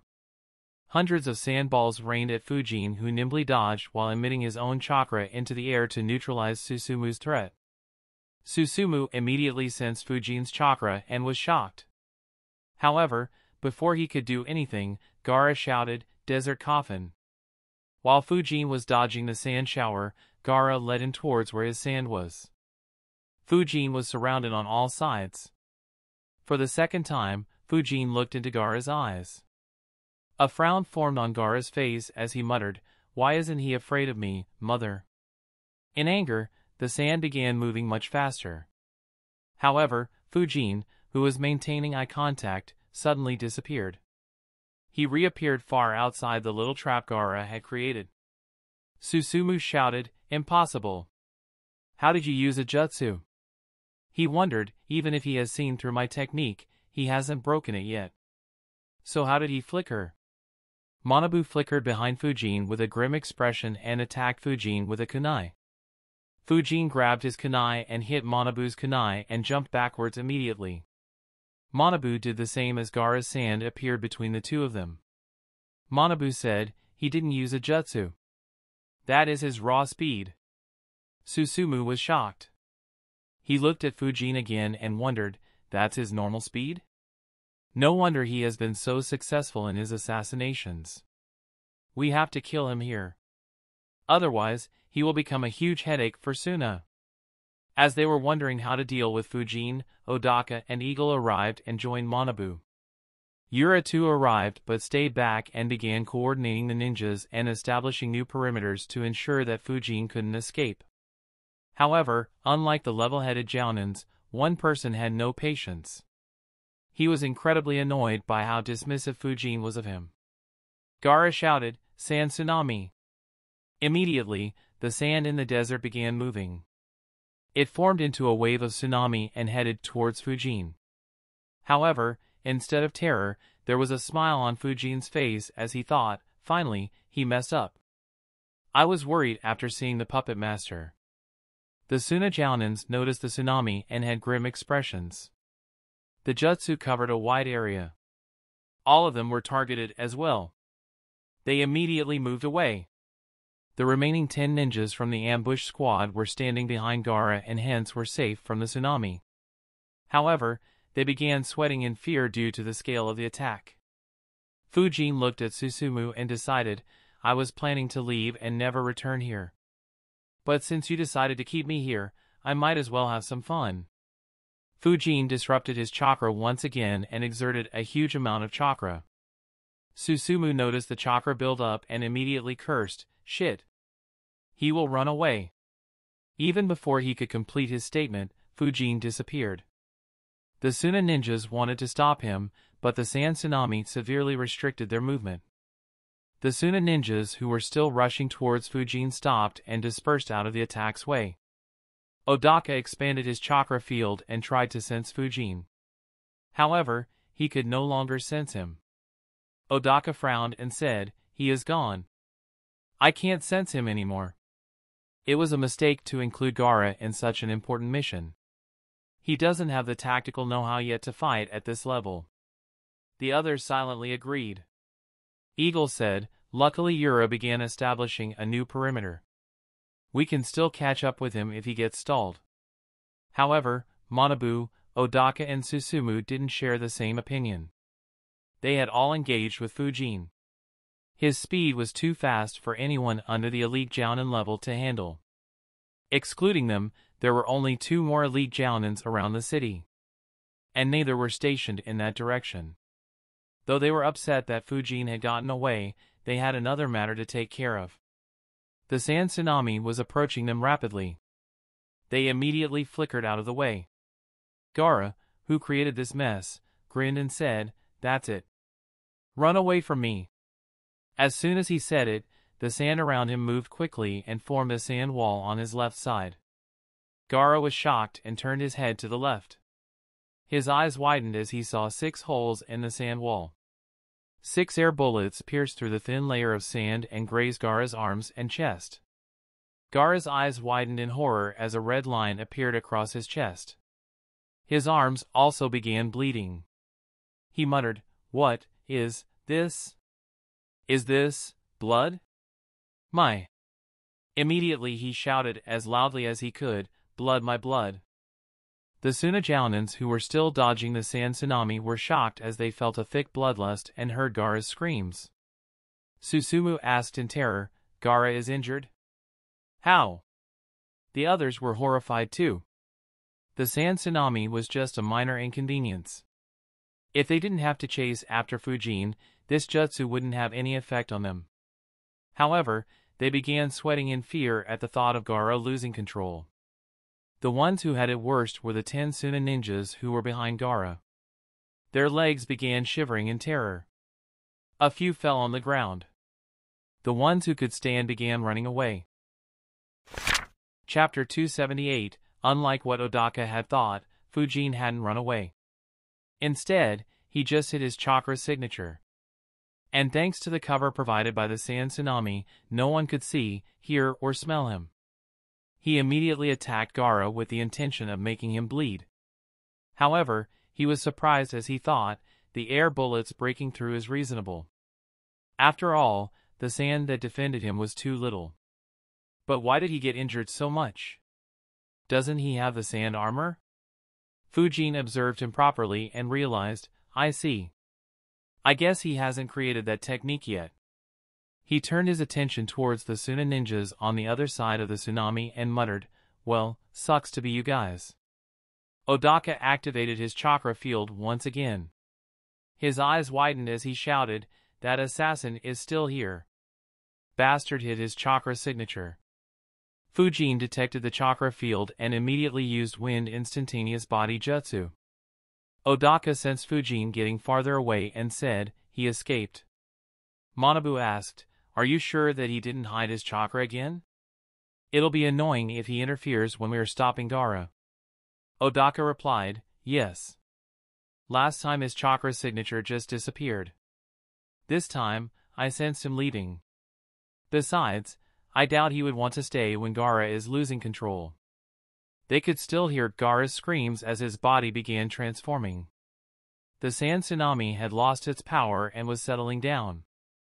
But other than Eagle and the three elite Jounins, the rest stayed away in fear. Susumu moved towards Gaara while leading hand signs, Manabu shouted, don't let him fall asleep. Susumu already knew it. He reached as close to Gaara as he could and completed his hand signs. Demise of the Rebirth Despite being partially transformed, the Genjutsu hit Gaara. As the Genjutsu took hold, a serene sensation washed over him, like a gentle breeze on summer's eve. In an instant, his tumultuous emotions were caressed and quelled. It was as if the weight of anger, hatred, pain, and panic were lifted. The world around him transformed into a dreamland adorned by sakura blossoms. As Gaara watched the sakura petals floating with the wind, he felt a soothing sensation. The illusion cocooned him in a realm of tranquility, offering respite from the burdens of reality. For a fleeting moment, he found solace in the beauty of this ephemeral sanctuary. Unfortunately, he couldn't stay in this world forever. A wave of anger burned in his heart as Shikaku transferred his chakra into Gaara's body to break the illusion and further transform the boy. Susumu and the rest knew that the Genjutsu wouldn't hold a Jinchuriki down for long. When Gaara opened his eyes, he saw four puppets surrounding him. His body was tied with metal strings held by the puppets, restricting his mobility. Gaara roared in rage as he began struggling. Odaka gritted his teeth and increased his control on his puppets to ensure that they wouldn't be sent flying. Fortunately, he wasn't alone. Manabu jumped high in the sky and blew an intense wind on Gaara. Gaara's knees bent. He felt an intense pressure falling down on him continuously. The Suna ninjas sighed in relief on seeing Gaara being pinned down. However, Gaara opened his eyes and stared at Manabu. Manabu immediately had a bad feeling. The sand under Gaara's feet began moving. It instantly reached Manabu. Fortunately, Manabu was prepared and flickered out of the way. Gaara's eyes moved and landed on Odaka. Odaka immediately jumped as he felt the sand under his feet move. As soon as he jumped, multiple tentacles made of sand appeared and moved towards Odaka. Realizing the danger, Odaka opened a scroll and made a hand seal. Immediately, a huge turtle made of wood and metal appeared between him and the sand. The sand hit the belly of the turtle while Odaka landed on its back and immediately jumped towards Manabu. The sand tentacles were stopped. However, more sand moved and completely engulfed the turtle. Odaka's remaining four puppets were also engulfed and crushed by sand. He sighed and muttered, this is going to be a painful fight. Manabu nodded. The cost of building high-quality puppets was quite high. He said, fortunately, we bought enough time. Odaka nodded as he saw that Susumu had returned with two ninjas behind him. Susumu looked at the situation and instructed, we will hold him down. As soon as we do, use your techniques to seal him temporarily. The two ninjas nodded nervously. They were sent along with Susumu and Gaara in case such a scenario happened. However, despite being trained, they had very little experience in sealing a Jinchuriki. After all, if something went wrong in Suna, Rasa would take care of it. They would have no reason to act. Odaka, Manabu, and Susumu began fighting Gaara again. Meanwhile, Eagle stood next to the two sealing ninjas to ensure that Gaara wouldn't harm them. After five minutes of intense battle, they finally managed to pin Gaara down once again. Susumu shouted, Now! Immediately, the two sealing ninjas summoned and opened a giant roll of cloth. Cloth binding technique. The cloth moved towards Gaara and began wrapping itself around it. Gaara struggled, but he couldn't get out of it. In a few seconds, he was completely covered by the cloth. The Suna ninjas finally sighed in relief. Gaara was stopped. They and the city close to them were safe. Susumu grabbed a sealing tag and walked towards Gaara in order to ensure that he couldn't break free. However, his eyes widened. He looked down at his chest in fear and disbelief. A kunai that was dyed in blood had pierced through his heart. The Suna ninjas were shocked as well. A second ago they were happy that Gaara was sealed. Now, they watched in disbelief as the strongest Genjutsu specialist in Suna closed his eyes and passed away. However, Fujin had no expression on his face. He didn't waste any time celebrating and instead looked at Manabu and Odaka. Wind release, infinite breakthrough jutsu. A massive windstorm was shot out towards them. Odaka hurriedly summoned a defensive puppet and the two hid behind it. However, both had grim expressions. Manabu asked, Didn't you say that he ran away? Odaka answered, I definitely sensed him running away. Unless he kept hiding and sent a shadow clone away to fool me. Or maybe he ran away and returned while hiding his chakra. After all, we were busy stopping Gaara. Manabu didn't question any further. After all, it was pointless. He said, this scum is very cunning. We were on guard while fighting Gaara. If he had attacked then, Susumu would have dodged or blocked him. Instead, he waited until we had won and dropped our guard momentarily. Odaka nodded and said, he almost reminds me of Yellow Flash. In the Third War, we lost most of our elite Jounins to his sneak attacks. Other than Tsunade, he was the main reason that we had to accept our defeat and form an alliance with Konoha. Manabu and Odaka's expressions became even uglier. They had speculated that the assassin was from Konoha. Both thought, if Konoha has gained such a strong fighter who is willing to go to such an extreme during peacetime, then a war with them would prove extremely costly. While Manabu and Odaka were hiding from the storm, Eagle took the opportunity to flicker behind Fujin and attacked him with his kunai. However, Fujin withdrew the kunai from Susumu's heart and blocked the attack. Wind release, air bullet jutsu. Eagle's eyes widened as he noticed the attack. He immediately jumped out of the way. Fujin let him go and instead spat out a fire on the cloth that had sealed Gaara. The two sealing ninjas shouted in horror, No! Don't! Unfortunately, Fujin had no intention to listen to them. Eagle's eyes widened as well. He immediately began weeding hand signs and building up his chakra. However, before he could complete his hand signs, he was forced to jump backwards. A kunai grazed past his left forearm leaving a half-foot long cut in it. He winced in pain but kept weaving hand signs. Water release, waterfall jutsu. Despite acting as fast as he could, the delay due to the pain meant that the cloth was already set on fire. A second later, a huge waterfall crashed down on the fire and doused it. At the same time, Manabu launched his own infinite breakthrough jutsu and neutralized Fujin's attack. He and Odaka appeared next to Eagle and asked, Where is the assassin? Eagle said, He is TH. His words were stuck in his mouth as he noticed that Fujin and Susumu's dead body had both disappeared. However, before they could investigate, a furious roar was heard through the desert. The Suna ninjas looked where Gaara was sealed in grim expression as he broke out of the binding cloth. They began fighting him once again. Chapter 279, Manabu and Odaka led the fight to suppress Gaara once again. However, without Susumu and with the added threat of an assassin, the fight became much more difficult. Manabu shouted, Yura. Take command of others and encircle Gaara. Have sensors monitor the battlefield and immediately report if anyone senses that assassin. Being struck once, Manabu didn't want to risk getting attacked again. Suna's losses were already terrible. In its entire history, Suna had experienced such losses during peacetime very few times. If he and Odaka were also to die then Suna would be in a terrible position. Not to mention, the assassin could also target their only Jinchuriki. As the Suna ninjas entered into a bitter struggle, the source of their suffering had already flickered tens of kilometers away. Fujin finally stopped and let out a sigh. He muttered, what a mess. First, they let me kill nobles without any obstruction and then they suddenly have over a hundred ninjas defending one remote city with their Jinchuriki standing right on my escape route. If I didn't know how impulsive Gaara was, I could have been in a pinch. He looked at Susumu's dead body in his hand and muttered, though it's not all bad. My Genjutsu level was stuck for a long time. Other than the Bringer of Darkness, I don't have a high-level Genjutsu that could create a significant impact in battle.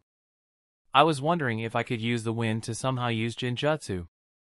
Sadly, the Anbu duties didn't leave me with much time. But now it seems to be a good thing. With his jutsus as the base, I would easily master high-level Genjutsu in no time. Fujin carefully stored Susumu's body. He had no intention of trying to read his memories by himself. He looked back towards where the Sand Shinobi were fighting and analyzed, in this battle, I only used wind and fire jutsus.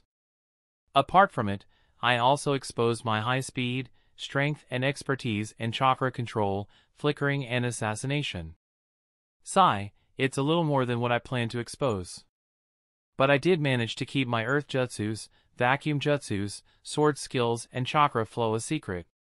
Even if they investigate, they wouldn't analyze that this was me anytime soon. Though once I begin gaining fame, it won't be that difficult for their suspicions to fall on me. Fujin sighed. He could have never imagined that such a distant city would have an ambush made of one Jinchuriki, three elite Jounins, dozens of Jounins and hundreds of ninjas. He thought, I should have quit after burning the food storage. Fujin weaved a few hand signs and slammed his hand on the ground. Summoning Jutsu. Smoke appeared in front of Fujin. It slowly dispersed, exposing a large saber tooth holding the bloody leg of some wild animal in his mouth. He looked around and saw Fujin. Fujin said with a smile, Kaido, it's good to see you again.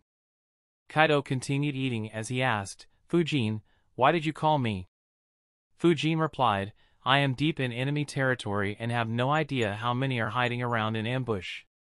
Give me a lift. Kaido continued eating the leg and said, Sure, give me a minute. He swallowed the entire leg and then spat out the bones and said, Get on. Fujin disappeared and appeared on his back. Kaido jumped high and spread his wings wide. He flapped it a few times and quickly rose above the clouds. He looked below towards where Gaara was and said, Your enemy seems quite strong. I can feel his chakra and bloodlust all the way up here. Unlike Kaido, Fujin couldn't feel anything. He said, It's a Jinchuriki. A human who hosts a tailed beast. That said, he is a child and has lost control. If he didn't I'd be in deep trouble. Kaido nodded. Just based on the chakra fluctuations, he had no will to confront that being. He immediately began flying away toward the east. Fujin lay down on his back while enjoying the fresh air and gentle breeze. The last few weeks had been too tedious. He was on guard at all times due to being in enemy territory. Fujin closed his eyes and began meditating. Despite not having any seals, Fujin had noticed long back that meditating while flying above the clouds was much more effective than meditating in his meditation room. In addition, it had a soothing effect on his mind. In a world with ceaseless conflict and incessant schemes, he cherished this feeling. Unlike Fujin's calm mind, the deserts he flew over were in turmoil. After a long struggle, Manabu and Odaka managed to stop Gaara's rampage and returned him to his normal state. Unfortunately, the lives of four Chunins and one Jounin were lost in the process. Around them, hundreds of Suna ninjas were establishing a new perimeter. Dozens of sensors moved continuously in the desert to find where the assassin was hiding. Messenger birds were constantly being sent to keep everyone informed about the situation.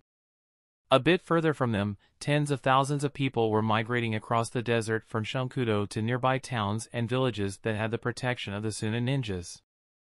Hiding among them was the family of the dead noble Toshio. However, Fujin would have nothing to do with it. He had already left the entire matter behind him. Rasa and the Sunagakure Council would have to handle the aftermath of Fujin's actions. If they decide to retaliate, then Shikaku and Hiruzen would have to face the consequences of not properly defining Fujin's mission parameters. Fujin flew on Kaido's back for half a day. They left the land of wind behind and entered the land of rivers undetected. Kaido found an abandoned hill and finally landed. He asked, Don't you want to lift all the way back home? Fujin shook his head and thought, Very few people know I have a summon. And even fewer know what my summon is or what their abilities are. Though I don't intend to hide them like my lightning jutsus, it's good to have another good trump card. Fujin replied, No need, I can make the remaining journey myself as there shouldn't be any enemies here. Kaido replied, All right. He disappeared in a cloud of smoke and returned to his home. Meanwhile, Fujin stretched for a bit and was about to move towards the land of fire when he heard a loud explosion. He turned his head to the left and squinted his eyes. Around three kilometers from his location, a forest fire had been started. He squinted his eyes and observed the location and analyzed, a fight? At this time of the night? I wonder what's going on. He suppressed his chakra signature and flickered towards the location. His chakra reserves had already recovered and he didn't sense any terrible chakra. So he wasn't very worried. In the forests, five masked people were chasing after a man. The man was injured. There were multiple cuts on his body. In addition, his left hand had a huge burn mark due to an explosion. One of the masked men shouted, Shigeki. Stop running and face consequences for your actions. Shigeki didn't say anything and continued running. His condition wasn't good. The masked men weren't angry. Instead, they looked at Shigeki with ridicule. They could have killed him long back. However, they were just having fun. Shigeki was aware of it. However, he continued running while praying, Please give me one chance. Please! As long as I survive, I'll return stronger than ever. I'll avenge my family and kill that bastard. Fortunately or unfortunately, the direction he was running in was where Fujin had landed. Fujin reached the location quickly and observed from a distance. None of the six ninjas sensed his arrival. Fujin analyzed, these five masked ninjas are from the special forces of Tanigakure. And is that Kasai Shigeki? Why are they chasing their own Jounin? Fujin had interacted with Shigeki a couple of times during his Anbu missions. He had a good impression of him. The man was decently strong for someone who wasn't from any major village and didn't have any strong bloodline. In addition, he was smart, loyal to his village and capable of leading large squads. Fujin followed them stealthily. Within a couple of minutes, he wondered, did he do something that irked the leaders of Tanigakure or the Land of River?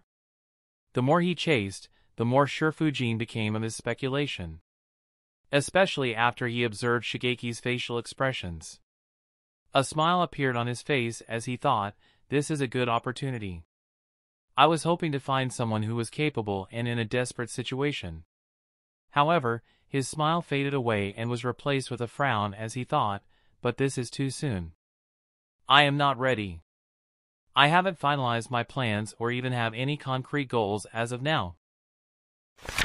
Chapter 280 the masked men continued chasing Shigeki while occasionally throwing shurikens and explosion tags at him. Fujin followed them patiently for 45 minutes. He had changed his attire and got himself a new mask. Finally, one of the masked men stopped laughing and said, he is reaching close to a cliff. He might try to jump off. Enough fun, let's kill him now. We still have to bring his dead body back. Otherwise, Kanji-sama might kill us as well. The other masked men got serious as well and said, Yes, Captain. Immediately their speed increased. Shigeki noticed the cliff as well. He immediately began running towards it while thinking, if they catch me, I'll die. I will try my luck by jumping off the cliff. If I survive, I will train and slaughter Kanji, his son, and his entire family. Unfortunately, one of the masked men appeared next to him. Shigeki's eyes widened. He immediately punched him. However, the masked man ducked and kicked his left leg which had a huge burn mark. Shigeki screamed in pain. He lost his balance and fell on his face and slid across the ground. The fall aggravated his existing injuries and inflicted fresh ones that began bleeding as well. Despite the pain, he gritted his teeth and got up. However, as soon as he did, he saw the five masked ninjas standing in front of him. The captain raised his kunai and said, Farewell Shigeki. He swung his kunai at Shigeki's neck. Tears rolled down Shigeki's cheeks as he shouted, Just give me one chance. The masked ninjas had a smirk on their faces. They had no mercy for Shigeki. Just when the kunai was about to cut his neck, the masked man's hand lost power. The kunai hit Shigeki's neck but caused no injury as it didn't have enough force to cut through. Meanwhile, Shigeki's eyes were wide open in shock. As if answering his prayers, the heads of all five masked ninjas were sent flying in an instant. In a second, their lifeless bodies collapsed to the ground. Suddenly, Shigeki felt a chill down his spine. He didn't dare move as he felt a sword resting on his neck. He felt that if he made any slight movement, his head would roll over just like others. He heard a cold voice asking, Give you a chance for what? He immediately said, One of the elders in Tanigakure killed my entire family. I want a chance to live so that I can get stronger and get justice for my wife and daughter. Fujin was puzzled. He asked, Why did he kill them? Shigeki was silent. Tears rolled down his cheeks. His voice lost all spirit as he said, His drunk son raped my daughter. He didn't know she was my daughter. In a rage, I beat him up and mutilated him to ensure that he can't do something so heinous to anyone else. I wanted to kill him as well, but I was stopped by my colleagues. That's when my tragedy began. Kanji couldn't retaliate at first as my colleagues backed me. Instead, he showed that he was upset with his son and scolded him but in reality, he was plotting revenge. Slowly, Kanji made numerous allegations about me and spread ill rumors. When my reputation had fallen enough, his personal ninjas made a move against my family when I was out on a mission. They ambushed me as well due to which I couldn't fight back. He stopped talking and broke down. Fujin sighed secretly but kept his sword on his neck. He thought, no wonder he is in such bad shape. Though Fujin knew about Shigeki, he wasn't aware of his family. But he knew that Shigeki was just in his early 30s. He didn't need to think much to understand what his daughter might have gone through. He let Shigeki cry out for some time. Finally, Shigeki calmed down. He asked, Are you going to kill me? Fujin didn't answer. Shigeki begged, Could you please let me live for some time? I will get justice for my family and then kill myself. If not, could you please kill Kanji and his son after you kill me? Fujin didn't answer and asked, How will you kill your way into Tanigakure in your condition? Shigeki replied, I am not strong enough yet. I will train until I can get justice for my family. Fujin chuckled and said, Strong enough to kill your way into a hidden village? You are too old for having such silly dreams. But I have a proposition for you. I was looking for a capable man to recruit to help me run my organization. You might be suitable for that job. As long as you do a good job, I'll help you get your justice. Either by yourself if you get sufficiently strong enough or through my hands. What do you say? Shigeki was surprised. He was expecting to die like the masked ninjas. Instead, their killer was trying to recruit him. He asked, What organization do you want to create? Fujin asked, Does it matter as long as you get your justice? Shigeki went silent. However, after a couple of minutes, he shook his head and said, No. I won't join any organization that would make others suffer as I and my family did. Fujin withdrew his sword and replied, Oh, it won't be that sort of an organization. No need to be bothered about that. Shigeki thought for a bit more. Fujin didn't disturb him. Finally, he got up with much struggle and bowed to Fujin and said, Thank you for saving my life, Lord. I, Kasai Shigeki, am willing to work for your organization as long as you help me get justice for my family. Fujin nodded and extended his palm towards Shigeki. Chakra appeared on his palm and began healing Shigeki. Shigeki's eyes widened. He thought, I never thought that someone who could kill without a second thought would be a medical ninja. The wounds on Shigeki were all external wounds. Fujin healed all his wounds in a few minutes. He said, Follow me. Fujin began running.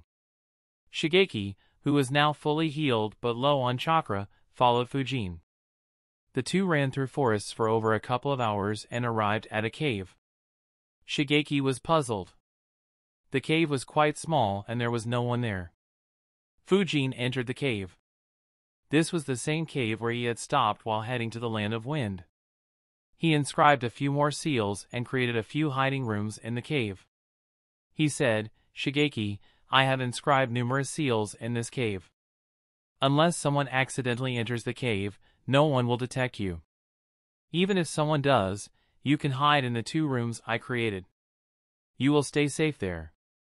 Shigeki asked in a puzzled voice, Lord, are there any other members from the organization here? Fujin replied, You can call me Shurdin. No need for any honorifics. And no!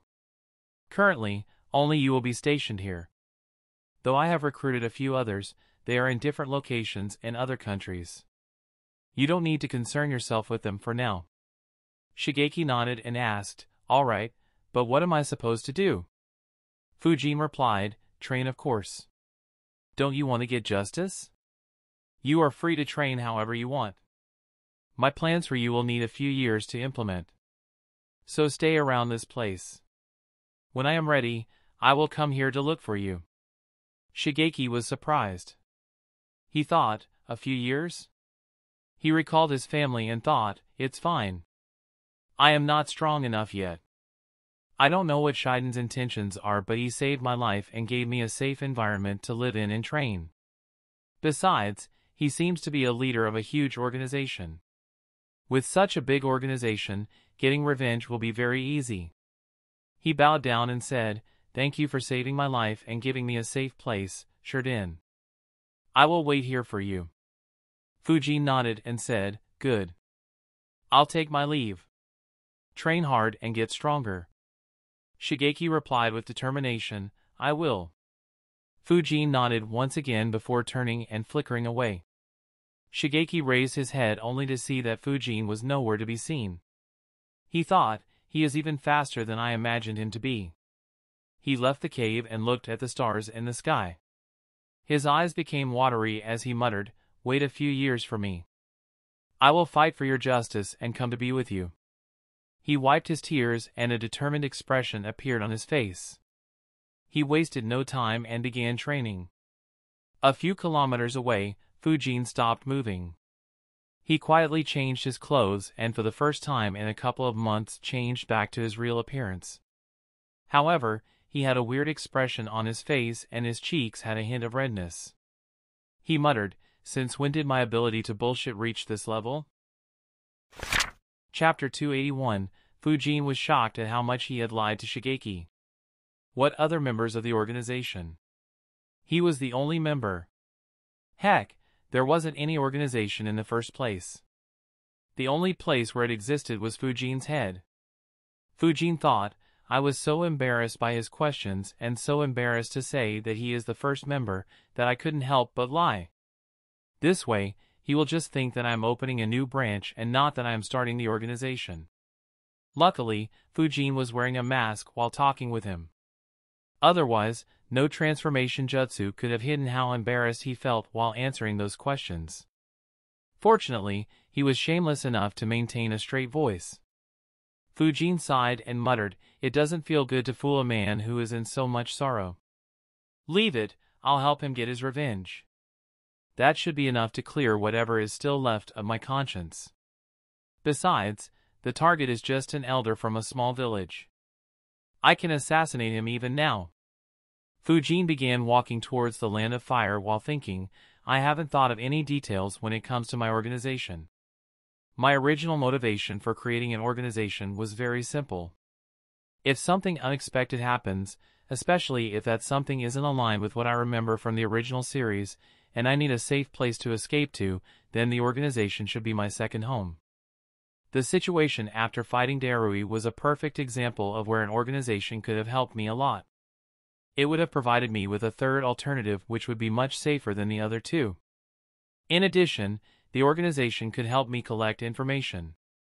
It could also help in collecting rare materials like elemental crystals or perhaps even chakra metal. But, this isn't enough. An organization needs to have a goal.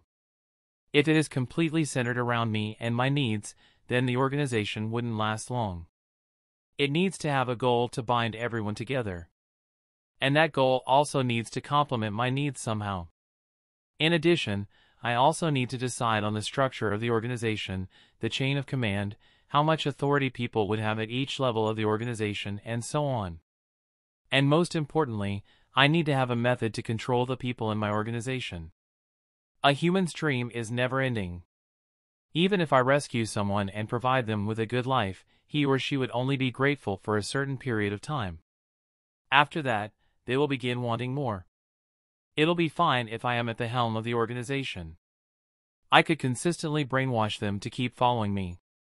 Unfortunately, I can't monitor them actively as I will be in Konoha. I'll need another method.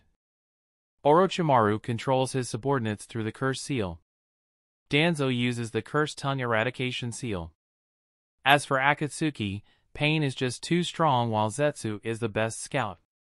So no one will dare to oppose them. That said, despite their strength and skills, Orochimaru still betrayed them and Itachi stayed as an undercover agent. I doubt I could be a bigger deterrent than someone with Rinnegan.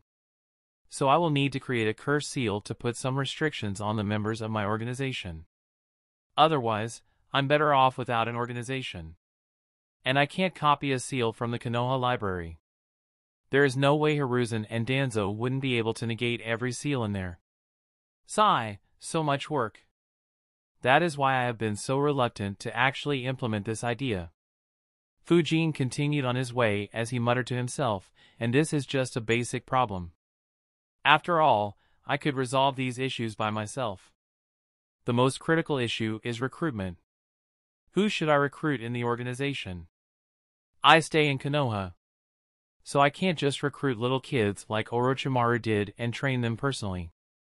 I need some Jounin level members to look after the organization while I am not there. It'd be best if that person is at elite Jounin level so that they can handle any unexpected events while I'm not there.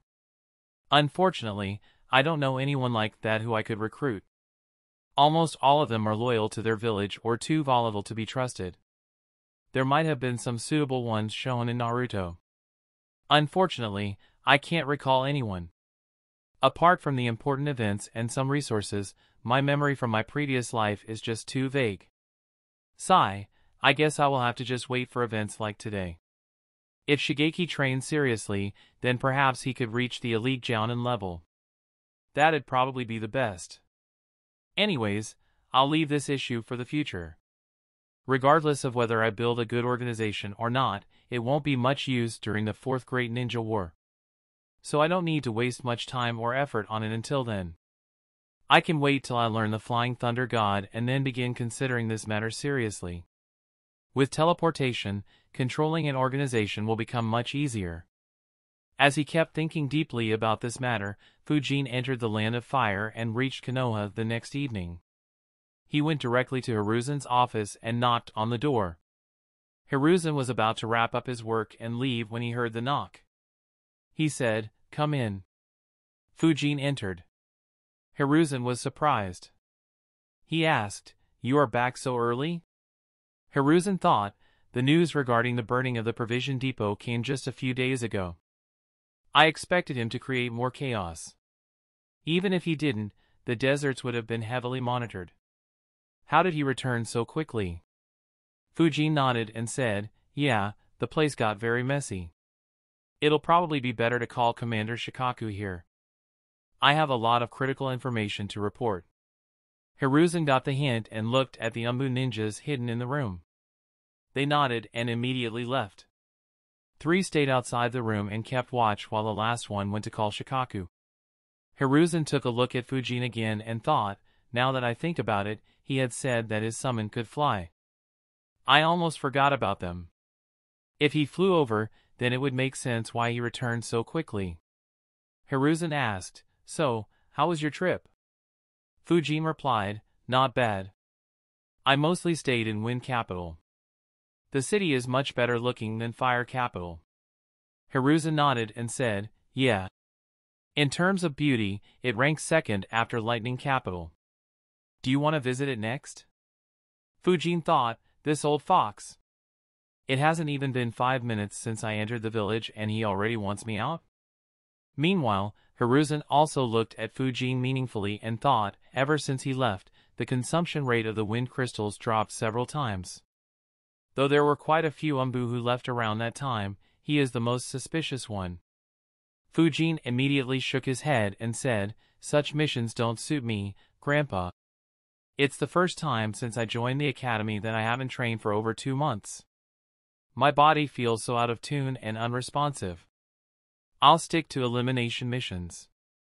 Hiruzen let out a chuckle and thought, if he is indeed the one who uses them so much, then it's no surprise that he has no will to leave the village. Hiruzen casually inquired about random stuff until Shikaku arrived and closed the door. Shikaku looked at Fujin and recalled the reports he received a few days ago. His expression became very peculiar. Hiruzen made a hand seal and activated the seals in the room. No one could eavesdrop on them anymore. He looked at Fujin and said, You can report now. Fujin nodded and became serious. He asked, Did Kakashi-senpai report the mission to eliminate the bounty hunters? Shikaku nodded and said, He did. Just report about your activities in the Land of Wind. Fujin nodded and began reporting, All right. I infiltrated the country and found a trading caravan. It was from the Land of Bird and protected by four ninjas from a mercenary group called Kurogane no Sensen. I eliminated them and infiltrated the Wind capital city using their disguises. Under that disguise, I eliminated 10 nobles on the list of nobles that were very loyal to Sunagakure. All of them were eliminated using Wind Sword Jutsu. I also killed a few samurais and left a couple injured so that all suspicions will fall on Suna. I followed it up by killing family members of 12 other nobles who had good relations with Sunagakure a couple of weeks later. This was done while using the disguises of the Suna ninjas who came along with the elite Jounin Baki to investigate the previous killings. And I let the nobles see me and threaten them. Both these acts increased the resentment towards Suna among the nobles considerably. Though you'll have to check the degree of resentment with the use of other spies. Unfortunately, that forced the fourth Kazekage to come to the Wind capital city. He had a long meeting with the Wind Daimyo. I am not sure what deal they reached. So I decided that it won't be a good idea to act once again as it might have destroyed the situation I created. Shikaku and Hiruzen nodded. They were aware of these developments. Though they didn't know the exact information, they had guessed Fujin's actions quite accurately. Unfortunately, they didn't have much clue about other events apart from the incident about provision depots. Neither was prepared for what Fujin was about to report. That's the end of this tale for now. Thank you for watching, and I'll see you in part 7.